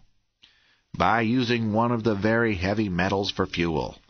The intensity of the power liberated is a function of atomic weight, atomic number, and density. But the fact of liberation depends upon atomic configuration, a fact which you and I have figured out long ago. However, our figuring didn't go far enough. It couldn't. We didn't know anything then. Copper happens to be the most efficient of the few metals which can be decomposed at all under ordinary excitation. But by using special exciters, sending out all the orders of force necessary to initiate the disruptive processes, We can use any metal we want to. Osnome has unlimited quantities of the heaviest metals, including radium and uranium. Of course, we can't use radium and live, but we can and will use uranium, and that will give us something like four times the acceleration possible with copper. Dunark, what say you snap over there and smelt us a cubic mile of uranium? No, hold it. I'll put a flock of forces on the job. They'll do it quicker, and I'll make 'em deliver the goods. They'll deliver 'em fast, too, believe me. We'll see to that with a ten-ton bar. The uranium bars will be ready to load tomorrow, and we'll have enough power to chase those birds all the rest of our lives. Returning to the projector, Seaton actuated the complex system of forces required for the smelting and transportation of the enormous amount of metal necessary and as the three men again boarded their aerial conveyance, the power bar in the projector behind them flared into violet incandescence under the load already put upon it by the new uranium mine in distant Osnome. The Skylark lay stretched out over two miles of country, exactly as they had last seen her. But now, instead of being water-white, the ten-thousand-foot cruiser of the void was one jointless, seamless structure of sparkling, transparent, purple inoson.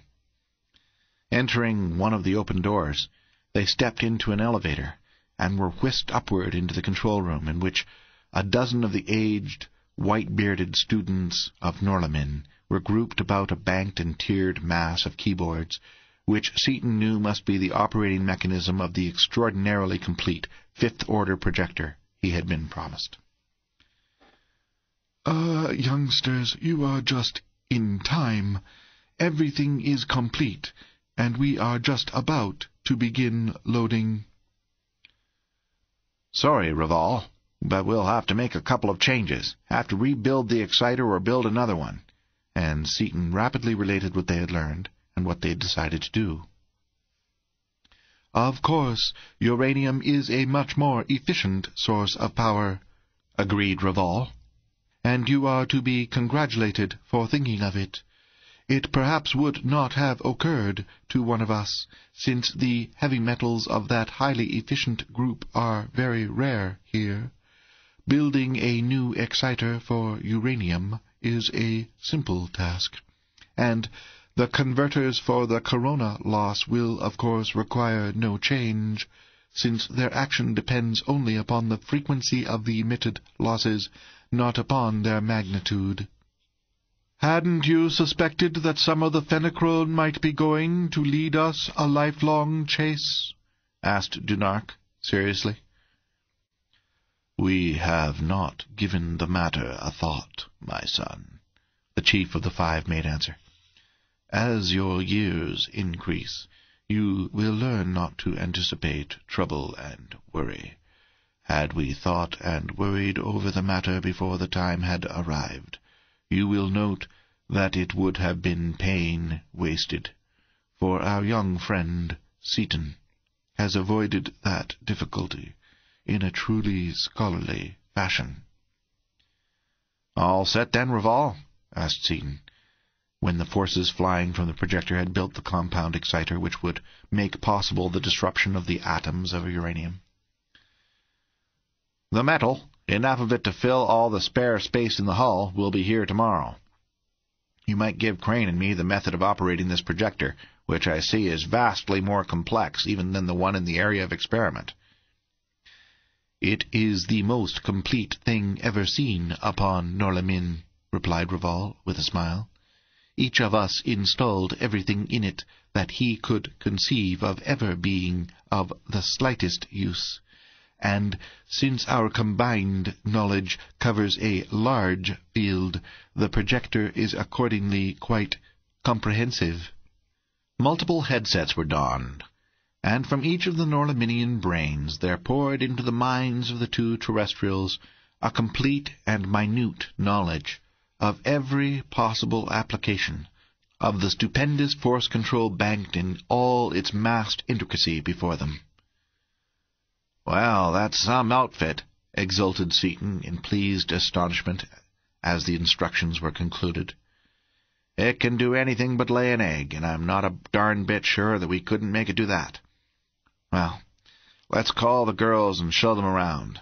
This ship is going to be their home for quite a while. While they were waiting, Dunark led Seaton aside. Dick, will you need me on this trip? He asked. Of course I knew that there was something on your mind when you didn't send me home, when you let Urvan, Carfon, and the others go back. No, we're going it alone unless you want to come along. I did want you to stick around until I got a good chance to talk to you alone. Now will be as good a time as any. You and I have traded brains. Besides, we've been through a, quite a lot of grief together here and there. I want to apologize to you for not passing along to you all this stuff I've been getting here. In fact, I really wish I didn't have to have it myself. Do you get me? Get you? I'm way ahead of you. Don't want it, nor any part of it. That's why I've stayed away from any chance of learning any of it and the one reason why I am going back home instead of going with you. I have just brains enough to realize that neither I nor any other man of my race should have it. By the time we grow up to it, naturally, we may be able to handle it. But not until then. The two Brain brothers grasped hands strongly, and Dunark continued in a lighter vein. It takes all kinds of people to make a world, you know, and all kinds of races, except the Fenachrone, to make a universe. With Mardonale gone, the evolution of Osnome shall progress rapidly, and while we may not reach the ultimate goal, I have learned enough from you already to speed up our progress considerably. I was sure you'd understand, but I had to get it off my chest. Here are the girls. Sitar, too. We'll show them around.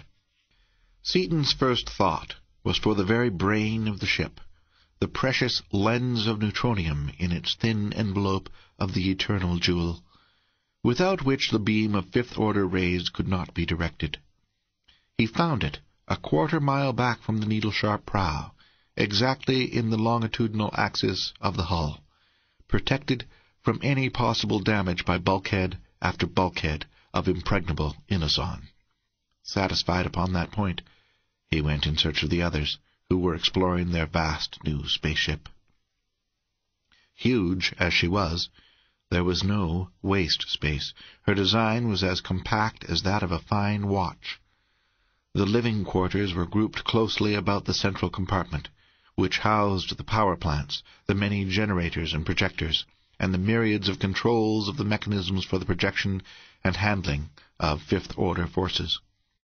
Several large compartments were devoted to the machinery which automatically serviced the vessel, refrigerators, heaters, generators and purifiers for water and air, and the numberless other mechanisms which would make of the cruiser a comfortable and secure home, as well as an invincible battleship, in the heatless, lightless, airless, matterless waste of intergalactic space. Many compartments were for the storage of food supplies, and these were even then being filled by forces under the able direction of the first of chemistry. All the comforts of home, even to the labels, Seaton grinned as he read Dole Number One upon cans of pineapple which had never been within thousands of light years of the Hawaiian Islands, and saw quarter after quarter of fresh meat going into the freezer room from a planet upon which no animals other than man had existed for many thousands of years.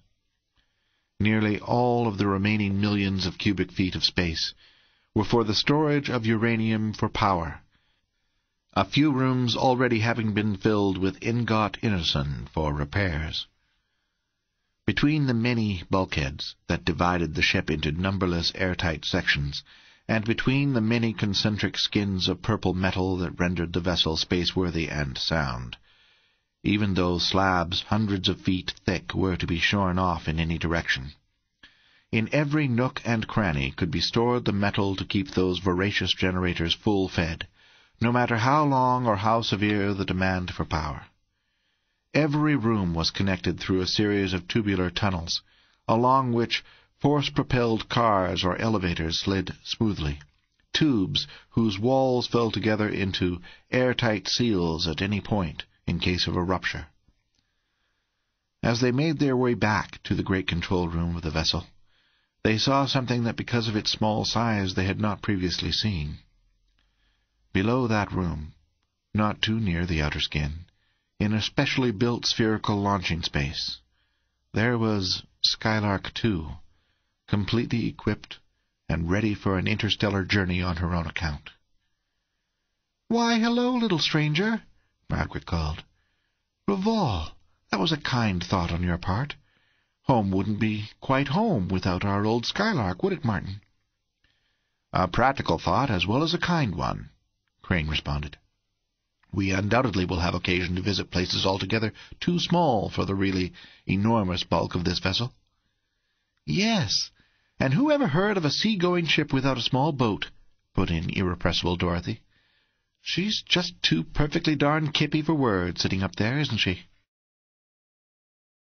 Chapter 15 The Extra-Galactic Duel Loaded until her outer skin almost bulged with tightly packed bars of uranium, and equipped to meet any emergency of which the combined efforts of the mightiest intellects of Norlamin could foresee even the slightest possibility, Skylark Three lay quiescent. Quiescent but surcharged with power.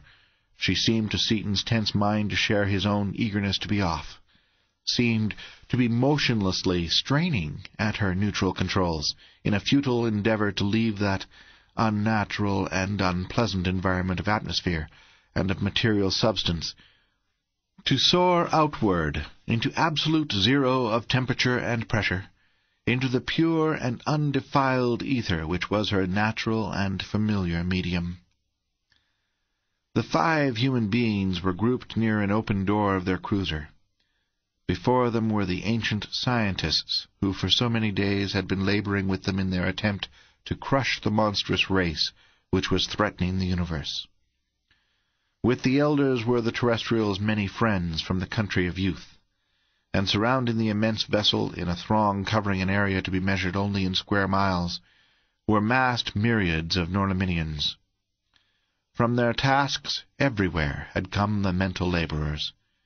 The country of youth had been left depopulated. Even those who, their life work done, had betaken themselves to the placid nirvana of the country of age, returned briefly to the country of study, to speed upon its way that stupendous ship of peace. The majestic Fodan, chief of the five, was concluding his address. And may the unknowable force direct your minor forces to a successful conclusion of your task.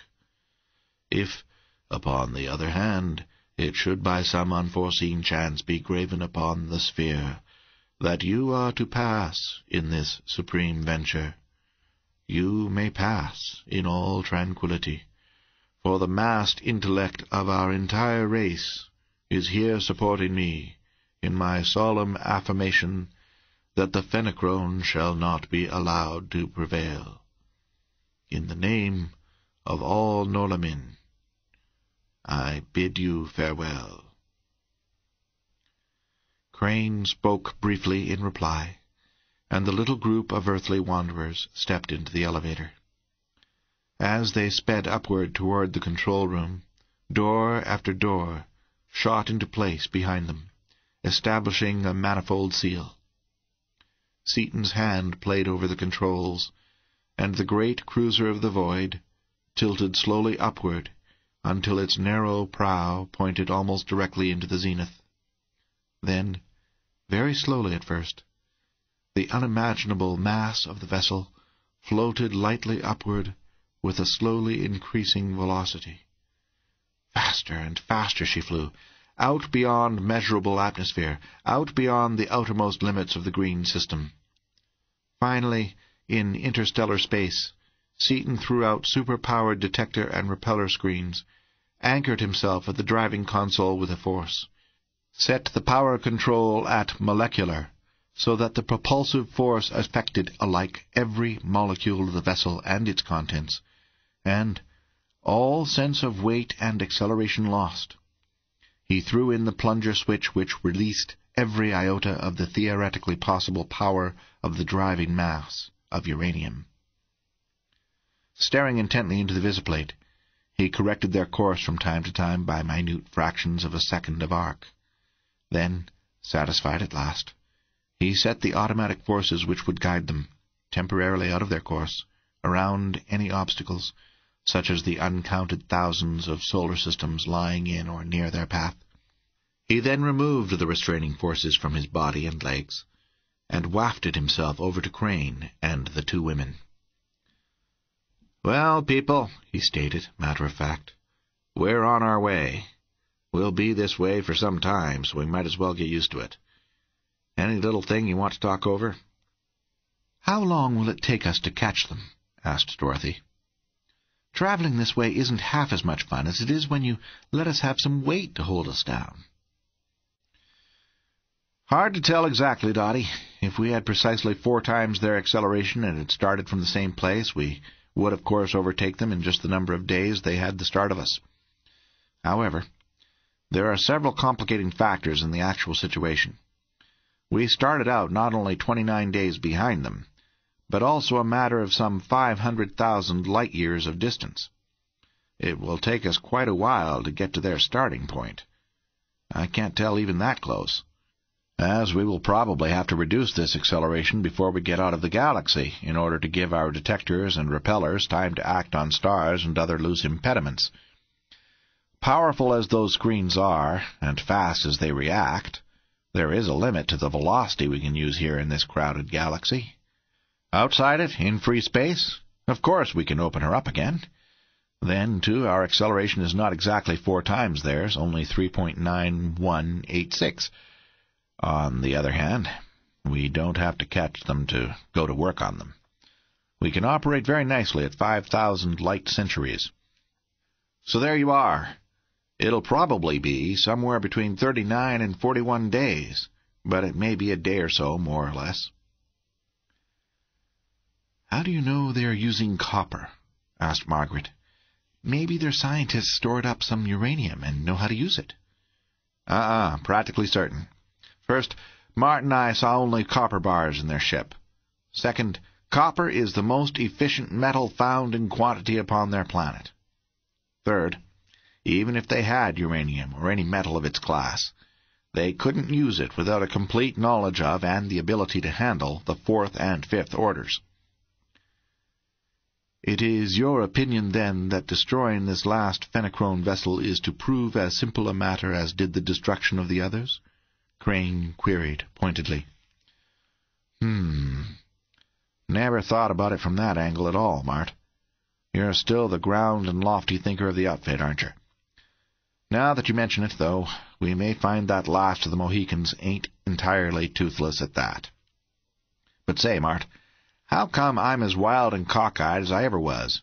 Rovol's a slow and thoughtful old codger, and with his accumulation of knowledge it looks like I'd be the same way. Far from it. Your nature and mine remain unchanged. Temperament is a basic trait of heredity, and is neither affected nor acquired by increase of knowledge. You acquired knowledge from Rovol, Drasnik, and others, as did I. But you are still the flashing genius, and I am still your balance wheel. As for the Fenachrone toothlessness, now that you have considered it, what is your opinion? Hard to say. They didn't know how to work in the Fifth Order, or they wouldn't have run. They've got real brains, though, and they'll have something like seventy days to work on the problem. Well, it doesn't stand to reason that they could find out much in seventy days. Still, they may have had a setup of instruments on their detectors that would have enabled them to analyze our fields and thus compute the structure of the secondary projector we used there. If so, it wouldn't take them long to find out enough to give us plenty of grief. But I don't really believe that they knew enough. I don't quite know what to think. They may be easy and they may not. But, easy or hard to get, we're loaded for bear, and I'm sure that we can take them. So am I, really. But we must consider every contingency. We know that they had at least a detector of fifth-order emanations. And if they did have an analytical detector, Seaton interrupted, they'll probably take a sock at us as soon as we stick our nose out of the galaxy. They may. And even though I do not believe that there is any probability of them actually doing it, it will be well to be armed against the possibility. Right, old top, we'll do that little thing. Uneventful days passed and, true to Seaton's calculations, the awful acceleration with which they had started out could not be maintained. A few days before the edge of the galaxy was reached, it became necessary to cut off the molecular drive, and to proceed with an acceleration equal only to that of gravitation at the surface of the earth. Tired of weightlessness and its attendant discomforts to everyday life, the travelers enjoyed the interlude immensely. But it was all too short. Too soon the stars thinned out ahead of Three's needle prow. As soon as the way ahead of them was clear, Seaton again put on the maximum power of his terrific bars and, held securely at the console, set up a long and involved integral. Ready to transfer the blended and assembled forces to a plunger, he stayed his hand, thought a moment, and turned to Crane. I want some advice, Mart. I thought of setting up three or four courses of five-ply screen on the board, a detector screen on the outside of each course, next to it a repeller, then a full coverage ether screen, then a zone of force, and a full coverage fifth-order screen as a liner. Then, with them all set up on the board but not out, throw out a wide detector. That detector would react upon the board at impact with anything hostile, and automatically throw out the courses it found necessary. That sounds like ample protection, but I am not enough of a ray specialist to pass an opinion. Upon what point are you doubtful? About leaving them on board. The only trouble is that the reaction isn't absolutely instantaneous. Even fifth-order rays would require a millionth of a second or so to set the course. Now, if they were using ether waves, that'd be lots of time to block them. But if they should happen to have fifth-order stuff, It'd get here the same time our own detector impulse would, and it's just barely conceivable that they might give us a nasty jolt before our defenses went out. Nope. I'm developing a cautious streak myself now when I take time to do it. We've got lots of uranium, and I'm going to put one course out. You cannot put everything out, can you? Not quite, but pretty nearly. I'll leave a hole in the ether screen to pass visible light. No, I won't either. We can see just as well, even on the direct vision wall plates with light heterodyned on the fifth. So we'll close all ether bands, absolutely. All we'll have to leave open will be the one extremely narrow band upon which our projector is operating, and I'll protect that with a detector screen. Also, I'm going to send out all four courses instead of only one. Then I'll know we're all right. Suppose they find our one band, narrow as it is. Of course, if that were shut off automatically by the detector, we'd be safe. But would we not be out of control? Not necessarily. I see you didn't quite get all this stuff over the educator. The other projector worked that way, on one fixed band out of the many thousands possible. But this one is an ultra projector, an improvement invented at the last minute. Its carrier wave can be shifted at will from one band of the fifth order to any other one. And I'll bet a hat that's one thing the Fenachrone haven't got. Any other suggestions? All right, then, I'll get at it. A single light, quick-acting detector was sent out ahead of four courses of five-ply screen. Then Seaton's fingers again played over the keys, fabricating a detector screen so tenuous that it would react to nothing weaker than a copper power bar in full operation, and with so nearly absolute zero resistance that it could be driven at the full velocity of his ultra projector. Then, while Crane watched the instruments closely, and while Dorothy and Margaret watched the faces of their husbands with only mild interest, Seaton drove home the plunger that sent that prodigious and ever-widening fan ahead of them with a velocity unthinkable millions of times that of light. For five minutes, until that far-flung screen had gone as far as it could be thrown by the utmost power of the uranium bar, the two men stared at the unresponsive instruments. Then Seaton shrugged his shoulders. I had a hunch, he remarked with a grin. They didn't wait for us for a second. I don't care for some, says they. I've already had any. They're running in a straight line with full power on and don't intend to stop or slow down. How do you know? asked Dorothy.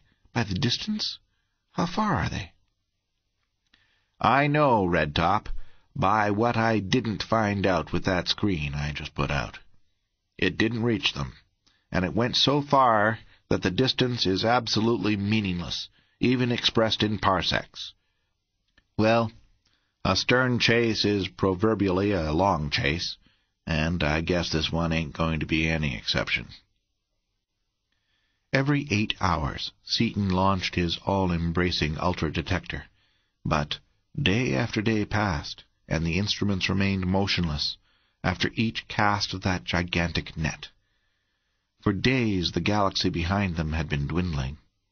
From a space-filling mass of stars it had shrunk down to a fairly bright ellipse. At the previous cast of the detector, it had still been distinctly visible. Now, as Dorothy and Seaton, alone in the control room, stared into that visiplate, they were shocked. Their own galaxy was indistinguishable from numberless other tiny, dim patches of light. It was as small, as insignificant, as remote as any other nebula. This is awful, Dick. Horrible. It simply scares me pea green. She shuddered as she drew herself to him, and he swept both arms around her. It's all right, Dottie. Steady down. That stuff out there would scare anybody. I'm scared purple myself. It isn't in any finite mind to understand this sort of thing. There's one redeeming feature, though. We're together. I couldn't stand it otherwise. Dorothy returned his caress with her old-time fervor and enthusiasm. I feel better now. If it gets you, too, I know it's all right. I was beginning to think maybe I was yellow or something, but maybe you're kidding me. She held him off at arm's length, looking deep into his eyes. Then, reassured, went back into his arms. No, you feel it too. And her glorious auburn head found its natural resting place in the curve of his shoulder. Yellow? You? Seaton pressed his wife closer still and laughed aloud. Maybe, but so is picric acid, so is TNT, and so is pure gold. Flatterer. Her low, entrancing chuckle bubbled over. but you know I just revel in it. I'll kiss you for that. It is awfully lonesome out here, without even a star to look at, she went on after a time, then laughed again. If the Cranes and Shiro weren't along, we'd be really alone at last, wouldn't we? I'll say we would. But that reminds me of something. According to my figures, we might have been able to detect the Fenachrone on the last test, but we didn't. Think I'll try him again before we turn in. Once more he flung out that tenuous net of force, and as it reached the extreme limit of its travel, the needle of the microammeter flickered slightly, barely moving off its zero mark. Whoopee! he yelled. Mart, we're on to them! Close? demanded Crane, hurrying into the control room upon his beam. Anything but. Barely touched 'em. Current something less than a thousandth of a microampere on a million to one step-up. However, it proves our ideas are right. The next day, Skylark 3 was running on Eastern Standard Time of the Tellurian United States of North America. The two mathematicians covered sheet after sheet of paper with computations and curves. After checking and rechecking the figures, Seaton shut off the power, released the molecular drive, and applied acceleration of 29.602 feet per second. And five human beings breathed as one, a profound sigh of relief, as an almost normal force of gravitation was restored to them. Why the let-up? asked Dorothy. They're an awful long ways off yet, aren't they? Why not hurry up and catch them? Because we're going infinitely faster than they are now.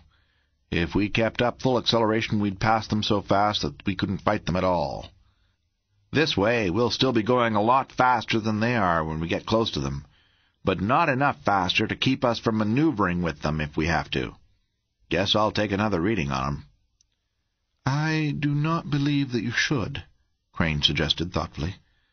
After all, they may have perfected their instruments, and yet may not have detected that extremely light touch of our contact last night. If so, why put them on guard? They're probably on guard anyway, without having to be put there. But it's a sound idea nevertheless. Along the same line, I'll release the fifth-order screens, with the fastest possible detector on guard. We're just about within reach of a light copper-driven beam right now, but they can't send anything heavy this far, and if they think we're overconfident, so much the better. There, he continued, after a few minutes at the keyboard. All set. If they put a detector on us, I've got a force set to make a noise like a fire siren. If pressed, I will very reluctantly admit that we're carrying caution to a point ten thousand degrees below the absolute zero of sanity. I'll bet my shirt that we won't hear a yip out of them before we touch them off. Furthermore... The rest of his sentence was lost in a crescendo bellow of sound. Seaton, still at the controls, shut off the noise, studied his meters carefully, and turned to Crane with a grin. You win the shirt, Mart. I'll give it to you next Wednesday when my other one comes back from the laundry. It's a fifth-order detector, coming in beautifully on band 4750. Aren't you going to put something on them? asked Dorothy in surprise. No, what's the use? I can read theirs as well as I could one of my own. Maybe they know that, too. If they don't, We'll let 'em think we're coming along, as innocent as Mary's little lamb. That beam is much too thin to carry anything, and if they thicken it up I've got an axe set to chop it off. Seaton whistled a merry, lilting refrain as his fingers played over the stops and keys. Why, Dick, you seem actually pleased about it. Margaret was plainly ill at ease. Sure I am. I never did like to drown baby kittens, and it goes against the grain to stab a guy in the back, even if he is a Fenachrone. In a battle, though, I could blow them out of space without a qualm or a quiver. But suppose they fight back too hard? They can't. The worst that can possibly happen is that we can't lick them. They certainly can't lick us, because we can outrun them. If we can't take them alone, we'll go back to Norlamin and bring up reinforcements. I am not so sure. Crane spoke slowly. There is, I believe, a theoretical possibility that sixth-order forces exist. Would an extension of the methods of detection of fifth-order rays reveal them? Sixth? Sweet spirits of niter. Nobody knows anything about them. However, I've had one surprise already, so maybe your suggestion isn't as crazy as it sounds. We've got three or four days yet before either side can send anything except on the 6th, so I'll find out what I can do. He flew at the task, and for the next three days could hardly be torn from it for rest. But finally, "Okay, Mart," he announced. "They exist, all right, and I can detect them. Look here." And he pointed to a tiny receiver upon which a small lamp flared in brilliant scarlet light. "Are they sending them?" No, fortunately, they're coming from our bar. See, it shines blue when I shield it from the bar, and stays blue when I attach it to their detector ray. Can you direct them? Not a chance in the world. That means a lifetime, probably many lifetimes of research, unless somebody uses a fairly complete pattern of them close enough so that I can analyze it. It's a good deal like calculus in that respect. It took thousands of years to get it in the first place, but it's easy when somebody that already knows it shows you how it goes. The Fenachrone learned to handle fifth-order rays so quickly, then, by an analysis of our fifth-order projector there? Our secondary projector, yes. They must have had some neutronium in stock, too, but it would have been funny if they hadn't, at that. They've had atomic power for ages. Silent and grim, he seated himself at the console, and for an hour he wrote an intricate pattern of forces upon the inexhaustible supply of keys afforded by the ultra-projector before he once touched a plunger. "What are you doing?" "I followed you for a few hundred steps, but could go no farther." "Merely a little safety-first stuff. In case they should send any real pattern of sixth-order stuff, this setup will analyze it, record the complete analysis, throw out a screen against every frequency of the pattern, throw on the molecular drive, and pull us back toward the galaxy at full acceleration, while switching the frequency of our carrier wave a thousand times a second, to keep them from shooting a hot one through our open band. It'll do it all in about a millionth of a second, too. Mm-hmm. They've shut off their ray. They know we've tapped it. Well, war's declared now. We'll see what we can see. Transferring the assembled beam to a plunger, he sent out a secondary projector toward the Fenachrone vessel as fast as it could be driven, close behind a widespread detector net. He soon found the enemy cruiser, but so immense was the distance that it was impossible to hold the projection anywhere in its neighborhood. They flashed beyond it, and through it, and upon all sides of it, but the utmost delicacy of the controls would not permit of holding even upon the immense bulk of the vessel to say nothing of holding upon such a relatively tiny object as the power bar. As they flashed repeatedly through the warship, they saw piecemeal and sketchily her formidable armament, and the hundreds of men of her crew, each man at battle station at the controls of some frightful engine of destruction. Suddenly they were cut off as a screen closed behind them. The Earthmen felt an instant of unreasoning terror as it seemed that one half of their peculiar dual personalities vanished utterly. Seaton laughed. That was a funny sensation, wasn't it? It just means that they've climbed a tree and pulled the tree up after them. I do not like the odds, Dick. Crane's face was grave. They have many hundreds of men, all trained, and we are only two. Yes, only one, for I count for nothing at those controls. All the better, Mart. This board more than makes up the difference. They've got a lot of stuff, of course, but they haven't got anything like this control system. Their captain's got to issue orders, whereas I've got everything right under my hands. Not so uneven as they think. Within battle range, at last, Seaton hurled his utmost concentration of direct forces, under the impact of which Three courses of Fenachrone defensive screens flared through the ultraviolet and went black. There the massed direct attack was stopped, at what cost the enemy alone knew, and the Fenachrone countered instantly and in a manner totally unexpected. Through the narrow slit in the fifth-order screen through which Seaton was operating, in the bare one thousandth of a second that it was open, so exactly synchronized and timed that the screens did not even glow as it went through the narrow opening. A gigantic beam of heterodyned force struck full upon the bow of the Skylark, near the sharply pointed prow, and the stubborn metal instantly flared blinding white and exploded outward in puffs of incandescent gas under the awful power of that titanic thrust. Through four successive skins of Inoson, the theoretical ultimate of possible strength, toughness, and resistance.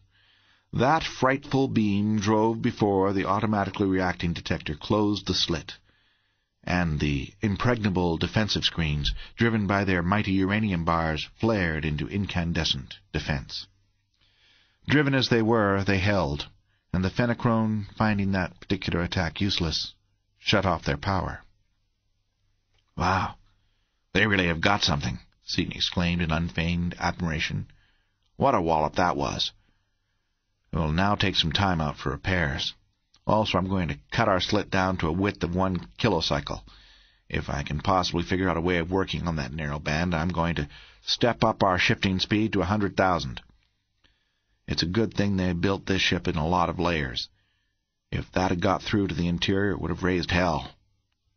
You might weld up those holes, Mart, while I see what I can do up here. Then Seaton noticed the women, white and trembling, upon a seat. "What's the matter?" Cheer up, kids, you ain't seen nothing yet.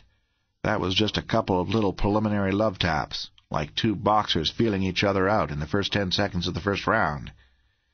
Preliminary love taps, repeated Dorothy, looking into Seaton's eyes, and being reassured by the serene confidence she read there. But they hit us, and hurt us badly. Why, there's a hole in our skylark as big as a house, and it goes through four or five layers. Yeah, but we ain't hurt a bit. They're easily fixed, and we've lost nothing but a few tons of inoson and uranium. We've got lots of spare metal.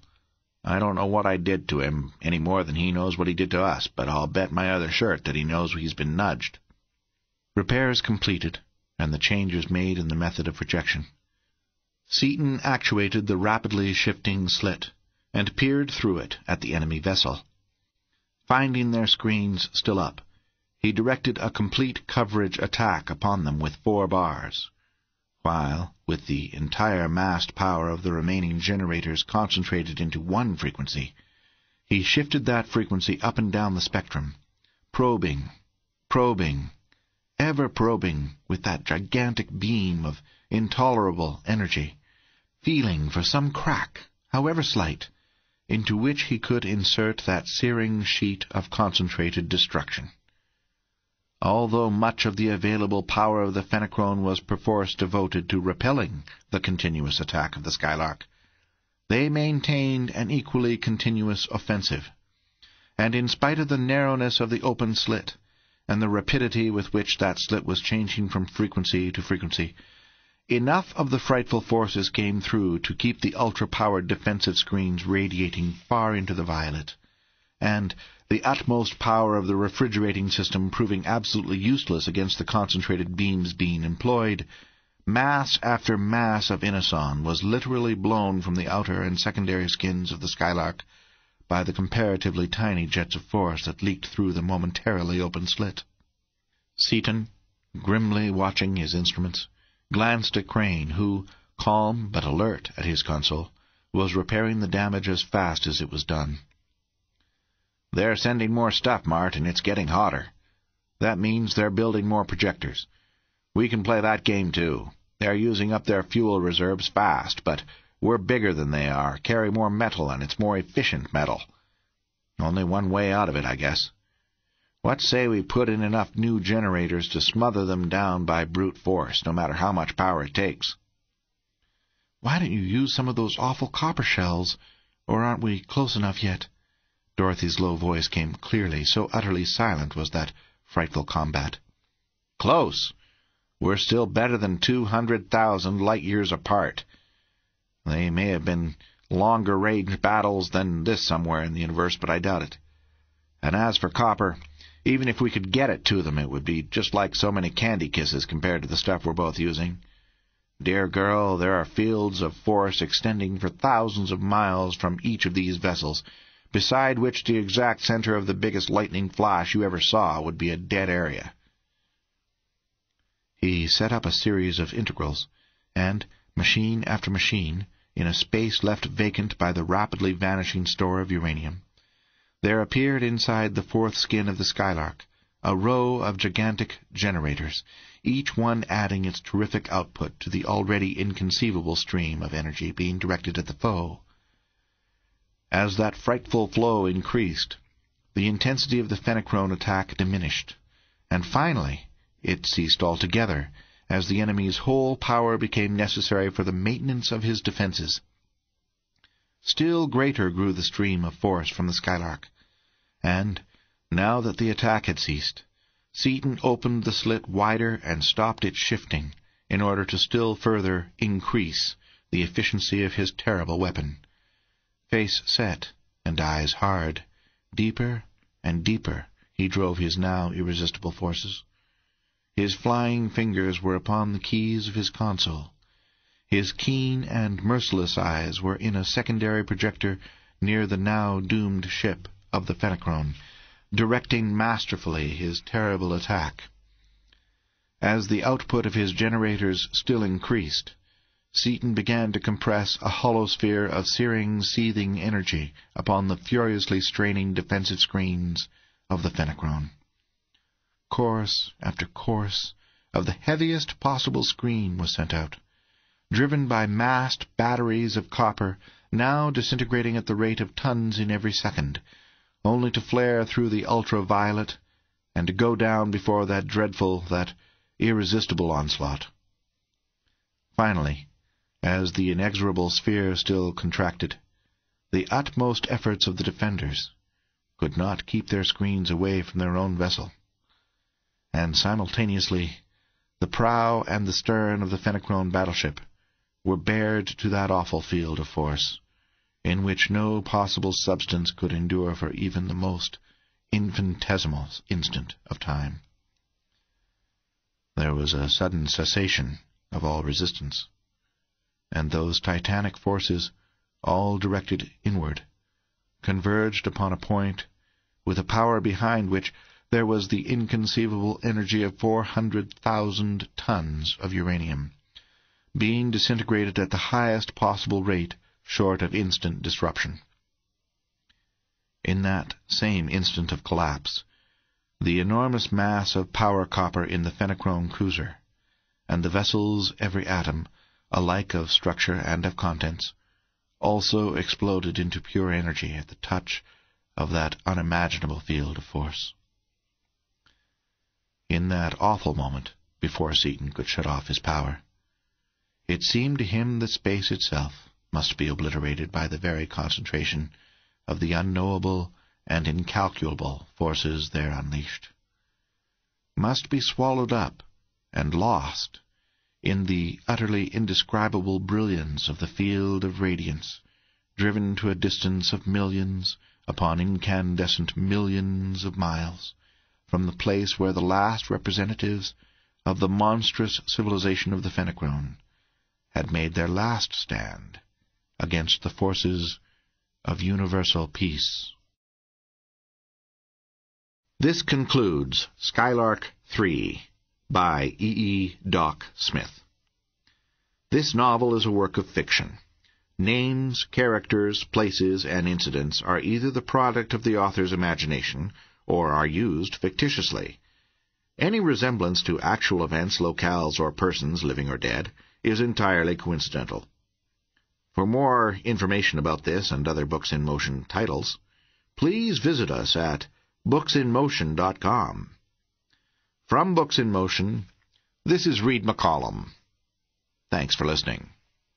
Listening. Listening. Listening. Listening. Listening. Listening. Listening. Listening. Listening. Listening. Listening listening